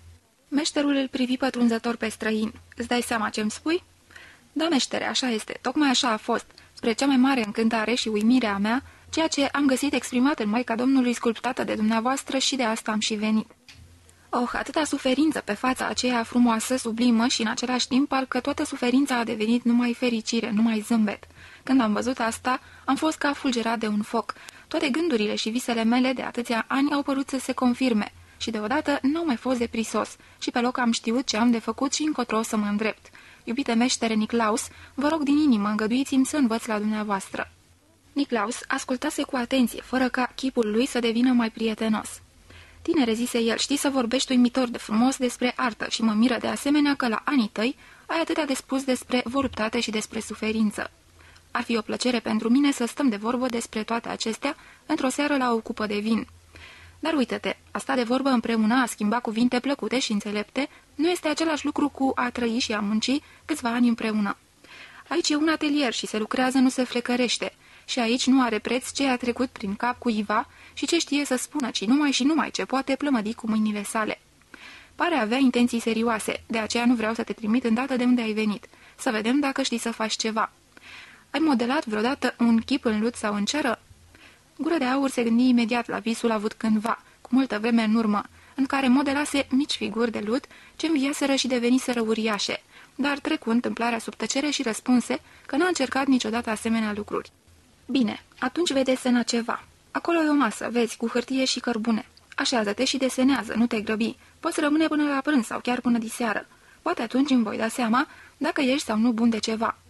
Așa, și acum am vorbit destul, eu trebuie să mă apuc de lucrul meu. Apucă-te și tu de al tău. Gură de aur se așeză pe scaunul pe care îl indicase Niclaus la masa de desen. Nu se grăbi cu lucrarea. Întâi stete și așteptă liniștit, asemenea unui școlar intimidat, uitându-se cu nesaț, curios și plin de dragoste spre celălalt capăt al sării, la meșterul care îi întors pe jumătate cu spatele și continua lucrul la o statuie mică de lut. Privea cu atenție la acest bărbat în al cărui cap sever, ușor încărunțit și în ale cărui mâini de meșteșugar, aspre, dar nobile și însuflețite, se rășuiau splendide puteri de vrăjitor. Arăta altfel decât și-l închipuise gură de aur, mai bătrân, mai modest, mai lucid, mult mai puțin strălucitor și cuceritor și de fel fericit. Tăișul necruțător al privirii sale scormonitoare era acum ațintit asupra lucrului, astfel că, ferit de ochii lui, gură de aur cercetă cu grijă înfățișarea meșterului în ansamblul ei. Omul acesta, gândi el, ar fi putut deveni la fel de bine un cărturar, un cercetător tăcut, sever, care și-ar fi închinat viața unei opere, începută înaintea lui, de un șir întreg de antecesori, și pe care, odată, va trebui la rândul să o lase moștenire urmașilor, o operă tenace, de lungă durată, ce nu se isprăvește nici când, și care adună în sine munca și abnegația multor generații. Acestea toate le citea observatorul privind capul meșterului. Erau înscrise acolo multă răbdare, multă învățătură dobândită și cugetare, multă modestie și cunoaștere a valorii îndoielnice a oricărei munci omenești, dar și credință în propria lui misiune. Altul era limbajul mâinilor sale, ele contraziceau chipul. Mâinile acestea apucau cu degete sigure, dar și foarte sensibile, lutul pe care îl modelau. Atingeau lutul ca mâinile unui amant, pe iubita ce îi se dăruise în întregime. Îndrăgostite, pline de tremurul fin al simțirii, doritoare, dar fără să deosebească între a lua și a da, voluptoase și pioase în același timp, sigure și măestre, ca înțelepțite de o străveche profundă cunoaștere. Gură de aur urmărea încântat și plin de admirație mișcarea acestor mâini binecuvântate. Cu dragă inimă l-ar fi desenat pe meșter de n-ar fi stăruit acel contrast între față și mâini care îl paraliza. După ce îl privise poate vreun ceas pe artistul care, singur cu sine, își vedea de lucrul său, după ce îi scodise cu gândul taina acestui om, O altă imagine începu să se formeze în el, arătându-se ochilor sufletului său. Imaginea omului pe care îl cunoștea cel mai bine dintre toți, pe care îl iubise foarte mult și îl admirase cu ardoare. Iar această imagine era fără fisuri și contradicții, deși purta și ea trăsături diverse și amintea de multe înfruntări. Era imaginea prietenului său Narcis. Ea se adună tot mai densă într-o unitate, într-un întreg, tot mai limpede ieșea la lumină în această imagine a sa, legea lăuntrică a acestui om iubit. Capul nobil era modelat de spirit, gura frumoasă, stăpânită și ochiul puțin trist, toate înăsprite și înnobilate de slujirea spiritului. Umerii înguști, gâtul prelung, mâinile subțiri, distinse, toate însuflețite de aspirația către spiritualizare. De atunci de când se despărțise de mănăstire, niciodată nu-și mai revăzuse atât de limpede prietenul. Niciodată nu avusese în sine imaginea lui atât de completă. Ca în vis, nu din voia sa, totuși plin de dăruire și ascultând parcă o poruncă, gura de aur începu să deseneze cu băgare de seamă, petrecându-și degetele drăgăstos cu evlavie împrejurul figurii ce sălășuia în inima lui. Și uită de meșter, de sine însuși și de locul în care se afla. Nu observă că lumina din sală se mutase încet, nici că meșterul își aruncase în câteva rânduri ochii spre dânsul. Ca o ofrandă rituală și împlinea datoria pe care și-o asumase, pe care i-o impusese inima lui, să înalțe imaginea prietenului și să o păstreze astfel cum ea trăia astăzi în sufletul său. Fără a o numi astfel în gând, socotea ceea ce înfăptuia în clipele acestea ca achitarea unei datorii, ca o recunoștință. Niclaus se apropie de el și zise, e vremea amiezii, mă duc la masă, poți veni și tu, ia să vă dai desenat ceva?" Trecu în spatele lui gură de aur și privi foaia cea mare, apoi îl dădu deoparte și o luă cu grijă în mâinile sale iscusite. Gură de aur se trezise din visul său și acum privea spre meșter cu așteptare sufocată de emoție. Meșterul ținea desenul cu ambele mâini și îl cerceta foarte atent cu privirea tăioasă a ochilor săi albaștri deschis severi. Cine e ăsta pe care mi l-ai desenat aici?" întrebă Niclaus după o vreme. Este prietenul meu, un tânăr călugăr și cărturar." Bine, spală-te pe mâini, colea în curte, ai să vezi fântâna. Apoi să mergem la masă. Calfele mele nu sunt aici, lucrează în altă parte. Gură de aur se duse ascultător, găsi curtea și fântâna, își spălă mâinile și ar fi dat mult să cunoască gândurile meșterului. Când se întoarse, Niclaus era plecat din atelier. Îl auzi trebăluind în odaia vecină. Când reapăru, văzu că și el se spălase și în locul șorțului purta o haină frumoasă de postav, în care arăta impunător și solemn. O luă înainte pe scări în sus. Pilaștrii balustradei din lemn de nuc aveau ciopite capete de îngerași. Trecură printr-o încăpere mai mică, înțesată de statui, mai vechi și mai noi, până ajunseră într-o odaie frumoasă, în care dușumeaua, pereții și tavanul erau din esență tare și unde în colțul de lângă fereastră aștepta o masă așternută. O fată veni într-un suflet, gură de aur o cunoștea, era fata frumoasă de aseară. Lisbeth, zise meșterul, trebuie să mai pui un tacâm, am adus un musafir. Este... Ei da, nici măcar nu-i cunosc numele. Gură de aur îi spuse, deci gură de aur, putem mânca? Într-o clipă, tată. Aduse o farfurie, ieși în fugă și se întoarse repede, însoțită de slujnică. Aceasta servi mâncarea, carne de porc, linte și pâine albă. În timpul mesei tatăl vorbi cu fata despre unele și altele. Gură de aur șezut tăcut, mâncă puțin și se simți foarte nesigur și stingerit. Fata îi plăcu grozav. Era o apariție impunătoare, frumoasă, aproape tot atât de înaltă ca și tatăl ei, însă ședea cuvincioasă și cu desăvârșire inaccesibilă ca sub sticlă. Nu-i adresă străinului nici vorbe, nici priviri. După ce masa se isprăvi, meșterul zise, Vreau să mă odihnesc jumătate de ceas. Tu du-te în atelier sau pierdeți vremea pe undeva, pe afară. După aceea vom sta de vorbă despre cele ce avem de făcut." Gură de aur ieși salutând. Trecuse un ceas poate mai bine decât meșterul îi văzuse desenul, dar nu-i spusese nicio vorbă despre el. Și acum să mai aștepte altă jumătate de oră. E bine, n-avea de ales, așa că așteptă. Nu se duse în atelier, nu voia să-și revadă acum desenul. Ieși în curte, se așeză pe șgheabul fântânii și privi firul de apă ce se scurgea necontenit din țeavă, care încovată adâncă de piatră, stârnea în cădere valuri minuscule și ducea cu el în adânc puțin aer, care urca apoi în bule albe îndărât la suprafață. În oglinda întunecată a fântânii își văzu propriul chip și se gândi că acest gură de aur care îl privește din apă nu mai este de mult gură de aur cel din mănăstire sau gură de aur al Lidiei, dar nici gură de aur al pădurilor nu mai este. Se gândi că idoma fiecărui om se trece și el, parcă scurgându-se și schimbându-se într-una, iar la sfârșit se va risipi, în vreme ce imaginea plăsmuită de artist rămâne veșnic aceeași, neschimbată. Poate că rădăcina oricărei arte, gândi el, poate chiar rădăcina tot ce spirit, este numai spaima în fața morții. Ne temem de ea, ne înfiorăm întâlnind efemerul, observăm cu tristețe cum mereu florile se ofilesc și frunzele cad și simțim în inima noastră certitudinea că și noi suntem trecători și în scurt timp ne vom ofili. Iar dacă, artiști fiind, făurim imagini sau gânditori fiind, căutăm legi și formulăm idei, o facem pentru a salva totuși ceva din marele dans macabru, pentru a construi ceva ce are o existență mai durabilă decât noi înșine. Femeia după care își modelase meșterul Madonna cea frumoasă este poate ofilită sau moartă și în curând va fi și el mort. Alții vor locui în casa lui, vor mânca la masa lui, dar opera sa va stărui neschimbată, va străluci în biserica liniștită a mănăstirii și peste o sută de ani, sau mult mai mulți, și va rămâne pururea frumoasă și va zâmbi pururea cu aceeași gură înfloritoare și tristă totodată. Îl auzi pe meșter coborând scările și alergă în atelier. Meșterul Niclaus se plimbă încolo și încoace, se uită de câteva ori la desenul lui Gură de Aur, în sfârșit se opri în dreptul ferestrei și zise, în felul său cam tărăgănat și sec. La noi e obiceiul ca ucenicul să învețe cel puțin patru ani și tatăl său să plătească bani pentru această învățătură. Deoarece făcu o pauză, Gură de Aur crezu că meșterul se teme că nu va primi de la el plata pentru învățătură. Scoase fulgerător cuțitul din buzunar, tăie cusătura din jurul ducatului ascuns și îl pescui din ascunziș. În toată vremea asta, Niclaus îl privi uimit și când gură de aur îi întinse moneda, începu să râdă. Ah, asta ai crezut?" făcu el. Nu, tinere, păstrează-ți ducatul și acum ascultă-mă."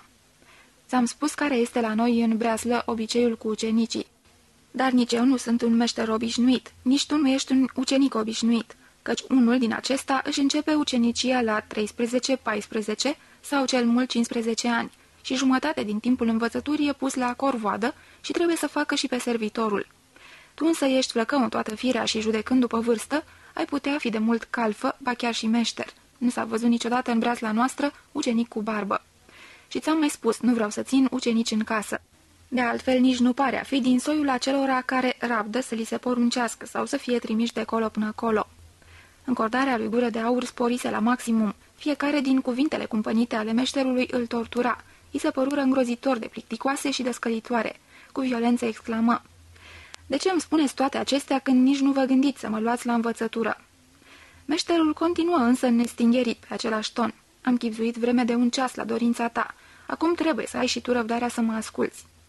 Ți-am văzut desenul. Are greșeli, dar este totuși frumos. De n-ar fi, ți-aș fi dăruit o jumătate de galben, ți-aș fi dat drumul și te-aș fi uitat. Nu vreau să-ți spun mai multe despre desen. Doresc să te ajut să devii un artist. Poate că ești chemat pentru aceasta. Dar ucenic nu mai poți fi. Pe de altă parte, cine nu a fost ucenic și nu și-a făcut ani de ucenicie, nu poate ajunge în breasla noastră, nici calfă, nici meșter. Să știi din capul locului. Vei face însă o încercare. Dacă ți-e cu putință să rămâi câtva timp aici în oraș, vei veni la mine ca să înveți câte ceva. Fără obligații și fără contract. Poți pleca când ți-e voia. Ai să rupi la mine câteva cuțite de cioplitor, ai să strici câțiva butuci de lemn și dacă se va dovedi că nu ești chemat să devii sculptor, nu vei avea încotro și va trebui să-ți cauți altceva. Ești mulțumit cu atât?" Gură de aur îl ascultase rușinat și mișcat. Vă mulțumesc din inimă," strigă el. Fiind hoinar de felul meu, vă știți să mă descurc aici în oraș tot atât de bine ca și afară în păduri. Înțeleg că nu vreți să luați asupra dumneavoastră grija și răspunderea pentru mine ca pentru un ucenic. Socotesc un mare noroc că mi-e îngăduit să învăț la dumneavoastră. Din inimă vă mulțumesc că faceți asta pentru mine. Capitolul 11 Imagini noi îl împresurau pe gură de aur aici în oraș. O nouă viață începea pentru el. După cum meleagurile și orașul acesta îl primiseră cu blândețe învietoare și dărnicie, tot așa viața aceasta nouă îi ieșea în cale cu bucurie și multe făgăduieli. Chiar dacă în străfundurile sale triste și știutoare, sufletul îi rămăsese neatins la suprafață, totuși viața lui se desfășura schimbând parcă felurite culori. Perioada care începu acu fu cea mai veselă, cea mai lipsită de necazuri din toată viața lui Gură de Aur. Afară îl întâmpina bogatul oraș de reședință episcopală, cu toate arterele sale, cu femei cu sute de jocuri și desfătări și imagini. În lăuntru, simțul său artistic, pe punctul de a se trezi, îl îmbogățea cu noi senzații și experiențe. Cu ajutorul meșterului găsia de post în casa unui aurar, la piața de pește, și atât de la meșter cât și de la aurar, învăță arta de a umbla cu lemnul, cu gipsul, cu vopselele, cu firnisul și cu foița de aur. El nu făcea parte dintre acei artiști nefericiți, care, deși sunt înzestrați cu daruri înalte, nu găsesc mijloacele potrivite pentru a le exprima.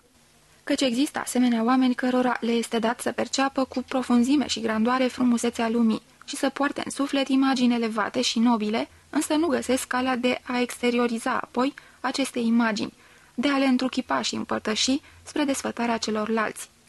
Gura de aur nu suferea de acest neajuns, îi venea ușor și îi plăcea să se folosească de mâinile sale și învăță trucurile și deprinderile meșteșugului, la fel cum o dinioară de sărbători îi venise ușor să învețe de la niște camarazi cântatul din lăută, iar duminica pe tăpșanele satelor dansul. Învăța ușor, parcă de la sine, fără efort. Adevărat, cu sculptatul în lemn fu nevoie totuși de strădanii serioase. A avut de înfruntat greutăți și dezamăgiri, ciopărți câte o bucată de lemn frumos și ștăie de câteva ori zdravând degetele. Dar depăși repede începuturile și deveni îndemânatic. Cu toate acestea, meșterul adesea era foarte nemulțumit de el și vorbea bunăoară astfel. E bine că nu ești ucenicul sau calfa mea gură de aur. E bine că știm amândoi că tu vii de pe drumul mare și din păduri și într-o bună zi tot acolo ai să te întorci. Cine n ști că nu ești nici orășan, nici meșteșugar, ci un om fără căpătâi, un vagabond ar putea fi ispitit să-ți ceară una sau alta, din cele pe care în mod firesc le cere orice meșter oamenilor săi. Ești un lucrător destul de bun când n-ai toane, dar săptămâna trecută ai hoinărit două zile. Ieri ai dormit jumătate de zi în atelierul din curte, unde trebuia să lustruiești cei doi îngeri. Avea dreptate cu reproșurile sale și gură de aur le asculta în tăcere, fără să se dezvinovățească. Știa bine despre sine că nu este nici harnic, nici om de încredere. Atâta vreme cât munca îl captiva, îi punea probleme grele sau îi dădea prilejul să devină conștient și să se bucure de propria sa îndemânare, era un lucrător sârguincios. Munca manuală grea o executa fără nicio plăcere, iar acele lucrări, care nu erau dificile, dar pretindeau timp și hărnicie, cum sunt atât de multe în toate meșteșugurile și se cer îndeplinite cu devotament și răbdare, îi erau cel mai adesea nesuferite de-a binelea. El însuși rămânea câteodată uimit din pricina acestor sentimente. Oare cei câțiva ani de drumeție au fost de ajuns pentru a-l preface într-un leneș, într-un om pe care nu te puteai bizui? Era moștenirea mamei care creștea în el și începea să-l domine, sau ce anume îi lipsea? Își ducea foarte bine aminte de primii săi ani la mănăstire, când fusese un învățăcel, atât de zelos și de vrednic. Cum de găsise atunci atâta răbdare, iar acum ducea lipsă de ea. De ce izbutise să se dăruiască atât de neobozit sintaxei latinești și să învețe toate auristele acelea eline, care totuși în adâncul inimii nu avuseseră însemnătate pentru el. Cugeta uneori și își frământa mintea. În vremurile acelea îl călise și îl înaripase dragostea. Învățătura lui nu fusese decât o constantă încercare de a-l cuceri pe Narcis, iar dragostea acestuia putea fi câștigată doar pe calea respectului și a recunoașterii meritelor. Pe vremea aceea, pentru o privire de apreciere din partea dascălului său iubit, fusese în stare să se străduiască ore și zile întregi. Apoi ținta râvnită fusese atinsă. Narcis devenise prietenul său și, în mod ciudat, tocmai eruditul Narcis fusese cel care îi arătase inaptitudinea sa pentru cărturărie și invocase imaginea mamei pierdute. În locul cărturăriei, a vieții monahale și a virtuții, pusese răstăpânire pe el instinctele originare, viguroase, ale ființei sale. Sexul, dragostea de femei, impulsul spre libertate, drumeția. Însă apoi văzuse figura aceea a Mariei, făurită de meșter, descoperise artistul din el, pornise pe o cale nouă și prinsese din nou rădăcini. Iar acum ce se întâmplă? Încotro se îndreaptă drumul său, de unde vin opreliștile. Întâi nu reuși să-și dea seama, nu putea recunoaște decât că îl admira într-adevăr foarte mult pe meșterul Niclaus, însă nu-l iubea nici de cum, în felul în care îl iubise odinioară pe Narcis, ba câteodată, chiar îi plăcea să-l dezamăgească și să-l supere. Pe semne că tendința aceasta era pricinuită de dualitatea din ființa meșterului. Statuile ieșite din mâna lui Niclaus, în orice caz cele mai izbutite, constituiau pentru gură de aur idealuri demne de venerație, dar meșterul însuși nu era un ideal pentru el. Alături de artistul care cioplise acea maica a Domnului cu gura cea mai îndurerată și mai frumoasă cu putință, alături de vizionarul, de știutorul, ale cărui mâini erau în stare să preschimbe prin vrăjitorie experiențe și presimțiri profunde, în întrupări vizibile, să lășuia în meșterul Niclaus un al doilea om, un tată de familie și un meșter sever și întrucâtva fricos. Un văduv care împreună cu fiica lui și cu o slujnică urâtă, ducea în casa lui tăcută o viață tihnită și cam retrasă, iar acum se apăra cu strășnicie împotriva instinctelor dezlănțuite ale lui Gură de Aur, un bărbat care se acomodase cu o viață liniștită, cumpătată, foarte ordonată și cuvincioasă. Deși gură de aur îl respecta pe meșterul său, deși niciodată nu și-ar fi îngăduit să pună altora întrebări despre el sau să formuleze în fața altora judecăți asupra lui, totuși după un an știa până în cele mai mici amănunte tot ce se putea ști despre Niclaus. Meșterul era important pentru el, îl iubea și îl ura deopotrivă, îl zgândărea mereu și astfel, elevul pătrundea cu dragoste și neîncredere, cu dorință nesocotită de a cunoaște, în ascunzișurile felului său de a fi și al vieții sale. Vedea că la Niclaus în casă nu locuiau nici ucenici, nici calfe, deși era loc destul. Vedea că iese foarte rar și tot atât de rar invită musafiri. Observa cum își iubește fiica cea frumoasă cu o dragoste mișcătoare și plină de gelozie și caută să o ascundă de ochii tuturor. Mai știa de asemenea că în spatele abstinenței severe și premature a văduvului continuau să pulseze instincte vii, că în împrejurările rare când o comandă îl obliga, când și când la o călătorie de câteva zile, putea să se transforme și să întinerească în mod ciudat. Și odată chiar observă că într-un orășel străin unde instalau un amvon sculptat, Niclaus vizită într-o seară în mare taină o târfă plătită, iar după aceea zile întregi fu neliniștit și prost dispus. Cu timpul curiozității se adăugă și altceva ce îl reținea pe gură de aur în casa meșterului și dădea bătaie de cap. Era fiica sa, frumoasa Lisbeth, care îi plăcea foarte mult. Dădea numai rare ori ochii cu dânsa. Fata nu călca niciodată în atelier și el nu avea cum afla dacă nazurile ei și sfiala în fața bărbaților erau numai impuse de tată sau aparțineau firii ei proprii. Nu-i scăpă faptul că meșterul nu-l mai luă niciodată cu el la masă și că încerca să-i îngreuneze orice întâlnire cu fata. Lisbeth era o fecioară de mare preț, păzită cu grijă, înțelesese el, nu exista nicio nădejde de dragoste cu ea fără căsătorie. Iar cine voia să o ia în căsătorie, întâi trebuia să fie odras la unor oameni cum se cade și membru într-una din breslele superioare. Și apoi, pe cât cu putință, să mai aibă și bani și casă. Frumusețea lui Lisbeth, atât de deosebită de cea a pribegelor sau a țărâncilor, îl atrăsese pe gură de aur încă din prima zi. Era întrânsa ceva ce el încă nu cunoscuse, ceva ciudat ce l-atrăgea cu putere, dar în același timp îi stârnea neîncrederea, ba chiar îl supăra. O mare liniște și nevinovăție, o bună cuvință și o curățenie care totuși nu erau copilărești, căci în spatele cuvinței și manierelor ei frumoase se simțea răceală ascunsă și trufie. Astfel că nevinovăția ei nu-l mișca și nu-l dezarma, nu ar fi putut seduce niciodată o copilă, ci îl ațăța, ba chiar îl provoca. Îndată ce se familiarizase puțin cu silueta ei, făurindu-și o imagine lăuntrică, simți dorința de a plămădi din trânsa odată și odată o statuie. Dar nu așa cum arăta acum, ci cu trăsături vii, senzuale și îndurerate, nu o mică fecioară, ci o magdalenă. Adeseori își dorea să vadă această față calmă, frumoasă și nemișcată, cutremurându-se în sfârșit fie de voluptate, fie de durere, deschizându-se asemenea filelor unei cărți și dându-și taina în vileag. Și apoi mai era un alt chip care sălășuia în sufletul său și totuși nu-i aparținea în întregime, pe care dorea din răsputeri să-l prindă și să-l înfățișeze cândva ca artist, dar această a doua imagine îi se sustrăgea mereu și se întuneca. Era chipul mamei. Acest chip nu mai era de mult același ca odinioară, când îi reapăruse după convorbirile cu Narcis, revenind din pierdutele adâncime ale amintirilor. În zilele de drumeție, în nopțile de dragoste, în clipele de nostalgie, în cele când viața îi era în pericol și când se apropia de el moartea, acest chip matern se prefăcuse cu timpul și se îmbogățise. Devenise mai profund și mai complicat. Nu mai era imaginea propriei mame, ci din trăsăturile și culorile acesteia se închegase treptat imaginea unei mame, care nu mai era doar a lui, imaginea unei Eve, a unei mame a tuturor oamenilor, tot așa cum meșterul Niclaus înfățișase în câteva madone imaginea îndureratei Maicii a Domnului, cu o perfecțiune și o vigoare a expresiei care lui gură de aurii se păreau de nedepășit. Tot așa nădăjduia ca odată când va fi mai matur și mai sigur de talentul său, să înfățișeze el însuși imaginea mamei lumești, a mamei Eva, așa cum era înscrisă în inima lui, ca cea mai veche și cea mai sacră taină. Dar această icoană lăuntrică la început doar o imagine a amintirii despre propria sa mamă și dragostei lui față de ea, se afla în permanentă prefacere și creștere.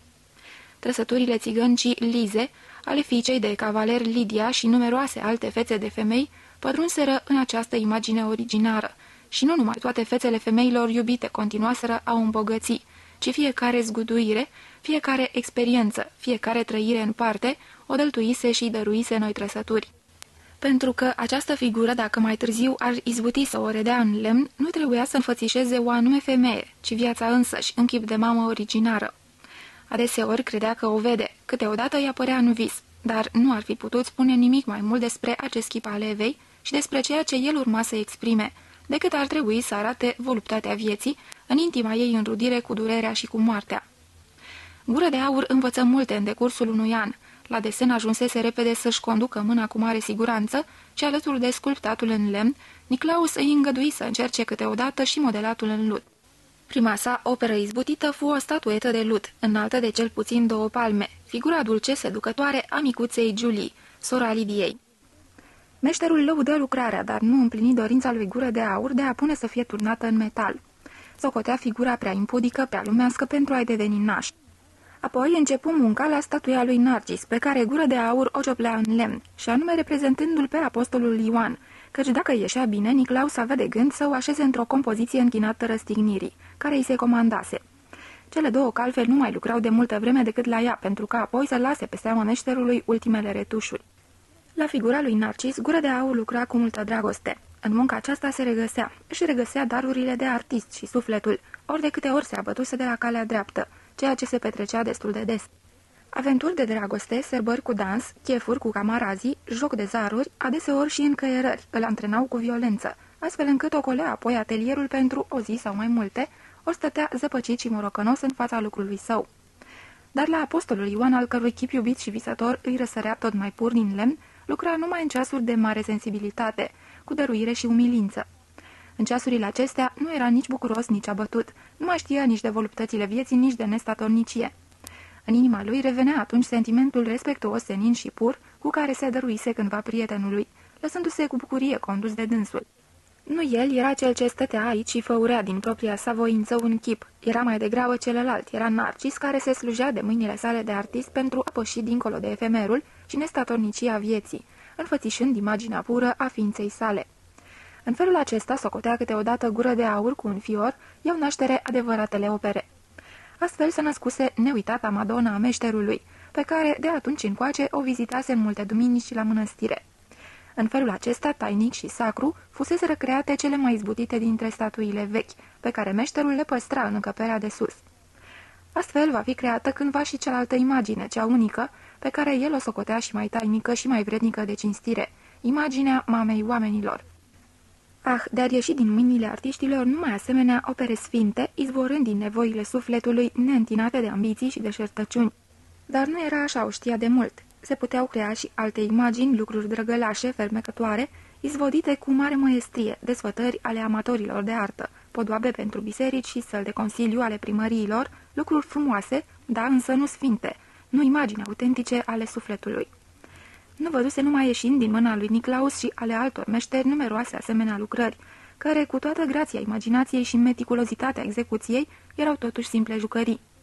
Spre rușina și tristețea lui cunoscuse și în propria sa inimă, simțise și în propriile sale mâini, în ce fel poate să dea un artist astfel de obiecte drăguțe lumii pentru plăcerea meșteșugului său, din trufie sau din joacă. În clipa când dobândi pentru prima oară această conștiință, se întristă de moarte. Ah, pentru a făuri statuete frumușele de îngerași sau alte fleacuri, fie ele oricât de plăcute, nu merită să fie artist. Pentru alții poate. Pentru meșteșugari, pentru burghezi, pentru sufletele domoale și mulțumite. Poate fi o satisfacție suficientă. Pentru el însă nu. Pentru el, arta și calitatea de artist erau fără de valoare, dacă nu aveau dogoarea soarelui și forța furtunii, dacă nu aduceau decât mulțumire și plăcere, decât fericire măruntă. El căuta altceva, să acopere cu foi de aur strălucitor coronița gingașă, fină ca dantela a unei marii, nu era o treabă pentru el, chiar dacă se plătea bine. De ce accepta meșterul Niclaus toate aceste însărcinări? De ce ținea două calfe? De ce stătea să asculte ceasuri întregi pe acești domni consilieri sau pe acești canonici care îi comandau un portal sau un amvon măsurat cu cotul? Din două motive, și anume din două motive meschine, fiindcă ținea să fie un artist renumit, copleșit de comenzi și fiindcă voia să adune bani, însă nu pentru a întreprinde fapte mari sau pentru a gusta desfătări, ci bani pentru fiica lui, care și așa era de multă moștenitoare bogată.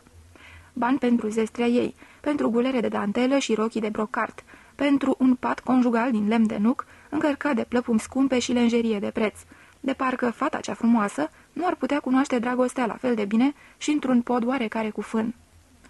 În ceasurile unor asemenea meditații, în gură de aur se răzvrătea sângele mamei, mândria și disprețul celor fără căpătâi, față de cei sedentari și avuți. Câteodată meșteșugul și meșterul îl îngrețoșau de potrivă, precum fasolea ațoasă, adeseori era gata să-și ia picioarele la spinare și să fugă. Și meșterul regretase amar în câteva rânduri că își făcuse de lucru cu acest tânăr dificil, în care nu se putea încrede și care îi punea de multe ori răbdarea la grea încercare. Ceea ce află despre felul de viață al lui Gură de Aur, despre indiferența lui față de bani și proprietate, despre pofta lui de risipă, despre amorurile lui numeroase, despre desele sale încăierări, nu era de natură să-l îmblânzească. Primise la el un țigan, un ins îndoielnic. De asemenea, nu-i scăpase nici cu ce ochi o privea acest vagabond pe fiică sa, Lisbeth. Dacă totuși vădea față de el mai multă răbdare decât i-ar fi făcut plăcere, nu făcea nici din pricina vreunui sentiment al datoriei, nici de teamă, ci de dragul apostolului Ioan, a cărui figură o vedea născându-se. Cu un sentiment de dragoste și de înrudire sufletească pe care nu și-l mărturisea în întregime nici sieși, meșterul urmărea pe acest țigan aciuat la el, drept din pădure, cum își modelează statuia după desenul atât de emoționant, de frumos și totuși atât de neîndemânatic, pentru care îl oprise atunci lângă el, cum modela încet și capricios, dar totuși dârz și fără greș, chipul din lemn al apostolului său. Cândva, în privința aceasta, meșterul n-avea nicio îndoială, statuia va fi isprăvită, în ciuda toanelor și a întreruperilor, și atunci va fi o operă cum niciuna din calfele sale nu ar fi putut făuri vreodată, cum până și meșterilor celor mai mari, numai rare ori le reușește. Oricât de multe displăceau meșterului la elevul său, oricât de darnic era cu dojana, oricât de des se înfuria, despre apostolul Ioan nu-i spunea niciodată vreun cuvânt. Urmele de grație tinerească și de farme copilăros pentru care gură de aur plăcuse atâtora se pierduseră cu încetul în cursul acestor ani. Devenise un bărbat frumos și voinic, foarte dorit de femei, foarte puțin agreat de bărbați. În firea lui, profilul său lăuntric se schimbase foarte mult de când Narcis îl trezise din somnul candid al anilor săi de mănăstire, de când lumea și drumețiile îl frământaseră ca pe un aluat. Din școlarul frumușel al mănăstirii, blând iubit de toți, pios și gata urcând să facă altora servicii, devenise de mult cu totul alt om. Narcis îl trezise, femeile îl făcuseră știutor, drumeția ștersese puful de pe el. Prieten nu avea, inima lui aparținea femeilor. Ele îl puteau câștiga cu ușurință, ajungea o singură privire încărcată de dorinți. Nu-i venea ușor să reziste niciunea, răspundea la cea mai slabă chemare. El, care avusese o sensibilitate specială față de frumusețe și dintotdeauna îndrăgise cel mai mult fetele tinere, în prima înflorire a lor, se lăsa mișcat și sedus și de femei mai puțin frumoase, chiar trecute de prima tinerețe. La Dan se întâmpla să rămână agățat de o fată oarecare mai trecută, lipsită de curaj, pe care nu o dorea nimeni și care îl câștiga pe calea milei, dar nu numai a milei, ci și a curiozității veșnic treze. Îndată ce începea să dărui unei femei, poate pentru niște săptămâni sau pentru numai câteva ceasuri, îi se părea frumoasă și el îi se dăruia în întregime. Și experiența îl învățase că fiecare femeie e frumoasă și în stare de a dărui fericire, că ființa cu înfățișare ștearsă, disprețuită de bărbați, este capabilă de o nemaipomenită dogoare și dăruire. Cea trecută de o gingășie dulce-amară, mai mult decât maternă, că fiecare femeie își are taina și vraja ei și deslușirea fiecăreia fericește. În privința aceasta, toate femeile erau la fel. Orice scădere în privința tinereții sau frumuseții era compensată de un alt farmec deosebit, numai că, firește, nu oricare din ele se dovedea în stare să-l rețină la fel de mult. Față de cea mai tânără și mai frumoasă nu era nici cu o fărâmă mai drăgăstos sau mai recunoscător decât față de cea lipsită de frumusețe. Niciodată nu iubea cu jumătate de măsură. Dar existau femei care, abia după trei sau după zece nopți de dragoste, îl cucereau de-a binelea, și altele care, chiar după prima, erau cunoscute și pe deplin date uitării. Dragostea și voluptatea îi se păreau singurele lucruri prin care viața poate într-adevăr să se umple de căldură și să dobândească valoare. Nu cunoștea ambiția, îi prețuia la fel și pe episcop și pe cerșetor. Nici câștigul sau avuția nu-l puteau lega, le disprețuia. N-ar fi făcut pentru ele niciodată cel mai mic sacrificiu, iar banii pe care îi câștiga în anumite perioade cu prisosință îi asvârlea fără asta pe gânduri. Dragostea femeilor, jocul sexelor, iată ce avea pentru el cea mai mare însemnătate și sâmburele deselor sale tristeți și plictiseli creștea din experiența instabilității și a naturii efemere a voluptăților. Vâlvătaia rapidă, fugară încântătoare a poftei de dragoste, arderea scurtă, plină de pasiune, stingerea neîntârziată, iată ce îi se părea a cuprinde esența tuturor trăirilor. Iată ce devenea pentru el imaginea tuturor desfătărilor și a suferințelor vieții. Se lăsa cu aceeași dăruire în voia acestei tristeți, acestui fior al vremelniciei, ca și în voia iubirii. Iar melancolia aceasta era și a dragoste, era și a voluptate. După cum, în clipa supremei încordări a fericirii de pline, voluptatea dragostei cuprinde certitudinea că se va spulbera și va muri odată cu următoarea respirație. Tot așa, cea mai adâncă singurătate și contopire cu melancolia cuprinde certitudinea că va fi brusc înlăturată de dorință, de o nouă contopire cu latura luminoasă a vieții. Moartea și plăcerea sunt una. Mama vieții poate fi numită iubire sau voluptate, dar de asemenea poate fi numită întoarcere în țărână și putrezire. Mama este Eva, ea este izvorul fericirii și izvorul morții. Ea naște veșnic, ucide veșnic, în ea se amestecă dragostea și cruzimea și cu cât o purta mai îndelung în inimă, cu atât mai mult, chipul ei devenea pildă și simbol sacru. Știa nu din vorbe și din rațiune, ci din profunda intuiție a sângelui, că drumul îl duce către această mamă, către voluptate și moarte. Latura paternă a vieții, spiritul, voința, nu erau patria lui. Acolo se simțea în largul său narcis și abia acum pătrunse și înțelese în întregime, gură de aur, cuvintele prietenului său și recunoscu în el contrariul propriei sale ființe și tocmai asta voi să reprezinte și să exprime el în chipul sculptat al apostolului Ioan.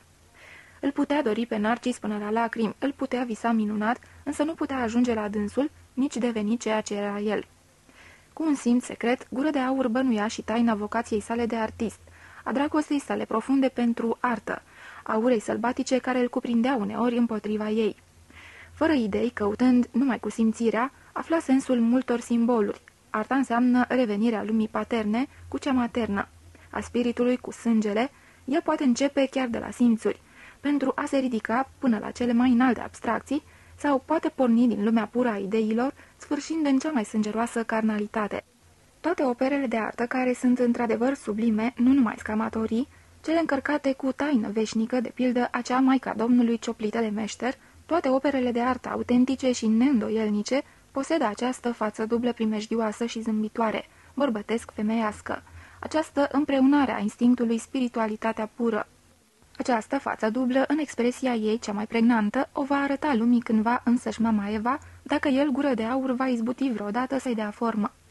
În artă și în existența de artist, gură de aur descoperea posibilitatea de a împăca cele mai adânci contradicții ale ființei lui și de a da grai superbului, mereu înnoitului simbol al dezbinării naturii sale.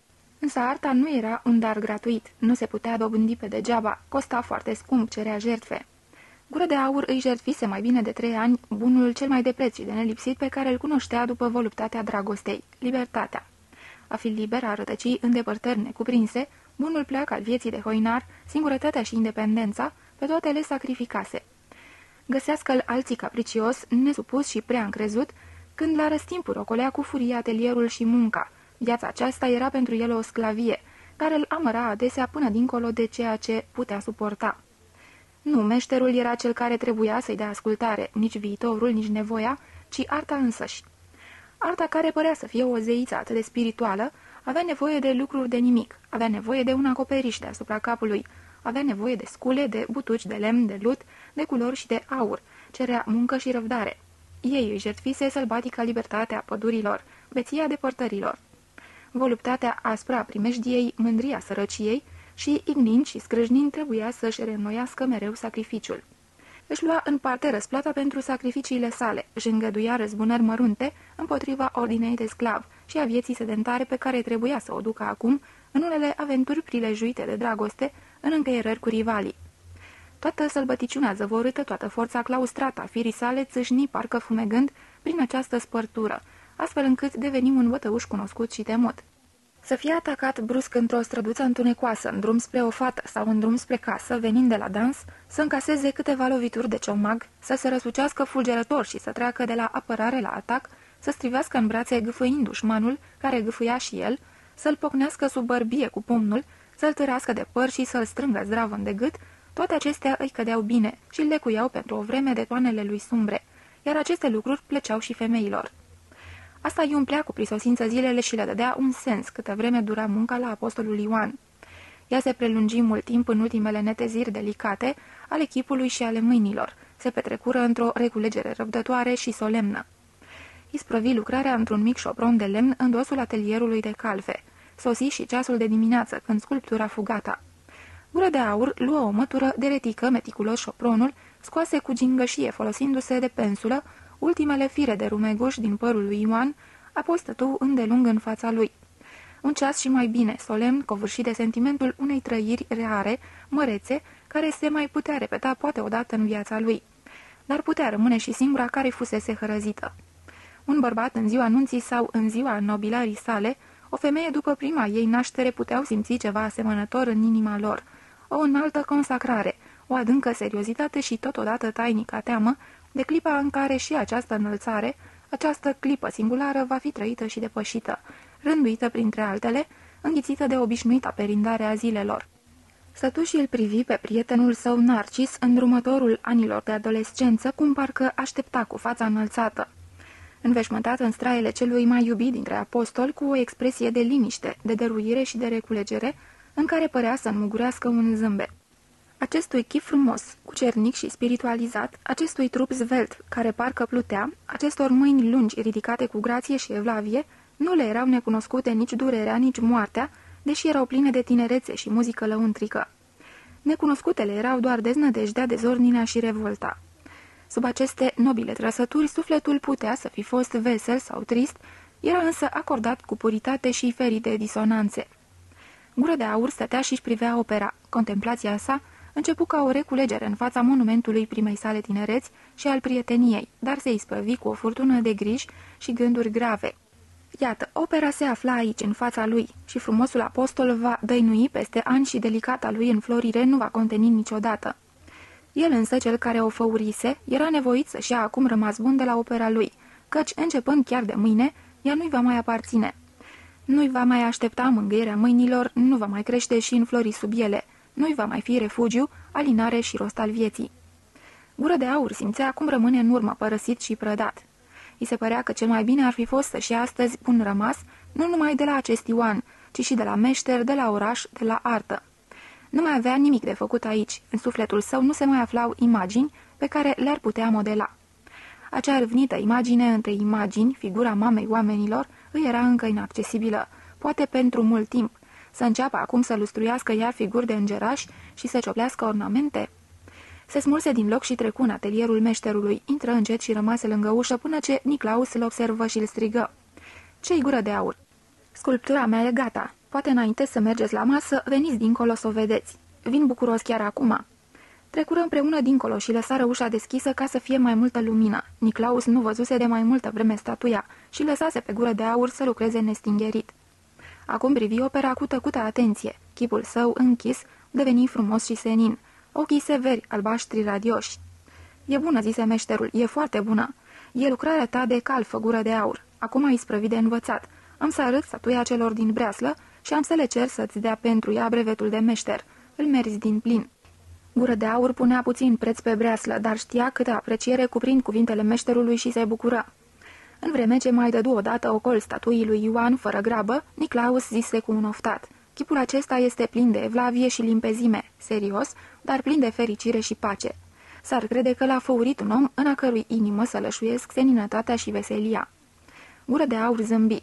Știți că în statuia aceasta nu m-am înfățișat pe mine, ci pe cel mai drag prieten al meu. El este cel care a adus în această sculptură limpezimea și pacea, nu eu. De fapt, nu eu am făurit-o, ci el mi-a sădit-o în suflet. Așa o fi zise Niclaus, rămâne o taină cum anume se naște o asemenea imagine. Eu nu sunt chiar modest, dar trebuie să-ți spun, am făcut multe opere care rămân departe în urma lucrării tale, nu în privința înfăptuirii artistice și a grijii pentru amănunt, ci în privința adevărului.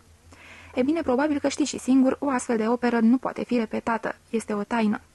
Da, zise gură de aur, când statuia a fost terminată și m-am uitat la ea, m-am gândit, nu mai poți face încă o dată ceva asemănător și de aceea și cred meștere că în curând voi porni din nou la drum.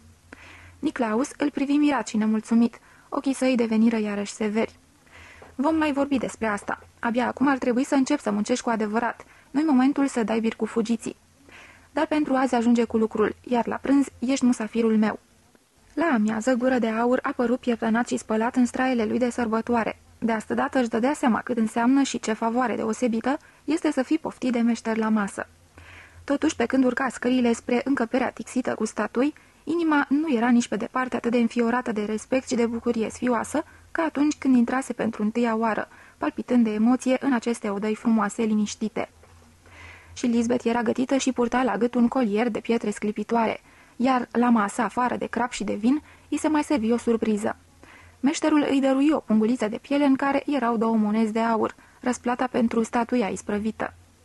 De asta dată nu mai stătu mut, nici gazdele nu se mai întreținură între ele. Amândoi îi adresară acum cuvântul și ciocniră cu el.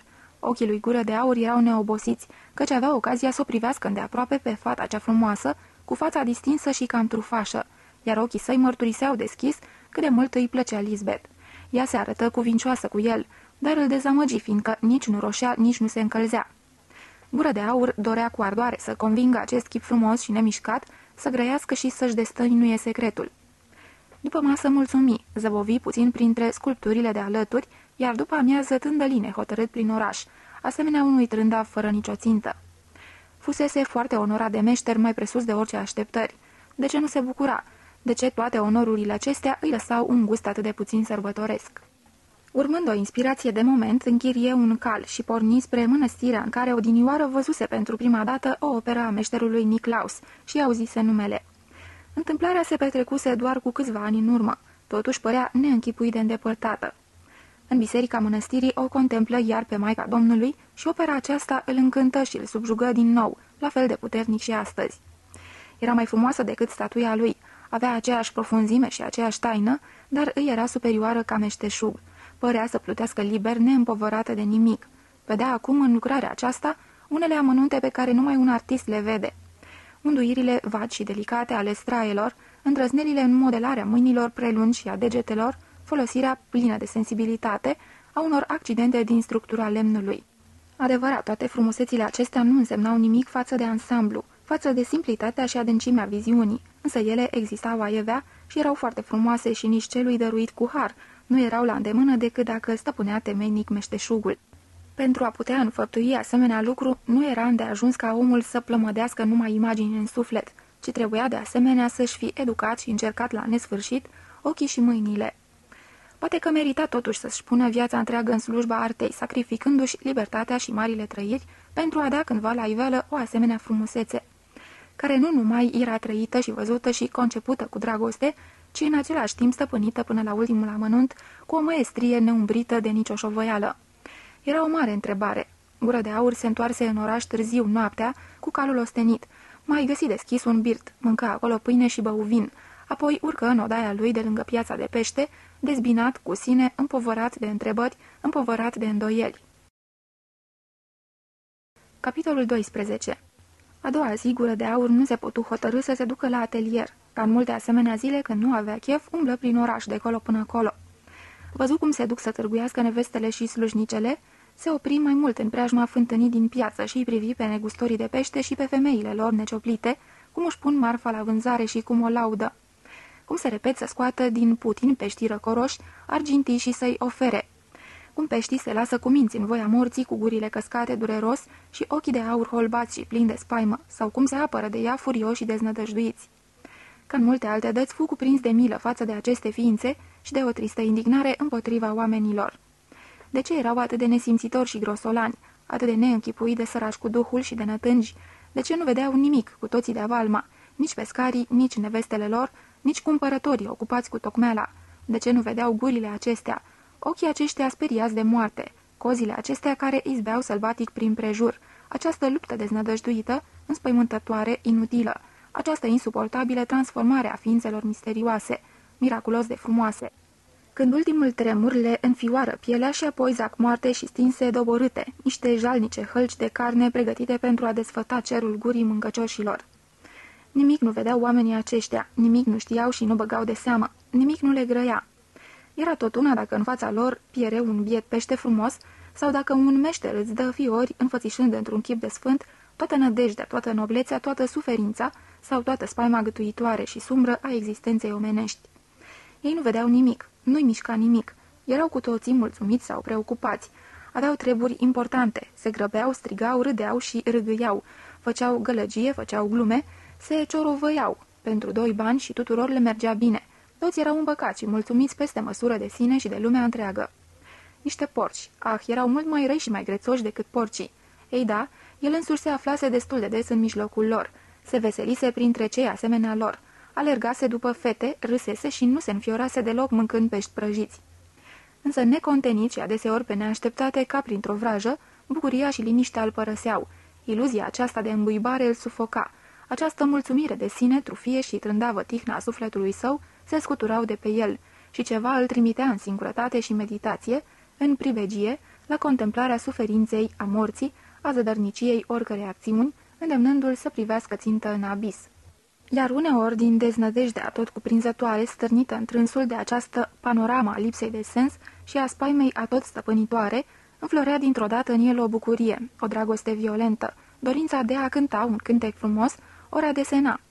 Sau în vreme ce mirosea o floare, se juca puțin cu o pisică, regăsea armonia copilăroasă a vieții. Sentimentul acesta s-ar putea întoarce și acum, mâine sau poi mâine, și lumea ar deveni iarăși bună, minunată. Până când s-ar înstăpâni din nou celelalte, tristețea, îngândurarea, dragostea disperată, sufocantă, pentru peștii muribunzi, pentru florile gata să se ofilească.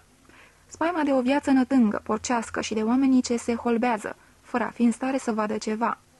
În asemenea clipe nu putea să nu se gândească îmboldit de o chinuitoare curiozitate și cu o dureroasă strângere de inimă la studentul pribeag Victor, căruia îi înfipsese cuțitul în coaste și îl părăsise zăcând pe crengile de brad, scăldat în sânge, și atunci se întreba iarăși și iarăși ce se întâmplase până la urmă cu acest Victor, dacă animalele îl înfulecaseră de tot sau dacă mai rămăsese ceva din el.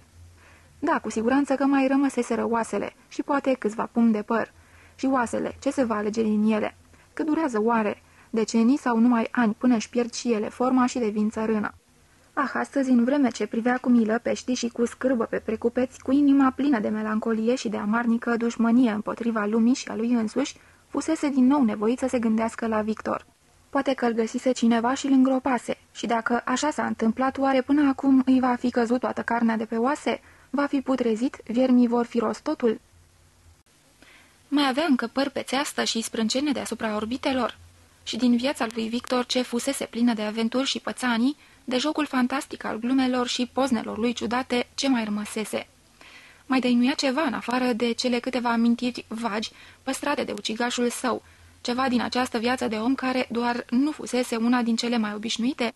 Mai exista un Victor în visele femeilor pe care le iubise odinioară? Ah, firește că totul era dus și risipit și la fel se petrece cu toate și cu toți. Înfloresc repede și se veștejesc repede, apoi omătul cade deasupra. Câte nu înfloriseră chiar în sufletul său, când cu câțiva ani înainte venise în orașul acesta, dorind cu sete să se dăruiască artei, plin de profundă, sfioasă admirație față de meșterul Niclaus. Mai supraviețuia ceva din toate acestea? Nimic, nu mai mult decât rămăsese din statura deșirată a bietului Victor. De ar fi spus atunci cineva că va veni ziua în care Niclaus îl va recunoaște ca pe egalul său și va cere Breslei brevetul de meșter pentru el, ar fi crezut că ține în mână tot norocul din lume. Dar acum totul nu mai era decât o floare trecută, ceva veștet și fără bucurie. Pe când cugeta astfel, gură de aur a avut deodată o viziune, dură doar o clipă, o tresărire fulgerătoare. Văzu fața mamei originare, aplecată de asupra abisului vieții, privind cu un zâmbet pierdut frumos și când o văzu cum privește cu acest zâmbet nașterile, morțile, florile, frunzele foșnitoare ale toamnei, arta mortăciunile putrezite.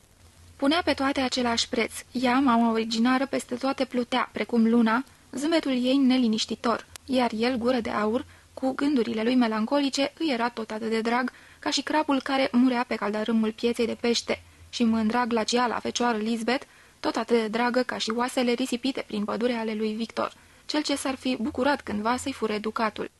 Apoi fulgerul se stinse, misteriosul chip al mamei dispăru, dar lumina ei pală continua să palpite în adâncurile sufletului lui gură de aur.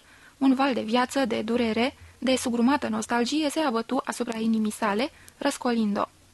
Nu, nu el, nu voia fericirea și îndestularea celorlalți, a cumpărătorilor de pește, a burghezilor, a oamenilor cu ocupații statornice. Să ia dracul pe toți. Ah, tresărirea acelei fețe pale, gura plină, pârguită ca o varză târzie, peste ale cărei buze răsfrânte alunecase un fugar zâmbe de moarte, precum suflarea vântului și lumina lunii. Gură de aur o porni către casa meșterului. Era ceasul amiezii. Așteptă până ce l-auzi pe Niclaus, părăsindu-și lucrul și spălându-și mâinile. Atunci intră la el. Îngăduiți-mi să vă spun câteva cuvinte, meștere. Pot vorbi în vreme ce vă spălați pe mâini și vă îmbrăcați haina.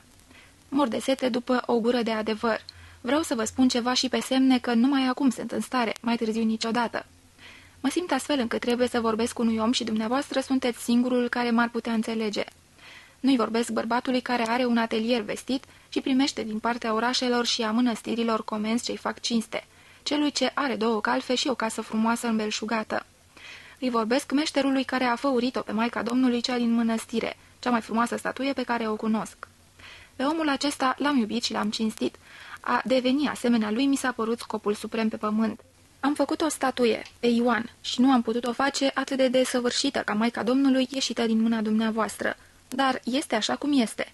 Altă sculptură n-am de făcut. Nu există niciuna acum care să mă cheme și să mă silească să o cioplesc. Mai curând există una, o imagine sfântă îndepărtată, pe care va trebui să o făuresc cândva, dar astăzi îmi este cu neputință. Pentru a o făuri trebuie să mai trăiesc și să mai cunosc foarte multe. Poate o voi putea făuri peste trei, peste patru ani sau poate peste zece. Chiar mai târziu, poate niciodată. Până atunci însă meștere nu vreau să-mi câștig pâinea cu meșteșugul și să lustruiesc sculpturi și să dăltuiesc amvoane și să duc o viață de meșteșugar de atelier și să câștig bani și să devin ceea ce sunt toți meșteșugarii. Nu, nu vreau asta, ci vreau să trăiesc și să umblu, să simt vara și iarna, să privesc lumea și să-i gust frumusețea și grozăvia ei. Vreau să sufăr de foame și de sete și vreau să uit și să lepă tot ce am trăit și am învățat aici la dumneavoastră. Aș vrea într-adevăr să făuresc ceva atât de frumos și atât de adânc mișcător, cum este statuia dumneavoastră, dar să devin ce sunteți și să trăiesc cum trăiți dumneavoastră mi este peste putință. Meșterul își spălase mâinile și le ștersese. După asta se întoarse și îl privi pe gură de aur. Fața lui era severă, dar nu mânioasă.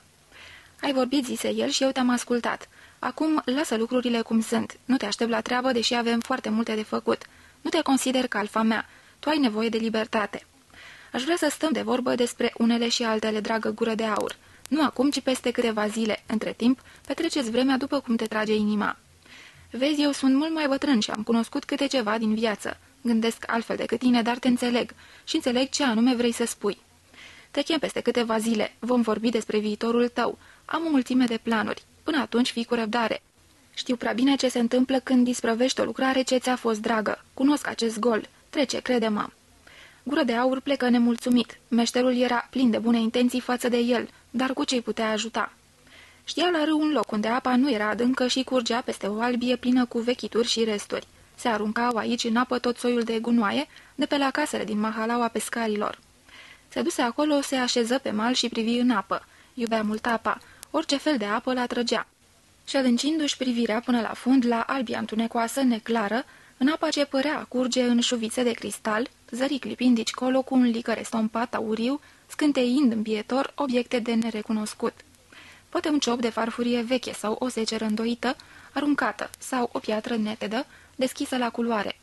Câteodată un pește de nămol, un mihalț gras sau o roșioară, care se răsucea acolo jos, prinzând pentru o secundă pe aripioarele albicioase de pe burtă și pe solzi câte o rază de lumină.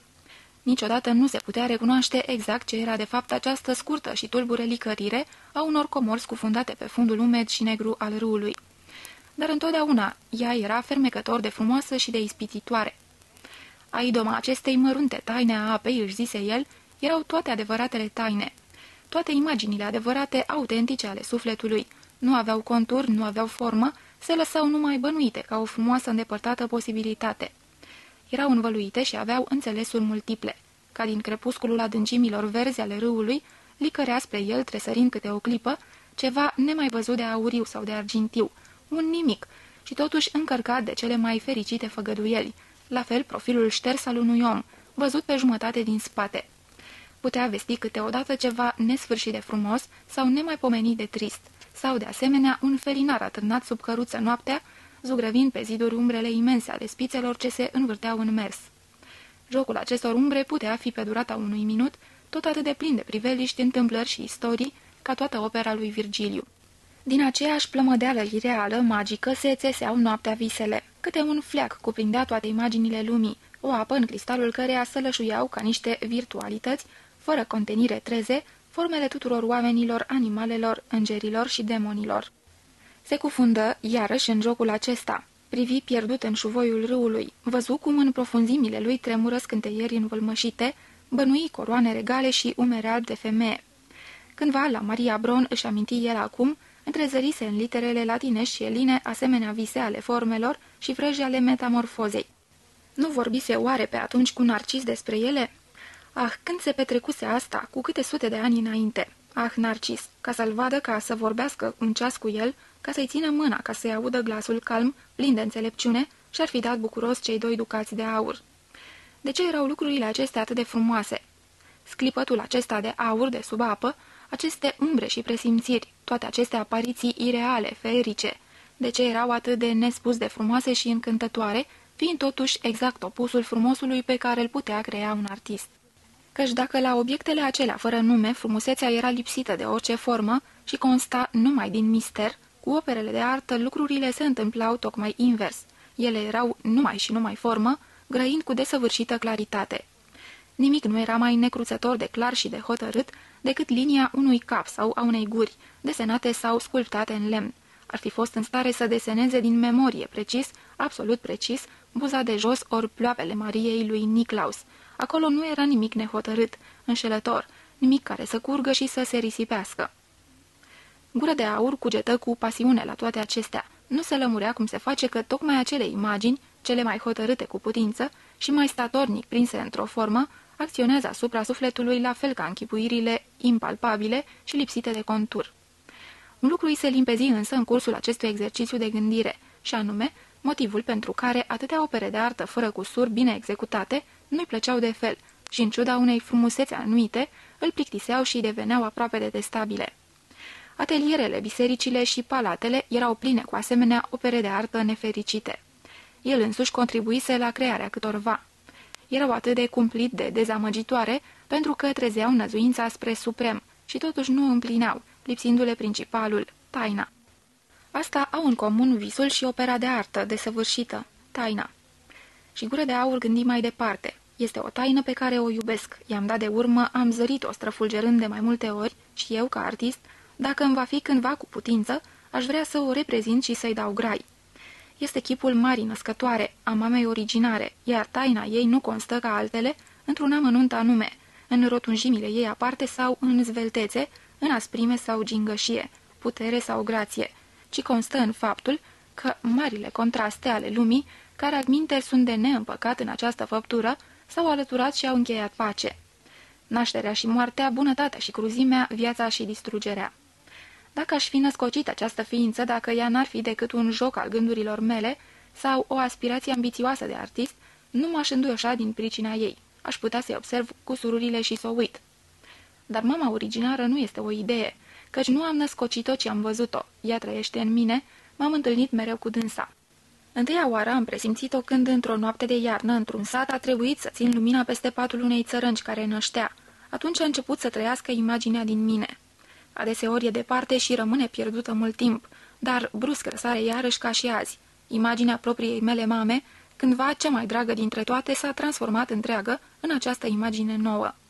E cuprinsă în ea ca sâmburele într-o cireașă. Își intuia acum cu limpezime situația prezentă, teama în fața unei hotărâri. Se afla numai puțin ca odinioară în ceasul despărțirii de Narcis și de mănăstire, pe o cale vitală pentru el. Calea care îl ducea spre mamă, Poate cândva mama va deveni o imagine palpabilă și vizibilă pentru toți, o operă a mâinilor sale. Poate că dincolo se găsea ținta, acolo stătea ascuns sensul vieții sale. Poate nu știa. Un lucru știa însă, a da ascultare mamei, a merge către ea, a fi atras și chemat de ea, asta era bine, asta era viață. Poate că niciodată nu va fi în stare să-i creeze imaginea, poate că ea va rămâne pentru totdeauna vis, presimțire, ispită, străfulgerare de aur a unei sfinte taine. Oricum era dator să o urmeze, să-i încredințeze destinul său. Ea era steaua lui călăuzitoare. Și acum hotărârea îi stătea la îndemână. Totul devenise limpede. Arta era un lucru frumos, dar nu o zeiță și un scop, nu pentru el. Nu artei trebuia să-i dea ascultare, ci numai chemării mamei. Ce-i folosea lui să aibă degetele tot mai îndemânatice. Se vedea la meșterul Niclaus unde duce această sporire a îndemânării. La faimă și nume, la bani și la viață sedentară, la secarea și degenerarea celor simțuri lăuntrice, care ele singure pot descoperi taina. La făurirea unor jucării drăguțe costisitoare, la tot soiul de altare și amvoane bogate. Un sfânt Sebastian și încă unul și încă unul și capete frumușele de îngeri bucălați, patru taleri bucata. Oh, aurul din ochiul unui crap și puful de argint, dulce și fin de pe marginea unei aripi de fluture, erau nesfârșit mai frumoase, mai vii, mai de preț decât o întreagă sală plină cu opere de artă. Un băiat venea cântând pe uliță în jos pe mal, din când în când cântecul său amuțea, căci el mușca dintr-o felie mare de pâine albă pe care o avea în mână. Gură de aur îl văzu și ceru o bucățică din pâinea lui, scormoni cu două degete miezul feliei și frământă din el cocoloașe mici. A plecat peste parapet, a zvârlit cocoloașele de pâine încet, unul după altul, jos în râu. Vedea cum se scufundă bila albă în apa întunecoasă. O vedea înconjurată de îmbulzeala agitată a capetelor de pești ce roiau în jurul ei. Până ce una din guri o înhăță, urmări cufundându-se și dispărând o bilă după alta și fu adânc mulțumit. Apoi se făcu foame și se duse la una din iubitele sale, slujnică în casa unui măcelar, pe care o botezase stăpâna cârnaților și a șuncilor. O momi la fereastra bucătăriei cu fluieratul obișnuit și avea de gând să primească de la ea câte ceva de alegurii pe care să le ia cu el sus deasupra râului, pe unul din dealurile cu vii, al căror pământ roșu gras se arăta vederii cu culoarea lui atât de vie de sub frunzișul bogat al viței, și unde primăvara înflorea hacintul albastru mirosind gingașa drupe. Dar părea a fi o zi a hotărârilor și a limpezirilor. Când Catherine apăru la fereastră zâmbindu-i cu fața ei plină, cam grosolană, când el întinse mâna ca să-i dea semnalul obișnuit, își aminti brusc de alte dăți, când stătuse aici la fel în așteptare. Și totodată prevăzu cu o claritate care îl plictisi ce se va petrece în minutele următoare. Cum va recunoaște ea semnalul și cum se va retrage, cum va apărea curând la ușa din dosul casei, ținând în mână vreo afumătură. Cum va lua el în primire cele aduse și între timp o va mângâia puțin și o va strânge la piept, gest pe care ea îl și așteptase. Și dintr-o dată îi se păru negrăit de prostesc și urât să repete toată această desfășurare mecanică a unor lucruri de atâtea ori trăite și să joace rolul dinainte știut de a lua în primire cărnatul, de a simți sânii voinici cum îi dau ghes și de a-i strânge ușor de parcă ar face și el un dar în schimb. I se păru deodată că vede pe fața ei bună, cărnoasă, o obișnuință lipsită de suflet, iar în zâmbetul ei prietenos, ceva de prea multe ori văzut, ceva mecanic lipsit de taină, ceva nedemn de el. Nu mai duse până la capăt obișnuitul gest al mâinii, zâmbetul îi îngheță pe față. O mai iubea oare? O mai dorea cu adevărat? Nu, de prea multe ori fusese aici, de prea multe ori văzuse mereu același zâmbet și răspunsese fără vreun imbold al inimii. Ceea ce ieri încă ar fi putut face, fără asta să judece, astăzi dintr-o dată nu mai era cu putință. Slujnica mai stătea și îl privea când el se și întoarse și dispăru din uliță, hotărât să nu se mai arate niciodată pe acolo. Mângâiei altul sânii, mănângei altul cârnații cei gustoși. De fapt, câte nu se înfulecau și se iroseau zi de zi în orașul acesta îmbuibat, mulțumit de sine. Ce leneși, ce răsfățați, ce mofturoși erau acești burghezi rotofei, de dragul cărora se măcelăreau zilnic atâția porci și viței și se scoteau din râu atâția pești frumoși, bietii de ei. Și el însuși cât se răsfățase și se stricase și el, ce scârbos de asemănător devenise cu burghezii dolofani. În drumețiile lui, pe câmpul înzepezit, o prună uscată sau o coajă de pâine veche avusese un gust mai grozav decât aici în îmbuibare, întreg banchetul unei bresle o drumeția, o libertatea, o câmpul luminat de lună și urma de animal prudent cercetată în iarba cenușiu umedă a dimineții. Aici, la oraș, printre cei așezați, toate mergeau atât de ușor și costau atât de puțin, chiar și dragostea. Dintr-o dată fu sătul, scuipă pe toate cele. Viața de aici își pierduse rostul. Era un os fără măduvă. Fusese frumoasă și și avusese rostul. Câtă vreme meșterul păruse a fi un ideal, iar Lisbeth o prințesă, fusese suportabilă câtă vreme lucrase la Ioan al său.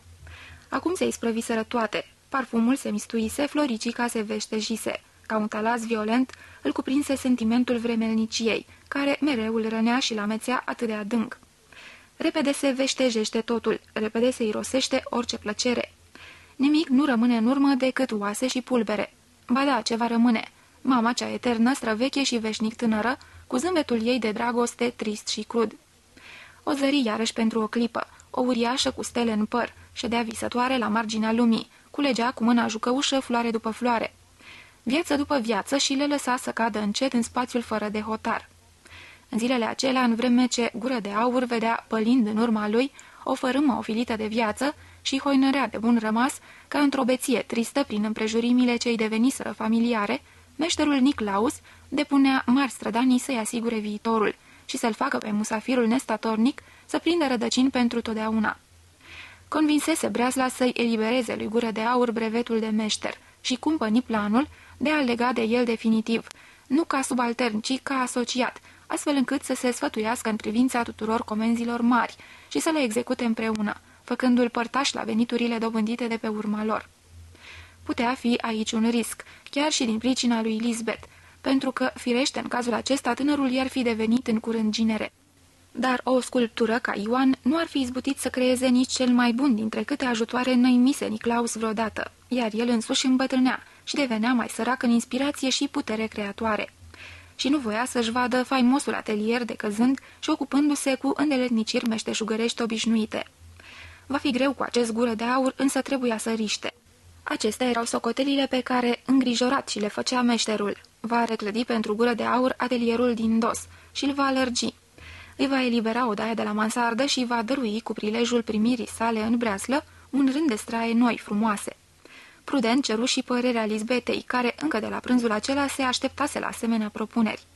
Și ca să vezi, Lisbet nu se împotrivea. Dacă flăcăul era așezat într-un cămin și își putea zice meșter, era mulțumită cu el. Nici în privința aceasta nu existau piedici, iar dacă meșterul Niclaus și meșteșugarul încă nu reușiseră să-l îmblânzească pe deplin pe acest țigan, Lisbeth, neîndoielnic va reuși până la urmă. Așa se puse totul la cale pentru prinderea păsăruicii și mumeala fu așezată cu grijă în laț. Și într-o zi se trimise după gură de aur care nu se mai arătase pe la meșter. Fu încă o dată invitat la masă.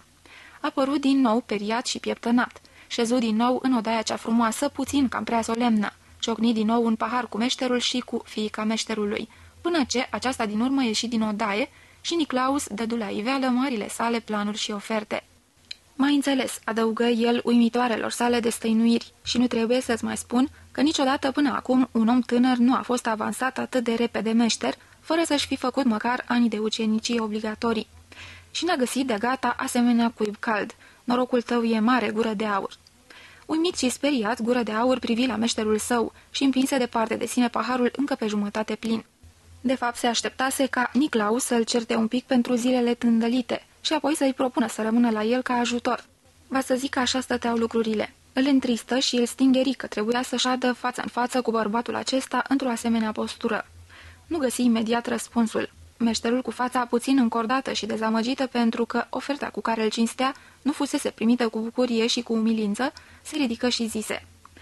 Ei bine, propunerea mea îți vine pe neașteptate. Poate că vrei întâi să te gândești. Recunosc că sunt puțin jignit. Am crezut că îți pregătesc o mare bucurie. Dar, mă rog, iată, îți dau răgaz de cugetare. Maestre, zise gură de aur, luptându-se pentru a-și găsi cuvintele. Nu fiți supărat pe mine. Vă mulțumesc din toată inima pentru bunăvoința dumneavoastră și vă mulțumesc încă și mai mult pentru răbdarea cu care m-ați tratat ca învățăcel. Nu voi uita niciodată cât vă sunt de îndatorat, dar răgați pentru cugetare nu-mi trebuiește. M-am hotărât de mult." La ce te-ai hotărât?" Am fost hotărât încă dinainte de a primi invitația domniei voastre și înainte de a avea habar de ofertele dumneavoastră care mă cinstesc. Nu mai pot rămâne aici, plec la drum." Palid la față, Niclaus îl privi cu ochi sumbri. Maestre, imploră gură de aur, credeți-mă, nu vreau să vă jignesc. V-am spus care mi-e hotărârea. Nu se mai poate schimba nimic. Trebuie să plec să călătoresc, să fiu iar liber. Îngăduiți-mi să vă mai mulțumesc o dată din inimă și îngăduiți-mi să ne despărțim prieteni. Îi întinse mâna, își simțea lacrimile aproape. Niclaus nu-i primi gestul, se albise la față și începu să umble prin odaie din ce în ce mai repede. Pașii săi apăsați, vădindu-i furia. Niciodată gură de aur nu-l mai văzuse într-o asemenea stare. Apoi, brusc, meșterul se opri locului, se stăpâni și cu un efort puternic zise, fără a-l privi pe gură de aur, șuierând printre dinți. Bine, atunci du-te, dar du-te imediat. Să nu te mai văd. Nu cumva să fac și să spun ceva ce aș putea să regret mai târziu. Du-te. Gură de aur îi mai întinse odată mâna. Meșterul făcu o mină de parcă ar fi fost gata să o scuipe. Atunci gură de aur care pălise și el se întoarse și ieși încet din odaie. Își puse afară boneta, se strecură în jos pe scări, lăsându-și mâna să alunece peste capetele sculptate ale pilaștrilor balustradei. Intră în micul atelier din curte, rămase puțin de adio în fața statuii lui Ioan, apoi părăsi casa cu o durere mai adâncă în inimă decât cea pe care o simțise odinioară la despărțirea de castelul cavalerului și de biata Lidia.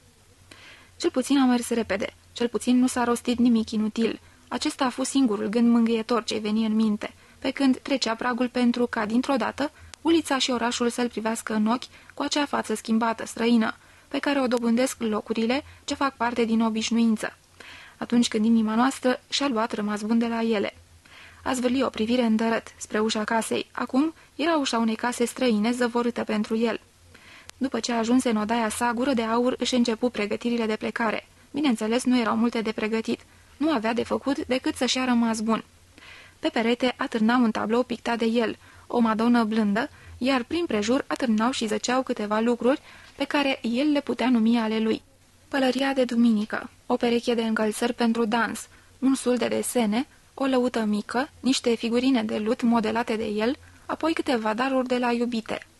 Un buchet de flori artificiale, un pocal roșu rubiniu, o turtă dulce veche și uscată, în formă de inimă și alte asemenea mărunțișuri. Fiecare dintre ele și avusese însemnătatea și povestea sa și fusese drag, dar acum toate erau numai vechituri care îl încurcau, căci la drum nu putea lua cu el niciuna. Izbuti măcar să schimbe cu proprietarul casei pocalul rubiniu pe un cuțit de vânătoare solid bun, pe care l-a scuțit la tocila din curte, fără miță, turta dulce și hrăni cu ea găinile din odaia vecină. Dărui Madonna gazdei și primi în schimb un dar folositor, o raniță veche de piele și provizii bogate pentru drum. În raniță împachetă cele câteva cămăși pe care le avea și câteva desene mai mici, înfășurate în jurul unei cozi de mătură, iar alături așeză bucatele. Mărunțișurile celelalte trebuiau lăsate aici. Existau mai multe femei în oraș de la care s-ar fi cuvenit să-și a rămas bun. La una din ele dormise chiar ieri, fără să-i pomenească de planurile sale. Da, așa se agață câte ceva cascaiul de tine, când vrei să o pornești la drum. Nimic nu trebuie luat în serios. Nu-și luă rămas bun de la nimeni afară de cei ai casei. O făcu de cu seară pentru a putea porni la drum, de cum să o crăpa de ziua. Totuși cineva se sculase de dimineață și, tocmai când dădea să părăsească în liniște casa, îl chemă în bucătărie la o cană cu lapte. Era fiica gazdelor, o copilă de 15 ani, o ființă tăcută, bolnăvicioasă, cu ochi frumoși, dar cu o vătămătură la încheietura șoldului, din pricina căreia șchiopăta. Se numea Marie, cu fața nedormită, palidă de tot, dar îngrijit îmbrăcată și pieptănată, îl servi în bucătărie cu lapte fierbinte și pâine. Și păru foarte întristată de plecarea lui. El îi mulțumi și de bun rămas o sărută milos pe gura micuță. Reculeasă cu ochii închiși primia sărutarea. Capitolul 13 În vremea din tâi a noii sale pribegii, în prima amețeală la coma a libertății redobândite, Gură de aur fu nevoit să învețe iarăși să trăiască viața fără căpătâi și fără ceasornic a hoinarilor. Nedând ascultare nimănui, dependenți numai de vreme și de anotimp, fără țintă în fața ochilor, fără acoperiș deasupra capului, neposedând nimic și primind cu brațele deschise tot ce le trimitea întâmplarea, astfel își duc pribegii viața copilăroasă și vitează, sărăcăcioasă și vașnică. Sunt fiii lui Adam, cel izgonit din paradis, sunt frații animalelor nevinovate, Iau din mâna cerului ceas de ceas ceea ce li se dă. Soare, ploaie, ceață, zăpadă, căldură și frig, bunăstare și nevoie. Pentru ei nu există timp, nici istorie, nici ambiție și nici acel idol ciudat al prosperității și progresului, căruia îi se închină cu atâta disperare proprietarii de case. Un vagabond poate fi delicat sau aspru, rafinat sau grosolan, temerar sau fricos, însă în inima sa rămâne mereu copil. Trăiește mereu în ziua întâia, înainte să înceapă istoria lumii. Viața lui e condusă mereu de puține și simple instincte și nevoi. Poate fi deștept sau prost, poate ști adânc în sine cât de fragilă și nestatornică e orice viață, cât de sărmană și de înfricoșată își poartă orice vietate, puținul sânge fierbinte prin viața spațiilor cosmice. Sau poate asculta numai copilărește și lacom de poruncile bietului său stomac. Întotdeauna este opusul și dușmanul de moarte al celui avut, al sedentarului care îl urăște, îl disprețuiește și se teme de el, pentru că nu vrea să îi se aducă aminte de efemerul existenței, de o filire necontenită a tot ce e viață, de moartea implacabilă, glacială, care, de jur împrejurul nostru, umple universul. Nevinovăția copilăroasă a vieții de vagabond, originea ei maternă, adversitatea ei față de lege și spirit, Vulnerabilitatea ei și tainica, permanenta vecinătate a morții, cuprinseseră și modelaseră de mult sufletul lui Gură de Aur, iar faptul că în el sălășuia totuși spirit și voință, că era totuși un artist, îi îmbogățea și îngreuna viața. Căci orice viață devine bogată și înfloritoare prin dislocări și contraste. Ce-ar fi rațiunea și luciditatea pentru cel care n-a cunoscut amețeala, ce-ar fi voluptatea simțurilor dacă în spatele ei nu s-ar ascunde moartea și ce-ar fi dragostea fără eterna dușmănie neîmpăcată a sexelor. Vara și toamna scăpătară, gură de aur trecut trudnic prin lunile grele. Hoinării amețit în primăvara cu miresme dulci, anotimpurile se perindau în goană, soarele înalt al verii cobora iarăși spre orizont. Trecu an după an și se părea că gură de aur uitase că pe pământ mai există și altceva, afară de foame și dragoste, și că această tăcută înfiorătoare grabă a anotimpurilor se părea că se cufundase complet în lumea originară, maternă instinctelor. Dar în fiecare vis și în fiecare popas însoțit de gânduri, lăsându-și privirea să colinde peste văile înfloritoare sau veștede, era plin de ceea ce văzuse. Era artist, suferea din pricina nostalgiei chinuitoare, a dorințelor de a invoca prin spirit și de a preface în sens absurditatea candidă și trecătoare a vieții.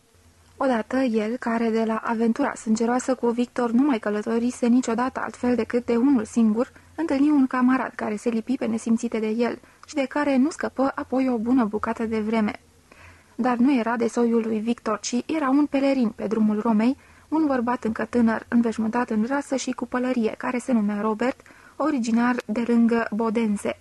Omul acesta, fiu de meseriaș, care un timp făcuse școala la călugării Sfântului Galus, își vârâse în cap încă de copil să meargă în pelerinaj la Roma. Rămăsese întotdeauna devotat acestui gând cel mai drag al său și folosise primul prilej pentru a-l înfăptui. Prilejul acesta fu moartea tatălui său în atelierul căruia lucrase ca tâmplar.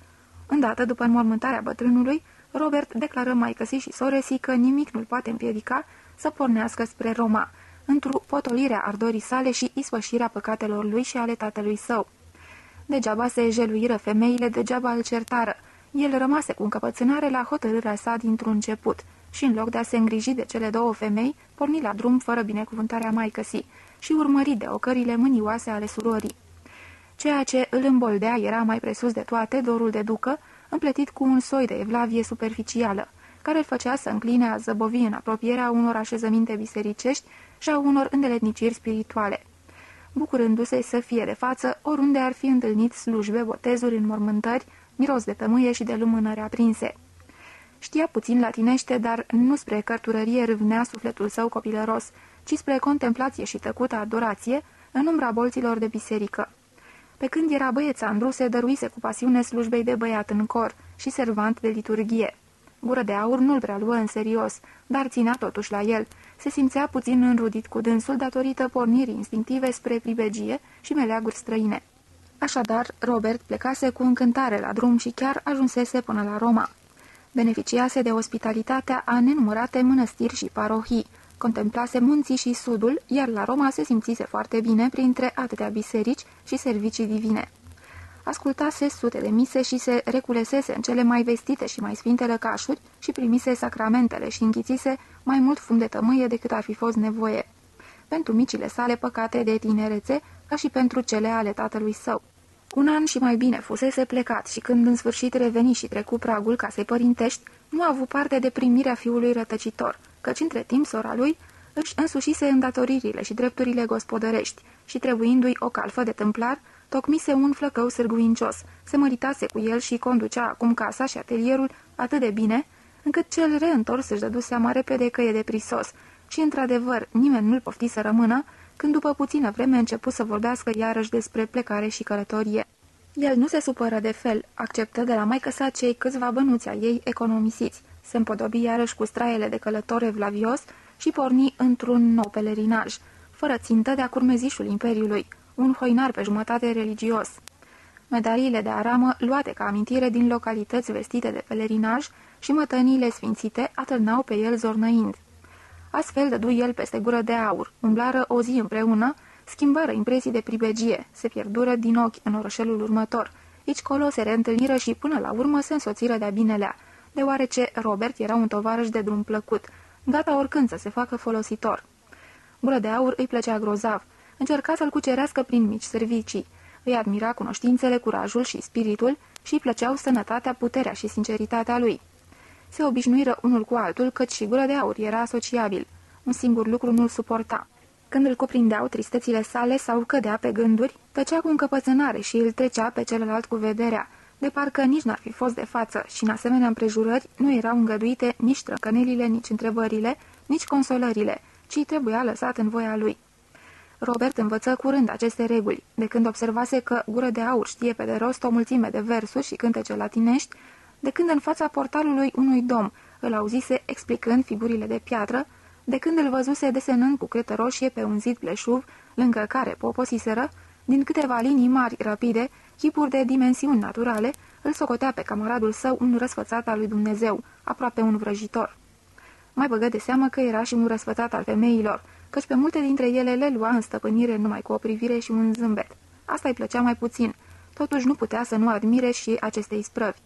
Odată călătoria lor fu întreruptă într-un fel neașteptat. Într-o zi sosiră în preajma unui sat, iar acolo îi întâmpină o ceată de țărani înarmați cu ciomege, prăjini și îmblaci, iar cei din fruntea lor le strigară de departe să se întoarcă din drum și să se ducă unde și-a înțărcat dracul copiii, altmiterii omoară.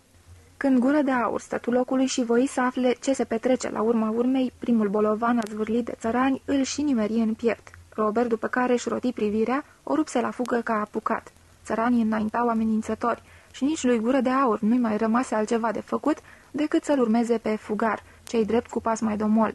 Tremurând, Robert îl aștepta la picioarele unei cruci cu mântuitorul răstignit, înălțată în mijlocul câmpului. Ai fugit ca un erou," râse gură de aur. Dar ce au neciopliții ăștia în căpățână? Să fie oare război?"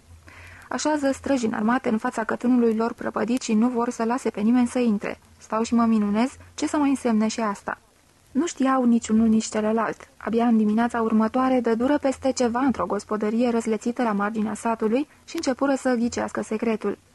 Gospodăria aceasta, constând din căsuță, grajd și șură, împrejmuită de o livadă verde cu mulți pomi, era ciudat de liniștită și adormită. Nici o voce omenească, nici un pas, nici un țipă de copil, nici un scrâșnet de coasă ascuțită, nimic. În mijlocul ogrăzii o vacă mugea în iarbă și se vedea cât colo că era vremea să fie mulsă. Ajunseră în fața casei, bătură la ușă, nu primiră niciun răspuns. Se duseră la grajd. Acesta stătea închis și pustiu. Merseră apoi la șopron, pe al cărui acoperiș de paie mușchiul verde deschis lucea în soare, nici aici nu găsiră suflet de om. Se întoarseră în fața casei, mirați și intrigați de pustietatea acestui cămin. Mai bătură odată cu pumnii în ușă, dar rămaseră și de asta dată fără răspuns. Gură de aur încercă să deschidă și, spre uimirea lui, găsi ușa nezăvorâtă. O împinse și intră în odaia întunecoasă. Ziua bună, strigă el tare și nimeni nu-i acasă, dar peste tot domnea tăcerea. Robert se oprise lângă ușă, gură de aur curios, pătrunse mai adânc înăuntru. În căsuță mirosea urât, mirosea ciudat și respingător. Vatra era plină de cenușă. Suflă în ea, de desubt printre tăciuni mai licăreau scântei. Atunci zări pe cineva șezând în penumbra din dosul vetrei. Cineva ședea acolo pe un scaun dormind. Părea a fi o femeie bătrână. Strigătele lui nu folosire la nimic. Toată casa părea stăpânită de o vrajă. Bătu femeia prietenos pe umăr. Ea nu se urni și abia acum observă că bătrâna ședea în mijlocul unei pânze de păianjen, iar unele fire erau prinse de părul și de genunchii ei. asta e moartă, gândi el cu o ușoară înfiorare și, pentru a se convinge, începu să trebăluiască la foc, scormoni și suflă până stârni o flacără și aprinse o așchie lungă. Lumina chipul femeii de pe scaun. Sub părul cărunt văzu o față vânătă de cadavru. Un ochi stătea deschis, deschizându-se gol și plumburiu. Femeia murise aici pe scaun. Ei da, nu mai putea ajuta cu nimic. Cu așchia aprinsă în mână, gură de aur căută mai departe și găsi în aceeași odaie pe prag, spre încăperea din spate, un alt cadavru, un băiat de vreo 8 sau 9 ani, cu fața umflată, diformă, îmbrăcat numai cu o cămașă. Zăcea cu burta pe pragul de lemn și își încleștase dur și îndrăjit amândoi pumnișorii. Ăsta e al doilea, gândi gură de aur ca într-un visur trecu mai departe, în odaia din spate. Aici obloanele erau deschise și lumina zilei pătrundea senina. Prevăzător stinse facla și strivi scânteile pe dușumea cu talpa. În odaia din spate se aflau trei paturi. Unul era gol. Sub cerșaful cenușiu din pânză aspră se zăreau paiele. Pe cel de-al doilea zăcea un bărbat bărbos, înțepenit pe spate, cu capul dat îndărăt, cu bărbia și barba înălțate. Trebuie să fi fost stăpânul gospodăriei. Fața lui scofâlcită lucea stins în culorile stranii ale nopții. Un braț îi atârna peste marginea patului. Jos pe dușumea se afla răsturnat și deșertat un ulcior de lut. Apa scursă nu fusese încă înghițită pe de întregul în dușumea. Se adunase într-o adâncitură unde mai stăruia o băltoacă. În al treilea pat stătea învelită, îngropată de-a dreptul în cerșafuri și pături, o femeie mare, voinică. Fața și-o ascunsese cu totul în așternut. Părul aspru, blond ca paiul, strălucea în lumina senină. Lângă dânsa și încolăcită de ea, parcă prinsă și sugrumată de cearșaful răvășit, o fetiță blondă și ea, ca paiul, cu pete albastre cenușii pe obrazul cadaveric. Privirea lui gură de aur rătăci de la un mort la altul. Chipul fetei, deși desfigurat, mai purta înscrisă groaza morții celei fără de scăpare. Pe ceafa și în părul mamei, care se îngropase atât de adânc și de sălbate când culcuș, se simțea mânie, teamă și pătimașă dorință de a fugi. Îndeosebi, părul rebel nu se lăsa rob morții. Pe fața țăranului se puteau vedea îndărădnicie și durere câinoasă. Părea a fi murit greu, dar bărbătește. Chipul său bărbos se profila vertical și rigid în aer, asemenea unui războinic întins pe câmpul de bătălie. Această atitudine tăcută și sfidător dreaptă, puțin îndărădnică, era frumoasă. Cel ce primise moartea astfel nu fusese cu siguranță un om mărunt și laș. Înduioșător era însă micul cadavru al băiețașului, care zăcea peste prag, culcat pe burtă. Fața lui nu spunea nimic, dar poziția lui și pumnii strânși de copil spuneau multe, suferință, nedumerire, apărare deznădăjduită împotriva unor dureri cumplite. Chiar alături de capul său era o gaură în ușă, fusese tăiată cu fierăstrăul pentru pisică. Gura de aur privia atent la toate, fără îndoială căsuța oferea o priveliște sinistră și mirosul de cadavru era oribil. Totuși, pentru gură de aur, toate acestea aveau o profundă putere de atracție, erau încărcate de măreție și destin. Atât de adevărate, atât de neprefăcute, ceva îi câștigă dragostea și pătrunse în suflet. Între timp, Robert începu să strige de afară, nerăbdător și speriat. Gură de aur ținea la Robert, totuși gândi el în clipa aceea, cât de meschin și de neînsemnat era omul viu cu frica și curiozitatea sa, cu toate copilărelile lui, în comparație cu morții. Nu-i răspunse și se cufundă pe deplin în contemplarea imaginii morților, cu acel straniu amestec de compasiune sinceră și observație rece, caracteristic artiștilor. Se uita atent la trupurile culcate și la cel așezat pe scaun, la capetele, la mâinile lor, la mișcarea în care încremeniseră. Câtă liniște era în această căsuță vrăjită, cât de ciudat și de îngrozitor mirosea. Acest mic adăpost omenesc, cu vatra în care mai pâlpâia o urmă de foc, cum devenise el fantomatic și trist, locuit de cadavre, străvătut și umplu de moarte. Curând acestor locatari tăcuți, carnea le va cădea de pe obraj și șobolanile vor ronțăi degetele. Ceea ce cu alți oameni se săvârșește în coșciuc și în mormânt, în ascunziș, trainic și ferit de priviri, ultima și cea mai jalnică dintre prefaceri, descompunerea și putrezirea, cu acești cinci, se va săvârși aici acasă în odăile lor, la lumina zilei cu ușile deschise, nestânjenit, nerușinat, nemilos. Gură de aur văzuse mulți morți până acum, dar o asemenea imagine a lucrării neîndurătoare a morții nu întâlnise însă niciodată. Și o întipăria adânc în minte. În sfârșit, strigătele de la ușă izbutiră să-l deranjeze, așa că ieși. Camaradul îl privi cu teamă. Ce este?" întrebă el încet, cu glasul înfricoșat. Nu-i nimeni acasă?" Oh, și ce ochi ai! Vorbește odată!" Gură de aur îl măsură cu o privire rece. Du-te înăuntru și uită-te. E o casă de țăran, cam ciudată. După aceea vom mulge vaca asta frumoasă colea. Hai, du-te!" Nehotărât, Robert intră. Se îndreptă spre vatră, o descoperi pe bătrâna așezată pe scaun și, observând că e moartă, scoase un țipăt puternic, reveni îndată cu ochii larg căscați. Pentru numele lui Dumnezeu, o femeie moartă de acolo lângă vatră. ce e asta? De ce nu e nimeni cu ea? De ce nu îngroapă?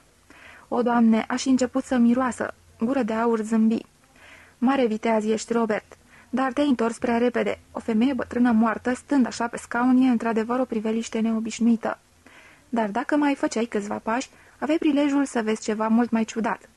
Sunt cinci, Robert, trei zac în paturile lor și un băiat a murit chiar pe prag. Toți sunt morți. Toată familia moartă, casa pustie. De asta n-a mulți nimeni vaca. Îngrozit, celălalt se holbă la el, apoi deodată strigă cu voce înnăbușită. O, acum îi înțeleg și pe țăranii de ieri care ne împiedicau să intrăm în sat. O, Doamne, acum se limpezește totul. E ciuma. Domnul să se îndure de noi. E ciuma, gură de aur și tu ai zăbovit atâta vreme înăuntru și poate că ai atins morții. Înapoi, nu te apropia de mine, fără îndoială că te-ai molipsit. Îmi pare rău, gură de aur, dar trebuie să plec. Nu mai pot rămâne cu tine." Chiar voia să o rupă la fugă, dar fu apucat de haina lui de pelerin. Gură de aur îl privi sever, cu tăcută dojană și îl țintui necruțător locului, deși Robert se zbătea și se împotrivea. Scumpul meu băiețaș, îi zise el pe un ton prietenos batjocoritor, ești mai deștept decât pari, probabil că ai dreptate. Ei bine, vom afla adevărul în următoarea ogradă sau în următorul sat, probabil că în regiunea aceasta vântuie ciuma. Vom vedea dacă scăpăm întregi și teferi, dar de fugit, micuțul meu Robert, nu te pot lăsa să fugi. Uite, eu sunt un om milos, am o inimă mult prea blândă și când mă gândesc ca din auri acolo înăuntru, s-ar putea să te fi molipsit și tu, iar eu acum să te las să fugi și să te culci cine știe pe unde pe câmp ca să mori, așa de unul singur, și nimeni să nu-ți închidă ochii și să nu-ți sape un mormânt, să nu arunce o lopată de țărână peste tine. Nu, dragă prietene, mă înnăbușă jalea. Deci fii atent și ține minte ce-ți spun că nu ți-o spun de două ori. Noi amândoi ne aflăm în aceeași primejdie. S-ar putea să mă nimerească pe mine, s-ar putea să te nimerească pe tine. Rămânem deci împreună și ori pierim amândoi, ori scăpăm amândoi de ciuma asta blestemată. Dacă te îmbolnăvești și mori, eu te îngrop. De asta poți fi sigur. Dacă moartea mă alege pe mine, fă cum vrei. Îngroapă-mă sau șterge-mi tot una. Dar înainte de asta, n-ai să speli Putina, scumpule. Ține bine minte. Avem nevoie unul de altul. Și acum, dacă ți fleanca, nu vreau să aud nimic și caută undeva în grajdă o căldare ca să putem mulge vaca. Așa se petrecură lucrurile și începând din clipa aceea, Gură de aur fu cel care poruncea și Robert cel care asculta și amândoi ieșiră astfel la socoteală. Robert nu mai încercă să fugă, zise numai împăciuitor. O clipă mi-a fost frică de tine. Nu mi-a plăcut fața ta când te-ai întors din casa morților. Am crezut că te-ai molipsit de ciumă. Dar chiar dacă nu ciuma a fost pricina, fața ta era totuși schimbată. A fost chiar atât de îngrozitor ce ai văzut acolo înăuntru? N-a fost îngrozitor, zise gură de aur șovăind. N-a văzut nimic mai mult acolo înăuntru decât ce mă așteaptă pe mine și pe tine și pe toți, chiar dacă nu ne molipsim de ciumă. În drumul lor mai departe întâlniră pretutindeni moartea neagră care domnea peste țară. Multe sate nu îngăduiau intrarea străinilor, în altele putură umbla nestingheriți, prin toate ulițele. Multe gospodării erau părăsite, mulți morți neîngropați putrezeau pe câmpuri sau în odăi. În grajduri mugeau vacile nemulse ori flămânde, peste câmpuri goneau dobitoace sălbăticite. Mulseră și de dură nutrez multor vaci și capre, tăiară și fripseră la margine de pădure mulți iezi și godaci, băură vin și must, din multe pivniți rămase fără stăpân. Duceau o viață plăcută, era belșug, dar nu-i simțiră gustul decât pe jumătate. Robert trăia neîncetat cu spaima de molimă și la văzul cadavrelor îi se făcea rău. Adeseori era complet zăpăcit de groază. Mereu se credea molipsit. Când aprindeau focul, în locurile lor de popas, își ținea vreme îndelungată mâinile și capul la fum, ceea ce se socotea a fi un mijloc de tămăduire. Chiar și în somn se pipăia ca să vadă dacă nu cumva i-au apărut umflăturile la picioare, pe brațe sau la subsol. Gură de aur îl certa adesea. Adesea își bătea joc de el, nu împărtășea teama lui nici scârba. Trecea încordat și sumbru prin țara morții, atras până la durere de priveliștea marii stingeri, cu sufletul plin de toamna cea mare, cu inima împovărată de cântecul coasei, ce reteza vieți. Câteodată îi reapărea imaginea mamei eterne, o față palidă și uriașă, cu ochi de meduză, cu zâmbetul greu de suferință și moarte. Odată ajunseră într-un mic oraș. Era puternic întărit. Începând de la poartă, o pasarelă de apărare împrejmuia tot zidul orașului, ridicându-se până la înălțimea caselor de locuit. Dar niciun străjer nu se afla sus și niciunul în poarta deschisă.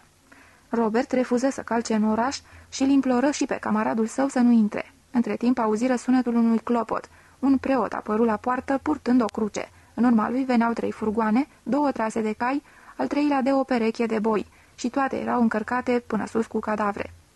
Câteva slugi îmbrăcate în pelerine ciudate, cu fețele ascunse adânc în glugi, pășeau alături și mânau animalele.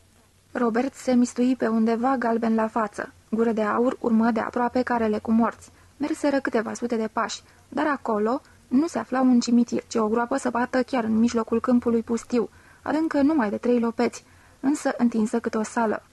Gură de aur stătul locului și privi cum slujitorii smul cu prăjinile și cu căngile, morții din furgoane și îi împing grămadă în gaura căscată, cum preotul își vântură crucea deasupra, murmurând ceva. Și cum pleacă apoi, cum slujitorii aprind focuri mari pe toate laturile mormântului întins cât un ogor și aleargă tăcuți îndărăt spre oraș, fără ca cineva să încerce măcar să acopere groapa. Privi întrânsa, să fi fost 50 sau mai bine de oameni care zăceau acolo, azvârliți claie peste grămadă, mulți fără vești minte. Aici colo câte un braț sau un picior se înălța în aer, țeapăn și acuzator, o cămașă flutura încet în vânt. Când se întoarse, Robert îl imploră aproape în genunchi să plece de grabă în altă parte. Avea într-adevăr temei să-l implore căci în privirea absenta lui Gură de Aur, deslușise acea cufundare și încremenire care devenise binecunoscută. Acea aplecare spre lucruri cumplite, acea curiozitate teribilă. Nu reuși să-și rețină prietenul. Gură de Aur intră singur în oraș. Trecu prin poarta nepăzită și, în vreme ce își auzea pașii răsunând pe caldarâm, în amintirea lui răsăriră multe orășele și multe porți prin care trecuse astfel. Și-și aduse aminte cum îl întâmpinaseră acolo strigăte de copii, jocurile băieților, certurile muierilor, bătăile de ciocane ale fierarilor pe nicovale răsunătoare. Huruitul de căruțe și multe alte zgomote fine sau grosolane, al căror talmeș-balmeș, împletit ca un năvod, vestea feluritele îndeletnicii romenești, bucuria, isprăvile și veselia. Iată însă că aici, în această poartă pustie și pe această stradă goală, nu răsuna nimic, nu râdea nimeni, nu striga nimeni. Totul zăcea încremenit într-o tăcere funebră, în care cântecul molcom al unei fântâni, ce nu contenise să curgă, suna prea tare, aproape gălăgios. Printr-o fereastră deschisă văzu un brutar trebăluind printre jimblele și pâinișoarele lui. Gură de aur arătă spre una dintre ele și brutarul i-o întinse prudent așezată pe lopata lungă cu care umbla în cuptor. Așteptă ca gură de aur să-i pună banii pe lopată și închise fereastra, supărat, dar fără ceartă, când străinul mușcă din pâinișoară și porni mai departe fără a-i plăti. La geamurile unei case frumoase adăsta un șir de ghivece de lut, altădată purtaseră în ele flori. Acum, din hârburile goale, atârnau numai frunze veștede. Dintr-o altă casă răzbăteau hohote de plâns și vaietele unor glasuri de copii. Dar în ulița următoare, gură de aur zări sus la o fereastră, o fată frumoasă care își pieptăna părul. O privi câteva vreme până când, simțindu-se privită, ea își aruncă ochii pe geam, se uită la el roșind și, fiindcă tânărului zâmbi prietenos, răsări și pe fața ei îmbujurată încet și firav un zâmbet. Mai e mult până îi sprăvești să te piepteni, strigă el în sus spre geam. Chipul luminos se aplecă spre el surzând prin deschizătura ferestrei. Încă nu ești bolnavă?" întrebă el și ea scutură din cap. Atunci hai cu mine să plecăm din orașul ăsta care e al morților, să mergem în pădure și să trăim împreună o viață frumoasă." Ea căscă ochii întrebător. Nu sta mult pe gânduri, vorbesc serios," strigă gură de aur. Ești la tata și la mama sau în slujbă la oameni străini?" Va să zică la străini. Atunci vină, copile dragă, lasă-i pe bătrâni să moară. Noi suntem tineri și sănătoși și vrem să ne mai veselim câtva timp. Vino o cosiță castanie, vorbesc serios." Fata se uită la el cântărindu-l din ochi, șovăitoare și mirată. El se duse încet mai departe, tândăli printr-o stradă pustie, apoi printr-o a doua și se întoarse încet. Fata tot mai stătea la fereastră, aplecată peste pervaz, și se bucură când îl zări venind înapoi. Îi făcu semn, el își încetini mersul, curând îl prinse din urmă încă înainte să ajungă la poarta orașului. Purta o bocceluță în mână și o basma roșie pe cap. De fapt, cum te cheamă?" o întrebă el. Lene, vin cu tine. Oh, e atât de groaznic, în orașul ăsta mor cu toții. Să plecăm de aici, să plecăm." Aproape de poartă, Robert cedea ghemuit la pământ încruntat. Sări în picioare când apăru gură de aur și căscă ochii la vederea fetei. De asta dată nu cedă atât de repede. Se lamentă și făcu scene. Să iei cu tine o persoană din văgăuna asta afurisită, ciumată și să impui tovarășului de drum sărab de compania ei, asta era mai mult decât o nebunie, însemna de-a dreptul să-l înfrunți pe Dumnezeu, iar el refuza, nu voia să-i însoțească mai departe, răbdarea lui ajunsese la capăt. Gură de aur îl lăsă să afurisească și să se jeluie până se liniști. Așa zise el, ne-ai impuiat urechile destul. Hai să mergi cu noi și hai să te bucuri că avem o companie atât de drăguță. O cheamă Lene și rămâne cu mine. Dar acum am să-ți fac și o bucurie, Robert, ascultă-mă. Vreau să trăim câteva vreme, în liniște și sănătate. Să nu ne mai întâlnim cu Molima. Ne căutăm un loc plăcut, o căsuță goală sau poate ne clădim una acolo, eu și Lene. Vom fi stăpân și stăpână, iar tu prietenul nostru. Hai să stai cu noi. Vreau să ne fie bine, să trăim frumos și în prietenie. Te învoiești? O, da, Robert se învoia cu dragă inimă. Dacă nu îi se cerea să dea mâna cu lene sau să-i atingă straiele. Nu, nu ți se cere, zise gură de aur, ba chiar ți se interzice cu străjnicie să o atingi pe lene. Măcar și cu un deget, să nu-ți treacă prin minte așa ceva. Mărșăluiră mai departe în trei, tăcură mai întâi, apoi încetul cu încetul fata început să vorbească, să spună cât e de fericită că vede iarăși cerul și copacii și pajiștile în orașul ciumat fusese atât de sinistru. și începu să povestească și să-și descarce sufletul de imaginile triste și înfiorătoare pe care fusese nevoită să le vadă.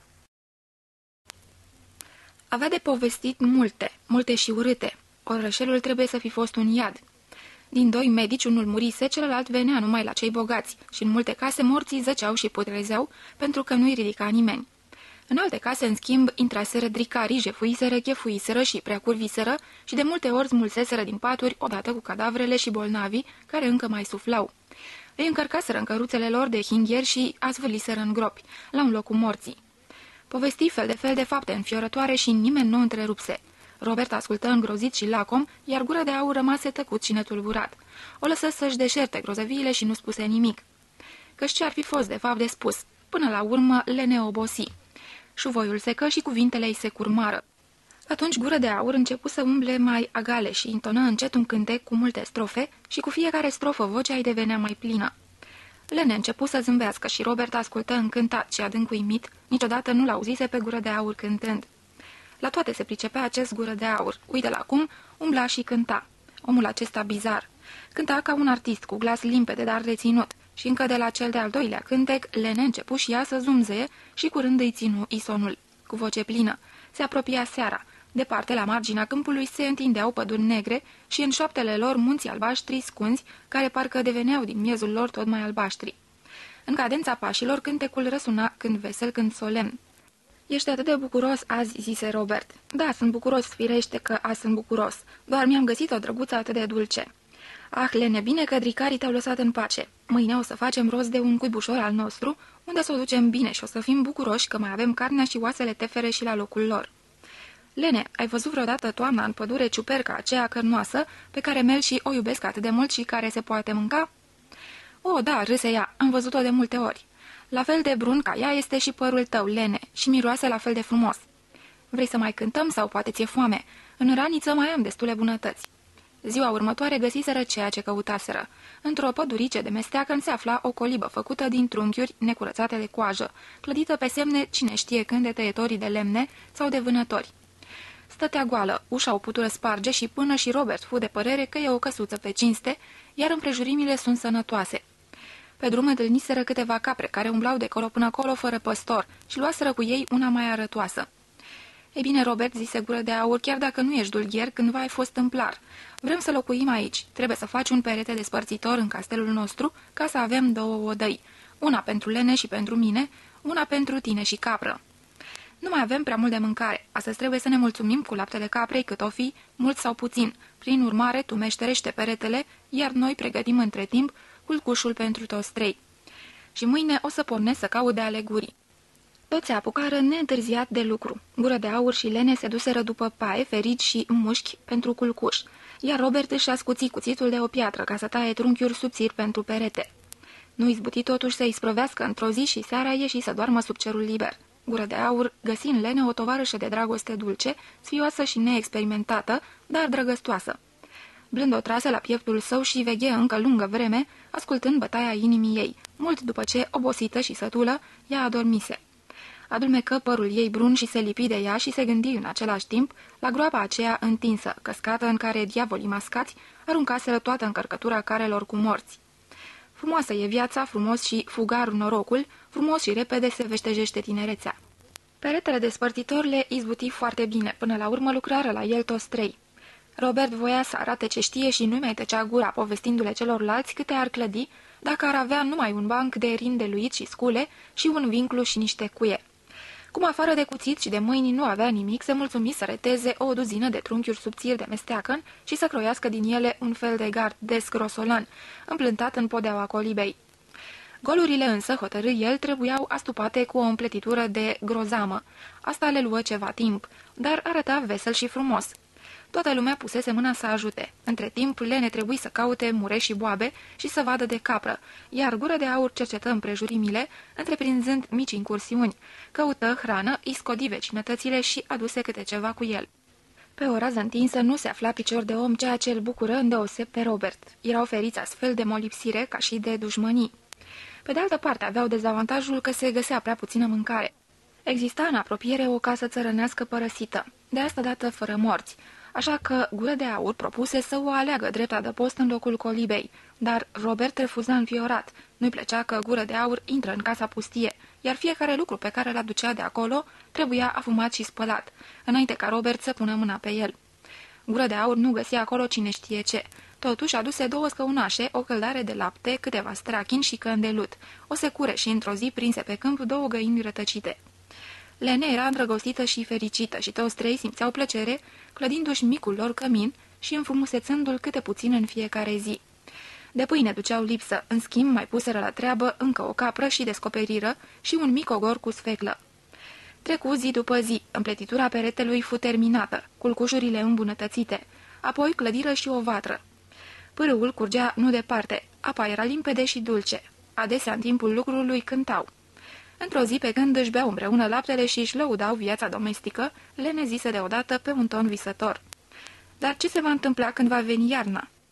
Nimeni nu răspunse. Robert râse gură de aur privi cu o expresie ciudată undeva în gol. Lene începu să înțeleagă că nimeni nu se gândea la iarnă, că nimeni nu se gândea cu toată seriozitatea să rămână atâta timp în același loc, că de fapt căminul nu era cămin, că se afla printre pribegi. Își plecă fruntea. Atunci Gură de Aur zise în joacă și încurajator totodată, parcă ar fi vorbit unui copil.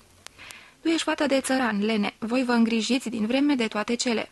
Nu te teme, ai să nimerești iarăși acasă când va fi trecut ciuma, că doar nu ține o veșnicie. Atunci ai să te întorci la părinții tăi sau la cine vei mai avea tu, sau ai să te duci iarăși la oraș în vreo slujbă și îți vei avea pâinea asigurată. Acum însă mai este vară și pretutindeni de jur împrejur domnește moartea. Aici, în schimb, e frumos și ne merge bine. De aceea rămânem aici vreme lungă sau scurtă cât ne-o place. Și după aceea strigă Lene cu violență. După aceea totul o să se isprăvească și tu ai să pleci mai departe și eu? Gură de aur îi cuprinse cu mâna coada împletită și o trase cu blândețe. Copil mic și prost ce ești," zise el, ai și uitat dricarii și casele pustii și groapa cea mare în fața porții orașului unde ard focurile? Fii fericită că nu zaci acolo în groapă și ploaia nu curge și roaie peste cămășuța ta." La asta să te gândești că ai scăpat, că mai ai viață în trup, draga mea, că mai poți să râzi și să cânți. Dar ea tot nu era mulțumită. Nu vreau să plec din nou, se jelui ea, și nici pe tine nu vreau să te las să pleci, nu. Nu mă pot bucura când știu că în curând totul se va isprăvi și va fi trecut. Gură de aur îi răspunse încă o dată prietenos, însă în glas îi suna o amenințare ascunsă. Cu asta, micuță Lene și-au spart capul până la tine toți înțelepții și toți ființii lumii. Nu există fericire care să dureze mult timp. Dar dacă nu-ți ajunge ce avem acum și nu te mai bucuri, atunci chiar în ceasul acesta dau foc olibe și ne vedem fiecare de drumul nostru. Las-o baltă, Lene, am bătut destul la pampiuă. Lucrurile rămaseră așa și ea renunță la revoltă, dar o umbră căzuse și întunecă bucuria. Capitolul 14 Încă înainte ca vara să fi pălit cu totul, viața lor în colibă se curma, dar ar minter de cum crezuseră. Fu o zi în care gură de aur hoinări îndelung prin împrejurimi cu o praștie pentru păsări, în nădejdea de a răpune vreo potârniche sau vreo altă sălbăticiune, căci hrana li se cam împuținase. Lene se afla nu departe și culegea boabe. Câteodată trecea prin apropierea ei și îi vedea peste tufișul capul înălțându-se pe gâtul arămiu, care ieșea din cămașa de pânză, ori o auzea cântând. Odată ciuguli cu ea câteva boabe, apoi porni mai departe și câtva timp nu mai văzu. Se gândi la ea pe jumătate cu gingășie, pe jumătate supărat, căci ea adusese din nou vorba de toamnă și de viitor. Credea că e însărcinată și spusese că nu-l va lăsa să plece. Curând ne apropiem de capăt, se gândea el. Curând îmi va fi de ajuns. Atunci am să pornesc singur. Mă despart și de Robert. Vreau să ajung până la iarnă din nou, în orașul cel mare, la meșterul Niclaus. Rămân acolo cât ține iarna și în primăvara viitoare îmi cumpăr încălțări noi. O iau la drum și răzbesc până la mănăstirea noastră din Maria Bron, să-l salut pe Narcis. Trebuie să tot fi trecut vreo zece ani de când nu l-am mai văzut. Trebuie să-l văd fie numai pentru o zi sau două. Un zgomot neobișnuit îl trezi din cugetare și deodată deveni conștient că pentru un timp nici nu se mai aflase acolo, fiindcă gândurile și dorințele îl purtaseră departe. Ascultă atent, țipătul de spaimă se repetă. Crezu că recunoaște vocea Lenei și se luă după ea, deși nu-i plăcea să fie strigat. Curând ajunse destul de aproape. Da, era glasul Lenei. Îi strigase numele ca la mare primejdie. Alergă mai repede, încă puțin supărat, dar la țipetele ei repetate, mila și grija covârșiră celelalte sentimente. Când în sfârșit putu să o zărească, Lene era căzută sau îngenunchiată în iarbă, cu cămașa sfâșiată, și se lupta țipând cu un bărbat care încerca să o siluiască. Gură de aur sosi în salturi lungi și toată supărarea, neliniștea și tristețea ce se adunaseră în el se descărcară într-o turbată mânie împotriva atacatorului străin. Îl surprinse pe când încerca să o trântească pe lene de-a binelea la pământ. Sânul ei dezgolit sângera. Străinul o ținea îmbrățișată cu lăcomie. Gură de aur se azvârli asupra lui și cu mâini furioase îl strânse de gât, simțindu-l slab și vânos și acoperit cu o barbă îngâlcită. Cu voluptate, gură de aur apăsă până când celălalt slobozi fata și atârnă în mâinile lui moale și fleșcăit. Continuând să-l sugrume, îl târâ pe bărbatul fără vlagă pe jumătate părăsit de suflet, până ce ajunse cu el la câțiva colți de stâncă, cenușii, care se înălțau pietre goale din țărână. Aici îl săltă pe cel biruit cât era de greu, îl ridică de două-trei ori în aer și lizbi cu capul de muchia stâncilor. Aruncă apoi hoitul cu gâtul frânt. Mânia lui nu era încă ogoită. Ar fi vrut să continue a lovi. Lene privea radioasă la cele ce se petreceau. Sânul îi sângera și fata încă tremura din tot trupul. Abia izbutea să respire. Dar se ridicase îndată și urmărise cu o privire pierdută, plină de plăcere și de admirație, cum îl târăște voinicul ei iubit pe venetic, cum îl sugrumă, cum îi frânge gâtul și cum îi azvârle cadavrul cât colo. Ca un șarpe strivit, mortul zăcea fleșcăit și frânt, căpățâna cenușie cu barba sălbatecă și părul rar firav atârna jalnică pe spate.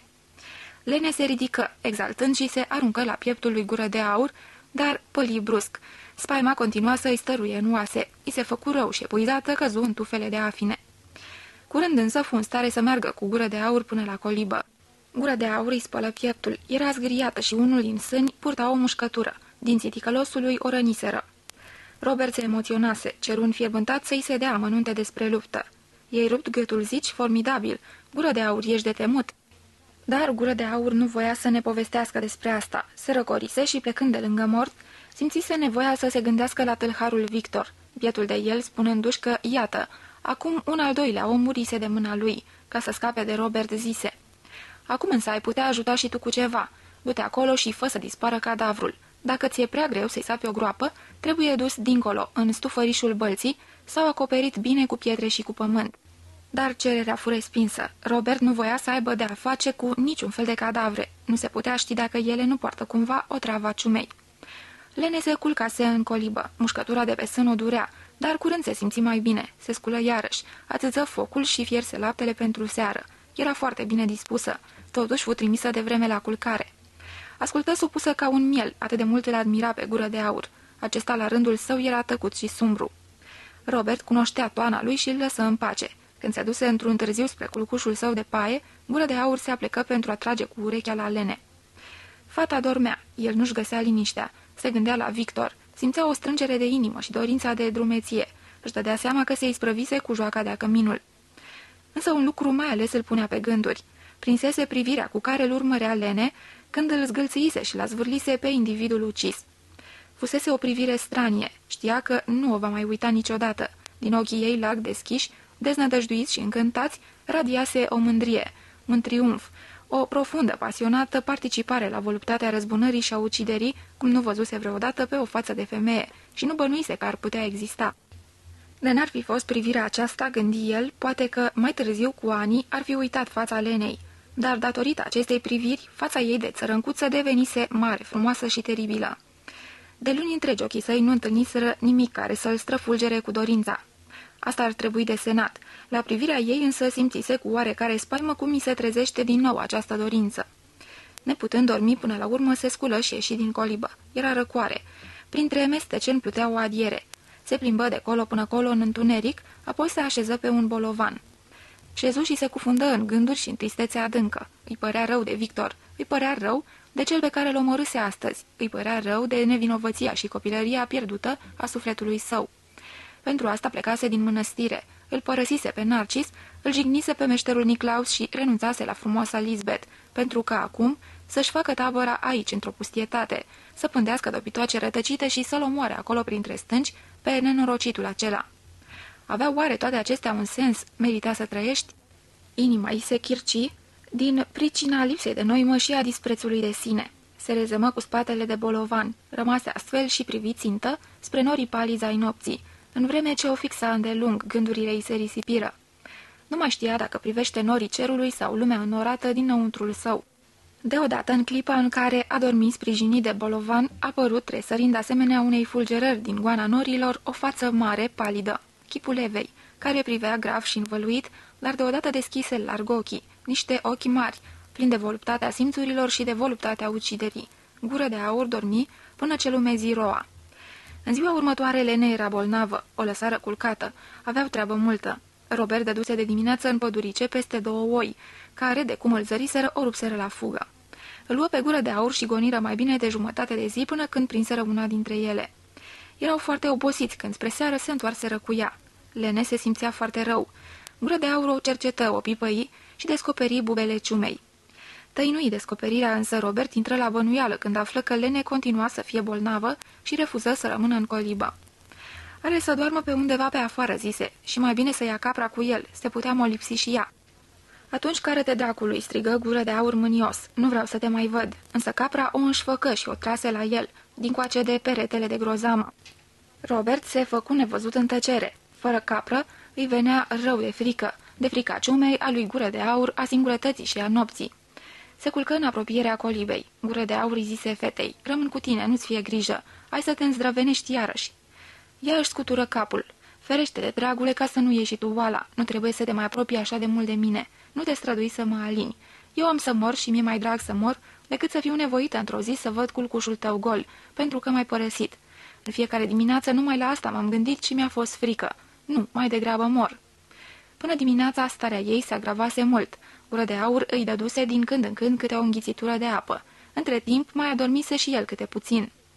Acum, la lumina zilei, recunoscu limpede moartea apropiată, înscrisă pe fața ei ofilită și buhăită. Ieși o clipă din colibă ca să soarbă o gură de aer proaspăt și a privi cerul. La marginea pădurii câteva trunghiuri strâmbe de pin luceau roșietice în soare. Aerul avea un iz proaspăt și dulce, dealurile depărtate încă nu se vedeau din ceața dimineții. Se duse ceva mai încolo, își întinse mădularele ostenite și trase adânc aerul în piept. Frumoasă era lumea în această dimineață tristă și în curând va reîncepe pribegia. Trebuia să-și ia rămas bun. Dinspre pădure îl strigă Robert. Voia să știe dacă îi merge mai bine Lenei. Dacă nu era ciumă, el ar rămâne. Gură de aur să nu fie supărat. Între timp păzise oaia. Du-te dracului cu oaia ta cu tot, strigă gură de aur. Lene trage să moară și eu sunt molipsit. Ultimul cuvânt era minciuna. Îl spusese pentru a scăpa de celălalt. Chiar dacă acest Robert era un băiat bun la inimă, gură de aur se săturase de el. Era prea fricos și prea mărunt. Se potrivea prea puțin unor asemenea vremuri de răscruce și de cutremur. Robert se mistui și nu mai apăru. Luminos soarele se înălță pe cer. Când se întoarse din nou la lene, ea dormea. A dormit și el încă o dată, iar în vis își revăzu calul de odinioară, pe bles și frumosul castan al mănăstirii. A avut senzația că privește înapoi dintr-o nesfârșită depărtare și pustietate spre o patrie superbă, pierdută, și când se trezi peste obrajii săi acoperiți cu barbă blondă, curgeau lacrimi. O auzi pe Lene vorbind cu glas căzut. Crezu că îl strigă și se săltă în capul oaselor, dar fata nu vorbea cu nimeni. Îngâna cuvinte în gol, cuvinte de alintare, cuvinte de ocară, păru că râde. Îndată după aceea a început să ofteze din greu și să sughită, până ce treptat se liniști iarăși. Gură de aur se sculă, se aplecă peste fața ei care se și urâțise. Ochii lui urmăriră cu amară curiozitate liniile, care sub suflul păjolitor al morții se deformau și se încălceau atât de jalnic. Dragă Lene, strigă inima lui, copilă scumpă, bună, și tu vrei să mă părăsești? Te-ai și sătura de mine?" Dacă ar fi putut, ar fi rupt-o la fugă, să colinde, să colinde, să meargă să respire aer curat, să ostenească, să vadă imagini noi. Iată ce i-ar fi priit, ce i-ar fi ogoit, poate, tristețea adâncă. Dar nu putea pleca, îi era cu neputință să lase copila zăcând și murind aici în singurătate. Abia îndrăznea să iasă puțin, odată la câteva ceasuri, pentru a respira aer proaspăt. Cum Lene nu mai putea bea nici lapte, îl bău el până se satură. Altceva nu mai avea de mâncare, scoase și capra de câteva ori ca să pască, să bea apă și să se miște. Apoi șezu iarăși lângă culcușul Lenei, îi murmură vorbe gingașe, se uită neîncetat la fața ei și urmărind neconsolat, dar atent, cum moare încetul cu încetul. Era conștientă, uneori adormea, dar când se trezea nu mai deschidea ochii decât pe jumătate. Ploapele îi erau stinse și vlăguite. În jurul ochilor și a nasului, fața ei îmbătrânea de la o oră la alta. Gâtul tânăr și fraged purta acum un cap care se ofilea repede, un chip de unică. Numai rare ori rostea câte un cuvânt, spunea gură de aur sau iubitule și încerca să-și șumezească buzele umflate, albăstrui, cu limba. Atunci el îi dădea câțiva strop de apă. În noaptea următoare muri. Muri fără să se jeluiască. A avut numai un spasm scurt, apoi respirația îi se opri și peste piele îi trecu un fior, la vederea căruia lui gură de aur îi se zbătu inima, căci își aduse aminte de peștii muribunzi, pe care îi văzuse și îi compătimise de atâtea ori în piață.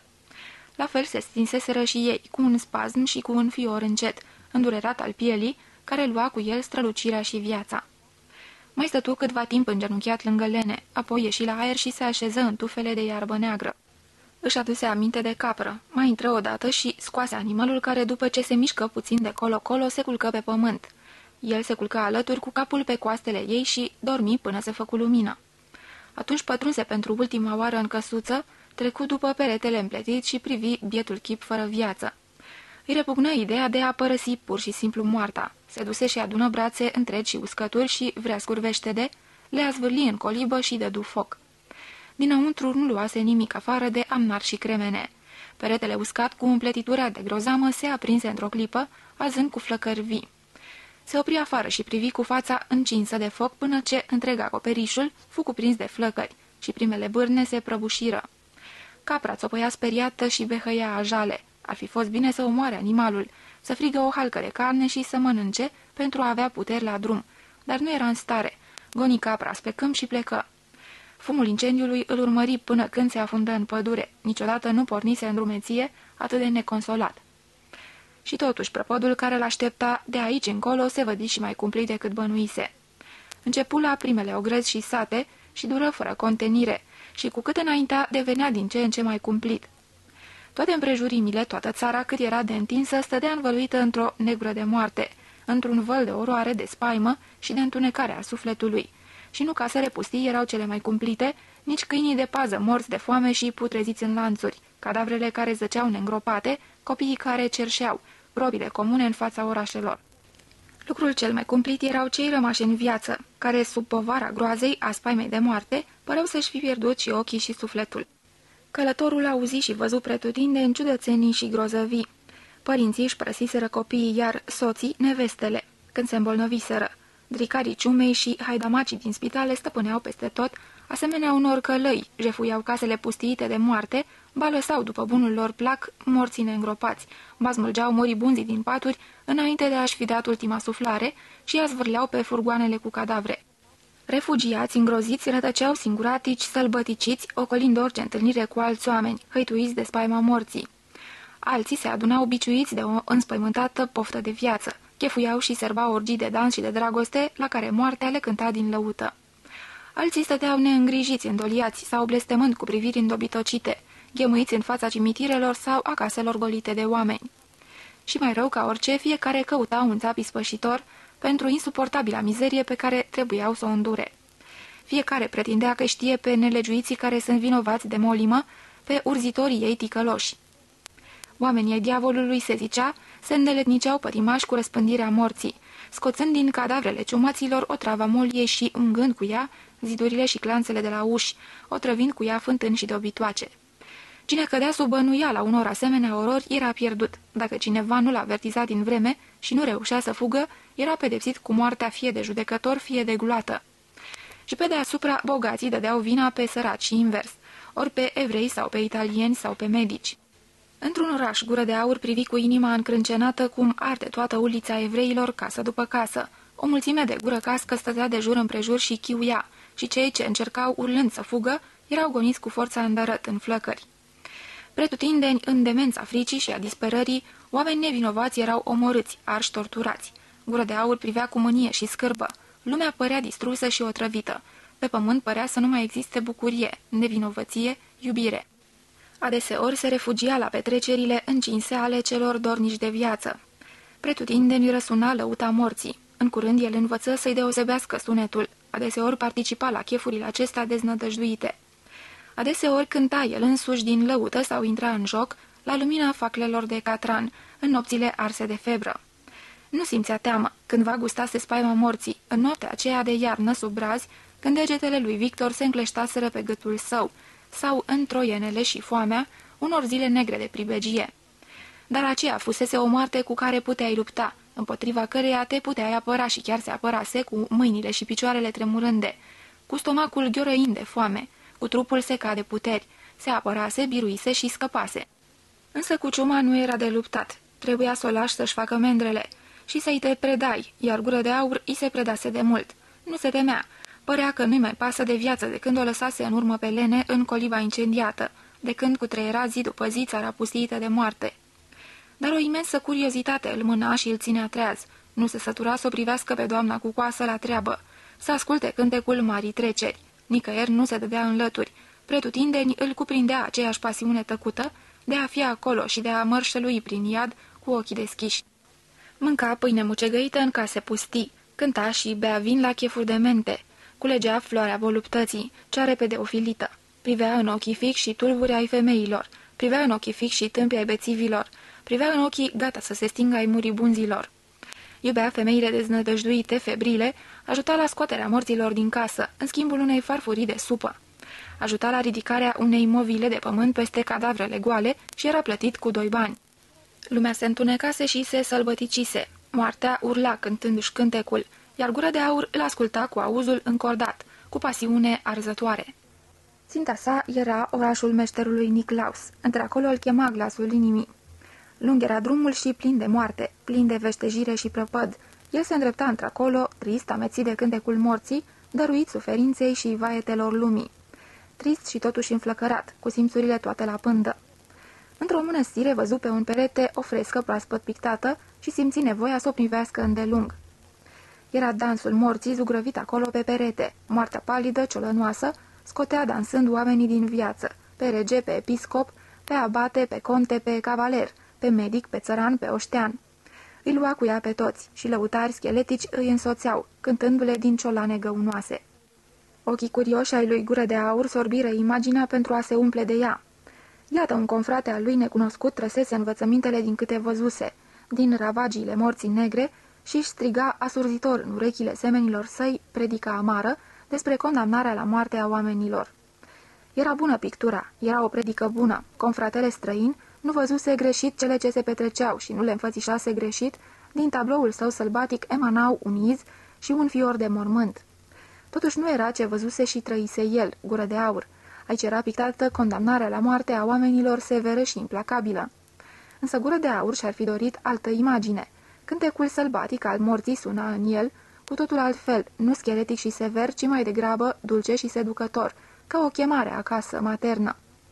Acolo unde moartea ridica mâna asupra vieții, cântecul nu suna doar asurzitor și războinic, ci și adânc și drăgăstos. Tomnatec și îndestulat, în vecinătatea morții, candela vieții licărea mai luminoasă, mai intimă.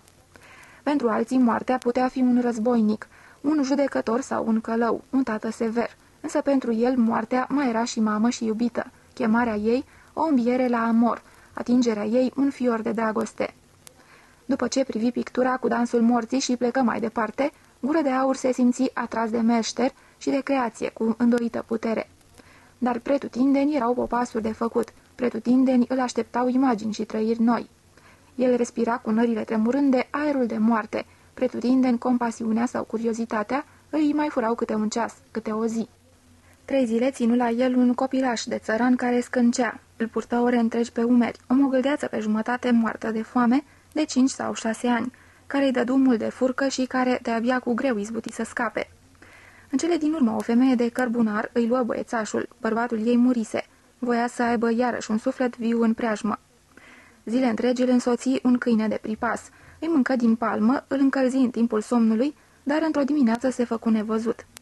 Îi păru rău, se obișnuise să-i vorbească. Ținuse animalul lui discursuri pline de cugetări lungi, de câte o jumătate de ceas, despre răutatea oamenilor, despre existența lui Dumnezeu, despre artă, despre sânii și coapsele unei tinere odrasle de cavaler pe nume Julie, pe care o cunoscuse cândva în tinerețile sale.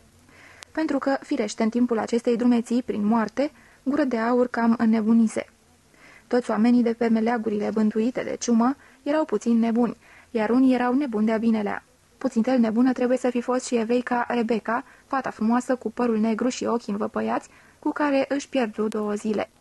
O găsise pe câmp în fața unui orășel, stătea ghemuită lângă niște dărâmături negre carbonizate și urla. Se izbea singură peste față și își smulgea părul negru. I se făcu milă de părul ei. Era atât de frumos. Îi apucă și îi ținu strâns mâinile furioase. Îi vorbi stăruitor și între timp băgă de seamă că fața și trupul ei erau de o mare frumusețe. Își jeluia tatăl care, împreună cu alți 14 evrei, fusese ars de viu din ordinul stăpânirii. Ea izbutise să fugă, dar acum se întorsese deznădăjduită, acuzându-se că nu se lăsase arsă și ea, împreună cu ceilalți. Cu răbdare îi ținu mâinile care tresăreau spasmodic și vorbi cu blândețe, murmură cuvinte miloase și ocrotitoare, îi oferi ajutor. Ea îi ceru să o ajute să-și înmormânteze tatăl și culeseră din cenușa încă fierbinte toate oasele. Le cără spre mijlocul câmpului pe ascuns și le acoperiră cu țărână. Între timp se înserase și gură de aur căută un loc de dormit. Aranjă fetei un culcuș într-o pădurice de stejar. Îi promise să vegheze și stătu să asculte cum și culcată ea nu contenea să plângă și să suspine, până când în sfârșit a dormi. Apoi dormi și el puțin de dimineață și începu încercarea de cucerire. Îi spuse că nu poate rămâne astfel singură. Își vor da seama că e evreică și o vor omorâ, sau niște nemernici de vagabonzi o vor jocori, iar în pădure se ațin lupi și țigani. El însă e gata să o ia cu dânsul și să o apere de o potrivă împotriva lupilor și a oamenilor, căci îi stârnește milă și ține la ea, fiindcă are ochi în cap și știe ce este frumusețea și niciodată nu va răbda ca aceste pleoape dulci înțelepte și acești umeri superbi să fie sfâșiați de fiarele hămesite sau să ajungă pe rug.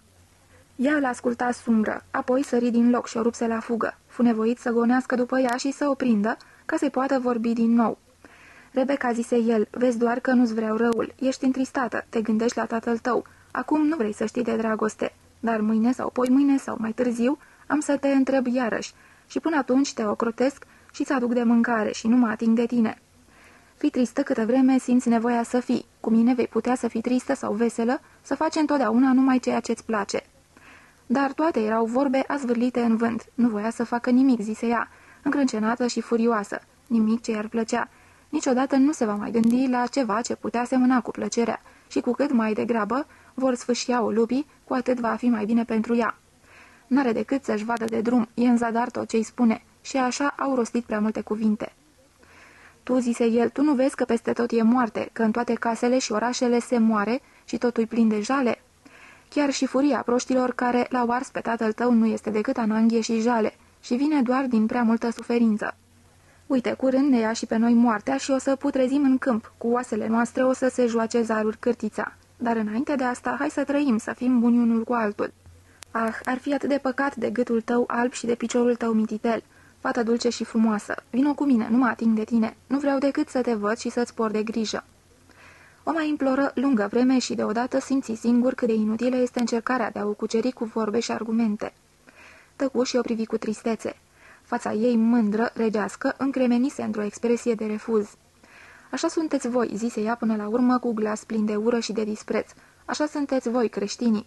Întâi ajutați unei fiice să-și îngroape tatăl ucis de oamenii tăi, ultima din unghiile lui era mai de preț decât tine, dar abia s-ai sprăvit în mormântarea și vrei ca fata să-ți aparțină și să-și facă de cap cu tine. Așa sunteți voi. Întâi am crezut că poate ești un om bun, dar cum să fii bun? Ah, sunteți niște porci. În vreme ce vorbea, ură de aur zări arzând în ochii ei, dincolo de ură, ceva ce îl mișcă și îl rușină și îi merse adânc la inimă. Zări în ochii ei moartea, dar nu condamnarea la moarte, ci hotărârea de a muri, puterea de a muri, tăcuta supunere, năzuința de a se dărui și a da ascultare chemării pământului mamă. Rebecca, zise el încet, poate că ai dreptate. Nu sunt un om bun, deși ți-am vrut binele. Iartă-mă, abia acum te-am înțeles. Scotându-și boneta, o salută cu o plecăciune adâncă, de parcă ar fi fost o prințesă și cu inima împovărată plecă. Trebuia să o lase să piară.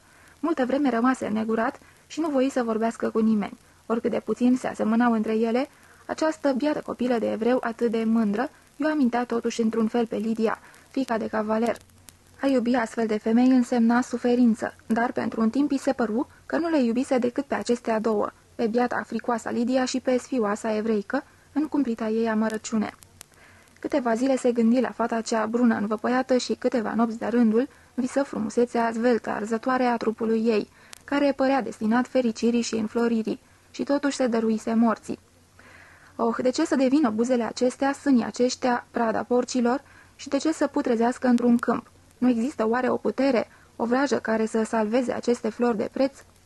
Da, exista o asemenea vrajă. Ele dăinuiau în sufletul său și vor fi modelate și păstrate într-o veșnicie de mâinile lui.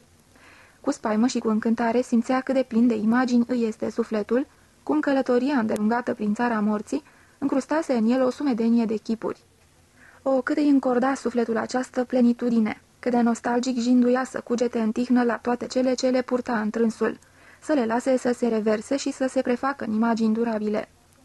Încă mai arzător și mai lacom năzuia apoi, mereu cu ochii larg deschiși și simțurile curioase, dar plin de un dor intens după hârtie și condei, după lut și lemn, după atelier și muncă. Vara trecuse. Mulți dădeau asigurări că, odată cu toamna sau poate la începutul iernii, Molima va conteni. Era o toamnă fără veselie. Gură de aur trecu prin ținuturi unde nu se mai afla suflare de om care să culeagă poamele. Ele cădeau din pom și putrezeau în iarbă. În alte părți fuseseră jefuite și stricate de hoarde sălbăticite fugite din oraș, pornite să târhărească. Gură de aur se apropia treptat de ținta sa și, în vremea din urmă, îl cuprinse de multe ori teama că se va molipsi de ciumă și va trebui să moară, în cine știe ce grajd. Acum nu mai voia să moară, nu înainte de a gusta încă o dată fericirea de a sta într-un atelier, dăruindu-se creației. Pentru prima oară în viață lumea îi se părea prea largă și Imperiul German prea întins. Niciun orășel frumos nu mai putea ispiti la popas, nici o țărâncuță drăgălașă nu-l ținea locului mai mult de o noapte. Odată trecu prin dreptul unei biserici, pe portalul căreia, în nișe adânci susținute de mici coloane decorative, se aflau numeroase statui de piatră din vremuri foarte vechi, figuri de îngeri, de apostoli și martiri, cum ai văzuse de atâtea ori până acum. Și în mănăstirea lui, la Maria Bron, existau unele figuri de acest fel. Odinioară păruseră frumoase și demne, dar puțin prea solemne, oarecum țepene și bătrânesc patriarhale. Apoi, mai târziu, după ce, la capătul primei sale, drumeții fusese atât de subjugat și de mișcat de acea dulce, tristă Maica Domnului, cioplită de meșterul Niclaus, găsise că aceste solemne și străvechi figuri de piatră francone erau prea greoaie și rigide și străine. Le privise cu o anumită superioritate și văzuse în maniera nouă a meșterului său o artă mult mai vie, mai caldă, mai însuflețită. Astăzi însă când se întorcea din lume încărcat de imagini, cu sufletul brăzdat de cicatricele și urmele unor aventuri și emoții intense, plin de o sfâșietoare dorință de a medita și a crea din nou, aceste figuri străvechi severe îi mișcară inima dintr-o dată, cu o putere covârșitoare. Stătu plin de cucernicie în fața venerabilelor statui, în care continua să trăiască inima unui timp de mult apus, în care spaimele și încântările îngremenite în piatră ale unor generații de mult dispărute înfruntau după veacuri efemerul.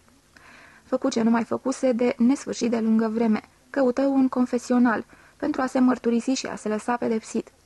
În biserică existau într-adevăr confesionale, dar toate fără preoți. Muriseră, zăceau în spital, fugiseră, se temeau de molipsire. Biserica era goală. Ecoul pașilor lui Gură de Aur răsuna sub bolțile de piatră. Îngenunchie în fața unui confesional gol. Închise ochii și șopti spre zăbrele. Bunule Dumnezeu, uite de ce am devenit. Mă întorc din lume și am devenit un om rău, un fluieră vânt. Mi-a mirosit anii tinereții ca un om risipitor. Puțin mi-a mai rămas. Am ucis, am furat, am prea curvit, am trândăvit și am luat pâinea de la gura altora. Bunule Dumnezeu, de ce ne-ai croit așa? De ce ne duci pe astfel de căi? Nu suntem oare copiii tăi? Nu a murit fiul tău pentru noi? Nu există sfinți și îngeri să ne călăuzească? Sau poate acestea sunt numai povești frumoase, născociri care se istorisesc copiilor, pe seama cărora râd până și popii. Din pricina ta, Dumnezeule Tată, m-am rătăcit rău, ai plămădit lumea și rău o ții în ordine. Am văzut case și străzi pline de morți care zăceau în ele, am văzut pe bogați cum se zăvorau în casele lor sau fugeau și pe săraci cum își lăsau frații neîngropați, cum se bănuiau unul pe altul și cum îi omorau pe evrei ca pe niște vite.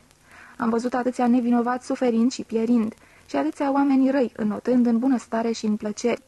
Oare ne-ai uitat cu desăvârșire și ne-ai părăsit? Ți-ai întors fața de la propria ta creație? Vrei să ne lași să pierim cu toții?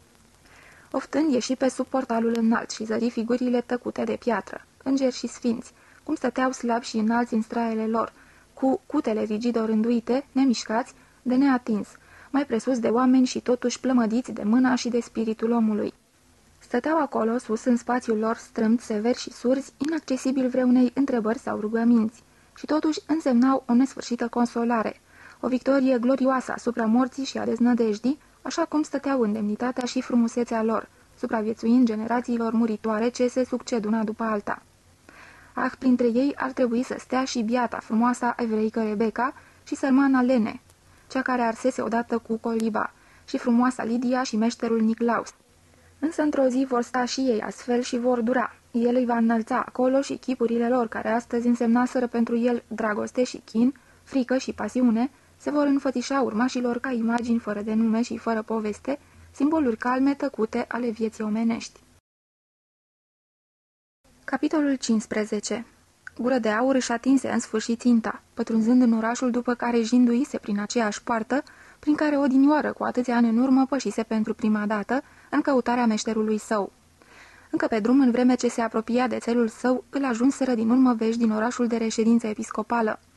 Știa că ciuma bântuise și aici și poate nici nu contenise încă. I se povesti despre tulburări și răzmerițe populare și că ar fi venit un guvernator imperial pentru a instaura ordinea, pentru a emite legi excepționale și a apăra avuția și viața cetățenilor. Căci episcopul părăsise orașul îndată după ce izbucnise molima și locuia departe, într-unul din castelele sale de la țară. Toate veștile acestea îl lăsaseră indiferent pe călător, numai de ar mai exista orașul și atelierele în care spera să lucreze. Tot restul nu avea importanță pentru el. La sosirea lui ciuma era stinsă. Se aștepta întoarcerea episcopului și lumea se bucura de plecarea guvernatorului imperial și de revenirea la viața pașnică obișnuită. Când Gură de Aur revăzu orașul, inima îi fu cuprinsă de un sentiment al reîntâlnirii, al întoarcerii acasă, ca un val de o intensitate necunoscută înainte. Își compuse o mină neobișnuit de severă pentru a se stăpâni. Oh, toate erau la locul lor, porțile, frumoasele fântâni, vechiul turn mătăhălos al catedralei și cel nou, zvelt al bisericii Sfintei Maria. Sunetul limpede al clopotelor de la Sfântul Lorenz, piața cea mare plină de strălucire a orașului. Oh, ce bine că toate l-așteptaseră! Nu visase odată pe drum că va sosi aici și va găsi totul schimbat și străin, în parte distrus și în ruine, în parte de nerecunoscut datorită unor construcții noi și unor semne ciudate, puțin îmbucurătoare? Pe când trecea pe uliți, recunoscând casă după casă, lacrimile erau gata să izbucnească. Până la urmă, parcă erau totuși de invidiat cei sedentari, așezați în casele lor frumoase, sigure, trăindu-și viața lor tihnită de burghezi, împlinită de sentimentul liniștitor, dătător de puteri, de a avea o patrie, de a fi acasă, în odaia sau în atelierul lor, între nevastă și copii, slugi și vecini. Erau după amiază târzie și pe partea însorită a străzii, casele emblemele hangiilor și ale breslelor, ușile sculptate cu ghivece cu flori erau bătute de razele calde. Nimic nu amintea că și în orașul acesta bântuise moartea furibundă și stăpânise nebunia Africii omenești. Răcoros, verde deschis și albastru deschis, curgea sub bolțile sonore ale podului, râul cel limpede. Gură de aur se așeză o vreme pe parapetul ce mărginea malul. Jos în cristalul verde mai lunecau și acum, asemenea unor umbre, pești întunecoși, ori rămâneau nemișcați cu gura întoarsă împotriva curentului. Și acum mai licăreau aici colo din crepusculul adâncimilor acele lumini slabe, aurii care făgăduiesc atâtea și îndeamnă atât de intens la visare. Și alte ape licăreau astfel și alte poduri sau orașe desfătau privirea. Totuși lui se păru că de foarte multă vreme nu mai văzuse asemenea priveliști și nu mai trăise asemenea simțăminte. Două calfe de măcelar mânau râzând un vițel, schimbând priviri și glume cu o slujnicuță care strângea niște rufe sus într-un pridvor. Totuși, cât de repede trecea totul. Nu de mult aici mai arseseră focurile ciumei și domniseră slujitorii morții din spitale. Și acum, iată, viața mergea mai departe și râdea și se glumea. Și el însuși făcea la fel. Ședea aici încântat de revedere și simțea recunoștință și nutrea chiar și un sentiment de prietenie față de cei așezați la casele lor, de parcă nici nu ar fi existat jalea și moartea, nici Lene și nici prințesa evreică. Zâmbind se ridică și porni mai departe, și abia când se apropie de strada meșterului Niclaus, mergând pe drumul pe care altădată îl bătuse zi de zi, vreme de câțiva ani, spre atelier, abia atunci începu să simtă teamă și neliniște. Întinse pasul, voia să se înfățișeze încă astăzi meșterului și să afle ce și cum, nu mai suporta nicio amânare. I s-ar fi părut absolut cu neputință să mai aștepte până mâine. Oare meșterul să mai fie supărat pe el? Trecuse doar atâta vreme, cele petrecute odinioară nu mai puteau avea vreo însemnătate și chiar de-ar fi să aibă, va birui această opreliște. Dacă meșterul se mai află acolo, el și atelierul, toate vor fi în bună regulă. Grăbit se îndreptă spre casa bine cunoscută, de parcă în acest ultim ceas ar mai fi putut pierde ceva. Puse mâna pe clanță și se sperie cumplit, găsind poarta zăvorâtă. Să fie un semn rău, odinioară nu se întâmpla niciodată să fie zăvorâtă ziua în amiaza mare. Cu vuiet lăsă să cadă ciocanul și așteptă. Dintr-o dată simți în inimă o teamă cumplită. Apăru aceeași slujnică bătrână care îl primise odinioară când intrase prima dată în această casă. Nu devenise mai urâtă, însă mai bătrână și mai neprietenoasă și nu-l recunoscu pe gură de aur. Cu voce speriată, o întrebă de meșter. Ea îl privi tâmp și neîngrezător. Meșterul? Aici nu există niciun meșter. Vezi de treabă, omule. Aici nu dăm drumul nimănui. Dădu să-l împingă îndărât din poartă. El o apucă de braț și strigă la ea. Dar vorbește Margrit pentru numele lui Dumnezeu. Sunt gură de aur, nu mă cunoști? Trebuie să merg la meșterul Niclaus. Din ochii prezbiți pe jumătate stinși, nu licări spre el niciun semn de bun venit. Aici nu mai există niciun meșter Niclaus, zise ea pe un ton aspru. Am murit. Căutați-vă de drum, nu pot sta aici să flecăresc. În vreme ce totul se prăbușea în el, gură de aur o împinse la o parte pe bătrâna care fugea țipând în urma lui și o luă în grabă prin coridorul întunecos spre atelier. Îl găsi zăvorât. Urmat mereu de bătrâna care se jeluia și locăra, alergă în sus pe scări, zărind pe umbra încăperii cunoscute sculpturile pe care le adunase Niclaus. Cu voce tare o strigă pe fecioara Lisbeth. Ușa odăii se deschise și apăru Lisbeth, și când uitându-se mai bine o recunoscu, înfățișarea ei stârni jale în inima lui. Dacă în casa aceasta, din clipa în care, spre spaima lui, găsise poarta închisă, totul îi se păruse fantomatic și vrăjit asemenea unui coșmar, acum, la revederea Lisbetei, îi trecu într-adevăr un fior prin spinare.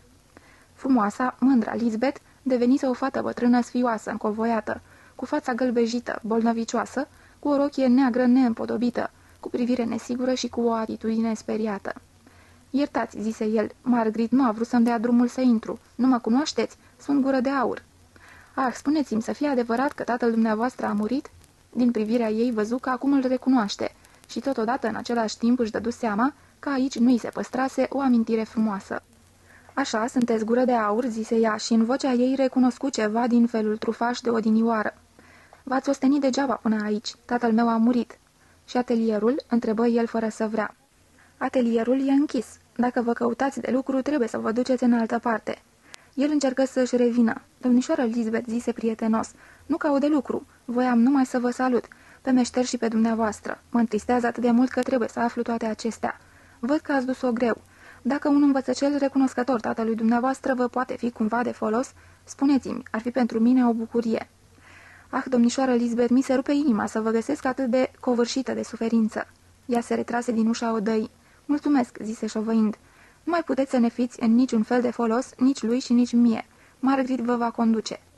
Glasul ei suna aspru, pe jumătate supărat, pe jumătate speriat. Simți limpede că de-ar fi avut curajul, l-ar fi dat afară făcându-l de rușine. Ajunseră repede jos. Bătrâna trânti poarta casei în urma lui și trase zăvoarele. Izbitura surdă a celor două zăvoare îi suna încă în urechi, asemenea zgomotului cu care se închide capacul unui coșciug. Se întoarse umblând agale la parapetul de pe mal și se așeză în același loc deasupra râului. Soarele scăpătase, un curent de aer rece venea dinspre apă. Rece era și piatra pe care ședea. Ulița de lângă mal devenise tăcută. La piciorul podului șuvoiul apei stârnea vuiet. Adâncul se căsca sumbru, nu mai sclipea spre el niciun licăr auriu. Oh, gândi el, de-aș șcădea acum peste zid și aș dispărea în râu. Lumea era din nou plină de moarte. Trecu un ceas și amurgul se prefăcu în noapte. În sfârșit fu în stare să plângă. Ședea și plângea. Picăturile calde îi cădeau pe mâini și pe genunchi. Îl plângea pe meșterul mort. Plângea frumusețea dispărută a Lisbetei, o plângea pe Lene, pe Robert, pe fata de evreu, plângea tinerețea lui veștejită, irosită. Într-un târziu nimeri într-o cârciumă în care odinioară chefuise de multe ori cu prietenii. Cârciumărița îl recunoscu, ceru o bucată de pâine, ea i-o dădu și prietenoasă îi dădu și un pahar de vin. Nu fu în stare să înghită nici pâinea, nici vinul. Noaptea aceea dormi pe o bancă, acolo înăuntru. Cărciumărița îl trezi de dimineață. El îi mulțumi și plecă. Pe drum mâncă bucata de pâine. Se duse la piața de pește. Aici se afla casa în care își avusese pe vremuri odaia. Lângă fântână, câteva neveste de pescar își ofereau marfa vie. El se uită lung în Putin la peștii frumoși strălucitori. Îi văzuse deseori odinioară și și aduse aminte că de multe ori se făcuse milă de pești și se înfuriase împotriva vânzătoarelor și a cumpărătorilor. Cândva își aminti el, pierduse vremea pe aici. La fel ca și acum, într-o dimineață, admirase peștii și compătimise și fusese foarte trist. Trecuse multă vreme de atunci și pe râu se scursese multă apă. Fusese foarte trist de data asta, își aducea bine aminte, dar ce anume îl întristase atât de mult nu mai știa. Așa se întâmplă, trece și tristețea, trec și durerile și deznădejdile, ai doma bucuriilor, trec, pălesc, își pierd adâncimea și valoarea și, până la urmă, vine o vreme când nu mai ești în stare să-ți aduci aminte ce anume te-a durut atât de rău. Și durerile pălesc și se veștejesc. Oare se va veșteji cândva și își va pierde însemnătatea și durerea lui de astăzi, disperarea că meșterul era mort, că murise supărat pe el și că niciun atelier nu-i deschidea ușa ca să guste fericirea creației și să-și ușureze sufletul de povara sa de imagini. Da, fără îndoială și această durere și acest chin amar vor îmbătrâni și vor obosi. Le va uita și pe ele. Nimic nu e tainic, nici suferința. În vreme ce privea peștii și se lăsa în voia acestor gânduri, auzi o voce înceată, rostindu-i prietenos numele. Gură de aur grăi cu timiditate vocea și când se întoarse către ea, văzu stând în fața lui o fată tânără, cam firavă și bolnăvicioasă, însă cu ochi frumoși negri. Ea îl strigase, nu cunoștea. Gură de aur, ești chiar tu?" întrebă vocea sfioasă. De când ești iarăși în oraș? Nu mă mai cunoști? Sunt Marii." Totuși nu o cunoștea. Fu nevoită să-i povestească cum că este fiica fostelor sale gazde și că odinioară la acel ceas din zori, înainte de plecarea lui, îi fiersese laptele în bucătărie. Se îmbujoră povestindu-i toate acestea. Da, era Marie, copilul amărât cu încheietura șoldului vătămată, care pe vremuri se îngrijise de el cu atâta dragoste și sfială. Acum îi reveneau toate amintirile. Îl așteptase în dimineața aceea răcoroasă și fusese atât de tristă că pleacă. Îi fiersese laptele și el îi dăduse o sărutare, pe care ea o primise liniștită și solemnă, ca pe un sacrament. Niciodată nu se mai gândise la ea. Pe atunci fusese încă o copilă, acum crescuse mare și avea ochi foarte frumoși, dar tot mai șchiopăta și arăta cam pipernicită. Îi dădu mâna. Se bucură că totuși se găsise cineva în oraș care să-l cunoască și să-l întâmpine cu drag. Marie îl luă cu ea, el se împotrivi slab. La părinții ei, în odaia în care tabloul său mai atârna pe perete și pocalul său din sticlă rubinie, stătea acum pe polița de deasupra căminului, fusilit să ia prânzul și îl poftiră să mai zăbovească vreo câteva zile. Erau bucuroși că aveau prilejul să-l revadă. Aici află ce se întâmplase în casa meșterului său. Niclaus nu murise de ciumă, ci frumoasa Lisbeth fusese cea care se molipsise, zăcuse bolnavă de moarte și tatăl ei o îngrijise până când murise el în locul ei. Bătrânul închisese ochii încă înainte ca ea să se fi îndrăvenit de-a binelea. Fusese salvată, însă își pierduse frumusețea.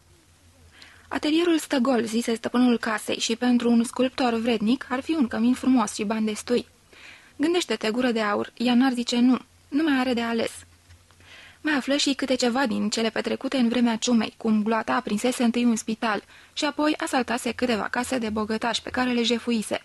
O vreme nu mai fusese niciun fel de ordine și siguranță în oraș, căci episcopul își luase tălpășița. Atunci împăratul, care se afla tocmai prin apropiere, trimisese un guvernator al său, pe contele Heinrich. Ei da, era un om energic cu cei câțiva călăreți și soldații ai săi, restabilise ordinea în oraș, dar acum ar fi într-adevăr vremea să-i se isprăvească guvernarea. Episcopul era așteptat să se întoarcă. Guvernatorul pretinsese multe burghezilor și lumea se săturase și de ibovnica lui, de Agnes, o muierușcă plină de draci. Mă rog, în curând or să plece. Consiliul Comunal e de mult sătul să aibă pe grumaz în locul bunului episcop un asemenea curtean și războinic, care e favoritul împăratului și primește necontenit ambasade și deputății, ca un principe. Și apoi veni rândul musafirului să fie întrebat despre întâmplările prin care trecuse. Ah, zise el trist, despre asta nu se vorbește. Am fost pe drumuri și iarăși pe drumuri și pretutindeni bântuia molima și zăceau morții și pretutindeni oamenii erau nebuni și înrăiți de groază. Am rămas în viață, poate că odată și odată voi putea uita toate astea. Și acum mă întorc și meșterul e mort. Îngăduiți-mi să stau câteva zile să mă odihnesc și apoi am să plec iarăși. Nu rămase ca să se odihnească, rămase pentru că era dezamăgit și nehotărât, pentru că amintirea vremurilor mai bune îl făcuse să îndrăgească orașul și pentru că dragostea bietei Marii îi pria, nu-i putea răspunde, nu-i putea oferi decât prietenie și milă. Totuși adorația ei tăcută și umilă îl încălzea.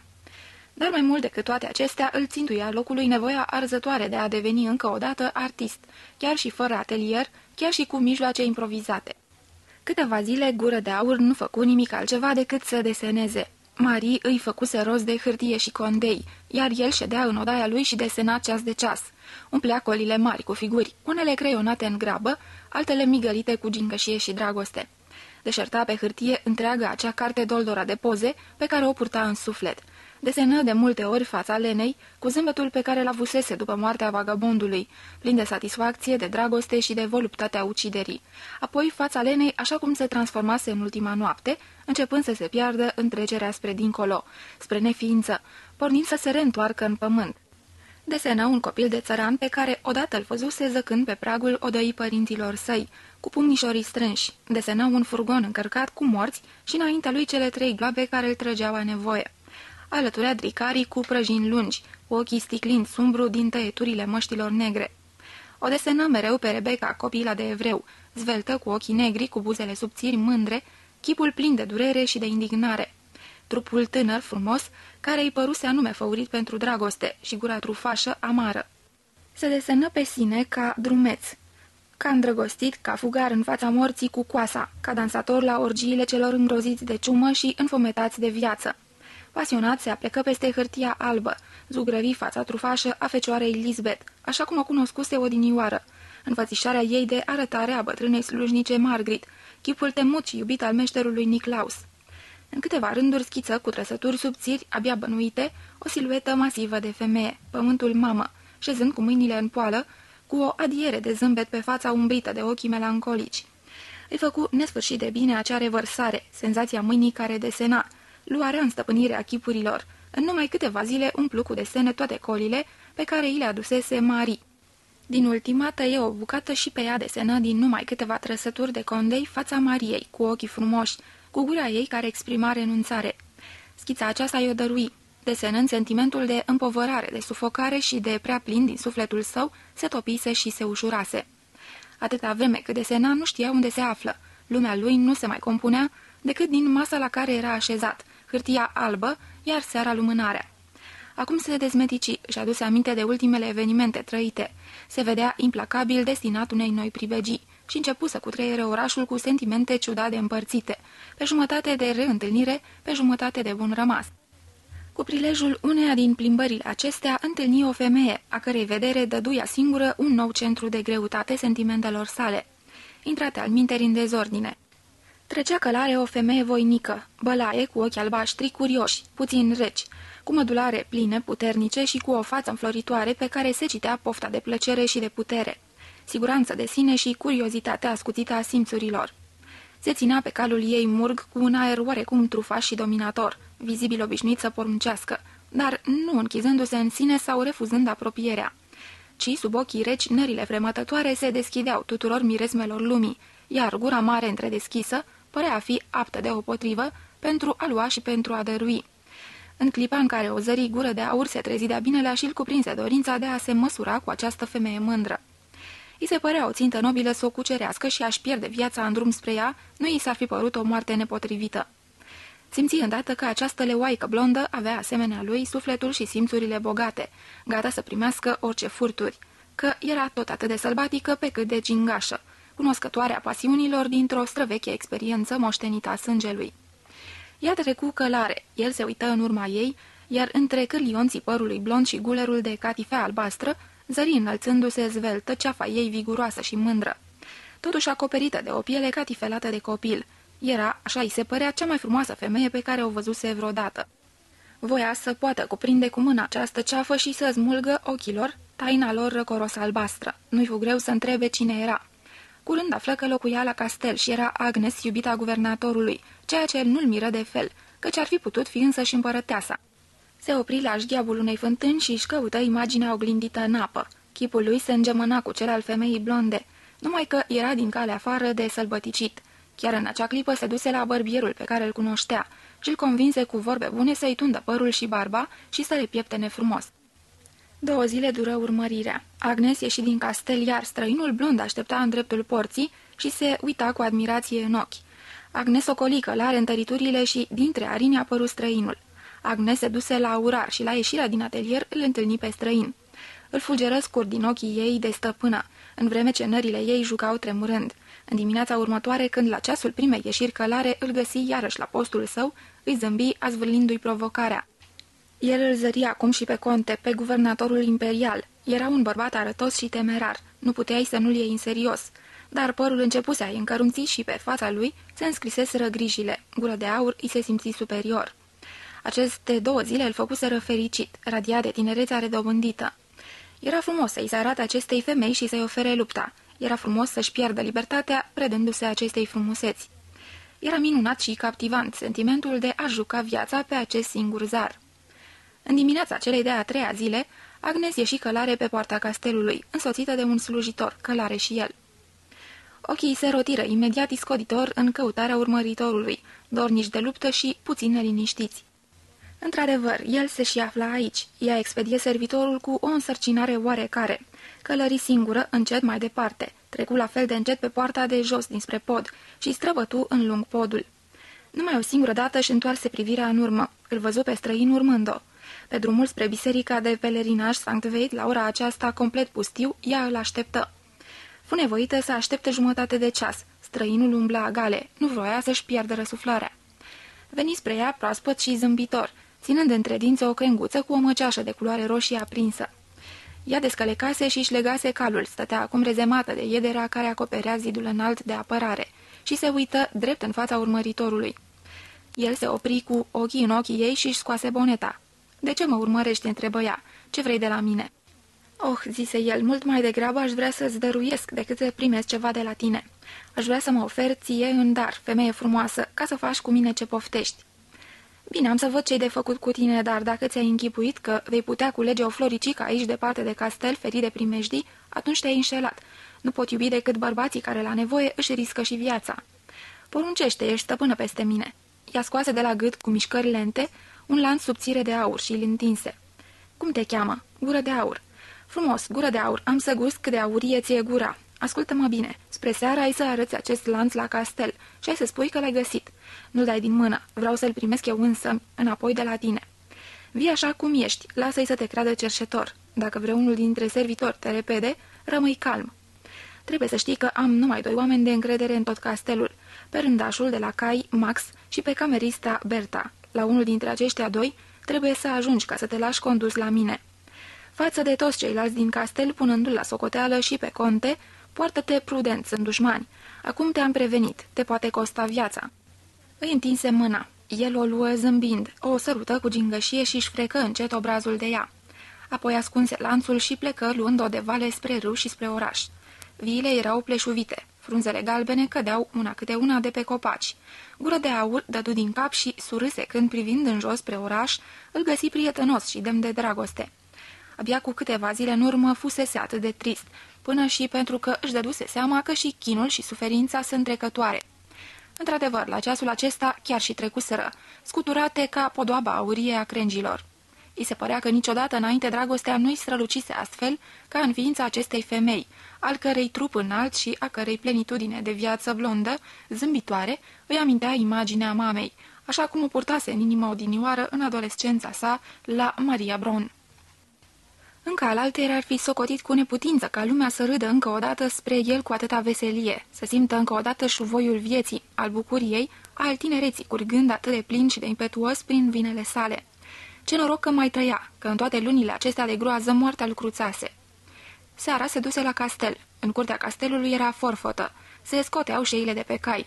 Curierii alergau de colo-colo, un mic grup de preoți și de demnitare ai bisericii era condus de servitori prin poarta interioară și apoi în sus pe scări. Gură de aur încercă să se ia după ei, dar ușierul îl reținu. Scoase lanțul de aur și zise că avea poruncă să nu lămâneze decât însăși doamnei sau cameristei. I se dădu un slujitor care să-l însoțească. Trebuie să aștepte mult timp pe coridoare. În sfârșit apăru o femeie frumoasă și sprintenă, care trecu pe lângă el întrebându-l cu glas căzut. Sunteți gură de aur?" și făcu semn să o urmeze. Dispăru pe tăcute printr-o ușă, reapăru după o vreme și făcu semn să intre. Ajunse într-o cameră mică unde mirosea puternic a blănuri și a parfumuri dulci și care era tixită cu rochii și mantii, pălării de damă și de au pe suporturi de lemn. Tot soiul de încălțări se înșirau într-un sipe deschis. Stătu și așteptă aici o jumătate de ceas. Adulmecă mirosul straelor, își petrecu mâna peste blănuri și zâmbi curios, pe seama tuturor obiectelor frumoase care atârnau prin încăpere. În sfârșit, ușa interioară se deschise și nu veni camerista, ci însăși Agnes, într-o rochie albastru deschis cu o bordură de blană albă la gât. Se îndreptă încet, încet spre cel care o aștepta. Pas cu pas, ochii răcoros albaștri îl priveau cu seriozitate. A trebuit să aștept, zise ea încet. Cred că acum suntem în siguranță. E o deputăție de preoți la conte. Ia masa cu ei și vor avea, desigur, încă multă vreme de discutat. Consfătuirile cu preoții sunt întotdeauna lungi. Ceasul ne aparține, mie și ție. Fi binecuvântat, gură de aur. Se aplecă spre el. Buzele ei jinduitoare se apropiară de ale lui. Se cunoscuseră în tăcere, într-o primă sărutare. Încet îi cuprinse cu mâna grumazul. Ea îl conduse în dormitorul ei. Era o încăpere cu tavan înalt, puternic luminată. Pe o masă stătea pregătită mâncarea. Se așezară. Ea îi puse grijulie în față pâinea și untul, puțină carne și îi turnă vin alb într-un pahar frumos albăstrui. Mâncară băură amândoi din același pocal albăstrui. Mâinile lor se jucară una cu alta, parcă încercându-se. De unde vii în zbor?" îl întrebă ea, frumoasa mea pasăre. Ești războinic sau muzicant sau doar un biet vântură țară?" Sunt o ce vrei," râse el încet. Sunt cu totul al tău." Sunt muzicant, dacă vrei, și tu ești dulcea mea lăută când îmi așez degetele pe gâtul tău și când pe tine, auzim îngerii cântând. Haide, dragostea mea, nu am venit să-ți mănânc cozonacul gustos, nici să-ți beau vinul alb, am venit numai de dragul tău." Încet, el îi trase blana albă de la gât și scoase cu mângâieri straiele de pe trup. Afară, dincolo de pereți, poate curtenii și popii își țineau consfătuirile, poate servitorii se strecurau pe coridoare cu pastiptil și secera îngusta lunii apunea pe după copaci, însă amanții nu mai știau nimic din toate acestea. Pentru ei înflorea paradisul atrași unul spre celălalt, împletiți unul cu celălalt. Ei se pierdură în noaptea nu resmată, văzură licărind tainele florilor ei albe, culeseseră cu mâini gingașe pline de recunoștință, poamele sale râvnite. Niciodată înainte nu cântase lăutarul pe o asemenea lăută, niciodată înainte nu răsunase lăuta sub degetele atât de viguroase și de știutoare.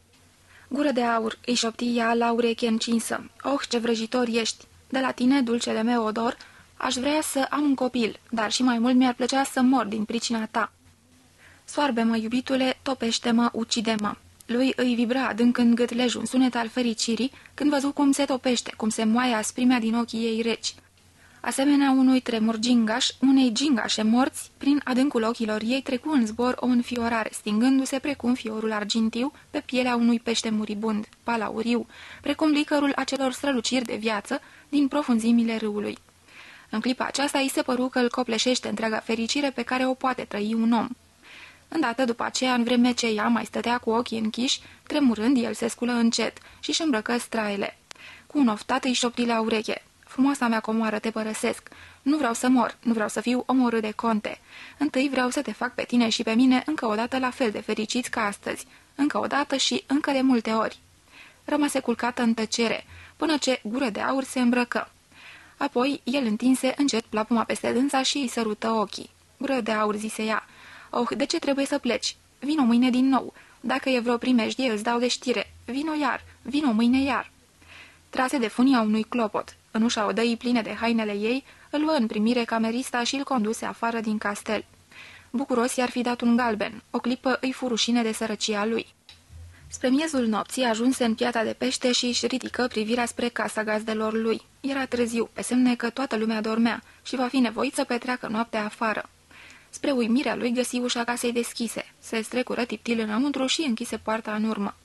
Drumul spre odaia lui trecea prin bucătărie. Aici era lumină. Lângă o lampă mică de ulei, la masa din bucătărie, ședea Marie.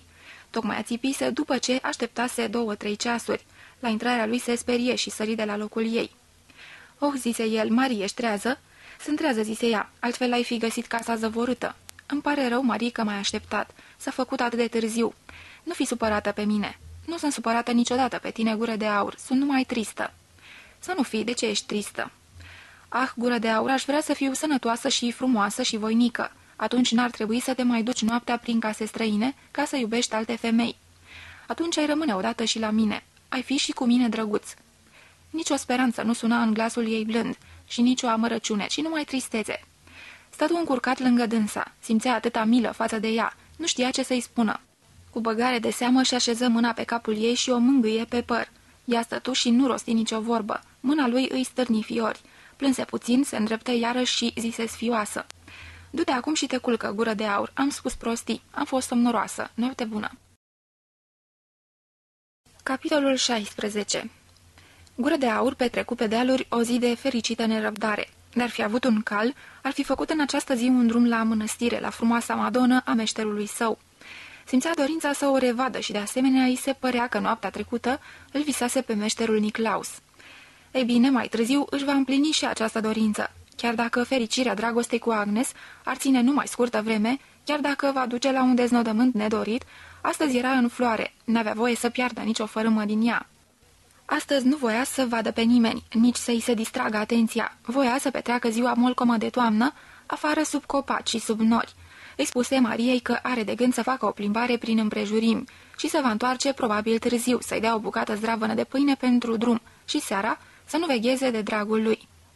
Ea nu-i răspunse, îi umplu buzunarele cu pâine și mere, îi netezi cu peria haina veche, ale cărei găurile peticise chiar din prima zi și lăsă să plece. El trecu plimbându-se peste râu și urcă dealul prin viile pustii. Pe drumuri abrupte, în trepte sus, se pierdu în pădure și nu conteni să urce, până ce ajunse pe ultima coamă de deal. Aici soarele strălucea palid printre trunchiurile copacilor pleșuvi. Mierlele stârnite țâșneau din fața lui zburând spre tufișuri, se piteau și priveau spre el din desiș cu ochii negri strălucitori. Iar jos departe râul curgea într-un arc albastru și orașul se întindea mititel ca o jucărie. De acolo până sus nu mai ajungea niciun sunet, în afară de dangătul clopotelor, la ceasurile de rugăciune. Aici, pe creastă, se aflau, din vremuri străvechi păgâne, mici movile și valuri de pământ năpădite de iarbă. Poate fusese întărituri, poate morminte. Se lăsă pe una din aceste movile. Aici putea ședea pe loc uscat, în iarba foșnitoare a toamnei, cuprinzând cu vederea întreaga vale largă și chiar dincolo de râu, dealurile și munții, lanț după lanț, până în zare, unde munții și cerul se întâlneau într-un joc albastru și nu se mai puteau deosebi. Picioarele sale călcaseră tot cuprinsul acestui ținut și încă mult mai departe decât putea răzbate ochiul. Toate aceste meleaguri care acum nu mai erau decât depărtare și amintire, fuseseră cândva apropiere și prezent. În codrii aceștia dormise de sute de ori, se hrănise cu boabe, flămânzise și tremurase de frig. Peste aceste coame de munți și fâșii de câmpie, colindase, fusese vesel și trist, proaspăt și ostenit, Undeva, în depărtarea aceasta, dincolo de zborul privirii, zăceau osemintele arse ale bunei Lene. Undeva, pe acolo, mai putea hălădui și acum camaradul său Robert, dacă nu-l răpusese între timp ciuma. Undeva acolo zăcea mort Victor și undeva, în depărtări vrăjite, se afla mănăstirea anilor săi de tinerețe. Se înălța castelul cavalerului cu cele două fiice frumoase. Alerga săracă și hăituită biata Rebecca, sau poate se prăpădise. Toate locurile acestea, multe împrăștiate în lume, câmpiile și pădurile acestea, orașele și satele, cetățile și mănăstirile, toți acești oameni, fie că mai erau vii, fie că muriseră, el își știa prezenți în sufletul său și legați între ei în amintirea lui, în dragostea, în remușcarea, în nostalgia sa. Iar dacă mâine moartea îl va ajunge și pe el din urmă, toate acestea se vor risipi iarăși în neant și se vor stinge. Toată cartea sa cu poze plină de femei și iubiri, dimineți de vară și nopți ale iernii, Oh, era timpul să mai făurească ceva, să mai dureze, să mai lase ceva în urmă care să-i supraviețuiască. Din această viață, din pribegiile lui, din toți anii trăiți de când plecase în lume, nu s-au ales până astăzi decât puține roade. Au mai rămas cele câteva statui pe care le cioplise cândva în atelier, mai ales acel Ioan, și apoi această carte cu poze, această lume ireală din capul său, frumoasă și dureroasă lume de imagine a amintirilor. Oare va izbuti să salveze câte ceva din această lume lăuntrică, scoțând-o din sine? Sau va continua întotdeauna la fel? Mereu orașe noi, peisaje noi, femei noi, trăiri noi, imagini noi, înghesuite unele peste altele, din care lui nu-i rămânea decât această neliniștită împovărare a inimii, pe cât de chinuitoare, pe atât de frumoasă. Era într-adevăr rușinos să fie astfel dus de nas de viață, era de râs și de plâns. Ori trăiai, îți lăsai simțurile să-și facă de cap, Sugeai cât puteai la sânul eternei mame, Eva, și atunci puteai gusta cei drept voluptăți supreme, dar nu aveai nicio apărare împotriva efemerului. Erai ca o ciupercă de pădure, astăzi împestrițată de culori frumoase, dar putrezită mâine. Ori te apărai, te închideai într-un atelier și căutai să înalți vieții fugare un monument și atunci trebuia să renunți la viață. Nu mai erai decât o unealtă. Stăteai într-adevăr în slujba nepieririi, dar în același timp te uscai și îți pierdeai libertatea, plenitudinea și plăcerea vieții. Așa se întâmplase cu meșterul Niclaus. Ah, și viața întreagă nu căpăta sens cu adevărat decât dacă putea dobândi și una și alta, dacă viața nu era ciopârțită de acest searbăd ori-ori. Să crezi fără să plătești cu prețul vieții, să trăiești fără a renunța, totuși la noblețea creației. Oare nu era cu putință? Poate că existau oameni cu care izbuteau așa ceva, poate că existau soți și părinți cărora fidelitatea nu făcea să le piară plăcerea simțurilor. Poate că existau sedentari cărora lipsa libertății și a primejdiilor nu le seca totuși inima. Poate, de văzut încă nu văzuse niciunul. Toată existența părea să se îndemeieze pe dualitate, pe contrarii. Erai femeie sau bărbat, vagabond sau burghez, rațional sau simțitor. Nicăieri nu puteai trăi concomitent inspirația și expirația, bărbăția și feminitatea, libertatea și ordinea, instinctul și spiritul. Întotdeauna unul trebuia plătit cu pierderea celuilalt și întotdeauna și unul și celălalt erau la fel de importante și demne de a fi dorite. Femeile aveau poate o soartă mai ușoară, pe ele natura le plămădise astfel, încât plăcerea își aducea ea însăși fructul și din fericirea dragostei se năștea copilul. La bărbat această fertilitate simplă era întocmită de o eternă nostalgie. Oare Dumnezeu care le orânduise pe toate în felul acesta a fost supărat sau dușmănos, a râs pe seama propriei sale creații? Nu, nu a putut fi supărat dacă a făurit cerbii și căprioarele, peștii și păsările, pădurea, florile, anotimpurile. Dar fisura străbătea totuși creația lui. Așadar, fie că ea era neizbutită și imperfectă, fie că Dumnezeu avusese intențiile sale anume, tocmai cu acest gol și cu această nostalgie sădită în existența omenească, fie că era vorba de o sămânță aruncată de dușman, de păcatul originar. Dar de ce să fie această nostalgie și insatisfacție un păcat? Nu, din ea se isca oare tot ce este frumos și sacru, tot ce omul a creat și a redat lui Dumnezeu, în chip de ofranda a recunoștinței sale. Apăsat de gânduri, își întoarse privirea spre oraș. Zări piața de pește, podurile, bisericile, clădirea Consiliului. Și iată, acolo era și castelul, mândrul palat episcopal, în care acum guverna contele Heinrich. Sub acele turnuri și acoperișuri alungite, locuia Agnes, locuia frumoasa regeasca sa amantă, care arăta atât de trufașă, dar care în dragoste era în stare să se uite pe sine, se putea dărui atât de desăvârșit. Cu bucurie se gândi la ea, cu bucurie și plin de gratitudine, își aduse aminte de noaptea trecută. Pentru a trăi fericirea nopții trecute, pentru a putea ferici această femeie minunată, a fost nevoie de întreaga lui viață, de toată învățătura primită din partea femeilor, de toată drumeția și suferințele, toate nopțile când își croise pârtie prin zăpadă, toată prietenia și intimitatea cu animalele, cu florile, cu copaci și cu apele, cu peștii și fluturii. A fost nevoie de simțurile ascuțite în voluptăți și primejdii, de traiul fără căpătâi, de toată lumea de imagini adunate în lăuntrul său vreme de mulți ani. Cât timp viața lui era o grădină în care înfloreau asemenea flori vrăjite ca Agnes, nu avea voie să se plângă. Toată ziua o petrecu pe înălțimile tomnatice, umblând, odihnindu-se, mâncând pâine, gândindu-se la Agnes și la seara ce va să vină. La ceasul amurgului fu din nou în oraș și se apropie de castel. Se făcuse răcoare și casele îl priveau cu ferestrele ca niște ochi calmi, roșii. Întâlni un mic cortegiu de băiețași, care cântau și purtau înfipte în vârfurile unor bețe, sfecle scobite în care tăiaseră fețe de oameni, iar înăuntrul lor băgaseră lumânări aprinse. Mica mascaradă avea ceva iernatec, gură de aur zâmbind privi în urma ei. Multă vreme se învârti în jurul castelului. Ceata de popi mai zăbovea încă aici, la una sau alta din ferestre, se zărea câte unul din domnii clerici. În sfârșit izbuti să se strecoare înăuntru și să o găsească pe camerista Berta. Iar își fu ascuns în încăperea care slujea de garderobă, până ce Agnes apăru și îl conduse cu delicatețe în cameră. Cu gingășie îl întâmpină chipul ei minunat, cu gingășie, dar nici de cum bucuros. Era tristă, îngrijorată, înspământată. Fu nevoit să se străduiască mult pentru a înveseli cât de cât. Încetul cu încetul, sărutările și cuvintele sale de dragoste îi insuflară puțină încredere.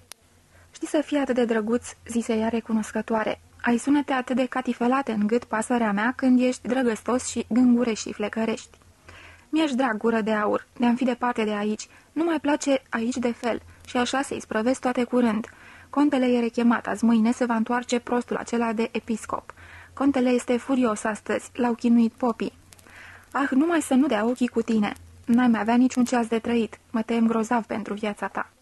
În amintirea lui răsăriră sunete pe jumătate pierdute. Oare nu mai auzise cântecul acesta în vremuri îndepărtate? Astfel îi vorbise cândva Lidia, atât de iubitoare și de speriată, atât de gingaș tristă. Astfel venise nopțile în odaia lui plină de dragoste și de frică, plină de griji, de imaginile teribile ale spaimei. El asculta cu plăcere cântecul gingaș temător. Ce-ar fi dragostea fără tăinuiri? Ce-ar fi dragostea fără primejdii? Cu blândețe o trase pe Agnes la sine, o mângâie, îi ținu mâna, îi susură cuvinte îmbietoare în ureche, îi sărută sprâncenele. Îl mișca și îl încânta că o găsise atât de speriată și de îngrijită din pricina lui. Ea îi primi alintările cu recunoștință, aproape umilă. Se lipi drăgăstoasă de el, dar nu se înveseli. Și deodată tresări violent în apropiere se auzi o ușă trântindu-se și pași repezi, îndreptându-se spre odaie.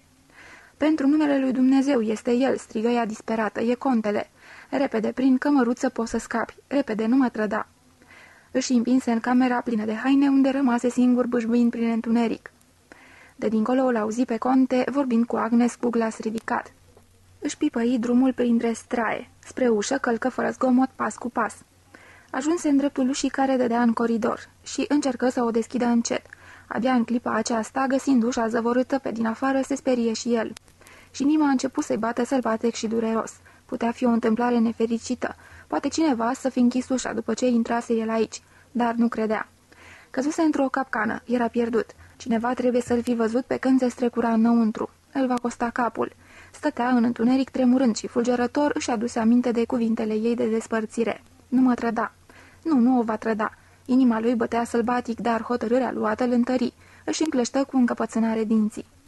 Toate s-au petrecut în numai câteva clipe. Acum ușa de dincolo se deschise și din odaia lui Agnes intră contele, cu un sfeșnic în stânga și cu spada goală în dreapta. În aceeași clipă, gură de aur smulse din cuiere cu o mișcare grăbită, câteva din rochile și mantiile atârnate împrejur și le azvârli pe braț. Să fie socotit hoț, poate că așa mai avea o scăpare. Contele îl zărise imediat, se apropie încet de el. Cine ești, ce cauți aici?" răspunde, alminter te izbesc." Iertați-mă, șoptigure de aur, sunt un om sărac și voi sunteți atât de bogați. Vă dau totul înapoi, domnule, tot ce am luat, priviți." Și așezăm mantiile pe pământ. Așa va să zic că ai furat. N-a fost înțelept să-ți riști viața pentru o mantie veche. Ești cetățean al orașului?" Nu, domnule, sunt un pribeag. Sunt un om sărac. Veți avea indulgență." Încetează. Vreau să știu dacă, până la urmă, ai fost atât de obraznic încât ai avut intenția să o plictisești pe doamna." Dar cum și așa vei fi spânzurat, nu mai trebuie să cercetăm și asta. Furtul ajunge." Bătu cu violență în ușa încuiată și strigă. Sunteți aici? Deschideți!" Ușa fu deschisă de afară. Trei oșteni stăteau pregătiți cu spada trasă. Legați-l bine!" strigă contele cu o voce neplăcută din pricina ironiei și trufiei. E un vagabond care a furat. Puneți-l la loc sigur și mâine dimineață spânzurați haimanaua." Lui Gură de Aurii se legară mâinile, fără ca el să se apere. Așa fu condus prin coridorul lung, în jos pe scări. Prin curtea interioară, un slujitor le lumina calea cu un felinar. În dreptul ușii ferecate, rotunde, a unei pivniți, se opriră. Începură să discute și să o cărască. Lipsea cheia. Un oștean lua felinarul, iar slujitorul fugi îndărăt să o caute. Stătura astfel trei oameni înarmați și unul legat, în așteptare în fața ușii. Cel cu felinarul, curios, lumină fața prizonierului. În clipa aceasta trecură pe lângă ei, venind dinspre capelă, doi dintre numeroșii preoți, aflați ca oaspeți la castel.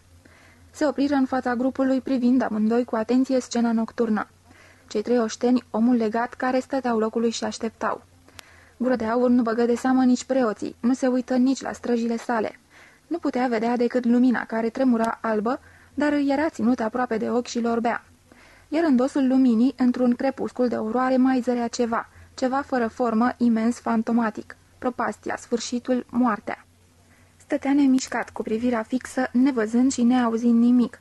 Unul din preoți schimbă cu insistență câteva șoapte cu oștenii. Când auzi că omul urma să moară și că ar fi hoț, întrebă dacă îi se adusese un confesor. Nu îi se răspunse, tocmai fusese prins asupra faptei. Atunci zise preotul dimineață înainte de misa matinală, voi veni la el cu sfintele taine și voi asculta confesiunea. Răspundeți față de mine dacă îl veți duce la pierzanie mai înainte. Cu domnul conte voi vorbi în seara asta. Omul poate fi hoț. Totuși are dreptul la un confesor și la sfintele taine ca orice creștin. Oștenii nu îndrăzniră să-l contrazică. Îl cunoșteau pe domnul cleric. Era una din cinstitele fețe ale deputăției. Îl văzuseră de mai multe ori șezând la masa contelui. Și apoi, de ce să nu îngăduie bietului vagabond prilejul să-și mărturisească păcatele? Domnii plecară. Gură de aur rămase locului privind în gol. În sfârșit sosi slujitorul cu cheia și deschise. Prizonierul fu condus într-o pivniță boltită. Coborâ cele câteva trepte, împleticindu-se și clătinându-se. O masă și niște scaune cu trei picioare fără spetează stăteau vraiște pe aici. Era o săliță de la gura unei pivnițe de vinuri. Îi împinseră un scăune lângă masă și îi spuseră să se așeze. Mâine dimineață vine un popă. Ai să te poți mărturisi, îi zise unul din oșteni. Apoi se duseră și închiseră cu grijă ușa cea grea. Lasă-mi lumina, prietene, se rugă gură de aur. Nu, frățioare, ai putea pune la cale vreo ticăloșie. O să meargă și așa. Fii cu minte și împacă-te cu soarta. Și apoi câtă vreme arde asemenea lumină. Într-un ceas tot s-ar stinge. Noapte bună. Rămase deci singur în întuneric. Șezând pe scăunaș, își puse capul pe masă. Era incomod să stea așa. Legăturile de la încheietura mâinii îl tăiau dureros, dar aceste senzații pătrunseseră numai într-un târziu în conștiința lui. La început șezu pur și simplu cu capul culcat pe masă, ca pe butucul călăului, căci îl mâna impulsul de a face cu trupul și cu simțurile ceea ce se impusese acum inimii sale, să se predea inevitabilului, să se supună condamnării la moarte. O veșnicie stătu astfel, jalnic încovoiat, și încercă să ia asupra și ceea ce îi fusese impus, să accepte această poruncă, să o respire și să se umple cu ea. Era seară, începea noaptea, iar sfârșitul acestei nopți îi va aduce și lui sfârșitul. Asta trebuia să încerce a înțelege. Mâine nu va mai trăi. Va fi spânzurat, va fi un obiect pe care se vor așeza păsările și din care vor ciuguli. Va fi ceea ce fusese meșterul Niclaus, ce fusese lene prefăcută în cenușă odată cu coliba. Ce fuseseră toți cei pe care îi văzuse zăcând prin casele pustiite de moarte și pe furgoanele gemând de cadavre. Nu era ușor să accepte și să se lase pătruns de gândul acesta. De fapt, era imposibil să-l accepte. Erau prea multe de care încă nu se despărțise, de la care încă nu-și luase bun rămas. Ceasurile acestei nopți îi erau date pentru a o face. Trebuia să-și a rămas bun de la frumoasa Agnes. Niciodată nu va mai vedea trupul ei înalt, părul ei senin însorit, ochii ei reci albaștri. Niciodată clătinarea și tremurul trufiei în ochii aceștia, niciodată dulcele puf auriu de pe pielea ei parfumată. Bun rămas ochi albaștri, bun rămas gură umedă și fremătătoare. Sperase să o mai sărute de multe ori. Oh, chiar astăzi, pe dealuri în soarele de toamnă târzie, cum se gândise la ea, cum fusese al ei, cum o dorise. Dar trebuia să și-a rămas bun și de la dealuri și de la soare, de la cerul albastru presărat cu nore albi, de la copaci și păduri, de la drumeție, de la ceasurile zilei și anotimpurile anului. Poate că Marie mai ședea trează și acum, biata Marie, cu ochii ei buni, drăgăstoși și cu mersul ei șchiopătat. Ședea și aștepta. Adormea în bucătărie și se trezea din nou, iar gura de aur nu mai venea acasă. Ah, și hârtia și condeiul și nădejdea tuturor chipurilor pe care mai voise să le făurească s-au dus, s-au dus, și nădejdea într-o revedere cu Narcis, cu dragul său apostol Ioan, și la ea era nevoit să renunțe. Și mai trebuia să-și ia rămas bun de la propriile sale mâini, de la proprii săi ochi, de la foame și sete, mâncare și băutură, de la dragoste, de la cântecul lăutei, de la somn și deșteptare, de la toate. Mâine va zbura o pasăre prin văzduh și gură de aur nu o va mai vedea. O fată va cânta la fereastră și el nu o va mai auzi cântând. Râul va curge, peștii cei întunecoși vor înota în tăcere. Se va isca vântul și va mătura frunzișul galben căzut la pământ. Vor străluci soarele și un întreg cer de stele. Tineri se vor îndrepta spre tăpșanele de joc. Peste munții îndepărtați se va așterne primul omăt. Și totul va continua. Toți copacii își vor culca umbra alături de ei. Toți oamenii vor privi veseli sau triști. Din ochii lor vii câinii vor lătra. Vacile vor mugi în grajduri prin sate și totul se va petrece fără dânsul. Nimic nu-i va mai aparține. Va fi smuls de lângă toate. Simți în nări mirosul câmpului în zori. Gura îi se umplu de gustul vinului nou, dulce și ala lunelor tari, proaspăt culese. Prin inima lui frământată zbură o amintire, un reflex luminos al acestei lumi pline de culori. Pe când se pierdea în adâncuri și își lua rămas bun, întreagă viața cea frumoasă și nebună mai străluci odată, prin toate simțurile sale.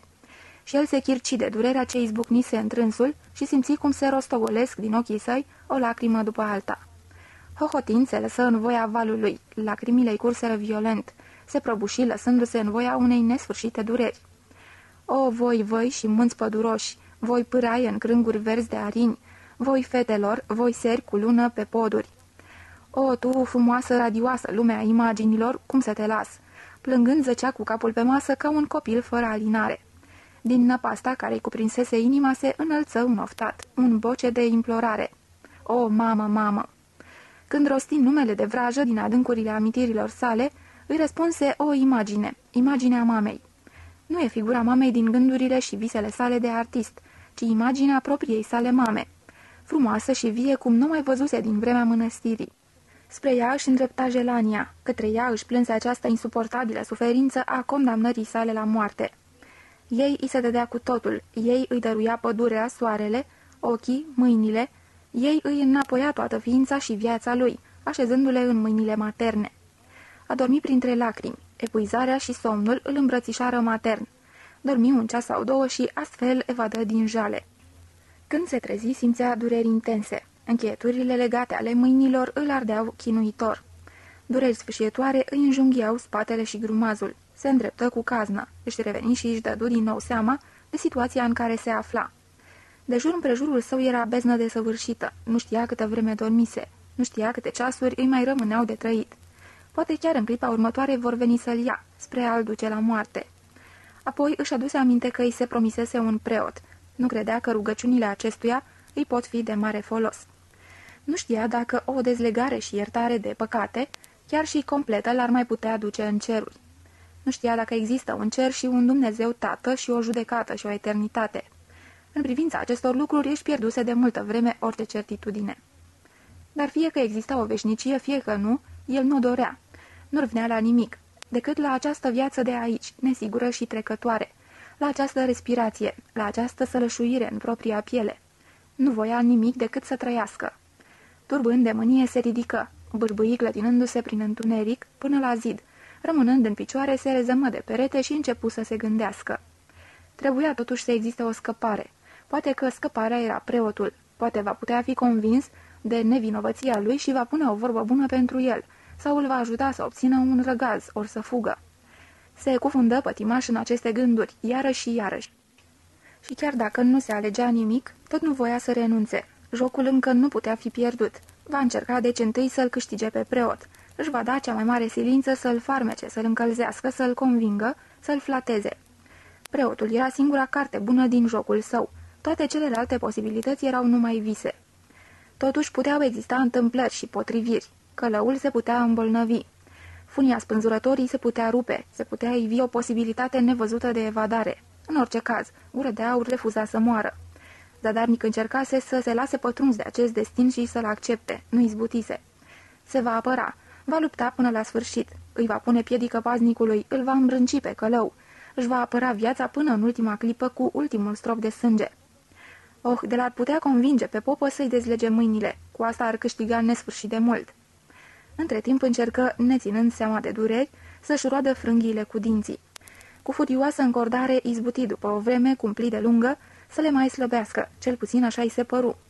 Stătea gâfâind de noaptea temniței sale, brațele și palmele umflate îl dureau grozav.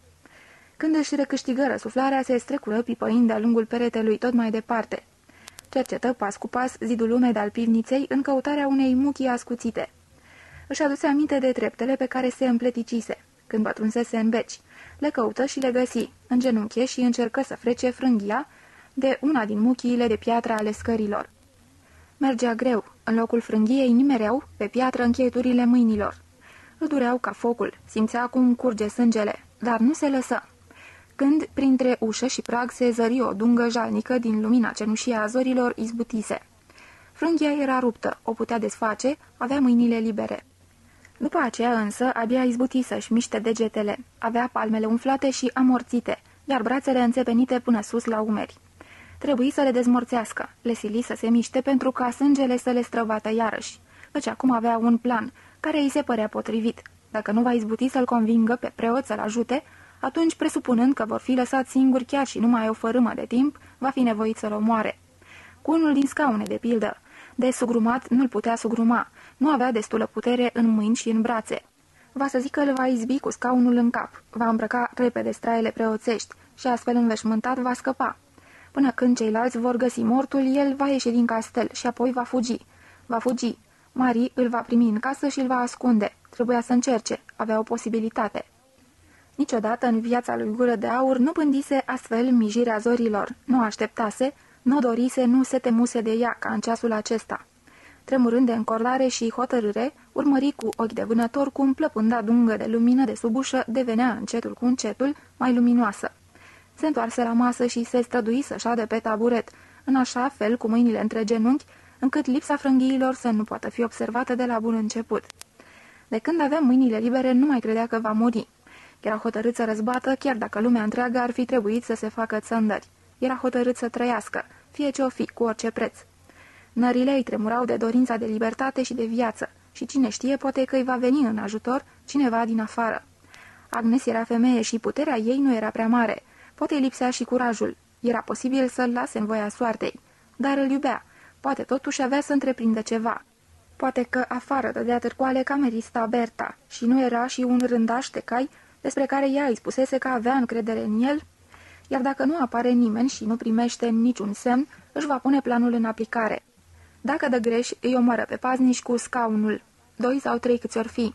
De un avantaj era sigur. Ochii se obișnuiseră cu încăperea întunecoasă. Acum recunoștea sau bănuia în beznă toate formele și contururile, pe când ceilalți vor fi orbiți în primul moment. Ședea ghemuit la masă, febril, cumpănind exact ce avea de spus preotului ca să-i câștige ajutorul. Căci cu asta trebuia să înceapă. Totodată observă cu lăcomie cum în crăpătura ușii lumina creștea încet. Clipa de care cu ceasul în urmă se temuse cumplit o râvnea acum cu ardoare.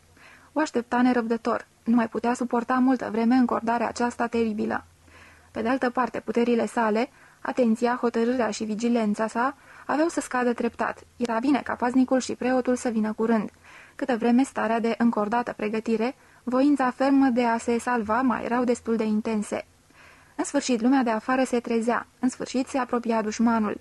Pe pietrele curții răsunară pași, cheia fu vârâtă și răsucită în broască. După îndelungata tăcere de moarte, fiecare dintre zgomotele acestea își răsuna în urechi ca un tunet.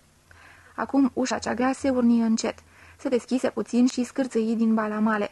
Păși înăuntru un preot, fără însoțitor, fără paznic. Intră singur, purtând un sfeșnic cu două lumânări. Iată că toate se petreceau totuși altminteri decât își închipuise prizonierul. Și ce straniu și emoționant! Preotul, care intrase în urma căruia mâini nevăzute împinseseră ușa la loc, purta straele ordinului mănăstirii din Maria Bron, ținuta bine cunoscută de acasă, cea purtată odinioară de abatele Daniel, de pater Anselmus, de pater Martin. Vederea ei îi cutremură miraculos inima. Fu nevoit să-și ferească privirea. Apariția acestor straie ale mănăstirii putea făgădui ceva îmbucurător, putea fi un semn bun, dar poate că totuși nu exista altă cale decât omorul. Își încleștă dinții, i-ar fi venit foarte greu să-l omoare pe acest frate de ordin. Capitolul 17 Lăudat fie Domnul Isus Hristos, zise părintele și așeză sfeșnicul pe masă. Gură de aur murmură răspunsul, ținând privirea țintită în jos. Preotul tăcea, stătu în așteptare și tăcu, până ce gură de aur se neliniști și ridică ochii cercetător spre omul din fața lui. Bărbatul acesta, văzu el acum spre tulburarea lui, purta nu numai hainele părinților de la Maria Bron, ci și însemnele demnității de abate. I se uită abatelui drept în față. Era o față slabă, tăiată dur și limpede cu buzele foarte subțiri. Era o față pe care o cunoștea. Ca vrăjit privi gură de aur la fața aceasta ce părea modelată în întregime de spirit și voință.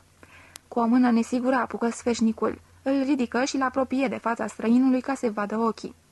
Îi văzu și sfeșnicul tremură în mâna lui când îl așeză la loc. Narcis șopti el abia auzit. Totul începu să se învârtească în jurul lui. Da, gură de aur, cândva m-am numit Narcis.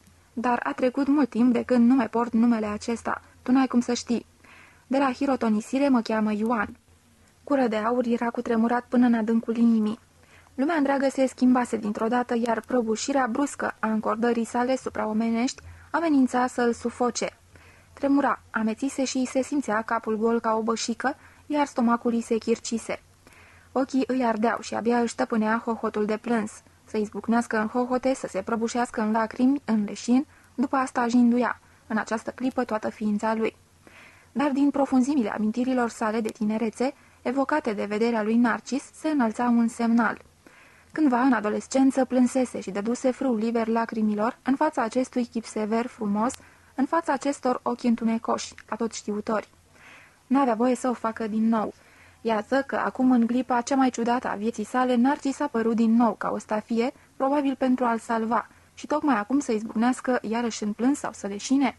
Nu, se ținu tare. Își înfrână inima, își sili stomacul să se liniștească, își gonia mețeala din cap. Nu era îngăduit să vădească slăbiciune.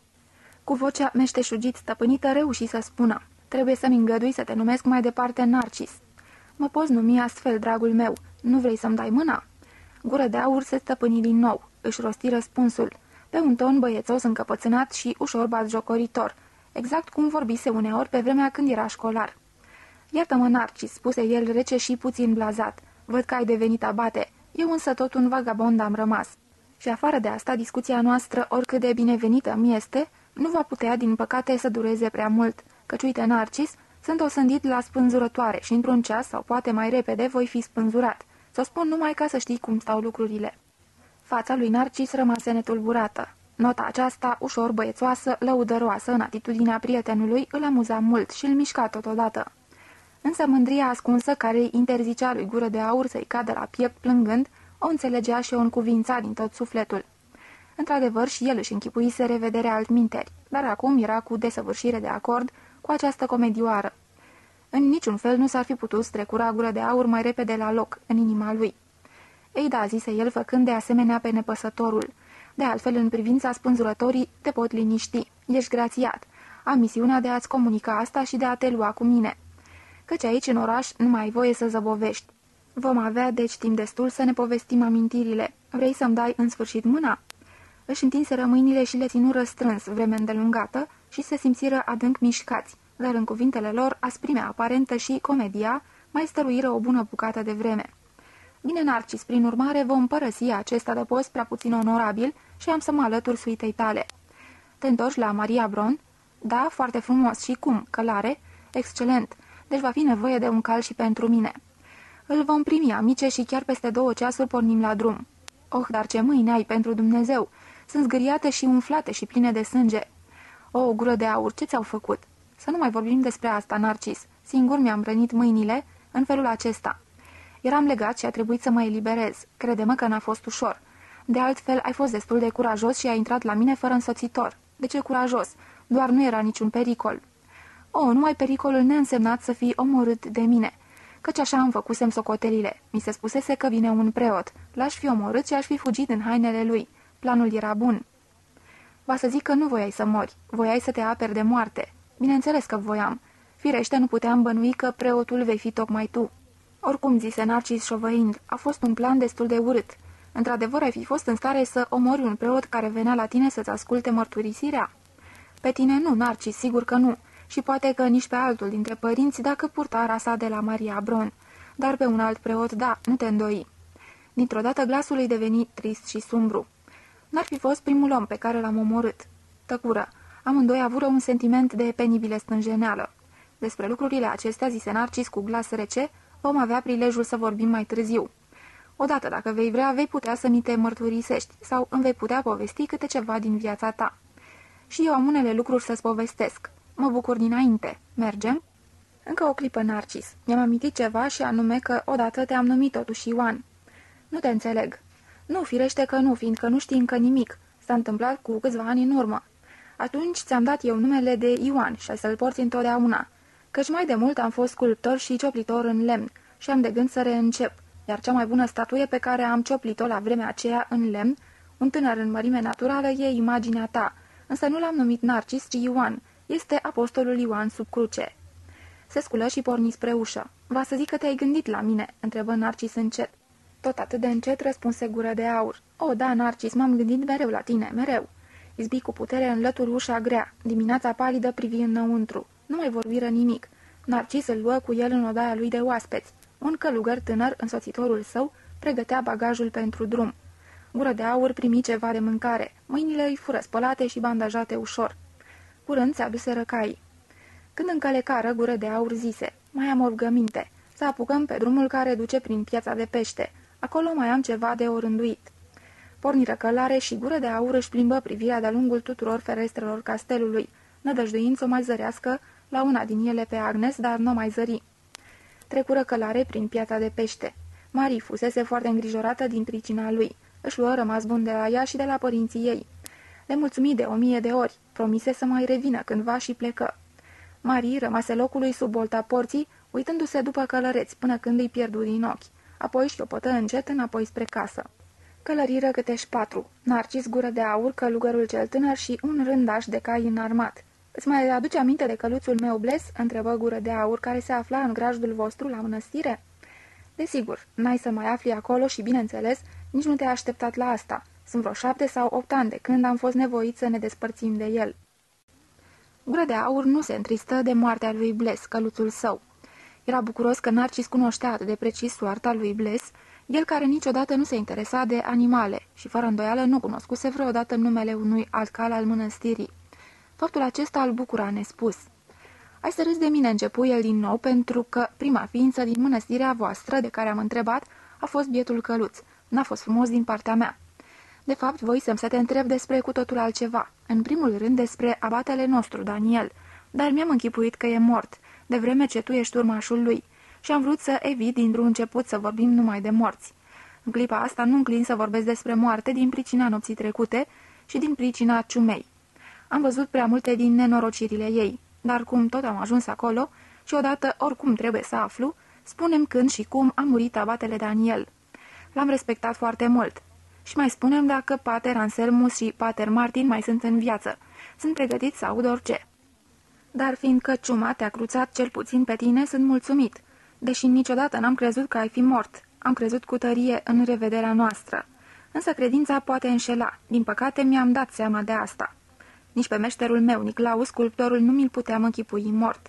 M-am bizuit cu totul pe faptul că o să-l regăsesc și o să lucrez din nou cu el. Și totuși, până ce am sosit, murise. Îți pot spune în două cuvinte, zise Narcis. Abatele Daniel a murit acum opt ani, fără a fi bolnav și fără a avea dureri. Eu nu sunt urmașul lui, sunt abia de un an abate. Urmașul a fost Pater Martin, fostul director al școlii noastre. A murit anul trecut, nici nu împlinise încă 70 de ani. Și nici Pater Anselmus nu mai trăiește. Te-a iubit mult, de multe ori te-a pomenit. În ultimul timp nu mai putea umbla deloc și chiar și întins în pat se chinuia. A murit de dropică. Da, ciuma a bântuit și la noi. Au murit mulți. Să nu mai vorbim de asta. Mai ai și altele de întrebat? Desigur, multe. Mai întâi de toate, cum ați ajuns aici, în reședința episcopală și la guvernatorul imperial? E o poveste lungă și te-ar plictisi. E vorba de politică. Contele e unul din favoriții împăratului și în anumite probleme împuternicitul său. Și în clipa de față, între împărat și ordinul nostru, există unele neînțelegeri care trebuie aplanate. Ordinul a trimis o delegație care urma să trateze cu contele. Succesul a fost neînsemnat. Tăcu și gură de aur nu întrebă mai departe. Și nici nu trebuia să afle că ieri seară, când Narcis să-i ceruse contelui viața lui gură de aur, ea trebuie să plătită cu unele concesii față de neînduplecatul guvernator imperial. Mergeau călări la drum întins. Curând gură de aur simți oboseala și numai cu caznă se mai ținea în șa. După o bună bucată de vreme, Narcis îl întrebă. Este adevărat că ai fost arestat pentru hoție?" Contele susținea că te-ai strecurat în castel, chiar în incinta interioară și că ai furat. Gură de aur râse. Da, într-adevăr părea că sunt hoț. De fapt, însă aveam întâlnire cu amanta contelui. A știut fără îndoială și asta. Chiar mă uimește că mi-a dat drumul. Ei bine, a acceptat să discutăm. Nu izbutiră să parcurgă distanța prevăzută pentru ziua aceea. Gură de aur era prea epuizat. Mâinile lui nu mai țineau hățurile. Se încartiruiră într-un sat. El se băgă îndată în pat. A avut puțină febră, așa că mai rămase și a doua zi culcat. Apoi se simți din nou în stare să călărească mai departe. După aceea, pe nesimțite, mâinile îi se vindecară și începu să-i placă drumul acesta călare. Nu mai călărise de mult. În vie, redevenit tânăr și vioi. Pe unele porțiuni de drum se lua la întrecere cu rândașul și în ceasurile când se înnădeau la vorbă, îl asalta pe prietenul său Narcis cu o sută de întrebări nerăbdătoare. Narcis le răspundea calm, dar totuși bucuros. Era din nou vrăjit de gură de aur. Îi plăceau întrebările sale vehemente, copilăroase, pline de nemărginită încredere în spiritul și înțelepciunea prietenului. O întrebare, Narcis. Ați ars și voi vreodată evrei? Să ardem evrei? Cum am putea? Doar la noi nu există evrei. Așa e, dar spune, ai fi în stare să arzi evrei? Îți închipui că s-ar putea întâmpla un asemenea lucru? Nu, de ce aș face-o? Mă socotești un fanatic? Înțelege-mă, Narcis, vreau să spun, îți poți închipui că într-o împrejurare anume ai da ordin ca niște evrei să fie omorâți sau cel puțin ți-ai da încuvințarea? Căci atâția duci, primari, episcopi și alți demnitari au dat asemenea porunci. Nu aș da un astfel de ordin. În schimb, îmi pot închipui o situație în care aș fi nevoit să privesc și să rabd o asemenea cruzime. Ai răbda-o, deci. Desigur, dacă nu mi-ar fi dată puterea să o împiedic. Probabil că ai văzut odată cum au fost arși niște evrei. Nu-i așa, gură de aur?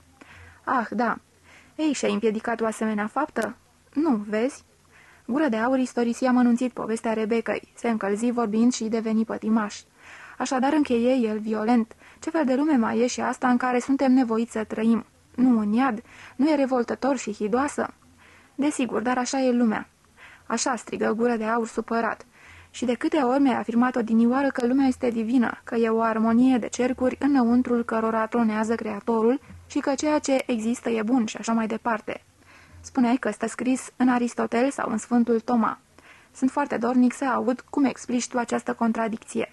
Narcis râse. Memoria ta e uimitoare și totuși te-a înșelat puțin. L-am venerat întotdeauna fără rezerve pe Creator ca fiind desăvârșit, dar niciodată creația. Nu am negat niciodată răul din lume. Că viața pe pământ ar fi armonioasă și dreaptă și că omul ar fi bun, dragul meu n-a susținut încă niciodată un gânditor adevărat.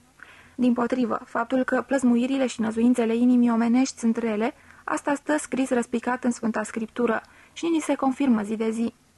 Foarte bine, acum în sfârșit văd cum înțelegeți voi cărturarii lucrurile acestea. Vă să zic că omul este rău și viața pe pământ e plină de ticăloșii și de porcării. Cu asta sunteți de acord, dar undeva, dincolo de toate acestea, în gândurile și în manualele voastre există dreptatea și perfecțiunea. Sunt prezente, pot fi dovedite, numai că nu se face uz de ele. Ai adunat mult năduf împotriva noastră, teologilor, dragă prietene, dar tot nu ai devenit un cugetător, le zăpăcești pe toate. Va trebui să mai înveți câte ceva. Însă de ce spui că nu facem uz de ideea de dreptate? În fiecare zi și în fiecare ceas o facem.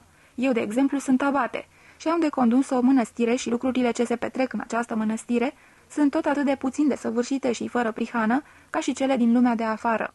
Totuși, noi opunem în permanență păcatului originar ideea dreptății și căutăm să măsurăm viața noastră imperfectă cu măsura ei și încercăm să îndreptăm răul și să așezăm viața noastră într-un raport constant cu Dumnezeu. Ah, da, Narcis, doar nu vorbesc despre tine și nici nu vreau să spun că n-ai fi un bun abate, dar mă gândesc la Rebecca, la evrei arși, la gropile comune, la Marea Moarte, la străzile și odăile în care zăceau, duhnind cadavrele ciumaților, la toată această pustietate îngrozitoare, la copiii rătăciți rămași de pripas, mizeri, la câinii de pază, morți de foame în lanț, și când mă gândesc la toate acestea și văd în fața acestei imagini, mă doare inima și mi se pare că mamele noastre ne-au născut pentru o lume disperat de crudă și de diabolică. Și ar fi fost mai bine dacă nu ne nășteau și dacă Dumnezeu nu ar fi creat această lume teribilă și Mântuitorul nu ar fi trebuit să se lase crucificat fără rost pentru dânsa. Narcis în cuvință prietenos spusele prietenului său. Ai dreptate întru toate," zise el cu căldură. Descarcă-te, spunem totul, dar într-o privință te înșeli foarte tare. Socotești că ceea ce rostești tu aici sunt gânduri. Ei bine, nu, sunt sentimente. Sentimentele unui om împovorat de oroarea existenței. Însă nu uita că acestor sentimente triste și deznădăjduite li se opun altele cu totul diferite. Când te simți bine pe bidiviul tău și călărești printr-un ținut frumos, sau când ești destul de ușuratic ca să te strecori seara în castel și să o curtezi pe amanta contelui, atunci lumea și-a schimbat înfățișarea pentru tine. Și toate casele ciumate și toți evrei arși nu te pot împiedica să cauți plăcerea, nu-i așa? Desigur, așa e. Tocmai pentru că lumea e atât de plină de moarte și de groază, caut mereu să-mi consolez inima și să culeg florile frumoase care cresc în mijlocul acestui iad. Găsesc plăcerea și pentru un ceas uitororile, dar datorită acestui lucru ele nu există mai puțin. Ai formulat foarte bine ceea ce simți. Va să zic că te descoperi trăind în preșmuit de moarte și de groază, de aceea evadezi în plăcere. Dar plăcerea e fără durată, ea te leapădă din nou în deșert. Da, așa este. Așa li se întâmplă celor mai mulți dintre oameni. Numai că puțini sunt cei care simt cu tăria și violența ta și puțini simt nevoia de a deveni conștienți de toate aceste sentimente. Dar spunem totuși, în afară de acest dute vino disperat între plăcere și groază, În afară de această legănare între voluptatea vieții și sentimentul morții, nu ai încercat nicio cale? Ba da, firește, am încercat calea artei. Ți-am spus doar că, printre altele, am devenit și artist. Într-o zi să fi fost vreo trei ani de când colindam prin lumea largă și petrecusem tot timpul în drumeție, am descoperit într-o mănăstire o maica Domnului de lemn, atât de frumoasă și vederea ei m-a mișcat atât de mult, încât am întrebat și l-am căutat pe meșterul care o cioplise. L-am găsit, era un meșter vestit. Am devenit învățăcelul lui și am lucrat câțiva ani la el. Mai târziu îmi vei povesti mai multe despre asta, dar ce anume ți-a adus și a însemnat pentru tine arta. Înfrângerea vremelniciei. Am văzut că din smintala și din dansul macabru al vieții omenești, ceva rămâne în urmă și supraviețuiește. Operele de artă. Se trec și ele probabil, cândva ard sau se strică sau sunt distruse, dar oricum, supraviețuiesc multor vieți omenești și alcătuiesc, dincolo de clipă, un imperiu tăcut al imaginilor și lucrurilor sfinte. Să-ți aduci obolul la făurirea lui mi se pare un lucru bun și alinător, căci constituie aproape o eternizare a ceea ce este efemer. Îmi place foarte mult ce-mi spui gură de aur. Sper că vei mai făuri multe opere de artă. Am încredere în puterea ta și sper că vei fi multă vreme oaspetele meu la Maria Bron și îmi vei îngădui să-ți încropesc acolo un atelier. Mănăstirea noastră de mult timp nu a mai avut un artist, dar cred că definiția ta nu epuizează ceea ce este miraculos în artă. Cred că arta nu se reduce la aceea că, prin piatră, lemn și culori, ceva existent, dar muritor, este smuls morții și făcut să dureze mai mult timp. Am văzut multe opere de artă, mulți sfinți și multe madone, despre care nu cred că ar fi doar simple reprezentări fidele ale unui om anume, care a trăit cândva aievea și ale cărui forme sau culori au fost păstrate de artist. Aici ai dreptate, strigă gură de aur înfrigurat. Nici nu aș fi crezut că pricepe atât de bine arta. Imaginea originară a unei opere de artă izbutite nu este o figură reală, vie, deși o astfel de figură poate constitui imboldul pentru făurirea ei. Imaginea originară nu este carne și sânge, ci spirit. Este o imagine a cărei patrie se află în sufletul artistului. Și în mine, Narcis, trăiesc asemenea imagini pe care sper să le reprezint cândva și să ți le arăt. Cât e de frumos! Și acum, dragul meu, fără să știi, te-ai aventurat pe tărâmul filozofiei și ai rostit unul din secretele ei. Râs de mine. Oh, nu, ai vorbit despre imaginile originare, adică despre imagini care nu există nicăieri altundeva decât în spiritul creator, însă pot fi întrupate în materie, devenind astfel vizibile. Mai înainte ca o plăzmuire artistică să devină vizibilă și să dobândească realitate, ea este prezentă ca imagine în sufletul artistului. Iar această imagine, această imagine originară este întocmai ceea ce vechii filozofi numesc o idee. Da, sună destul de adevărat. Bun, iar dacă vorbești despre idei și despre imagini originare, atunci treci în lumea spirituală, în lumea noastră a filozofilor și a teologilor și admiți că în mijlocul acestui confuz și dureros câmp de bătălie al vieții, în mijlocul acestui dans macabru, nesfârșit și lipsit de sens al existenței trupești, este prezent spiritul creator. Uite, acestui spirit din tine m-am adresat întotdeauna de când ai venit la mine și erai numai un copil. La tine spiritul acesta nu este al unui cugetător, ci al unui artist, dar este spirit și el va fi cel care îți va arăta ieșirea din haosul sumbru al lumii simțurilor, din veșnicul balans între voluptate și disperare. Ah, dragul meu, sunt fericit că te-am auzit rostind această mărturisire. Am așteptat-o de atunci, de când l-ai părăsit pe dascălul tău Narcis și ai găsit curajul să fii tu însuți. Acum putem fi din nou prieteni. În ceasul acesta lui Gură de Aurii se părea că viața lui dobândește un sens, ca și cum ar privi-o de sus și ar deosebi limpede cele trei mari trepte. Dependența de Narcis și desprinderea de el, vremea libertății și a pribegiei, și întoarcerea, revenirea la el însuși, începutul maturității și al roadelor. Viziunea se pierdu iarăși, dar găsise acum acel raport cu Narcis care îi se cuvenea și care nu mai era un raport de dependență, ci unul de libertate și reciprocitate. Acum putea fi oaspete al acestui spirit superior, fără a se umili, deoarece celălalt recunoscuse în el pe egalul său, creatorul. Se bucura încă de pe acum, în timpul acestei călătorii, cu o dorință sporită mereu de nerăbdare, că va putea să îi se reveleze, să înfățișeze lumea lui lăuntrică prin opere, prin imagini create de dânsul. Însă câteodată îl cuprindeau îndoielile. Narcis îl preveni el, mă tem că de fapt nu știi pe cine duci la mănăstire cu tine. Nu sunt călugăr și nici nu am de gând să devin. Cunosc cele trei mari legăminte și cu sărăcia sunt bucuros de acord, dar nu iubesc nici castitatea, nici supunerea. Virtuțile acestea nu mi se par a fi destul de bărbătești, iar în cucernicie n-a rămas nici urmă în mine, de ani de zile nu m-am mai rugat și nici nu m-am mărturisit, nici nu m-am împărtășit. Narcis rămase calm. Par să fi devenit un păgân. Dar noi de asta nu ne temem. Nu te mai mândri cu nenumăratele tale păcate. Ai dus obișnuita viață lumească. Ai păzit porcii asemenea fiului rătăcitor. Nu mai cunoști legea și ordinea. Fără îndoială că ai devenit un călugăr deplorabil, dar eu nu te invit să intri în ordin. Te invit doar să fii musafirul nostru și să-ți aranjezi la noi un atelier și încă ceva. Nu uita că atunci, în anii noștri de tinerețe, eu am fost cel care te-a trezit și te-a lăsat să pleci afară în viața lumească. Dacă ai devenit bun sau rău, nu ești tu singurul răspunzător. După tine mai porți eu răspunderea. Vreau să văd ce ai devenit. Mi-o vei arăta prin cuvinte, prin viață, prin operele tale. După ce mi-o vei fi arătat și dacă atunci voi găsi cumva că lăcașul nostru nu este un loc potrivit pentru tine, voi fi primul care te va ruga să-l părăsești din nou. Gură de aur era cuprins de admirație de fiecare dată când prietenul său vorbea astfel, când se comporta ca un abate, cu această siguranță calmă și nuanță de ironie, la adresa oamenilor de lume și a vieții lumești, pentru că atunci se putea vedea ce devenise Narcis, un bărbat. Un bărbat al spiritului și al bisericii, e adevărat cu mâini delicate și față de erudit, dar un bărbat, plin de siguranță și curaj, un conducător, unul care purta răspunderi. Acest Narcis bărbat nu mai era tânărul de altă dată, nici blândul reculesul apostol Ioan, iar pe acest nou Narcis, bărbat și cavaler, voia să-l recreeze cu mâinile sale. Multe statui îl așteptau, Narcis, avatele Daniel, pater Anselmus, meșterul Niclaus, frumoasa Rebecca, frumoasa Agnes și încă atâția alții, prieteni și dușmani vii sau morți. Nu, el nu voia să devină frate de ordin nici pios, nici învățat, voia să creeze opere. Iar gândul că patria sa de odinioară din tinerețe va fi patria acestor opere îl ferici. Călăriră, prin toamna târzie, răcoroasă, într-o zi în care de dimineață copaci și pleșuvi erau greu încărcați de promoroacă, trecură călare printr-un ținut întins, vălurit cu porțiuni de mlaștini roșcate. Pustii și contururile zidurilor lungi de dealuri păreau ciudat de evocatoare și cunoscute.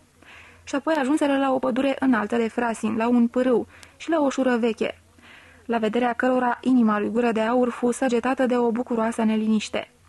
Recunoscuse dealurile peste care călărise odinioară cu frumoasa fiică de cavaler, Lidia, și câmpul peste care, cândva izgonit și adânc întristat, plecase spre depărtări, prin ninsoarea firavă. Apărură pâlcurile de arin și moara și castelul. Cu o stranie durere recunoscu fereastra odăii de scris, unde atunci, în fabuloasele vremuri ale tinereții sale, îl ascultase pe cavaler povestindu-și pelerinajul și apoi trebuise să-i corecteze frazele latinești. Intrară călare în curte. Era unul din popasurile prevăzute ale călătoriei. Gură de aur îl rugă pe abate să nu pomenească aici numele său, ci să-l lase să mănânce curândașul la masa slujitorilor. Așa și făcură. Bătrânul cavaler nu mai exista și nici Lidia. În schimb, unii dintre vânători și servitori mai erau aceiași, iar în casă trăia și guverna, alături de soțul ei, o foarte frumoasă, mândră și autoritară doamnă nobilă, Julie. Și acum mai era uluitor de frumoasă, foarte frumoasă și puțin aspră. Nici ea, nici slujitorii nu-l recunoscură pe gură de aur.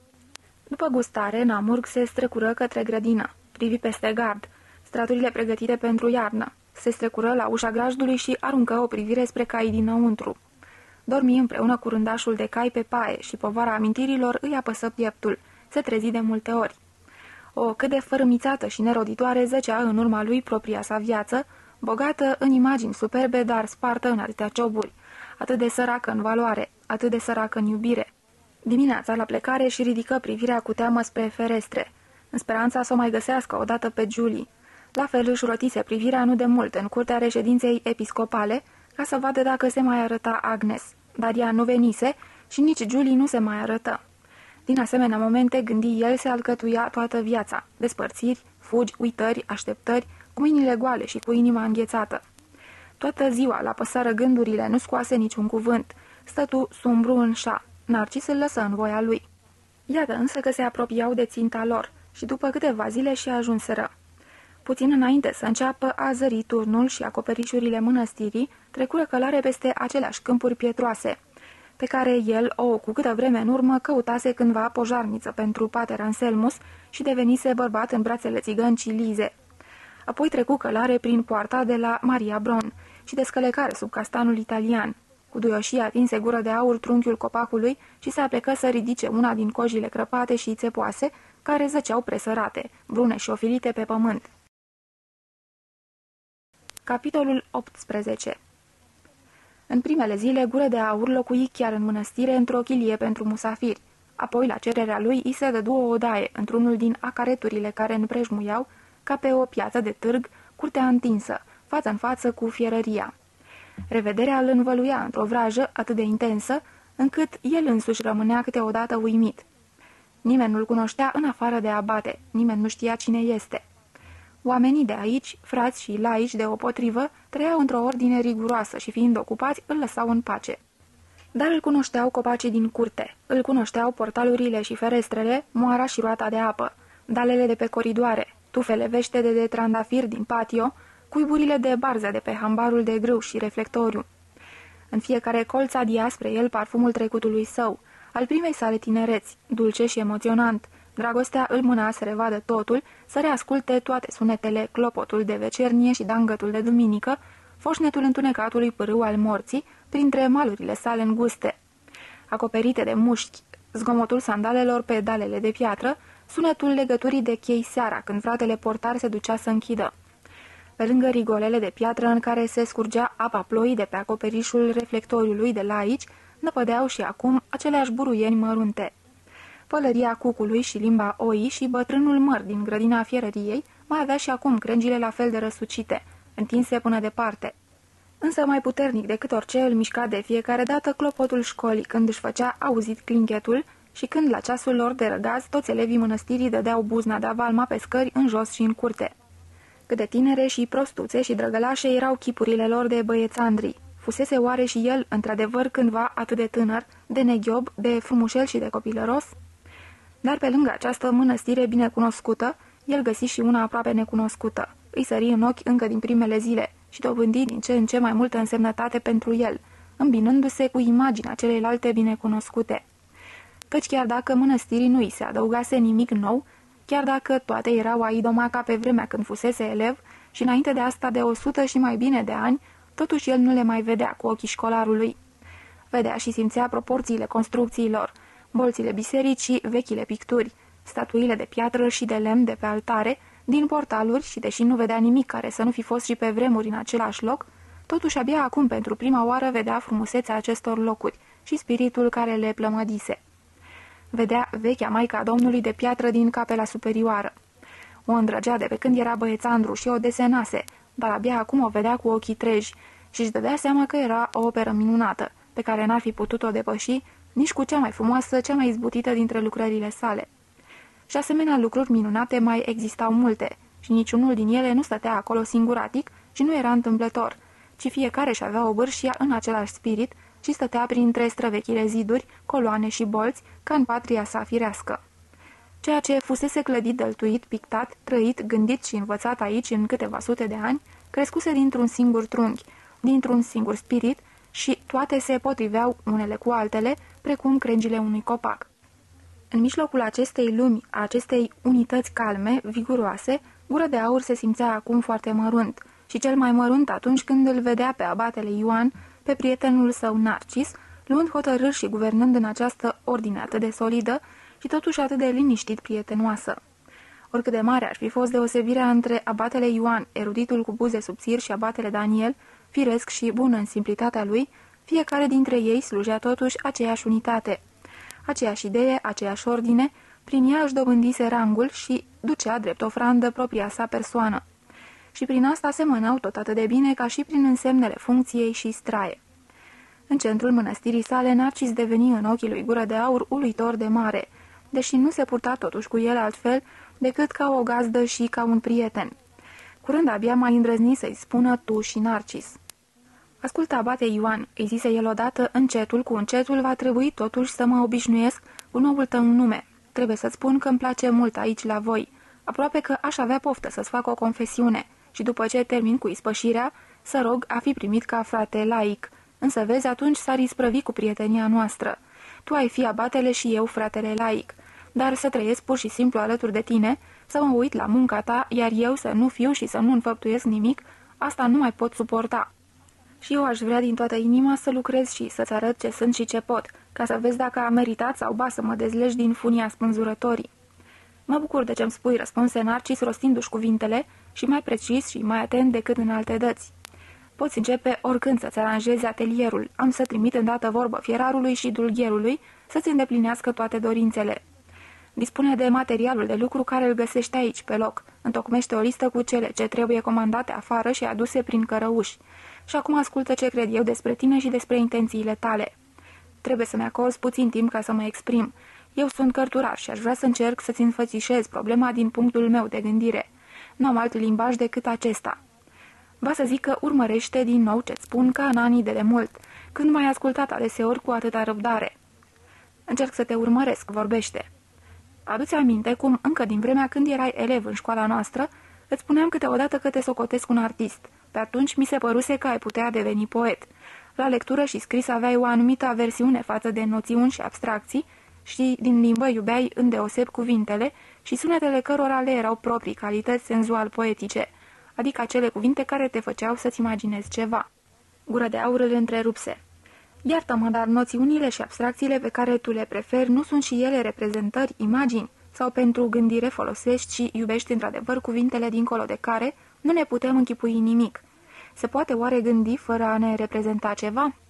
E bine că întrebi. Desigur că se poate gândi fără reprezentări. Gândirea nu are absolut nimic de a face cu reprezentările. Ea nu se consumă în imagini, ci în noțiuni și formule. Exact acolo unde încetează imaginile, începe filozofia. Doar pe tema aceasta ne certam atât de des odinioară când eram tineri. Pentru tine lumea consta din imagini, pentru mine din noțiuni. Îți spuneam mereu că ești inapt să devii gânditor și îți mai spuneam că asta nu înseamnă o scădere, pentru că, în schimb, ești un suveran pe tărâmul imaginilor. Fii atent, am să-ți deslușesc acestea. Dacă atunci, în loc să fugi în lume, deveneai un gânditor, ai fi putut stârni un dezastru, căci ai fi fost un mistic. Pe scurt și poate cam general spus, misticii sunt acei gânditori care nu se pot desprinde de reprezentări, adică de fapt nu sunt gânditori. Sunt artiști ascunși, poeți fără versuri, pictori fără penel, muzicieni fără sunete. Se găsesc printre ei spirite nobile, înzestrate cu multe daruri, dar toți, fără excepție, sunt niște oameni nefericiți. Un astfel de om ai fi putut deveni și tu. În loc de asta, slavă Domnului, ai devenit un artist și ai pus stăpânire pe lumea imaginilor în care poți fi creator și stăpân, în loc să rămâi ca gânditor, împotmolit la jumătatea drumului. Mă tem, zise gură de aur, că nu voi reuși niciodată să-mi alcătuiesc o noțiune despre lumea ta de gândire, în care se cugetă fără reprezentări. O, ba da, vei reuși imediat. Ascultă, gânditorul încearcă să cunoască și să înfățișeze esența lumii prin logică. El știe că rațiunea noastră și unealta ei, logica, sunt instrumente imperfecte, la fel cum un artist înțelept știe prea bine că penelul sau dalta nu vor putea exprima niciodată în chip de săvârșit ființa strălucitoare a unui înger sau a unui sfânt. Totuși amândoi încearcă, gânditorul ca și artistul fiecare în felul lui. Nu pot și nu au voie altfel, căci un om care încearcă să se realizeze cu darurile care îi sunt date de la natură face lucrul cel mai important, singurul lucru cu sens pe care îl poate face. De aceea îți spuneam atât de des odinioară, nu încerca să limit pe cugetător sau pe ascet, ci fi tu însuți, încearcă să te realizezi pe tine însuți. Te înțeleg așa pe jumătate, dar ce înseamnă de fapt să te realizezi? Este o noțiune filozofică, nu pot exprima altfel. Pentru noi, discipolii lui Aristotel și ai Sfântului Toma, cea mai înaltă dintre toate noțiunile este existența desăvârșită. Existența desăvârșită este Dumnezeu. Tot ce mai există pe lângă El există numai pe jumătate, numai parțial, este în devenire, este amestecat, constă în posibilități. Dumnezeu însă nu este amestecat, este unul și El nu conține posibilități, ci este în întregime realitate. Dar noi suntem drecători, suntem în devenire. Suntem posibilități pentru noi, nu există desăvârșire, nu există existență de plină. Acolo însă unde pășim de la potență la faptă, de la posibilitate la realizare, acolo suntem părtași la adevărata existență. Devenim cu un grad mai asemănător cu ceea ce e desăvârșit dumnezeiesc. Asta înseamnă a realiza. Tu trebuie să cunoști procesul acesta din proprie experiență. Ești doar un artist și ai creat multe chipuri. Ei bine, dacă măcar o singură asemenea figură ți-a izbutit într-adevăr, dacă ai eliberat imaginea unui om de amănunte întâmplătoare și ai adus-o la o formă pură, atunci tu, ca artist, ai realizat această imagine umană. Am înțeles.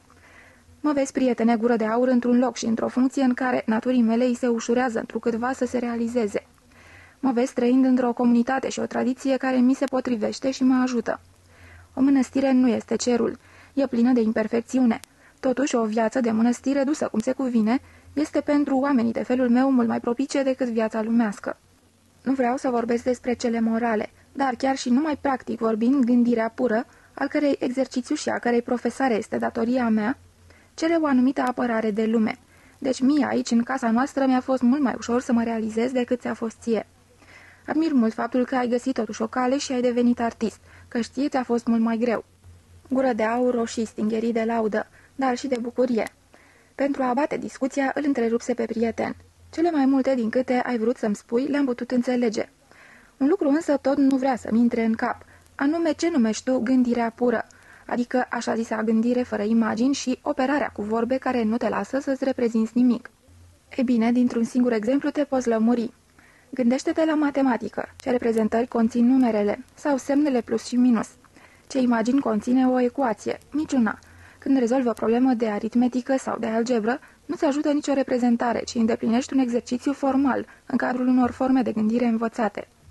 Așa este narcis, dacă mi-aștern un rând de numere și de semne, pot străbate de sișul lor fără nicio reprezentare. Mă pot lăsa condus de plus și minus, de ridicări la pătrat sau de paranteze și așa mai departe, și pot rezolva problema. Vreau să zic că am putut cândva, acum n-aș mai putea.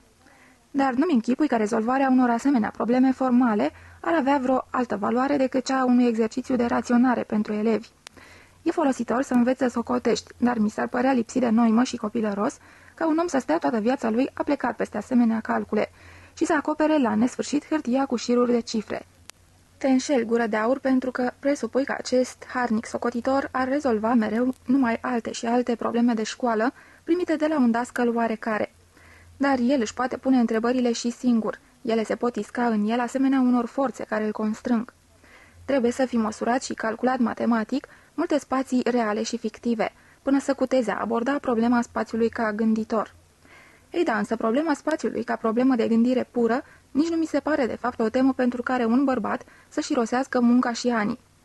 Pentru mine cuvântul spațiu nu înseamnă nimic și nu merită să îi dăruiești niciun gând, câtă vreme nu-mi închipui un spațiu real. Bună oară spațiul astral, al privi pe acesta și al măsura, mi se pare într-adevăr o sarcină deloc nedemnă.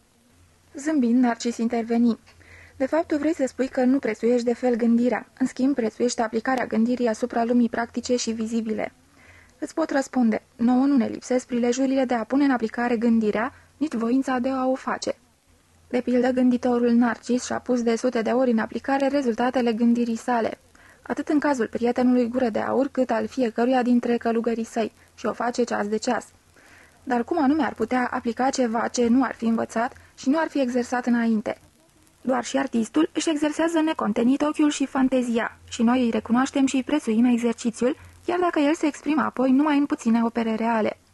Nu poți să respingi gândirea ca atare, în schimb să-i accepti aplicarea. Contradicția e limpede, deci îngăduiem să cuget în tihnă și judecăm gândirea după efectele ei, la fel cum și eu am să judec calitatea ta de artist după operele tale. Tu ești acum neliniștit și iritat, pentru că între tine și operele tale mai sunt opreliști. Dă-le la o parte, caută sau clădește-ți un atelier și pornește la înfăptuirea operelor tale. Multe probleme se vor rezolva astfel de la sine. Gură de aur nici nu-și dorea ceva mai bun. Găsi lângă poartă o încăpere care stătea goală și se potrivea pentru atelier. Îi comandă dulgherului o masă de desenat și alte ustensile pe care îi le schiță exact. Întocmi o listă de obiecte pe care cărăușii mănăstirii urmau să îi le aducă unul câte unul din orașele mai apropiate. O listă lungă, la dulgher și în pădure cercetă toate stocurile de lemn tăiat și alese multe bucăți și puse să fie cărată bucată cu bucată în grădina năpădită de iarbă din dosul atelierului, unde le depozită ca să se usuce și încropi cu mâna lui un acoperiș deasupra lor. De asemenea, lucră mult la fierar, pe al cărui fiu un tânăr visător îl vrăjidea binelea și îl câștigă partea lui. Împreună cu acesta pierdea acum câte o jumătate de zi la forjă, la nicovală, la covata de răcire și la piatra de tocit. Făurirea aici toate cuțitele de cioplit, drepte și curbe, toate dălțile, sfrederele și răzuitoarele de care avea nevoie pentru prelucrarea lemnului. Erich, fiul fierarului, un tânăr cam de 20 de ani, deveni prietenul lui Gură de Aur. Îl urma și îl ajuta pretutindeni și era plin de zel și curiozitate.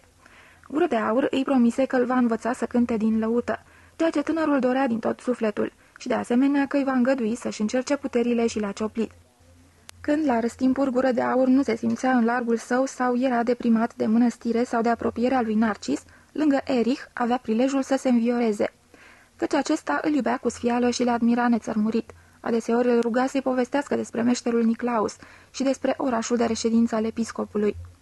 Gură de aur o făcea cu plăcere din când în când și apoi deodată se minuna el singur că sta să istorisească, asemenea unui bătrân călătoriile și faptele lui din trecut, când de fapt viața lui urma să înceapă. Nimeni nu-și dădea seama că în lunile din urmă se schimbase și îmbătrânise mult peste anii săi, căci nu-l cunoscuseră dinainte.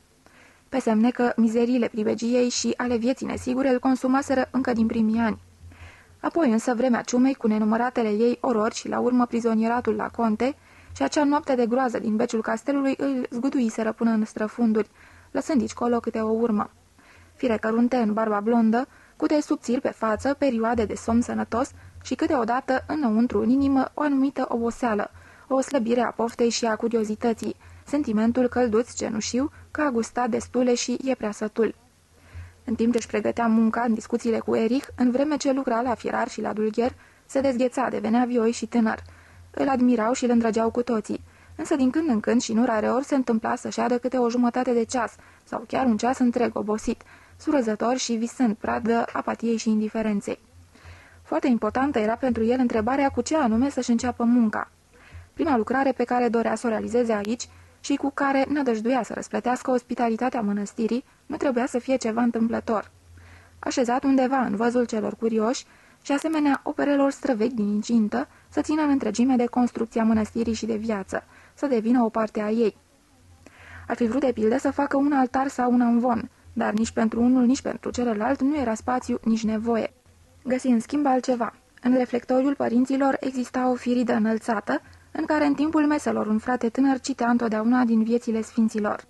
Această firidă era neîmpodobită. Gură de aur hotărâ să îmbrace accesul la pupitru și pupitrul însuși cu o ornamentație de lemn, semănând cu aceea a unui amvon, cu figuri, unele pe jumătate în relief și altele câteva aproape complet degajate, și împărtăși planul abatelui care îl lăudă și îl încuvință. Când în sfârșit munca putu începe, se așternuse zăpada și trecuse Crăciunul. Viața lui Gură de Aur îmbrăcă o formă nouă.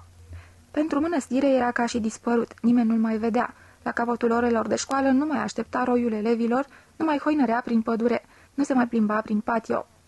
Mesele le lua acum la morar. Nu mai era același pe care odinioară ca elev îl vizitase adeseori. Iar în atelier nu admitea picior de om, afară de ajutorul său Erich. În unele zile nu-i adresa nici acestuia vreo vorbă. Pentru prima sa lucrare, galeria lectorului întocmise după o îndelungată cugetare următorul plan. Din cele două părți care alcătuiau lucrarea, una trebuia să reprezinte lumea, cealaltă verbul divin. Partea inferioară, scara, crescând dintr-un trunchi gros de stejar și răsucindu-se în jurul său, avea să reprezinte creațiunea. Imagini din natură și din viața simplă a patriarhilor. Partea superioară, balustrada, urma să poarte imaginile celor patru evangeliști.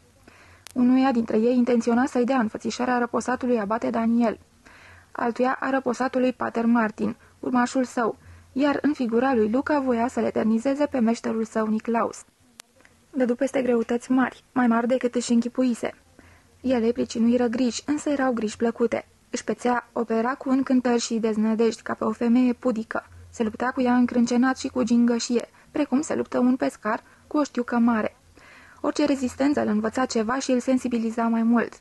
Uită tot restul. Uită de mănăstire, uită aproape și de Narcis. Acesta se nimeri de câteva ori pe acolo, dar nu îi se arătară decât niște desene. În schimb, într-o zigură de aur îl surprinse cu rugămintea de a-i asculta confesiunea. Până acum n-am fost în stare, mărturisi el. Mi s-a părut că sunt prea neînsemnat și așa m-am simțit destul de umilit în fața ta. Acum mă simt mai bine, am munca mea și nu mai sunt un nimeni. Și de vreme ce îmi duc viața aici într-o mănăstire, vreau să mă supun ordinii. Se simțea destul de puternic pentru a înfrunta ceasul acesta și nu voia să-l mai amâne. Dar în traiul recules al primelor săptămâni, în emoția tuturor revederilor și amintirilor de tinerețe, ca și în povestirile pe care îi le tot cerea cu rugăminți, Erich, privirea retrospectivă asupra vieții sale redobândise o anumită ordine și limpezime. Narcis îl primi fără solemnitate la confesiune. Ea dură în jur de două ceasuri. Cu fața neclintită, abatele ascultă aventurile, suferințele și păcatele prietenului său. Puse câteva întrebări, nu le întrerupse niciodată și ascultă impasibil și acea parte a confesiunii în care Gură de Aur îi mărturisi și spulberarea credinței sale în dreptatea și bunătatea lui Dumnezeu. Multe din mărturisirile celui ce îi se confesa îl emoționau. Își dădea seama cât de profund fusese zguduit și speriat și cât de aproape de pieire fusese câteodată. Apoi îi venea iarăși să zâmbească și era mișcat de nevinovăția copilăroasă păstrată de prietenul său, căci îl descoperea îngrijat și plin de căință pentru unele gânduri puțin pioase, care în comparație cu propriile sale dubii și abisuri de gândire erau inofensive. Spre uimirea lui Gură de Aur, ba chiar spre dezamăgirea lui, confesorul nu consideră păcatele sale prea grave, dar îl admonestă și îl pedepsi fără cruțare, pentru că neglijase să se roage, să se mărturisească și să se împărtășească. Îi impuse canonul ca, înainte de a primi împărtășania, să trăiască vreme de patru săptămâni cumpătat și cast, să asculte în fiecare dimineață slujbe și în fiecare seară să recite de trei ori Tatăl nostru și un imn marianic. După aceea îi spuse, Te previn și te rog să nu iei prea ușor acest canon. Nu știu dacă mai cunoști exact textul slujbei. Va trebui să-l urmărești cuvânt cu cuvânt și să te dăruiești înțelesului lor. Tatăl nostru și câteva imnuri am să le recit eu însumi, chiar astăzi, împreună cu tine. Și am să-ți indic spre care cuvinte și sensuri trebuie să-ți îndrepți în mod cu totul deosebit atenția. Să nu reciți și să nu asculți sfintele cuvinte, așa cum se recită și se ascultă cuvintele omenești. De câte ori te surprinzi că înșiri pur și simplu cuvintele, și asta se întâmplă mai des decât ai crede, aduți aminte de ceasul acesta și de faptul că te-am prevenit. Începe de la capăt și rostește cuvintele astfel și primește-le astfel în inimă precum îți voi arăta. Fie că a fost o coincidență fericită, fie că abatele înaintase atât de mult în știința sufletului omenesc, fapt este că, din această confesiune și din acest canon, rezultă pentru gură de aur o perioadă de împlinire și de pace, care îl ferici profund. În toiul muncii sale, încărcată de încordări, griji și satisfacții, el se află în fiecare dimineață și seară grație exercițiilor spirituale ușoare, dar împlinite cu conștiinciozitate, eliberat de emoțiile zilei și transpus cu întreaga lui ființă într-o ordine superioară, care smulgea din singurătatea primejdioasă a Creatorului, incluzându-l în împărăția lui Dumnezeu, ca pe unul din copiii lui. Chiar dacă trebuia să înfrunte solitar lupta pentru opera sa și să-i dăruiască toată pasiunea simțurilor și sufletului, totuși ceasul de reculegere îl conducea de fiecare dată înapoi la inocență. Scăpând adesea de furie sau de nerăbdare, s-au transfigurat până la voluptate în timp ce lucra în exercițiile pioase, se cufunda ca într-o apă adâncă răcoroasă, care spăla de trufia entuziasmului ca și de trufia deznădejdii. Nu reușea întotdeauna. Câteodată seara, după ceasuri de muncă înfierbântată, nu găsea liniștea și concentrarea necesară. De câteva ori uită exercițiile și de mai multe ori, în vreme ce se străduia să le aprofundeze, îl opri și îl chinui ideea că a recita rugăciuni este, la urma urmelor, o strădanie copilărească față de un Dumnezeu care nu există sau care nici nu-l poate ajuta. I se plânse prietenului. Continuă, zise Narcis, ai promis și trebuie să-ți îndeplinești promisiunea. Nu ai de ce să te întrebi dacă Dumnezeu îți ascultă rugăciunea sau dacă acel Dumnezeu pe care ți-l poți reprezenta există în fond sau nu.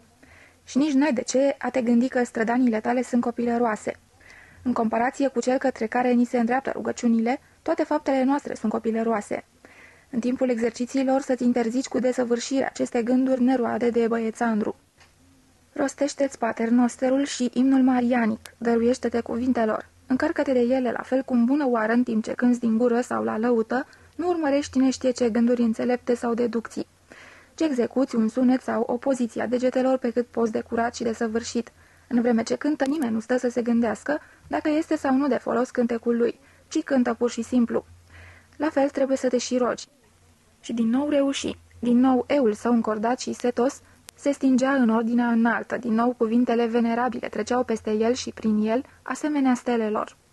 Cu mare mulțumire, abatele observă că după trecerea timpului prevăzut pentru canon și după primirea sacramentelor, Gură de Aur continua să îndeplinească exercițiile zilnice, săptămâni și luni de rândul.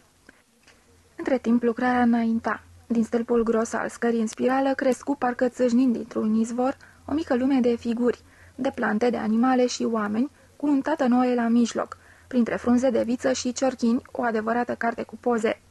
O laudă a creației și a frumuseții ei, desfășurându-se liberă, ca într-un joc, dar condusă de o tainică ordine și disciplină. În decursul acestor luni, nimeni nu văzut lucrarea afară de Erich, care îi dădea o mână de ajutor și nu mai nutrea alt gând decât acela de a deveni la rândul său artist. În anumite zile nici el nu avea voie să calce în atelier. În alte zile, Gură de Aur se ocupa de dânsul, îl instruia și îngăduia să-și încerce mâna, încântat de a avea alături un suflet credincios, un învățăcel. Dacă lucrarea va fi gata și va izbuti, plănuia să-l ceară tatălui său și să-l crească, să-l țină pe lângă el ca ajutor permanent. La chipurile evangeliștilor lucra în zilele sale cele mai bune, când toate erau armonioase și nu se simțea chinuit de nicio îndoială. Cel mai bine izbutea, așa îi se părea, statuia căreia îi împrumutase trăsăturile abatelui Daniel. O iubea mult, căci fața ei radia inocență și bunătate. De figura meșterului Niclaus era mai puțin mulțumit, deși Erich tocmai pe aceasta o admira mai mult. Această statuie vădea discordie sufletească și tristețe, părea plină de planuri de creație înaltă și în același timp plină de cunoaștere deznădăjduită a nimicniciei creației, de tristețe după unitatea și nevinovăția pierdută. Când abatele Daniel fu gata, îl puse pe Eric să curețe atelierul, acoperi restul lucrării cu pânze și așeză în lumină numai această figură. Apoi se duse la Narcis și, deoarece îl află ocupat, așteptă cu răbdare până în a doua zi. Atunci, la ceasul amiezii, îl conduse pe prietenul său în atelier, până în fața sculpturii. Narcis stătu și privi. Stătu și își îngădui un răgaz, privind figura cu atenția și meticulozitatea cărturarului. Gură de aur se afla în spatele lui, tăcea și se străduia să-și strunească furtuna inimii. Oh, gândi el, dacă unul din noi nu rezistă acum, e foarte rău. Dacă lucrarea mea nu este destul de bună sau dacă el nu o poate înțelege, atunci toată munca mea de aici a pierdut valoarea. Ar fi trebuit să mai aștept. Minutele îi se părură ceasuri. Se gândea la ziua în care meșterul Niclaus ținuse în mână primul său desen. De încordare și împleștă una de alta mâinile fierbinți și umede. Narcis se întoarse spre el și în aceeași clipă gură de aur se simți mântuit. Pe fața îngustă a prietenului vedea înflorind ceva ce nu mai înflorise din anii tinereții. Un zâmbet, unul aproape sfios, pe această față impregnată de spirit și voință, un zâmbet de dragoste și de dăruire. Un licăr ca și cum solitudinea și mândria acestei fețe ar fi fost pentru o clipă străpunse și din ea ar străluci numai expresia unei inimi pline de dragoste. Gură de aur zise Narcis foarte încet, cumpănindu-și acum cuvintele. Desigur, nu te aștepți din partea mea să devin dintr-o dată cunoscător de artă. Nu sunt și tu știi prea bine asta. Nu-ți pot spune nimic despre arta ta ca să nu-ți pară ridicol. Dar îngăduiem să spun un singur lucru. La prima vedere am recunoscut în acest apostol pe abatele nostru Daniel și nu numai pe el, ci și tot ce el însemnase pe atunci pentru noi. Demnitate, bunătate, simplitate. Așa cum stătuse răposatul Daniel în fața venerației noastre tinerești, la fel stă acum din nou în fața mea și la oaltă cu dânsul tot ce ne-a fost sfânt pe atunci și ce ne face neuitată vremea aceea. Cu această imagine mi-ai făcut un dar bogat, prietene. Mi l-ai redat pe abatele nostru Daniel. Dar în afară de asta, mi te-ai dezvăluit pentru prima oară în întregime. Acum știu cine ești. Să nu mai vorbim despre asta. Nu mi-e îngăduit. O, o gură de aur. Am avut parte și de ceasul acesta. Era liniște în încăperea cea mare. Gură de aur vedea că prietenul său este mișcat până în adâncul sufletului. Stinghereala îi tăia respirația. Da, zise el scurt. Mă bucur, dar acum e într-adevăr timpul să te duci la masă. Capitolul 19 Doi ani lucră gură de aur la opera aceasta și din al doilea an, Erich îi fu repartizat ca ajutor permanent. În cioplitura scărilor făuri cu inspirație un mic paradis, plămădi cu încântare un frumos desiș de copaci, crengi înfrunzite și ierburi, cu păsări pe ramuri și pretutindeni printre ele, răsăreau trupuri și capete de animale. În mijlocul acestei grădini primordiale, pașnice, înbelșugate în verdeață, reprezentă câteva scene din viața patriarhilor. Rare ori își întrerupse munca sârguincioasă. Rare ori se ivea câte o zi în care îi era cu neputință să lucreze, în care liniștea sau plictisul îl făceau să se depărteze de opera sa. Atunci o dădea elevului în grijă, iar el umbla sau călărea prin împrejurimi. Respira în pădure mireasma învietoare a libertății și a vieții de vagabond. Își căuta câte o țărâncuță, se ducea la vânătoare și zăcea cu orele în iarbă. Neputându-și lua ochii de la ogivele alcătuite de vârfurile copacilor, de la tufele sălbatice ale ferigilor și grozamei. Niciodată nu lipsea mai mult de o zi sau două. Apoi se apuca de lucrare cu înnoită pasiune. Sculpta cu voluptate desișul vegetal, dezghioca atent și gingaș capete de oameni din lemn, cresta cu tăieturi viguroase câte o gură, un ochi, o barbă pletoasă. Afară de Erich, numai Narcis mai cunoștea opera. Intra de multe ori aici, atelierul îi devenea la răstimpuri încăperea cea mai dragă din mănăstire. Privea cu bucurie și cu uimire. Acolo creștea și înflorea, ceea ce prietenul său putase ani în șir în inima lui neliniștită, încăpățânată și copilăroasă. O creație, o mică lume ce ieșea acum la suprafață. Poate un joc, dar cu siguranță, nu mai puțin prețios decât jocul logicii, al gramaticii și teologiei. Îngândurat, el zise odată, Învăț multe de la tine, gură de aur. Încep a înțelege ce este arta. Înainte vreme, în comparație cu gândirea și cu știința, nu mi se părea demnă de luat în serios. Gândeam cam așa.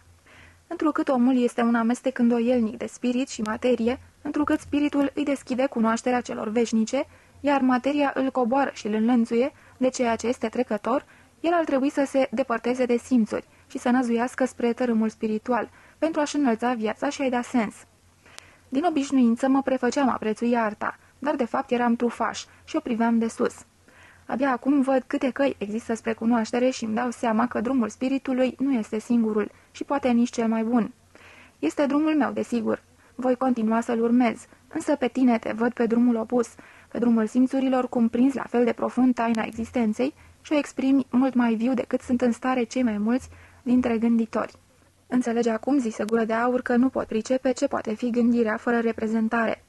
Am înțeles de mult. Gândirea noastră este o permanentă abstractizare, o întoarcere a privirii de la simțuri, o încercare de construire a unei lumi pur spirituale. Tu însă îndrăgești tocmai ce este mai nestatornic și muritor și proclam sensul lumii tocmai în ceea ce este efemer. Tu nu-ți întorci privirea de la aceste lucruri vremelnice. Tu li te dăruiești și prin dăruirea ta ele capătă valoare supremă, devin egale cu cele veșnice. Noi, cugetătorii, încercăm a ne apropia de Dumnezeu, scăzând lumea din ființa Lui. Tu te apropii de El, iubindu-i creația și creând-o din nou. Și una și alta sunt lucrări umane și imperfecte, dar arta este mai nevinovată. Nu știu, Narcis, dar se pare că voi, gânditorii și teologii, reușiți totuși mai bine să o scoateți la capăt cu viața, să vă apărați de deznădejde. De mult nu te mai invidiez pentru știința ta, prietene, dar te invidiez pentru liniștea, pentru netulburarea, pentru pacea ta. N-ar trebui să mă invidiez gură de aur. Nu există pace așa cum o concep tu. Pacea există desigur, dar nu una care se lășuiește mereu în noi și nu ne mai părăsește. Există numai o pace care se cucerește prin lupte neîncetate și trebuie recucerită zi de zi. Tu nu mă vezi luptând, nu-mi cunoști nici lupta, nici timpul studiului, nici lupta din chilia de rugăciuni. E bine că nu le cunoști. Tu vezi numai că sunt mai puțin supus toanelor decât tine și socotești că asta înseamnă pace. Este însă luptă, luptă și sacrificiu ca orice viață adevărată, ca și a ta. Să nu ne certăm pentru asta.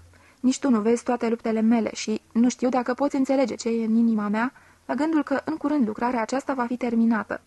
Va fi luată de aici și pusă acolo unde este locul. Eu voi primi câteva laude și apoi mă voi întoarce într-un atelier gol, despuiat, întristându-mă de tot ce nu mi-a izbutit în lucrarea mea. De tot ce voi ceilalți nu puteți vedea și voi fi în sufletul meu tot atât de gol și de jefuit ca și atelierul. Poate că e așa zise Narcis și niciunul dintre noi nu-l poate înțelege în întregime pe celălalt. Însă toți oamenii care sunt de bună credință au ceva în comun, și anume faptul că până la urmă ne rușinăm de operele noastre, că trebuie să o luăm iarăși și iarăși de la capăt, că sacrificiul trebuie mereu adus din nou. Câteva săptămâni mai târziu, lucrarea lui Gură de Aur era terminată și înălțată la locul ei. Se repetă acum ceea ce încercase cândva mai de mult. Opera lui trecu în posesia celorlalți. Fu contemplată, judecată, lăudată, îi se aduseră elogii și onoruri, dar inima lui și atelierul rămaseră goale și nu mai știa dacă opera meritase sacrificiul. În ziua dezvelirii fu invitatul părinților, se oferi un banchet în cinstea lui și se servi cel mai vechi vin din pivnițele mănăstirii.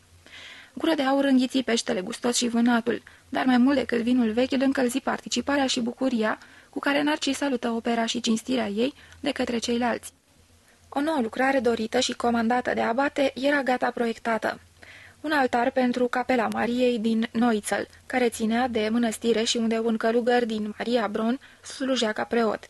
Pentru acest altar gură de aur voia să sculpteze o statuie a Mariei, în care intenționa să eternizeze una din figurile de neuitat ale tinereții sale. Frumoasa, mereu neliniștită fiică de cavaler Lidia.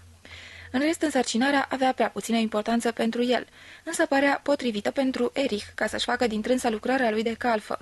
Dacă Erich se dovedea vrednic, va dobândi în el pentru totdeauna un bun colaborator, care îl va putea înlocui și elibera pentru acele opere care, ele singure, îl interesau într-adevăr. Căuta acum cu Erich lemn potrivit pentru altar și îl puse pe băiat să-l pregătească.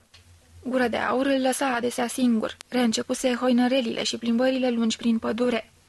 Când odată lipsi mai multe zile în șir, Erich îi raportă abatelui absența sa, iar abatele se temu și el, ca prietenul lui, să nu fi plecat pentru totdeauna. Între timp, el se întoarse, lucră vreme de o săptămână la statuia Lidiei, apoi reîncepu să hoinărească. Era apăsat de griji, de când isprăvise lucrarea cea mare, în viața lui se înstăpânise dezordinea. Lipsea de la mesa matinală, era profund neliniștit și nemulțumit. Acum se gândea mult la meșterul Niclaus, întrebându-se dacă el însuși nu va deveni curând asemenea lui Niclaus, harnic, destoinic și de plin cunoscător al meșteșugului, dar văduvit de libertate și de tinerețe. De ună zi, o mică aventură îl pusese pe gânduri. În timpul hoinărelilor sale, întâlnise o țărâncuță tânără, Francisca pe nume, care îi plăcuse mult și pe care se străduise să o farmece, așa că își pusese în aplicare toată arta de cuceritor, dobândită odinioară. Fata asculta cu plăcere flecăreala lui, râdea încântată de glumele sale, dar îi respinse ispitirile și pentru prima oară simți că apare bătrân în ochii unei femei tinere. Nu se mai duse pe acolo, dar nu putuse uita. Francisca avea dreptate, se schimbase, o simțea el însuși, și nu cele câteva fire cărunte ivite pretimpuriu sau cele câteva pute de sub ochi erau pricina, ci mai mult ceva din ființa și din starea lui de spirit. Se descoperi bătrân, se descoperi teribil de asemănător cu meșterul Niclaus. Se observă cu neplăcere și dădu din numeri, devenise neliber și sedentar, nu mai era nici vultur, nici iepure, devenise un animal de casă. Hoinărind prin pădure căuta mai mult mireasma trecutului, amintirea călătoriilor de odinioară decât o nouă privegie și o nouă libertate. Le căuta cu jind și cu suspiciune, asemenea unui câine care adulmecă o urmă pierdută. Iar după ce zăbovea pe drumuri o zi sau două, după ce colinda și chefuia puțin, ceva îl atrăgea irezistibil înapoi acasă. Avea conștiința încărcată, simțea că l-așteaptă atelierul, se simțea răspunzător pentru altarul început, pentru lemnul pregătit, pentru ajutorul său Erich. Nu mai era liber, nu mai era tânăr își propuse cu hotărâre că atunci, când Lidia Maria va fi terminată, să întreprindă o călătorie și să mai guste încă o dată viața de drumeț. Nu era bine să trăiască atâta vreme într-o mănăstire, numai printre bărbați. O fi bine pentru călugări, pentru el însă nu. Cu bărbații se putea discuta frumos și înțelept, aveau înțelegere pentru munca unui artist, dar restul, flecărea la gingășia, jocul, dragostea, plăcerea fără gânduri, toate acestea nu înfloreau printre bărbați. Pentru ele era nevoie de femei, de drumeție, de hoinăreală și de imagini mereu înnoite. Aici totul în jurul său era cenușiu și grav, greoi și bărbătesc. I se strecurase și lui în sânge, molipsindu-l. Gândul la viitoarea călătorie îl consola, se ținea cu minte de muncă pentru a se elibera cât mai curând. Pe măsură ce făptura Lidiei ieșea treptat din lemn, venind parcă spre el, și mâna lui făcea ca veșmântul să cadă în cute severe de pe genunchii ei nobili, îl însufleți o bucurie intimă și dureroasă. O nostalgică iubire pentru această imagine, pentru chipul frumos, sfios de fată, pentru amintirea de odinioară, pentru prima sa dragoste, primele sale călătorii, pentru tinerețea sa. Lucra cu cernic la imaginea gingașă, o simțea legată de tot ce avea mai bun în ființa lui, de tinerețea sa, de cele mai delicate dintre amintirile sale. Era o fericire să-i modeleze gâtul plecat, gura prietenos tristă, mâinile fine, degetele lungi, cupele frumos boltite ale unghiilor. Cu admirație și cu respectuoasă dragoste privea și Eric statuia, ori de câte ori avea prilejul. Când fu aproape terminată, o arăta abatelui. Narcis zise, E cea mai frumoasă opera a ta, dragule." În toată mănăstirea n-avem nimic cu care s-ar putea asemăna. Trebuie să-ți mărturisesc că în lunile acestea din urmă am fost de câteva ori îngrijorat din pricina ta. Te vedeam neliniștit și suferind, și când dispăreai și lipseai mai mult de o zi, mă gândeam câteodată cu grijă, poate că nu se mai întoarce. Și acum ai făcut această statuie minunată, sunt bucuros și mândru de tine." Da," zise gură de aur, sculptura a ieșit destul de bine, dar acum ascultă-mă, Narcis.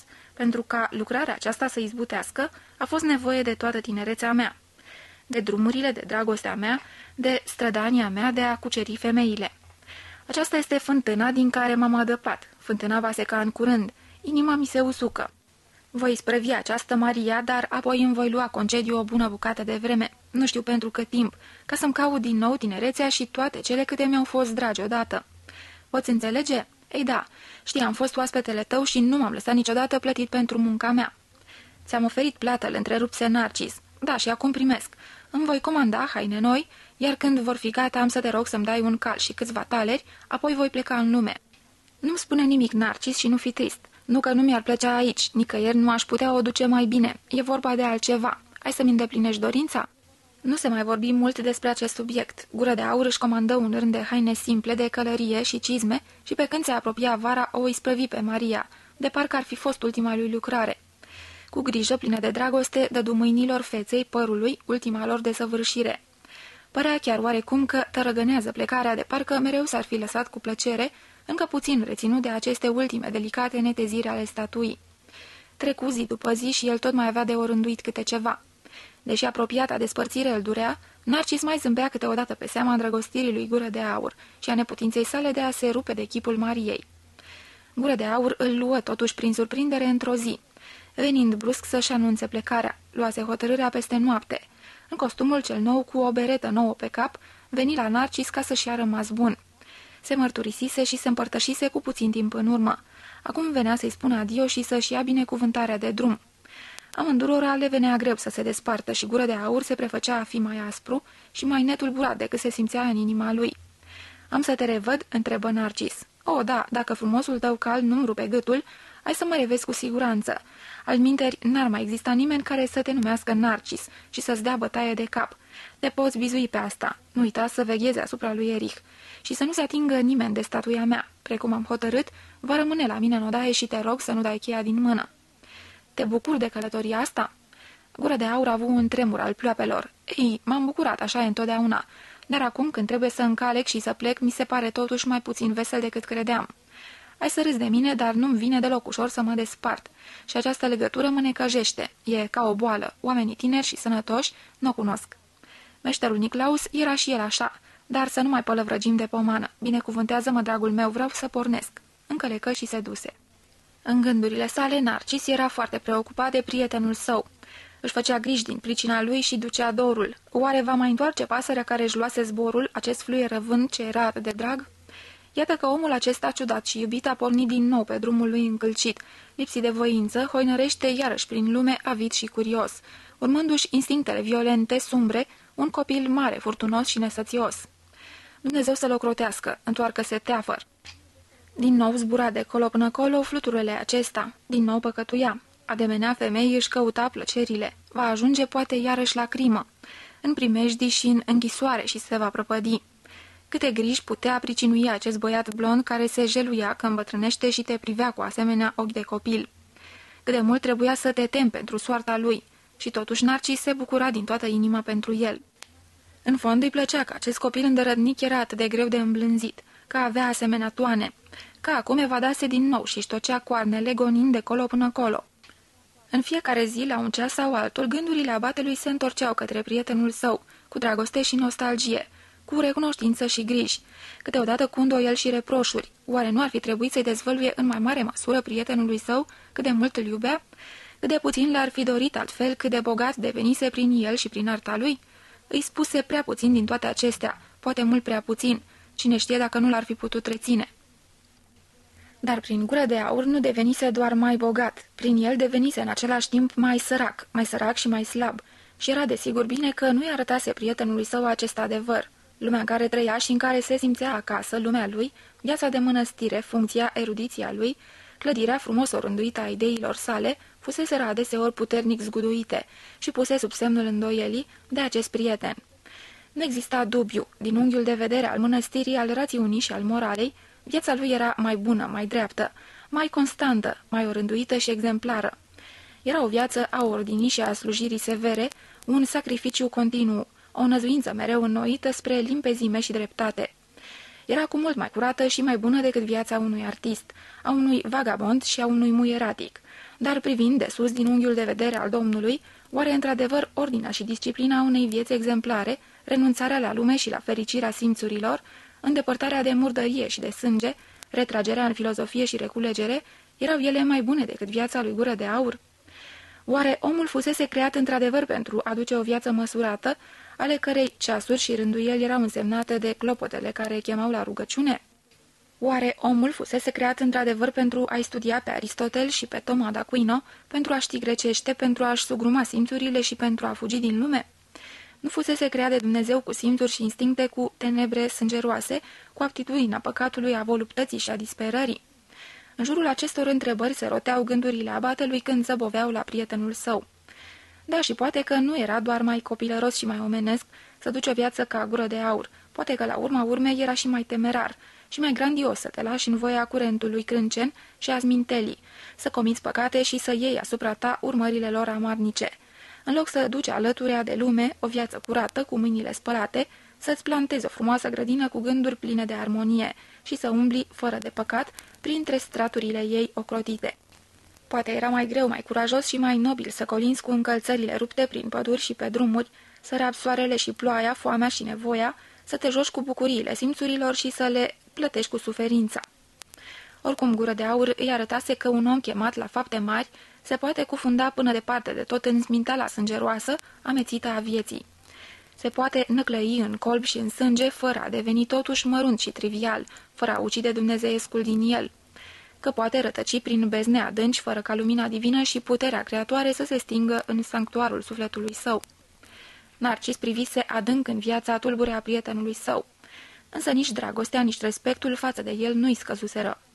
O, nu, iar de când văzuse ieșind de sub mâinile pătate ale lui gură de aur, aceste splendide imagini, tăcute și totuși vii, transfigurate de o formă și o ordine lăuntrică, aceste fețe însuflețite radiind de duh, aceste plante și flori nevinovate, aceste mâini ce implorau și binecuvântau, toate aceste atitudini îndrăznețe și blânde, orgolioase și sfinte, știa bine că în această inimă nestatornică de artist și de seducător să lășuia un belșug de lumină și de har divin. În discuțiile lor nu-i fusese greu să pară superior prietenului, să opună pasiunii lui disciplina și ordinea gândurilor sale.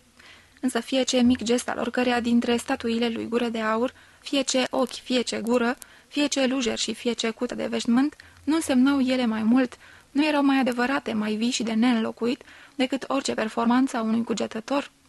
Artistul acesta, a cărei inimă era atât de plină de îndărătnicie și suferință, nu înălțase el pentru nenumărați oameni prezenți și viitori, întruchipări ale suferinței și năzuințelor lor, simboluri spre care se puteau îndrepta rugăciunile și venerația, spaimele și nostalgia celor fără de număr, pentru a găsi în ele alinare în cuvințare și îmbărbătare. Zâmbind și totuși trist, Narcis își aduse aminte de toate momentele, începând de tinerețea lor timpurie, când îl îndrumase și îl descălise pe prietenul său. Prietenul îi primise sfaturile cu recunoștință, acceptase de fiecare dată superioritatea și poziția lui de conducător și apoi își oferise în tăcere operele născute din furtuna și chinurile vieții sale biciuite. Nu cuvinte, nu doctrine, nu lămuriri, nu avertismente, ci viața adevărată, înălțată pe culmi, în schimb cât de sărac era el însuși cu știința, cu disciplina sa monahală, cu dialectica sa. Acestea erau întrebările în jurul cărora se învârteau gândurile lui Narcis, cum cu mulți ani în urmă intervenise violent și zguduitor în tinerețea lui Gură de Aur, așezându-i viața într-un spațiu nou. La fel îl încercase acum prietenul care, de la reîntoarcerea sa, îl zguduise, îl împinsese către îndoieli și cercetare de sine. Era egalul său, Narcis nu-i dăduse nimic, ce să nu-i se fi întors cu sporită dăruire.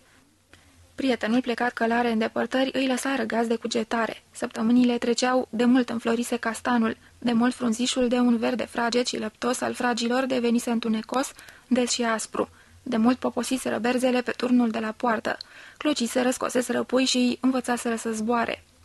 Cu cât gură de aur întârzia mai mult, cu atât Narcis vedea mai limpede ce-i dăruise prezența lui. Avea câțiva călugări învățați în mănăstire, un cunoscător al lui Platon, un dascăl eminent de gramatică, unul sau doi teologi subtili. Erau printre monahi câteva inimi fidele de bună credință care luau totul în serios, dar nu avea niciunul care să fi fost egalul său, niciunul cu care să se fi putut măsura. Acest dar prețios îl făcuse numai gură de aur. Îi venea tare greu să se lipsească din nou de el. Se gândea cu dor la cel dus departe. Adeseori trecea pragul atelierului, îl încuraja pe ucenicul Erich, care continua munca la altar și aștepta cu teamă și nădejde întoarcerea meșterului său. Câteodată abatele descuia odaia lui gură de aur, în care se afla Maria. Ridica grijuliu punza de pe statuie și zăbovea în fața ei. Nu-i cunoștea obârșia, gură de aur nu-i spusese niciodată povestea Lidiei, dar simțea, își dădea seama că acest chip feciorelnic trăise vreme îndelungată în inima prietenului său. Poate a sedus-o, poate a înșelat-o și a părăsit-o, a luat-o însă cu sine, a păstrat-o în sufletul său, cu mai multă credință decât cel mai bun dintre soți și până la urmă poate după ani mulți în care nu mai văzuse odată măcar favorise această făptură frumoasă de fată, atât de înduioșătoare, iar în chipul, în atitudinea, în mâinile ei, cuprinsese întreaga gingășie, admirație și dorință ale unui îndrăgostit. Și în sculpturile pupitrului de lectură din reflectoriu, citea câte ceva din povestea prietenului său. Era povestea unui vagabond, a unui om al instinctelor, a unui dezrădăcinat și necredincios, dar ce rămăsese din toate acestea, ce se vedea aici era în întregime bun și credincios, era plin de o dragoste vie. Cât de tainică era viața aceasta, cât de vijelioase și tulburi îi curgeau șuvoaiele și cât de nobile și de limpese alegeau la sfârșit rezultatele. Narcis se luptă, în cele din urmă învinse, nu deveni infidel propriului său drum, nu neglijă nimic din îndatoririle sale severe, dar suferea din pricina pierderii și de asemenea, din pricină că recunoscuse ce mult îi era legată inima de acest prieten, inimă care nu trebuia de fapt să aparțină decât lui Dumnezeu și misiunii sale. Capitolul 20 Vara trecu. Macul și albăstrelele, neghina și ochiul boului se veștejiră și se scuturară. Broaștele din ereșteu tăcură, iar berzele zburau în înaltul cerului, pregătindu-se să-și ia bun rămas. Atunci gură de aur se întoarse. Sosi într-o după amiază pe o ploaie molcomă și nu intră în mănăstire, ci de la poartă se duse direct în atelierul său. Venise pe jos, fără cal. Eric se sperie când îl văzu intrând. Deși îl recunoscuse de la prima privire și inima îi bătea bucuroasă, totuși băiatului îi se păru că acela ce se întorsese era cu totul alt om. Un gură de aur fals, cu mulți ani mai bătrân, cu fața pe jumătate stinsă, prăfuită, cenușie, cu trăsăturile subte, niște trăsături bolnave, suferinde, pe care nu se citea totuși durere, ci mai degrabă un zâmbet, un zâmbet binevoitor, bătrân răbdător. Mergea greu, se tăra și părea a fi bolnav și foarte obosit. Acest gură de aur schimbat, străin, privi ciudat în ochii tânărului său ajutor. Nu făcea caz de întoarcerea sa, se purta de parcă tocmai ar fi ieșit din odaia alăturată, de parcă n-ar fi lipsit decât o fărâmă de timp.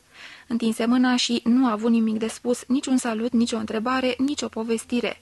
Zise numai, trebuie să dorm. Părea a fi teribil de obosit. Îl trimise pe Erich de acolo și se duse în odaia lui de lângă atelier. Aici își scoase bereta, o scăpă din mână, își trase încălțările și se îndreptă către pat. În fundul odăii își zări Madonna înfășurată în pânze. Dădu din cap spre dânsa, dar nu se întoarse să își scoată pânzele și să-i dea binețe. În schimb, se strecură până la ferestruică. Îl zări pe Erich afară, așteptând speriat și strigă. Erich, nu trebuie să spui nimănui că am venit. Sunt foarte obosit. E și mâine timp pentru asta." Apoi se întinse în pat cu hainele pe el. După câtva timp, fiindcă nu-i venea somnul, se sculă, se duse greoi până la perete unde atârna o oglindă mică și se căută întrânsa. Atent se uită la cel care îl privea din oglindă. Un gură de aur obosit. Un bărbat ostenit și bătrân și veșted, cu barba încărunțită bine. Cel ce privea spre el din pătratul mic și tulbure al oglinzii era un om bătrân, cam neîngrijit, o față bine cunoscută, dar totuși străină, părea ca de pe altă lume. Părea că nu prea are legătură cu el. Îi aducea aminte de unele din fețele pe care le cunoscuse puțin, de meșterul Niclaus puțin, de bătrânul cavaler care odinioară îi comandase veșmintele paj, puțin de Sfântul Iacob din biserică, de bătrânul bărbosul Sfânt Iacob, care sub pălăria de pelerin era atât de străvechi și de cenușiu și totuși arăta bine și vesel. Cercetă cu grijă chipul din oglindă de parcă ar fi ținut cu tot din adinsul să afle cât mai multe despre acest străin. Îi făcu semn din cap și îl recunoscu. Da, era el însuși. Imaginea corespundea felului cum se simțea acum. Se întorsese din călătorie un bărbat bătrân și cam apatic, un om nu prea arătos, cu care nu te puteai făli, dar nici nu puteai avea ceva împotriva lui, și care, la urma urmelor, îi era pe plac. Avea pe fața lui ceva ce gură de aur cel dinainte, cel drăguț nu avusese în ciuda ostenelii și a bătrâneții. Se întipărise o trăsătură de mulțumire, sau mai bine zis de liniște. Râse încet ca pentru sine și văzu că și imaginea din oglindă râdea. Frumos fârtat adusese cu el din călătorie, jerpelit și părlit, se întorsese iarăși acasă, din mica sa escapadă în care își pierduse nu numai calul, traista de drumeți și talerii, dar mai irosise și altceva. Tinerețea, sănătatea, încrederea în sine, roșeața din obraj și forța din priviri. Totuși imaginea îi plăcea. Acest flăcău tomnatec, bătrân și fără vlagă din oglindă, îi era mai drag decât gură de aur cel de odinioară. Era mai bătrân, mai vlăguit, mai jalnic, dar mai puțin aprig, mai împăcat. Te puteai înțelege mai bine cu el. Râse și strânse una din pleoapele veștede, apoi se culcă la loc pe pat și de asta dată a dormi. În ziua următoare, în timp ce ședea în odaia sa, a plecat peste masă și încerca să deseneze puțin, Narcis veni să-l vadă. Se opri în ușă și zise. Mi s-a spus că te-ai întors. Slavă Domnului, mă bucur mult. Cum de nu mai căutat? Vin și eu la tine. Te deranjez de la lucru?" Păși mai aproape. Gură de aur se îndreptă, ridicându-se de lângă hârtie și întinse mâna. Deși Erich îl pregătise, Narcis se sperie până în adâncul inimii de felul în care arăta prietenul său. Acesta îl primi cu un zâmbet prietenos. Da, sunt din nou aici. Te salut, Narcis. E ceva vreme de când nu ne-am văzut. Iartă-mă că nu te-am vizitat încă." Narcis îl privi în ochi. La rândul lui văzu nu numai jalnica ofilire a acestui chip, ci și celălalt lucru, acea trăsătură ciudat de plăcută, de calm, chiar de indiferență, de resemnare și seninătate veselă de moșneag. Experimentat în deslușirea fețelor omenești, el văzu de asemenea că acest gură de aur, atât de înstrăinat și de schimbat, nu mai era întru totul prezent, fie că sufletul îi se depărtase mult de realitate și umbla pe cărări de vis, fie că stătea în pragul ce duce spre tărâmul de dincolo. Ești bolnav?" întrebă cu prudență. Da, sunt și bolnav. M-am îmbolnăvit încă de la începutul călătoriei, din primele zile." Dar mă înțelegi, n-am vrut să mă întorc imediat acasă. Ați fi râs dravăn pe socotala mea dacă m-aș fi arătat în poartă atât de repede și mi-aș fi scos iarăși cizmele de călărie." Nu, n-am vrut asta. Am mers mai departe, am mai călăduit un pic și mi-era ciudă că nu mi-a izbutit călătoria. Prea m-am lăcomit. Ei bine, mi-era rușine. În sfârșit, cred că ai înțeles. Tu ești un om atât de înțelept. Iartă, m-ai întrebat ceva? Parcă ar fi o vrajă. Uit mereu despre ce-i vorba. Însă isprava aceea cu mama, ai reușit-o bine. M-a durut tare, dar... Mormăitul îi se stinse într-un zâmbet. Te vom îndrăveni iarăși, gură de aur. Nu vei duce lipsă de nimic. Cum de nu te-ai întors din drum îndată ce a început să-ți meargă rău? De noi nu trebuie să-ți fie rușine. Ar fi trebuit să te întorci imediat. Gură de aur râse. Da, acum îmi aduc aminte cum a fost. Nu am îndrăznit să mă întorc pur și simplu. Ți-am spus doar că mi-era rușine. Acum însă am venit. Acum mă simt iarăși bine. Ai avut dureri? Dureri? Da, am avut destule, dar vezi tu, durerile sunt folositoare. Ele mi-au băgat mințile în cap. Acum nu mai este rușine nici măcar în fața ta. Atunci când m-ai vizitat în temniță ca să-mi salvezi viața, a trebuit să-mi încleștez fălcile, fiindcă mă rușinam îngrozitor. Dar acum toate astea au trecut. Narcis îi puse mâna pe braț și el tăcu în aceeași clipă și închise zâmbind ochii. A dormit pașnic. Tulburat, abatele alergă să-l cheme pe medicul casei, pe pater Anton, pentru a-l îngriji pe bolnav. Când reveni răgură de aur, ședea dormind la masă. Îl așezară în pat și medicul rămase lângă el. Îl găsi bolnav fără nădejde. Fu dus într-una din odăile pentru bolnavi. Erich fu pus să-l vegheze zi și noapte. Povestea ultimei sale călătorii nu aflară în întregime niciodată. Unele amănuntele istorisi el, altele se puteau ghici. Adesea zăcea apatic, uneori avea febră și vorbea aiurea alteori era lucid și în asemenea clipe era chemat de fiecare dată Narcis pentru care ultimele convorbiri cu gură de aur însemnau foarte mult. Unele fragmente din relatările și mărturisirile lui Gură de Aur le-a transmis Narcis, altele ucenicul. Când mi s-au iscat durerile, încă de la începutul călătoriei mele, Călăream prin pădure și m-am prăbușit cu cal cu tot. Am căzut într-un pârâu și am zăcut în apa rece toată noaptea. Aici înăuntru, unde mi-am rupt coastele, Aici să lășuiesc durerile de atunci. Nu mă aflam încă prea departe de mănăstire, dar nu-mi plăcea să mă întorc. A fost într-adevăr o copilărie, însă mă gândeam că ar fi caragios. Am călărit deci mai departe și când n-am mai putut călări căci mă durea prea rău, am vândut căluțul și am zăcut multă vreme într-un spital. Acum rămân aici, Narcis, s-a isprăvit cu călăritul, s-a isprăvit cu drumeția. S-a isprăvit cu dansul și cu muierile. Ah, altmindere aș fi lipsit mai mult, ani întregi, dar când am văzut că în lume nu mai există bucurii pentru mine, m-am gândit, înainte de a fi nevoit să cobor în țărână, vreau să mai desenez puțin și să mai sculptez câteva statui, căci de o bucurie trebuie să am și eu parte. Narcis îi spuse. Sunt foarte fericit că te-ai întors, mi-ai lipsit atât de mult. M-am gândit în fiecare zi la tine și de nenumărate ori mi-a fost teamă că n-ai să mai vrei să te întorci niciodată. Gură de aur clătină din cap. Ei, n-ar fi fost mare pagubă. Narcis cu inima arzând de durere și dragoste se aplecă încet spre el și făcu acum ceea ce nu făcuse nici când în anii îndelungației prieteniei lor. Atinse părul și fruntea lui gură de aur cu buzele. Întâi mirat, apoi mișcat, gură de aur băgă de seamă ce se întâmplase. Gură de aur, își șopti prietenul la ureche. Iartă-mă că nu ți-am putut spune mai devreme. Ar fi trebuit să-ți o spun atunci, când am venit la tine în închisoare, la reședința episcopală, sau când mi-a fost dat să-ți văd primele sculpturi, sau cine știe când altădată. Lasă-mă să-ți spun azi cât de mult te iubesc, cât de mult ai însemnat dintotdeauna pentru mine, cât mi-ai îmbogățit viața. Nu va avea mare preț pentru tine. Ești obișnuit cu dragostea. Pentru tine ea nu-i ceva rar. Ai fost iubit și răsfățat de atâtea femei. La mine e altceva. Viața mea a fost săracă în dragoste. Mi-a lipsit ce este mai bun. Abatele nostru, Daniel, mi-a spus odată că mă socotește trufaș. Probabil că avusese dreptate. Nu sunt nedrept față de oameni. Mă străduiesc să fiu drept și răbdător cu ei, dar de iubit nu i-am iubit vreodată. Dintre doi învățați ai mănăstirii, cel mai învățat mi este mai drag. Niciodată n-am iubit un învățat mai slab, în ciuda slăbiciunii sale. Dacă totuși știu ce este iubirea, atunci ție ți-o datorez. Pe tine te-am putut iubi, pe tine singur între oameni. Tu nu-ți poți da seama ce înseamnă asta. Înseamnă izvorul dintr-un deșert, copacul înflorit dintr-un pustiu. Ție singur îți sunt dator, că nu mi s-a uscat inima, că mi-a rămas un suflet care mai poate fi atins de har. Gură de aur zâmbi fericit și cam stingherit, cu glasul încet calm pe care îl avea în ceasurile sale de luciditate zise. După ce m-ai scăpat atunci de spânzurătoare pe când călăream spre casă, te-am întrebat de calul meu, Bles, și tu mi-ai dat lămuriri și am văzut că tu, care alminteri abia deosebești un cal de altul, te-ai ocupat de căluțul Bles. Am înțeles că ai făcut-o de dragul meu și m-am bucurat mult.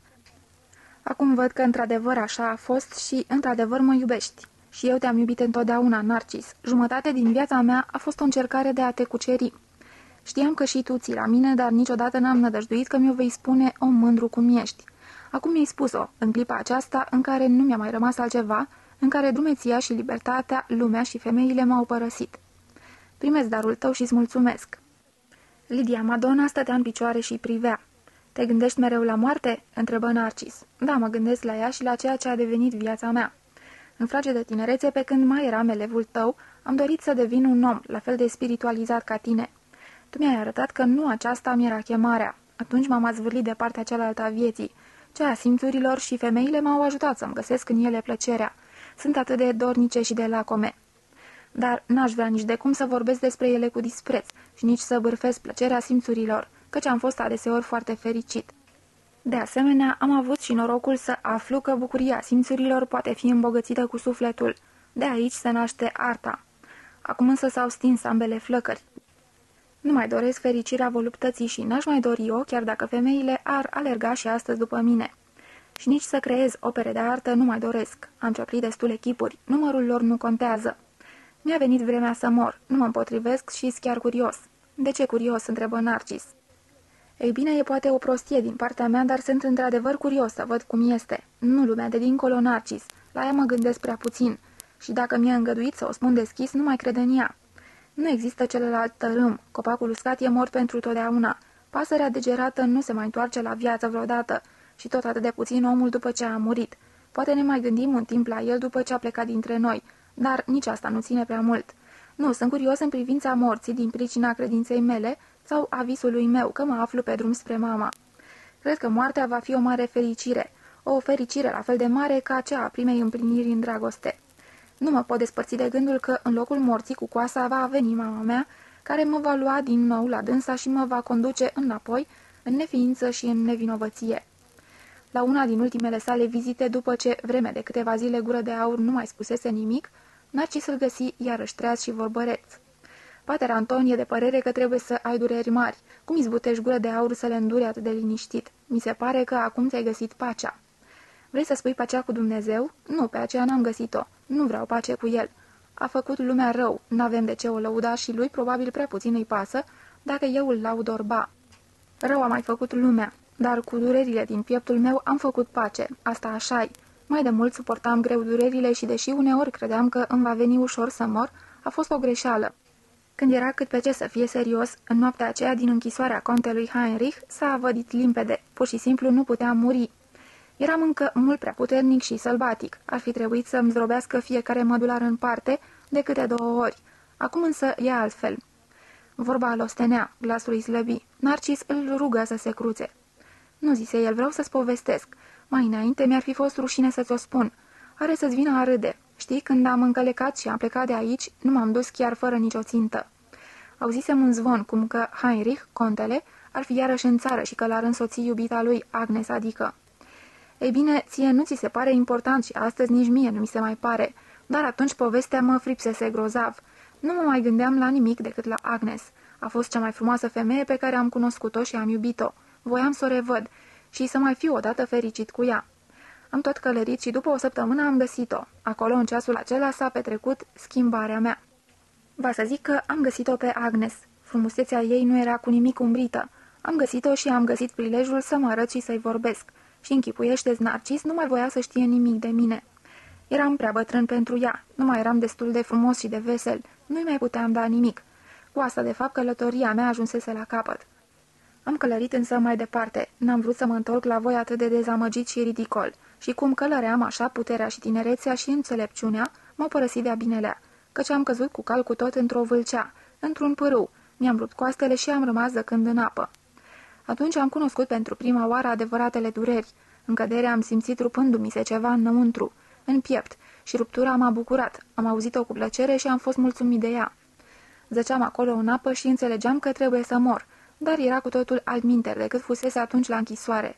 N-aveam nimic împotrivă, moartea nu mi se mai părea ceva rău. Simțeam aceste dureri puternice pe care le încerc de atunci încoace, atât de des.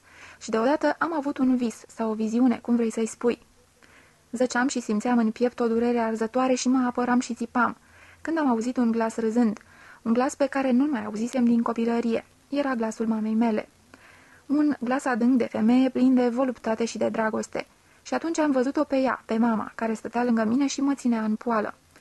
Îmi deschisese pieptul și-și afundase degetele adânc printre coastele mele pentru ca să-mi elibereze inima.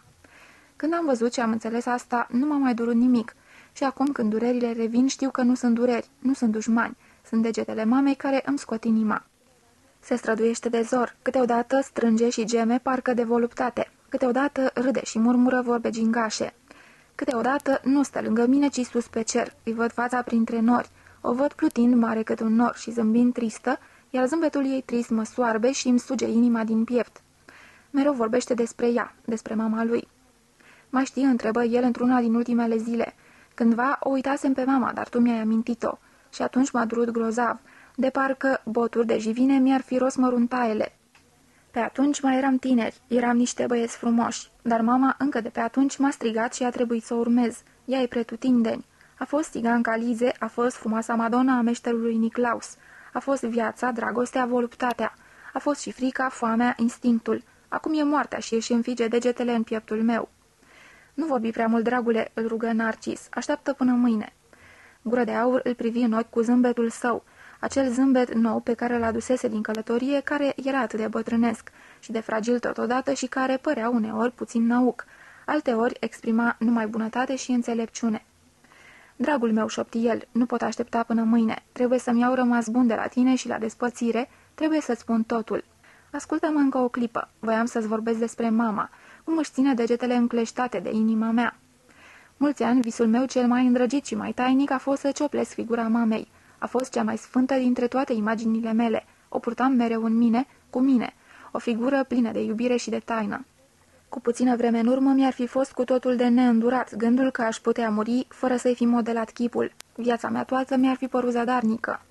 Și acum privește ce ciudățenie. În loc ca mâinile mele să o modeleze și să o plămădească, ea e cea care mă modelează și mă plămădește.